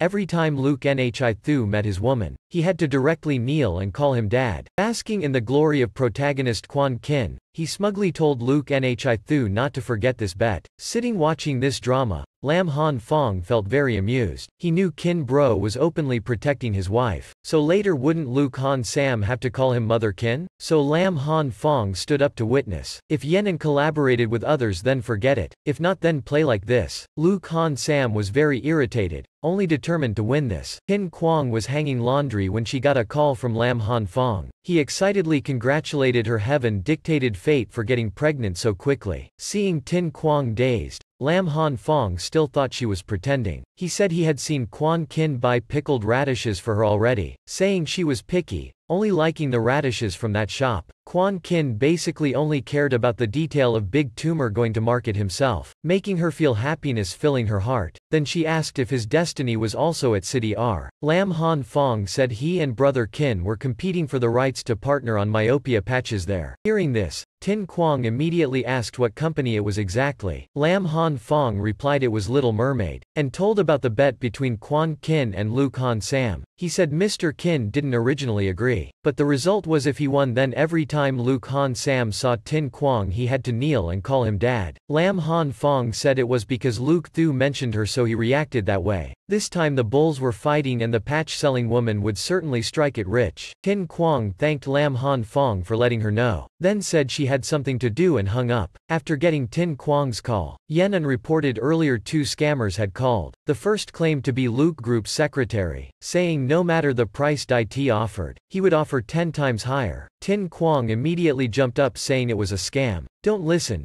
Tin Quang told Yenin not to decide anything yet. Wait until she went to City R to find her first. Tin Quang said she had to go there to support her man. Yenin said there were others beside her, asking if Tin Quang wasn't afraid of exposing her identity. Tin Quang was indeed a little scared, so she had thought of a way. On the plane to City R, Tin Quang relied on the skills of Vice Officer Shen Di Dong. After finishing Tin Quang's makeover, he praised himself profusely, certain no one would be able to recognize her. Looking at this skill, Tin Quang had to admit it wasn't bad. The vice officer excitedly said with this face meeting Quan Kin, he wouldn't notice either. This gave Tin Quang an idea, asking the vice officer if at midnight she knocked on his room door. Would he open? The vice officer's smile gradually froze. He knew he had foolishly ignited a prank that could easily damage Tin Quang's feelings, so he dissuaded her, affirming that no matter how many people wanted to get into Brother Kin's bed, he never paid them any attention. Tin Quang angrily slammed the table, thinking when he went on business trips, women were often forced on him. To protect his boss, the vice officer challenged Tin Quang to go test it if she didn't believe it. Tin Quang sinisterly smiled, then chose a seductive red dress. If testing then test thoroughly, this time the vice officer could only secretly pray Brother Kin would surely pass this test. That night, at the hotel, Quan Kin had just showered when someone knocked on the door. He thought it was Kiu Van finished preparing documents for him so he opened it. Didn't expect Tin Quang disguised threw herself into his arms. Her expression and attitude very flirtatious. Mr. Do you need someone by your side tonight? While he was completely dumbstruck, unable to react in time, the vice officer, after disguising himself, had to go along with it, introducing this young lady as a gift from Lam Han Fong. Quan Kin was confused, in his heart unable to understand why he kept smelling his little mermaid scent on this woman. Tin Quang spoke resentfully, petulantly saying if she didn't perform well tonight Lam Han Fong would fire her, and leaned into Quan Kin's body demanding he accept her. Her fingers slid over his body, saying she knew her place. Once done she'd leave immediately,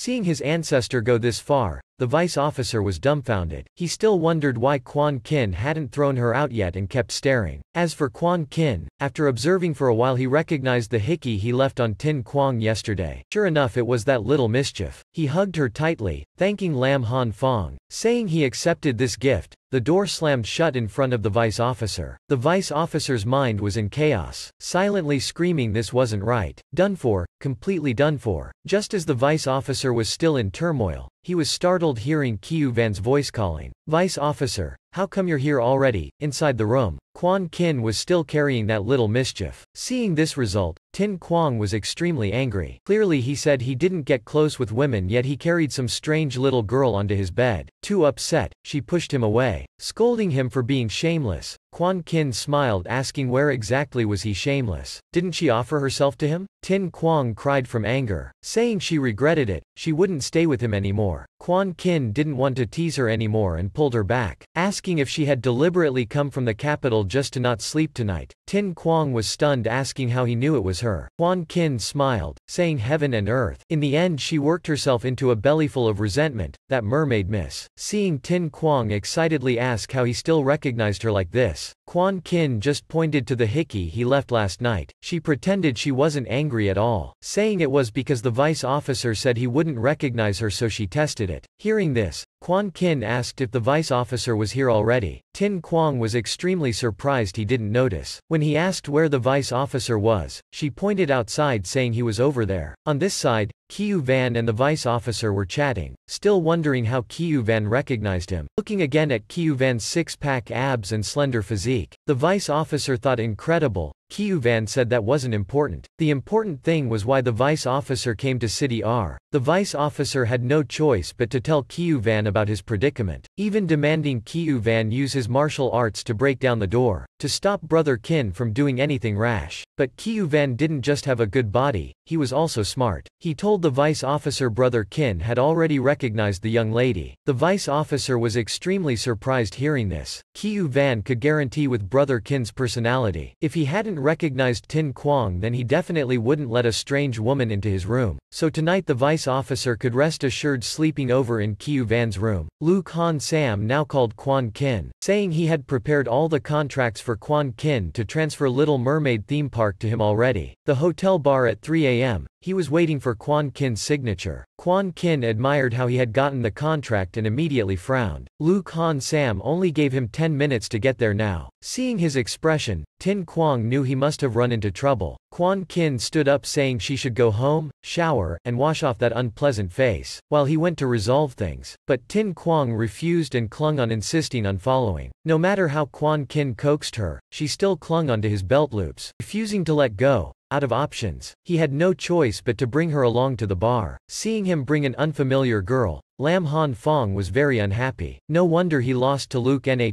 Thu. Turns out he was wasting time on women. Quan Kin didn't care, only asking Tin Quang what she wanted to drink. Tin Quang smiled saying she would play on her phone while he did his work, looking at Yenin sipping her drink while looking at her. Tin Quang silently scolded rotten Yenin. To actually block her, Tin Quang immediately texted Yenin, questioning didn't they agree Yenin wouldn't partner with anyone before Tin Quang arrived? Why choose Luke Group? Yenin texted back that Luke Han Sam had offered too good of conditions. This time she'd certainly strike it rich overnight. Tin Quang asked if she knew how Dai Quan Kin treated her, Tin Quang furiously typed, He's my man. You not only made things difficult for my man but even helped his rival. Friendship over, block. Reading your texts was shocking enough. Then seeing that blonde glaring at her, Yenin panicked even more. She fawned texting Tin Quang, asking if she was little Jew. Tin Quang used her eyes to intimidate, correcting it was her, Seeing it really was her little Jew, Yenin was extremely frightened, didn't expect that girl had disguised herself and appeared here. Tin Quang also furiously typed forcing Yenin to partner with Dai Ti, from threats of ending their friendship to begging for free signing rights, even demanding Yenin sign a 50-50 contract. After pressuring Yenin,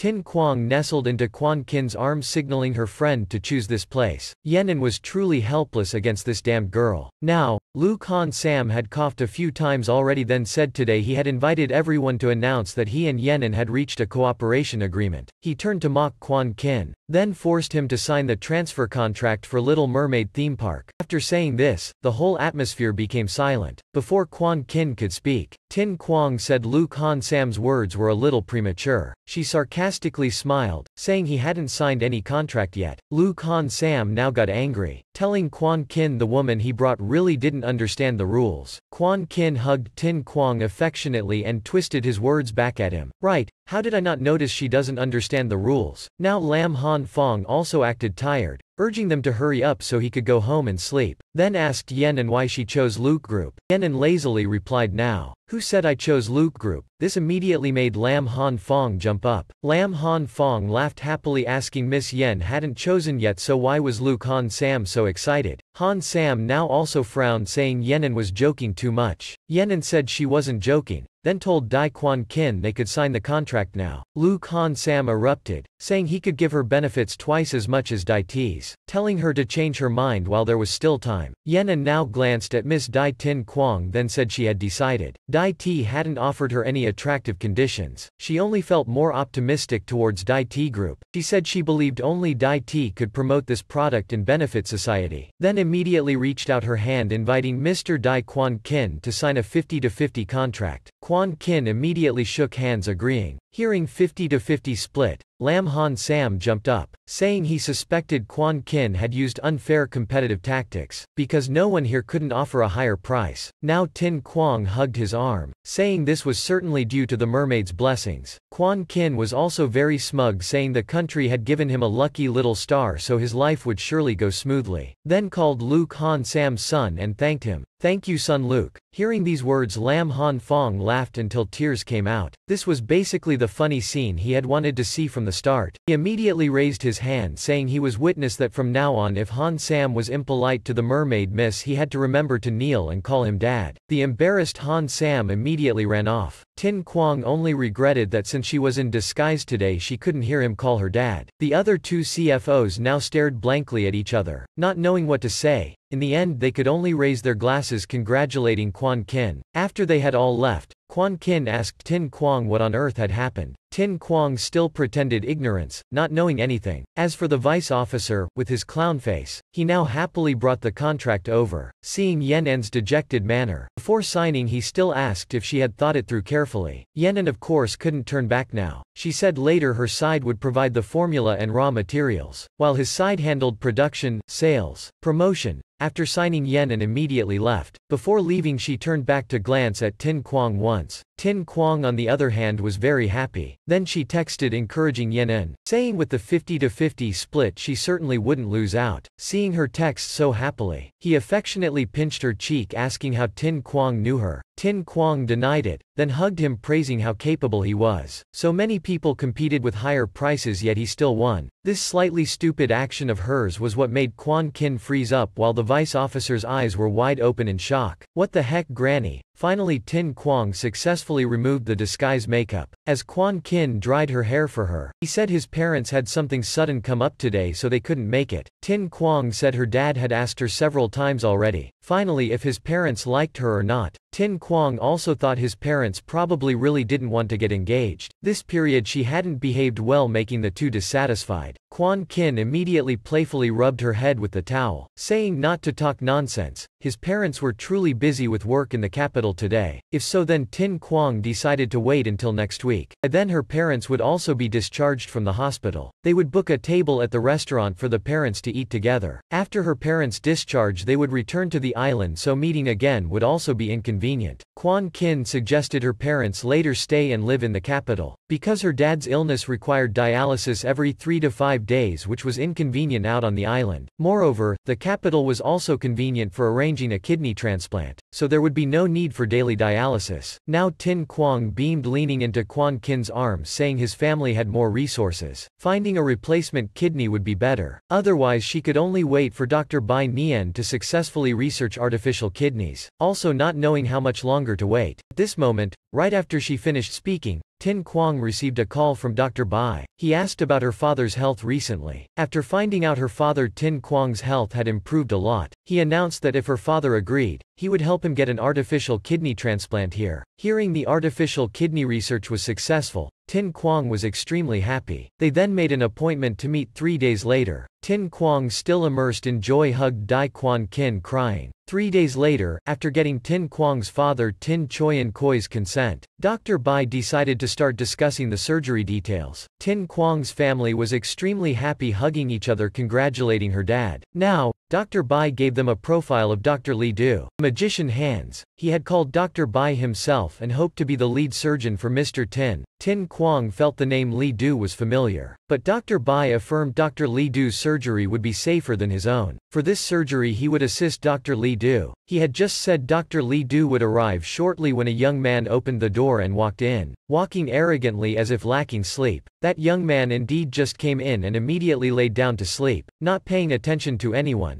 Dr. Bai now laughed awkwardly introducing this person was Li Du. Although young, looking like he was always dozing off and nodding, but his hands were recognized as the peak of magical hands in the medical community. Tin Quang now approached the bedside, asking Dr. Lee Du to cure her father's illness but surprisingly the doctor told her he wasn't a doctor, and told her to call him brother. Then Lee Du took off his glasses. This face stunned Tin Quang. Even her parents were shocked crying out little Du together. Dr. Bai asked if they knew each other. Tin Quang explained he was the son of their neighbor Uncle Lee. She grew up with him. Later he had an argument with Uncle Lee and left home. Hadn't seen each other for a long time. Tin Quang stepped forward nosily asking since when he became a doctor. But Lee Du basically just wanted to sleep. After telling her not to make noise he turned to continue sleeping. Seeing everyone knew each other, Dr. Bai said he wouldn't bother them anymore. He said for now before the surgery he would arrange a health checkup for Mr. Tin, confirm his physical condition then schedule the surgery time. Tin Quang had just seen Dr. Bai off when she happened to run into Quan Kin walking in. She immediately hugged him happily telling him good news that her dad could really get the surgery now two played like calves for a bit before Tin Quang led him to meet a new doctor, saying this person was also acquainted with her. Quan Kin was happy at first but when he saw Li Du's face it immediately darkened. Now Tin Quang introduced Li Du as her neighbor when she was little and also an incredibly talented doctor, but right after entering he lay down and slept on the sofa like a pig, Quan Kin immediately kicked him once. Quan Kin of course recognized this guy. This was love rival number one who once snatched his little mermaid from his hands. In their past life he had heard they later registered to marry. Seeing this guy, he felt uncertain, even thinking of eliminating the threat first. Seeing his unpleasant expression Tin Quang came over asking if he didn't feel well, if there was something wrong with his body. Hearing Quan Kin say he didn't feel well, she wanted to take him to rest, but now Li Du had woken up saying if anyone wasn't feeling well he could examine them. Tin Quang could only awkwardly smile saying this illness he wouldn't be able to diagnose anyway, best for him to continue sleeping. But next Li Du suddenly blocked their path, then directly grabbed Quan Kin's wrist. Quan Kin swatted his hand away, but Li Du stubbornly insisted on taking his pulse. Seeing them tussling back and forth, Tin Quang thought they were having a martial arts convention. Finally she hugged Quan Kin, telling him to just let Dr. Du examine him, since he was a surgeon he would certainly have a way, but Quan Kin insisted he didn't need it, then irritably told Dr. Du to get lost and dragged Tin Quang outside. He of course knew that Guy could treat illnesses. He still remembered last life Li Du told his family, that as long as he let go of Tin Quang then Li Du would cure his bloodsucking condition. Tin Quang was also there and had decided to break up with him. After pulling her out to the hallway, he hastily told Tin Quang to quickly ask her mom to take take out their family register, they would immediately go to the Civil Affairs Bureau and register their marriage. Seeing Tin Quang hesitate, he asked if she didn't agree, could it be she still wanted other women wedging in between them? Tin Quang immediately excitedly said she'd go ask her mom for the family register now. She thought because of the hospital her mom must have brought it with her, telling him to wait for her but after a while she came back empty-handed because her mom said they had to meet both families first before registering marriage. Tin Quang had no choice but to tell Quan Kin to wait a little longer, wait until after both families met and discussed the wedding, then they could go register. This was like a rock slamming down on his head. He was extremely impatient and urged her again to quickly go get the family register. He was very anxious because of the love rival right in front of him. If left for long there would be variables, couldn't let those two be alone together. Then he dragged Tin Quang away, saying tonight his mother-in-law invited her over for dinner. He had already agreed, and said if she wanted to refuse she should call his mom herself. That woman was famously a tiger mom, he didn't dare go against her will. Hearing Tin Quang refute that his mom's temperament was very kind, he said that was just a show for outsiders. Ever since childhood he had lived under the tiger mom's gaze and grew up. He told her that his bad temper was inherited. Hearing this, Tin Quang secretly laughed not expecting he knew his own temper was bad. Then she told Quan Kin they should still go to her in-laws for dinner tonight. That night at dinner, the atmosphere was extremely quiet and strange. Tin Quang now whispered asking Quan Kin didn't he say his mom called telling her to come over for dinner? Quan Kin awkwardly said didn't you call this morning telling me to bring Tin Quang home for dinner? You forgot mom?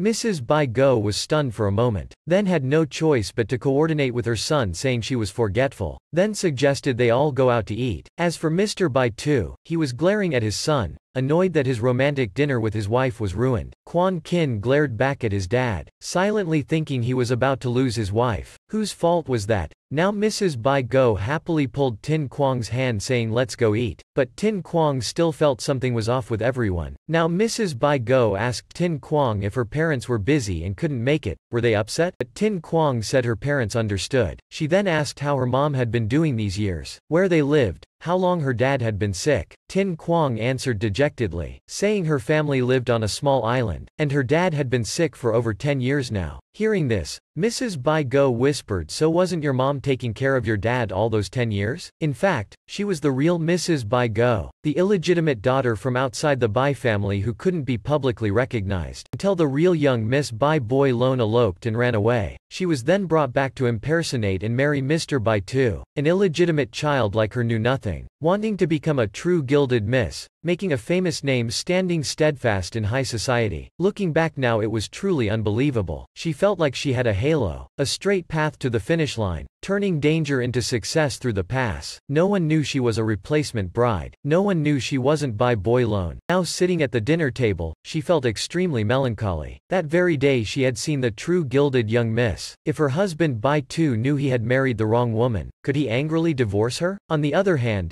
Tin Quang now saw her father-in-law cutting the food into small pieces then transferring it to her mother-in-law's plate and felt extremely touched. Because at one look she knew this habit had formed from years of attentiveness, she was amazed that her in-laws had been married for decades yet still loved each other like this. Of course, her parents were also great. Bai Go was currently very distressed because they had been together half a lifetime already, and had such an outstanding son. When the truth was revealed, she didn't know what to do. In the end, the couple couldn't escape their son's questioning either. Mom and dad, are you free tomorrow? Hearing his dad say he wasn't free tomorrow, he questioned what his dad was busy with tomorrow. His dad made the excuse that previously they had encountered pirates messing up his and his mom's around the world trip plans, so he had planned to continue the around the world trip with her, couldn't let the tickets his son booked go to waste. While Dai Quan Kin was still angry not knowing what to say, Bai Go was happy that there was more traveling tomorrow. The two elders played out their act, saying if their son had bought them tickets then they couldn't waste his filial intentions. The two discussed and finally decided to hurry and eat then go home and pack before departing. Now Tin Quang silently kicked Quan Kin under the table. He also eagerly said to his parents the trip could wait. While Tin Quang's dad had already been hospitalized in the capital for 10 days, how could they not visit? No day is not the right day to meet, he said,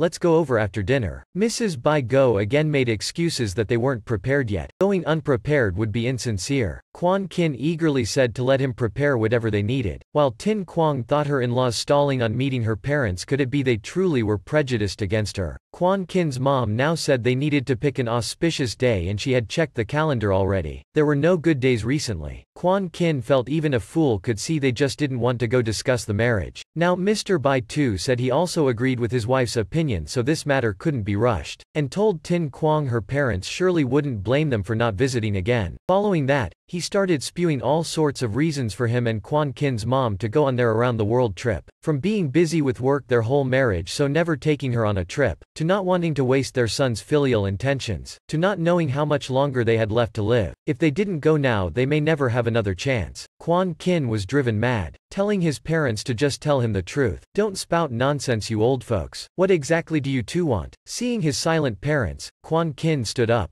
dragged Tin Quang's hand, Let's go. I'm not your biological child. I was picked up from the trash can. Tin Quang reluctantly glanced back at her in-laws then had no choice but to run after Quan Kin. Mrs. Bai Go said to her husband they should visit the in-laws' home. Otherwise the in-laws would surely have opinions. She felt very guilty towards her daughter-in-law, while Mr. Bai Tu could only silently worry. Now in the bathroom, Quan Kin was splashing water on his face to sober himself up. He wondered where exactly it went wrong. Why did his parents do a 180 degree turn like that? At this moment he suddenly heard some people gossiping about how Lam Tram Mac had bumped into Duong Chao, and wondered if Duong Chao was male or female. They said they'd never seen Duong Chao in the men's bathroom before. Maybe he really was female pretending to be male. Some said earlier Lam Tram Mac was mocked by some young masters. Duong Chao suddenly went up to defend him. That demeanor was 80% a female husband. Hearing them gossip too much, Quan Kin stood right behind them with sharp eyes. What are you all saying about Duong Chao? Recognizing him, they could only flee begging him to spare them. Not even daring to look back, Quan Kin clutched his head. He felt extremely vexed because everyone, one after another, only made him more worried. Just like those two said, Duong Chao was now taking action to defend Lam Tram Mac. One kick knocked down several young masters, then stomped on a golden monkey's back, saying what if she was the one bumped into by Lam Tram Mac. It wasn't their turn to gossip behind the back yet, she told them Lam Tram Mac was the one she protected. If they wanted to deal with him they'd have to see if this Duong Chao agreed or not first. Then she turned yelling at stupid Lam Tram Mac. When insulted by them he should have decisively taught them a lesson like her. And asked if he still had a bit of the confidence and arrogance of Little Mermaid's Duong Chao following him. Duong Chao then raised her fist punching the golden monkey's face and chased them away. He still wouldn't leave but pointed at Duong Chao's face telling Lam Tram Mac not to think just because Duong Chao was protecting him that he could suddenly become a swan. Hiding behind someone of unknown gender, Lam Tram Mac leaned down, smiling provocatively telling him if he was jealous then come to the marriage registry tomorrow and get bumped into someone, only not knowing if he'd be as lucky as him. That golden monkey grit his teeth, secretly thinking he wasn't afraid of Duong Chao at all, just that Dai Thoi had just become president, while Duong Chao was his first assistant. He then turned to leave with his lackeys, not forgetting to say Duong Chao just wait, because he definitely wouldn't let this grudge go so easily.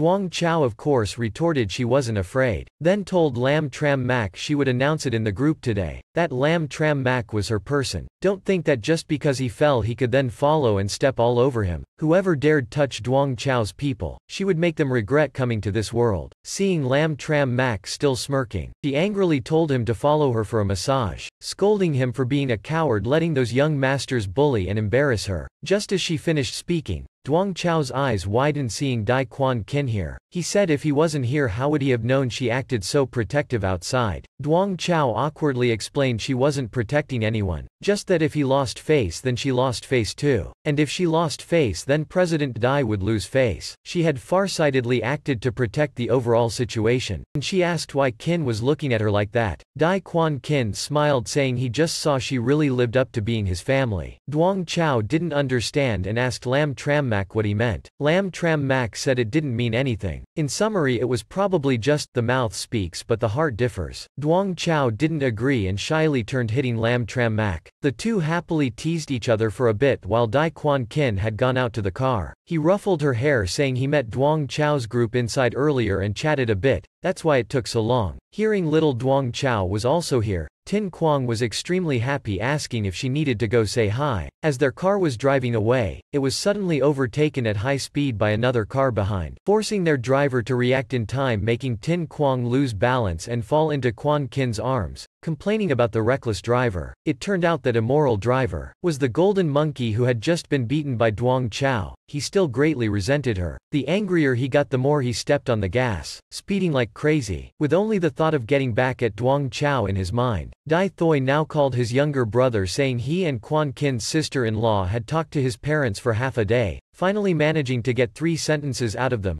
Quan Kin eagerly asked what those three sentences were. Thoi sighed saying it's not that they don't like Tin Quang, not that they want to obstruct the engagement, just that they temporarily don't want to meet the in-laws. He then comforted his brother not to rush, saying after Tin Quang's dad's successful surgery, they could arrange for the families to meet. They would try to persuade their parents during this time, to find out what they really wanted. Hearing this, Quan Kin felt only he was the real brother. His brother Dai Thoi was also very indulgent towards him, saying if persuasion didn't work, then on the day he assumed the presidential office, he would send an invitation to Tin Quang's parents inviting them to the dinner banquet. If her parents still didn't nod their heads that night, Quan Kin should directly propose at the banquet that night. With both sets of parents present he believed even if they didn't intend to obstruct, they couldn't improperly behave in that situation. While Quan Kin was happily imagining his future happiness, Tin Quang ran in sobbing that something had happened to Duong Chao. Tin Quang said Lam Tram Mac discovered Duong Chao's burnt car at the foot of the mountain. Inside the car there was also a pile of burning white bones. He said he couldn't contact Quan Kin so called her instead. Looking at the photo of the scene, Dai Quan Kin of course couldn't hide his horror. Meanwhile, Lam Tram Mac was grieving at the incident site, crying while calling for help. Duong Chao's image continuously flashed in his mind. The night she had invited them for dinner but when Ki Tu didn't pick up he asked Lam Tram Mac. Lam Tram Mac also couldn't reach her. Finally following her phone's location, he arrived here, only to find Duong Chao's car and the burning pile of white bones. Lam Tram Mac cried in anguish under the tree remembering it all. Now Quan Kin also led the Dai brothers rushing over asking where Duong Chao was. Behind them, they froze seeing the police taking out a corpse. Lam Tram Mac frantically rushed over. He couldn't believe it,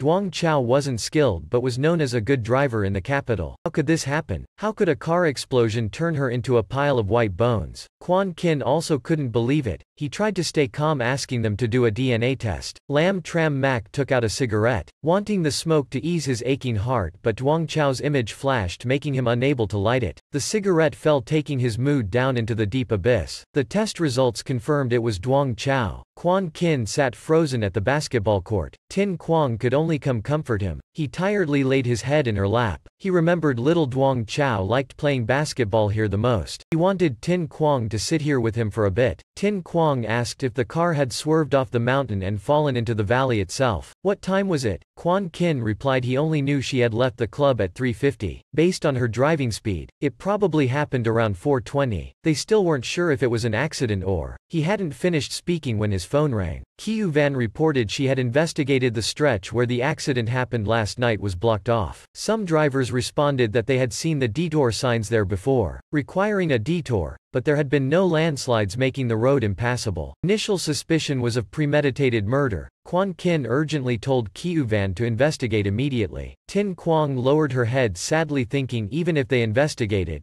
Duong Chao was already dead. She recalled the happy memories with Duong Chao. A determination rose in her heart. Now at the Dai house, everyone, the brothers had all gathered. Tin Quang looked left. Dai Quan Kin and Dai Thoi were racking their brains discussing the investigation. Looking right, the Dai cousins couldn't hold back their tears of grief. Tin Quang tightly grasped her hands then went to call Koi Yulan. She whispered to him that maybe she had a way to save Duong Chao. The reason she whispered was because she knew there were spies from various factions here, any slight movement outside they could know about. Quan Kin also understood this and ordered all the servants to stop their work and leave. Seeing Lam Tram Mac approach, Tin Quang asked Quan Kin if he could leave. Lam Tram Mac affirmed to Dai Quan Kin that as Duong Chao's family he had to stay. He added that if Duong Chao could be saved, he would treat Tin Quang as his life savior. He would definitely remember this favor. Then Lam Tram Mac gave Tin Quang a special ring. She was about to refuse but Quan Kin took it, put it in Tin Quang's hand telling her to take it. He said the Lam family's ruthlessness made people terrified just hearing about it. This was an existence like a tiger's might. This from now on everyone would obey Tin Quang. Tin Quang looked at the ring, then assured Lam Tram Mac that if she couldn't save Duong Chao she would return it to him. Lam Tram Mac impatiently asked if she could now say how to save little Chao. Tin Quang asked if they had heard of remorse medicine. Quan Kin felt in his heart that indeed he had guessed right. He knew Tin Quang too well and would use this method. Tin Quang said today she had bought remorse medicine from a friend. Just drinking it could return to before Duong Chao's accident to save her. Tin Quang asked who wanted to drink it. Ki Tu still didn't believe it, thinking Tin Quang was too heartbroken and hallucinating. The green-haired brother now said he would drink it. He too said he was crazy because remorse medicine couldn't exist in this world. But he believed he had to try even if there was only a 1 in 10 trillion chance. Tin Quang took out the box saying she wasn't deceiving them. Holding the medicine box she instructed him to first drink it all then close his eyes and concentrate on returning to that time. It was effective for one hour, one hour before little Chao died. He remembered he was on a plane. Tin Quang said he wasn't suitable to drink remorse medicine. Going back he wouldn't be able to do anything. Quan Kin now said to give that pill to him, but before he could do anything, the pill was already snatched and swallowed by Lam Tram Mac. He asked Tin Quang if just closing his eyes and concentrating was enough, right? Tin Quang nodded then said he only had one hour. With that intense belief, Lam Tram Mac returned to the past. He hazily realized he was in Duong Chao's office. Lam Tram Mac immediately called asking where Duong Chao was. Right now she was driving to eat dinner. Lam Tram Mac sternly told Duong Chao to immediately immediately turn back and go where there were lots of people. He would go pick her up, Duong Chao was still arguing asking why she had to listen to Lam Tram Mac when she was suddenly splashed by a reckless driver making her unable to help crying out then slamming the brakes. Lam Tram Mac worriedly asked if she was okay but there was no response. He called Quan Kin, telling him little Chao had an accident on road 406, telling him to bring a medical team and ambulance there immediately. He himself also went to the rooftop, to the helicopter to urgently head there. Duong Chao's car was now completely wrecked. She herself was sitting there with a bloody head. That golden monkey was extremely smug. Mocking her,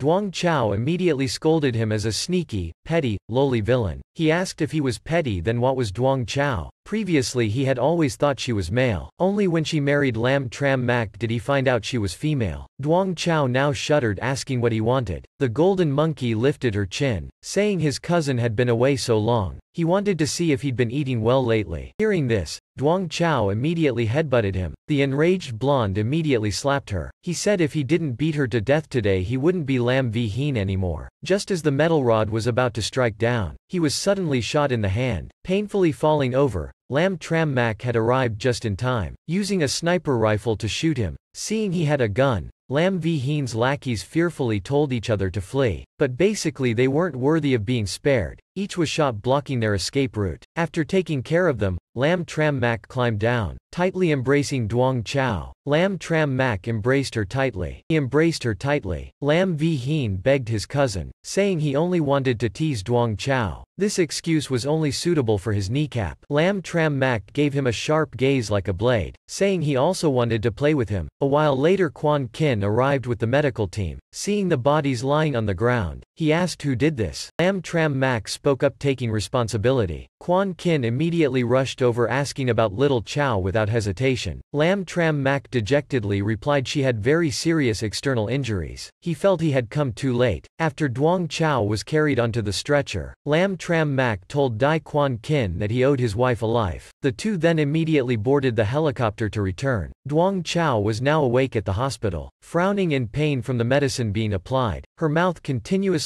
cursing Lam V Heen for ruining her face, asking Kin if her face wasn't destroyed. The moment Duong Chao took out her phone, Lam Tram Mac tried to stop her but failed, making Duong Chao cry and wail hysterically the moment she saw her face, then immediately fainted. The worried brothers called the doctor in. After examining her, the doctor awkwardly smiled saying she had fainted from her own ugliness. Lam Tram Mac looked at his watch. He knew the one hour was almost up, wondering if this could be considered saving little Chao's life. Indeed in an instant Lam Tram Mac was returned to the present. Everyone shared the same stunned feeling seeing Duong Chao lying in the hospital bed, also unharmed. Ki Tu wiped his eyes to make sure he wasn't seeing wrong, then burst into tears at his sister being fine. The vice president also looked left and right, confused, weren't they at home preparing the funeral? How were they all at the hospital? Kai's new memories also appeared. Having just gotten off the plane he received Quan Kin's call that Duong Chao was in an accident but not life-threatening. Ki Tu also had new memories, calling little Chao, Lam Tram Mac picked up saying she was in the hospital. He immediately rushed over without eating, asking where was little Tin Quang. He wanted to kowtow to her, for her to help his sister cheat death and return to life. Tin Quang who was standing outside was suddenly pushed against the wall by Quan Kin. He said she had saved so many people around him, such deep love and loyalty, how could he repay her? Tin Quang smiled saying for him to repay her with his whole life. She wasn't in a hurry nor needed interest. Quan Kin touched her lips teasingly, saying a whole life was too long, he wanted to repay her now. Tin Quang shyly said actually Quan Kin had also saved her before, saved her father and little man so they shouldn't speak so clearly about favors. He then shamelessly demanded they repay each other a little now. This good thing was immediately ruined by Ki Tu. He ripped Tin Quang from Quan Kin's kiss, demanding to repay Tin Quang,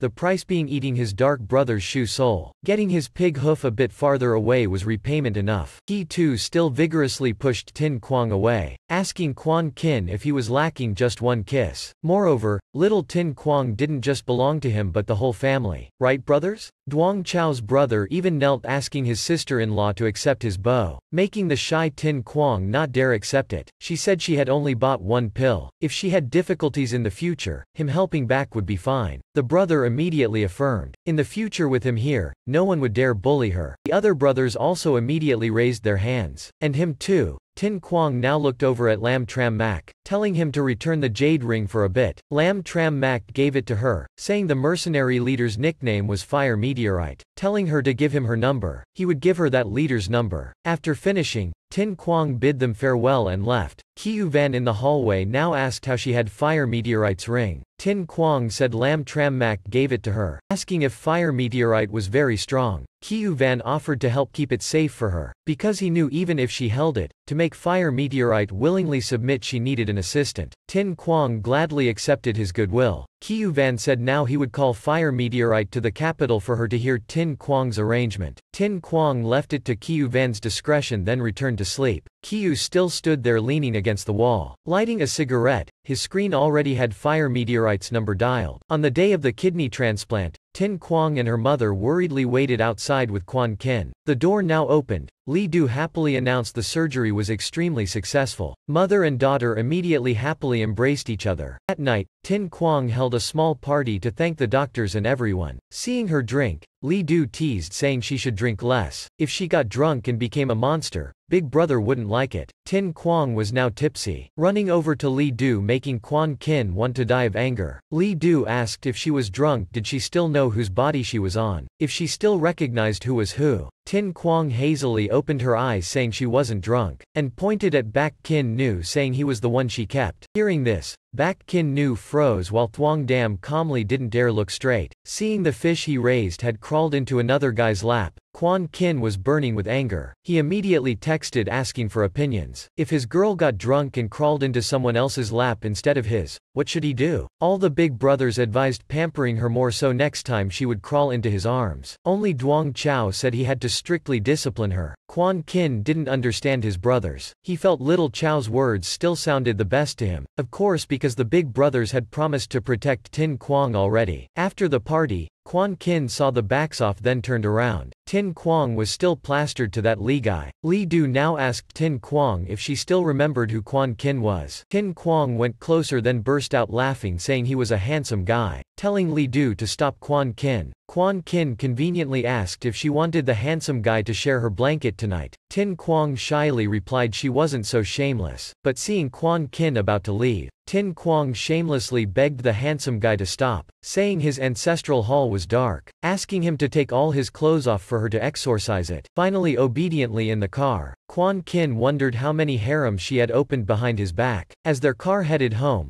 Van discovered someone had scattered nails on the road. There was no signal in the tunnel. He told the team to stay vigilant. Van thought this was the opponent's premeditated preparation. Quan Kin was furious wanting to see who dared make trouble with him. He immediately put on Tin Quang's bulletproof vest. Suddenly the car braked sharply. Quan Kin had to hug Tin Quang tightly, yelling at Van to be careful. Kiu Van looked at the convoy ahead. The team informed him the SUV contained Black Dragon. They had encountered the professional assassins who worked for money. Kiu Van got out of the car. Unconcerned with danger he lit a cigarette, calling out greeting them as it had been long. Why not come out to chat a bit? There was also a lady boss in the car. Seeing team leader Kiu Van's arrogant attitude made her very aroused. Beside her was also a Scarface. He introduced Kiu Van to her as Dai Quan Kin's first bodyguard, saying if she liked, he could give her three minutes to catch him. After three minutes they would kill everyone. She licked her lips confidently saying no need for three minutes. Just one minute and she could make him willing willingly kneel and lick her. Then she immediately pulled out her gun threatening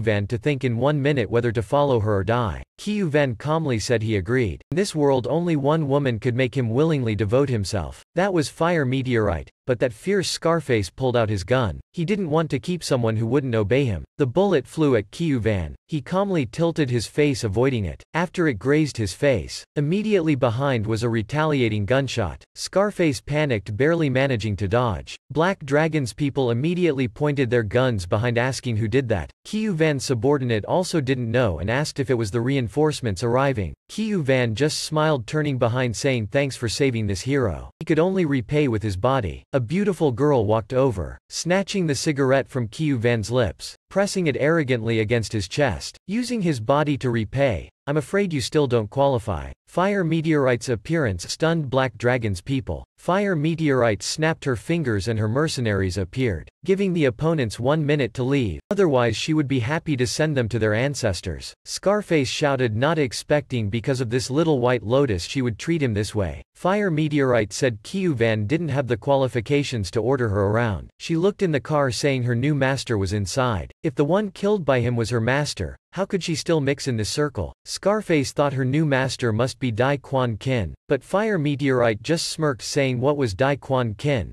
how could he be her master? Now seeing a tipsy girl hugging and kissing Quan Kin's cheek, Fire Meteorite was shocked asking Van if this was Tin Quang, then laughed saying how interesting. Black Dragon's people knew Fire Meteorite's weapons were much stronger than them. As long as Fire Meteorite's new master wasn't Quan Kin, this job still had a chance. Then they said they were sparing her this time out of respect for Fire Meteorite, and quickly fled together. Kiu Van now also told the Kin family it was resolved satisfactorily, and introduced used her as Fire Meteorite, leader of Lam Tram Mac's army. Now it could be called the army under young Miss's command. Looking inside, Fire Meteorite saw her new master being clingy wanting to play the kissing game with Quan Kin. She could only awkwardly smile, just then nearby suddenly a gunshot rang out. Kiu Van asked if Fire Meteorite had sent people to chase and kill Black Dragon, but Fire Meteorite didn't know anything. The tunnel was now blazing. The exit was also blocked, this wasn't actually done by Black Dragon's people because right now they had also hurried back in panic. Team leader Kiu Van ordered his subordinates to change Dai Quan Kin's tire so the Kin family's car could get out first. They were about to turn and take the other exit but that side also had gasoline. Outside came an announcement, saying if anyone could bring Dai Quan Kin's head out today they would spare that person's life, otherwise they would all have to experience being burned alive by gasoline. Kiu Van was extremely tense. He shouted out saying he would take that dog's life first, but he replied if so then all would have to die. Speaking of which, Countless vicious dogs were released charging at them. Fire Meteorite had ordered her subordinates not to shoot to avoid explosions. By then it would be hard to escape. Van said everyone use cold weapons, have to be careful, so everyone held a knife being extremely vigilant against the ferocious beasts. Van went to urge the driver to drive the Kin family out but he said Dai Quan Kin didn't allow it. Kiu Van tensely said he should listen when should listen to the Kin family. And he shouldn't, don't be stupidly loyal. Just then a large dog pounced at fire meteorite. Kiu Van immediately pushed fire meteorite away, while he was injured because of it. Fire meteorite knew the situation was hard to handle, while Scarface said to Kiu Van he had said not to be a bodyguard for rich people, forcing him to sell his life yet questioning his ability. Just now he should have taken Dai Quan Kin's head to exchange for the reward. Team leader Kiu Van now turned to the car telling the Kin family he didn't protect him well, asking him to take young miss and leave. Let the driver drive, but Dai Quan Kin instead, stepped out of the car telling Kiu Van if he couldn't handle it then go rest, take good care of his woman. He stepped forward facing the wolves, the giant creatures howling long terrible cries. Seeing Quan Kin come out, they disregarded the others. Directly surrounding him, his eyes now turned red. He smiled saying after so many years he still had the honor of fighting these wolves. The wolves now grew even more furious, howling mournfully then together jumping at him. All the subordinates tensely reminded him to be careful. Under the protagonist's halo, this punch shattered one's jaw. A kick sent another flying. Everyone was shocked by this strength, but mistakes were unavoidable. Quan Kin was bitten in the shoulder by one. His subordinates fearfully watched. Just then the car door was kicked open by the furious Tin Quang because her fresh meat hadn't made it to her mouth yet those wolves dared bite it already. Quan Kin smiled awkwardly, at a loss how to respond. While Fire Meteorite thought her drunk new master didn't need to keep living, bodyguards immediately tried to stop Tin Quang's recklessness but to no avail couldn't stop her, with the strength to defeat all contenders for the throne, subdue ocean sharks, sweep a gang of armed pirates and quell the Ha family's chaos twice. These wolves of course hardly registered, she immediately broke the jaw of the one that bit Quan Kin. Scarface's jaw dropped, his mind enlightened. He wondered how this Dai Quan Kin could fight wolves barehanded. Even the delicate woman beside him was so fierce, what was the point of hiring bodyguards? Who could harm him? After finishing, Tin Quang excitedly rushed over asking about Quan Kin's condition, wanting to check if he had any more injuries. He now only felt creeped out, but the wolves behind were growling, but seeing they didn't attack, Kiu Van wondered if they were all scared of Tin Quang. Just then the wolves turned tail and left, making Quan Kin suspicious. That they just left like that? He opened the car door, then smiled saying to Scarface, I heard you wanted to kill me. Hearing someone else wanted to compete for her meat, Tin Quang popped her head out, ready to claw him, Scarface of course panicked, saying he didn't dare, admitting he was blind, just like that. They escaped disaster and continued on their way back. On the way back Kiu Van was still bothered, clearly able to launch an ambush and wipe them out in one go but only sending a pack of wolves to fight. Also no ambush troops. This was too illogical. He wondered if they were apprehensive about young Miss Tin Quang, not wanting to harm her. The next morning, the villa resort Tin Quang woke up, her mind a confused mess, probably not remembering what happened last night. Her mother now brought her daughter some hangover tea. She told her daughter not to drink anymore because last night Quan Kin was injured yet she didn't let the nurse bandage the poor boy. She said her daughter was really out of control. Only Quan Kin's doting allowed her to be so out of control. Hearing Quan Kin was injured, Tin Quang panicked asking what happened. Her equally surprised mother said last night she and young master encountered assassins. Asking if she didn't remember, the young master was bitten in the back, saying it was a big wolf. By the time they got to the hospital, he started having a high fever. Tin Quang immediately rushed to the hospital without a word. Outside Dai Quan Kin's room, a team of bodyguards immediately bowed, calling her big sister. They told each other this was the big sister who beat up the big wolf until it was battered. The big sister who even ate the Kin family's flesh. She now felt extremely embarrassed, thinking to herself she wasn't that kind of person, then went in. From team leader Kiu Van, she learned Quan Kin still had a high fever now. He also told her about yesterday, so many big wolves yet without a trace. The road CCTVs didn't capture anything either. Tin Quang looked at the calendar, today was the 16th. Yesterday was the full moon. She thought if the big wolves left no trace, could they be the werewolves she knew? If that was really so, then Dai Quan Kin didn't just have a fever but was infected with werewolf venom. Normal treatment basically couldn't cure it. Then she didn't go in to see Quan Kin, instead immediately running off saying she had urgent business to take care of. Inside, Quan Kin was still breathing heavily in the hospital bed. Kiu Van came in telling him young miss just came but said she suddenly remembered urgent business and left first. Then getting Li Du's message that he was leaving the capital. Having just bought plane tickets, he got up sending someone to follow. His body basically couldn't resist. Seconds later he was dizzy then completely lost consciousness. Memories returned in his mind. He remembered previously telling Tin Quang the wolf attack was Li Du messing around, asking her why she didn't believe him,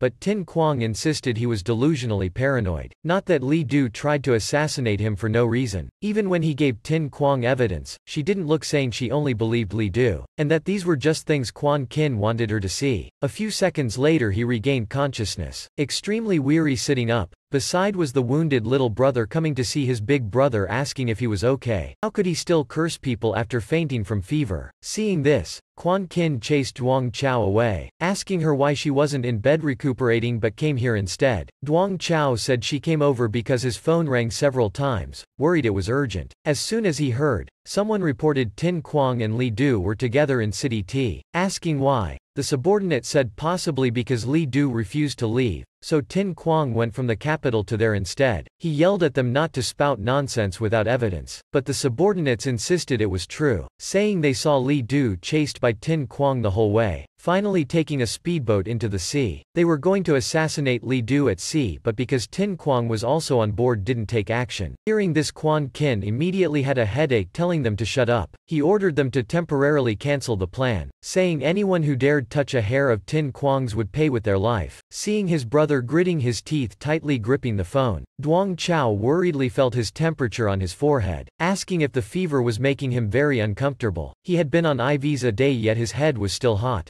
Quan Kin now ordered people to immediately prepare a plane. The vice president immediately appeared saying preparations were ready, just that he still had a high fever. Quan Kin arrogantly put on a coat getting off the hospital bed saying fever wouldn't kill him. Tin Quang was now at her seaside home. She rummaged for a while in the cabinet and finally found what she needed, then immediately ran outside. Neighbor Mrs. Tham seeing her return only to leave again asked her, then passed on her grandfather's words, saying he wanted to ask her forgiveness, hoping she would give him a chance to be old friends again. Mrs. Tham was slightly embarrassed but declined saying no thanks. She didn't need any friends, Tin Quang was driving back and saw Li Du crouching on the road. She stopped asking why he was here. Tin Quang said she just came back for some things, and asked if he was kicked out by his dad again. Don't say you'll sleep here okay. Seeing pitiful Li Du, she said he could stay at her house, waiting for Uncle Li's anger to subside and him to return. After Li Du took her house key, he insisted on seeing her off to the sea,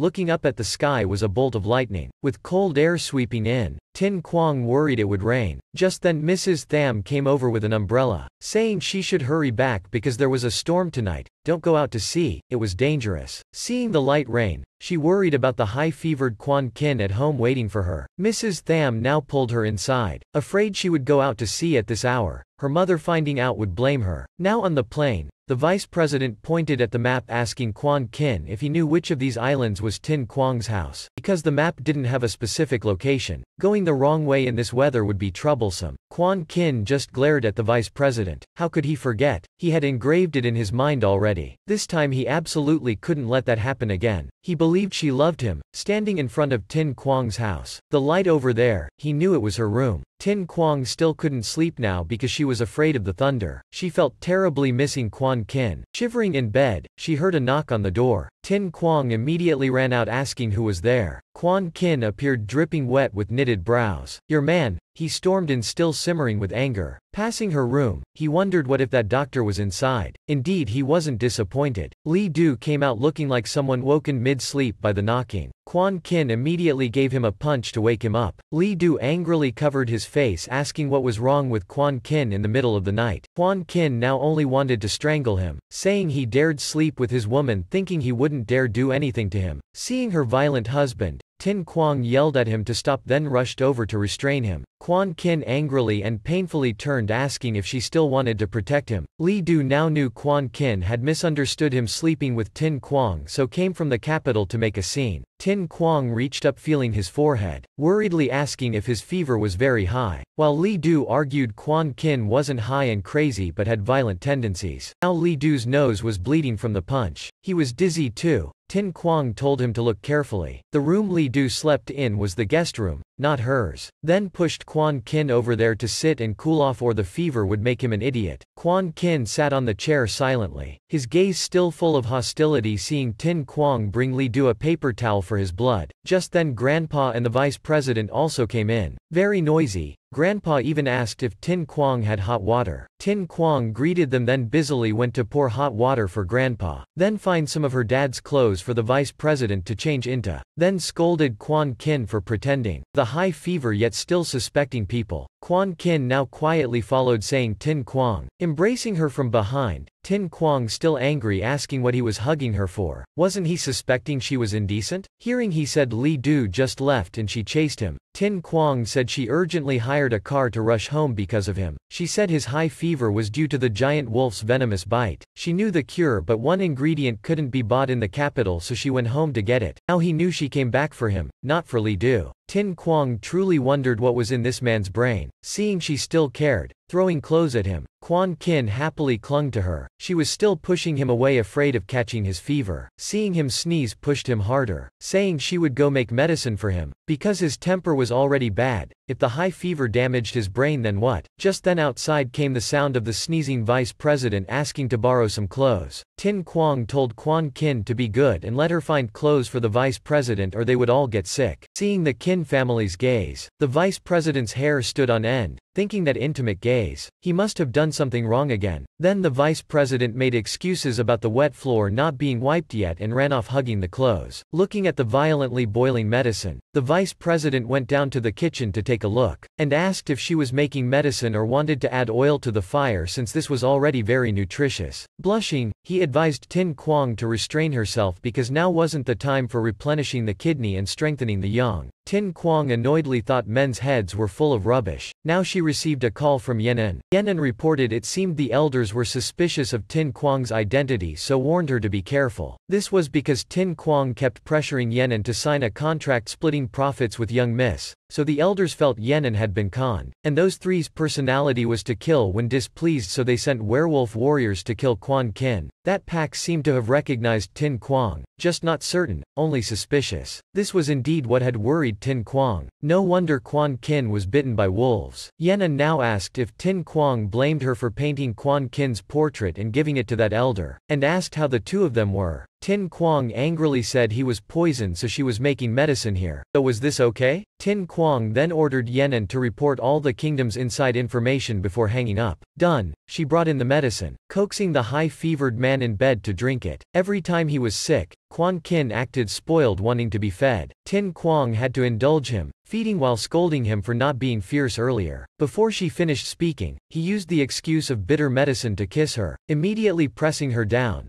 the eavesdropping vice president outside was thrilled. Tin Quang brought in a bowl of nourishing medicine for the Kin family, not knowing if he could withstand it. Although it contained the antidote, Tin Quang had added a special ingredient. The one who wanted to taste the sweetness in her mouth, after a few sips was fast asleep already. Tin Quang immediately pushed away that clingy person and climbed into bed to sleep. The next morning, Elder Marshall had gotten up early to practice, and happened to see the woman of his dreams watering flowers. He excitedly jumped over the wall to her frightening her into running away. He kept knocking outside apologizing for his mistakes that year, while Mrs. Tham Nok Tu coldly told him to get lost. Elder Marshall cried tried begging her to explain. His noisy actions woke up Tin Quang. Li Du was preparing breakfast for everyone, saying the old man was probably seeking joy in his sunset years. Seeing the bruise on Li Du's face more serious, Tin Quang told him to hurry and get it examined. Before he could reply, that clingy person appeared hugging Tin Quang. Breakfast became even more chaotic when the aggrieved elder sat down, crying while picking out grains of rice to divine. He loves me, she doesn't love me. Feeling he got off easy being beaten, Li Du asked if Tin Quang was so forgiving towards those who didn't trust her, sighing over silly Tin Quang. Indulging Quan Kin would only lead to more chaos. Quan Kin said he was provoking discord,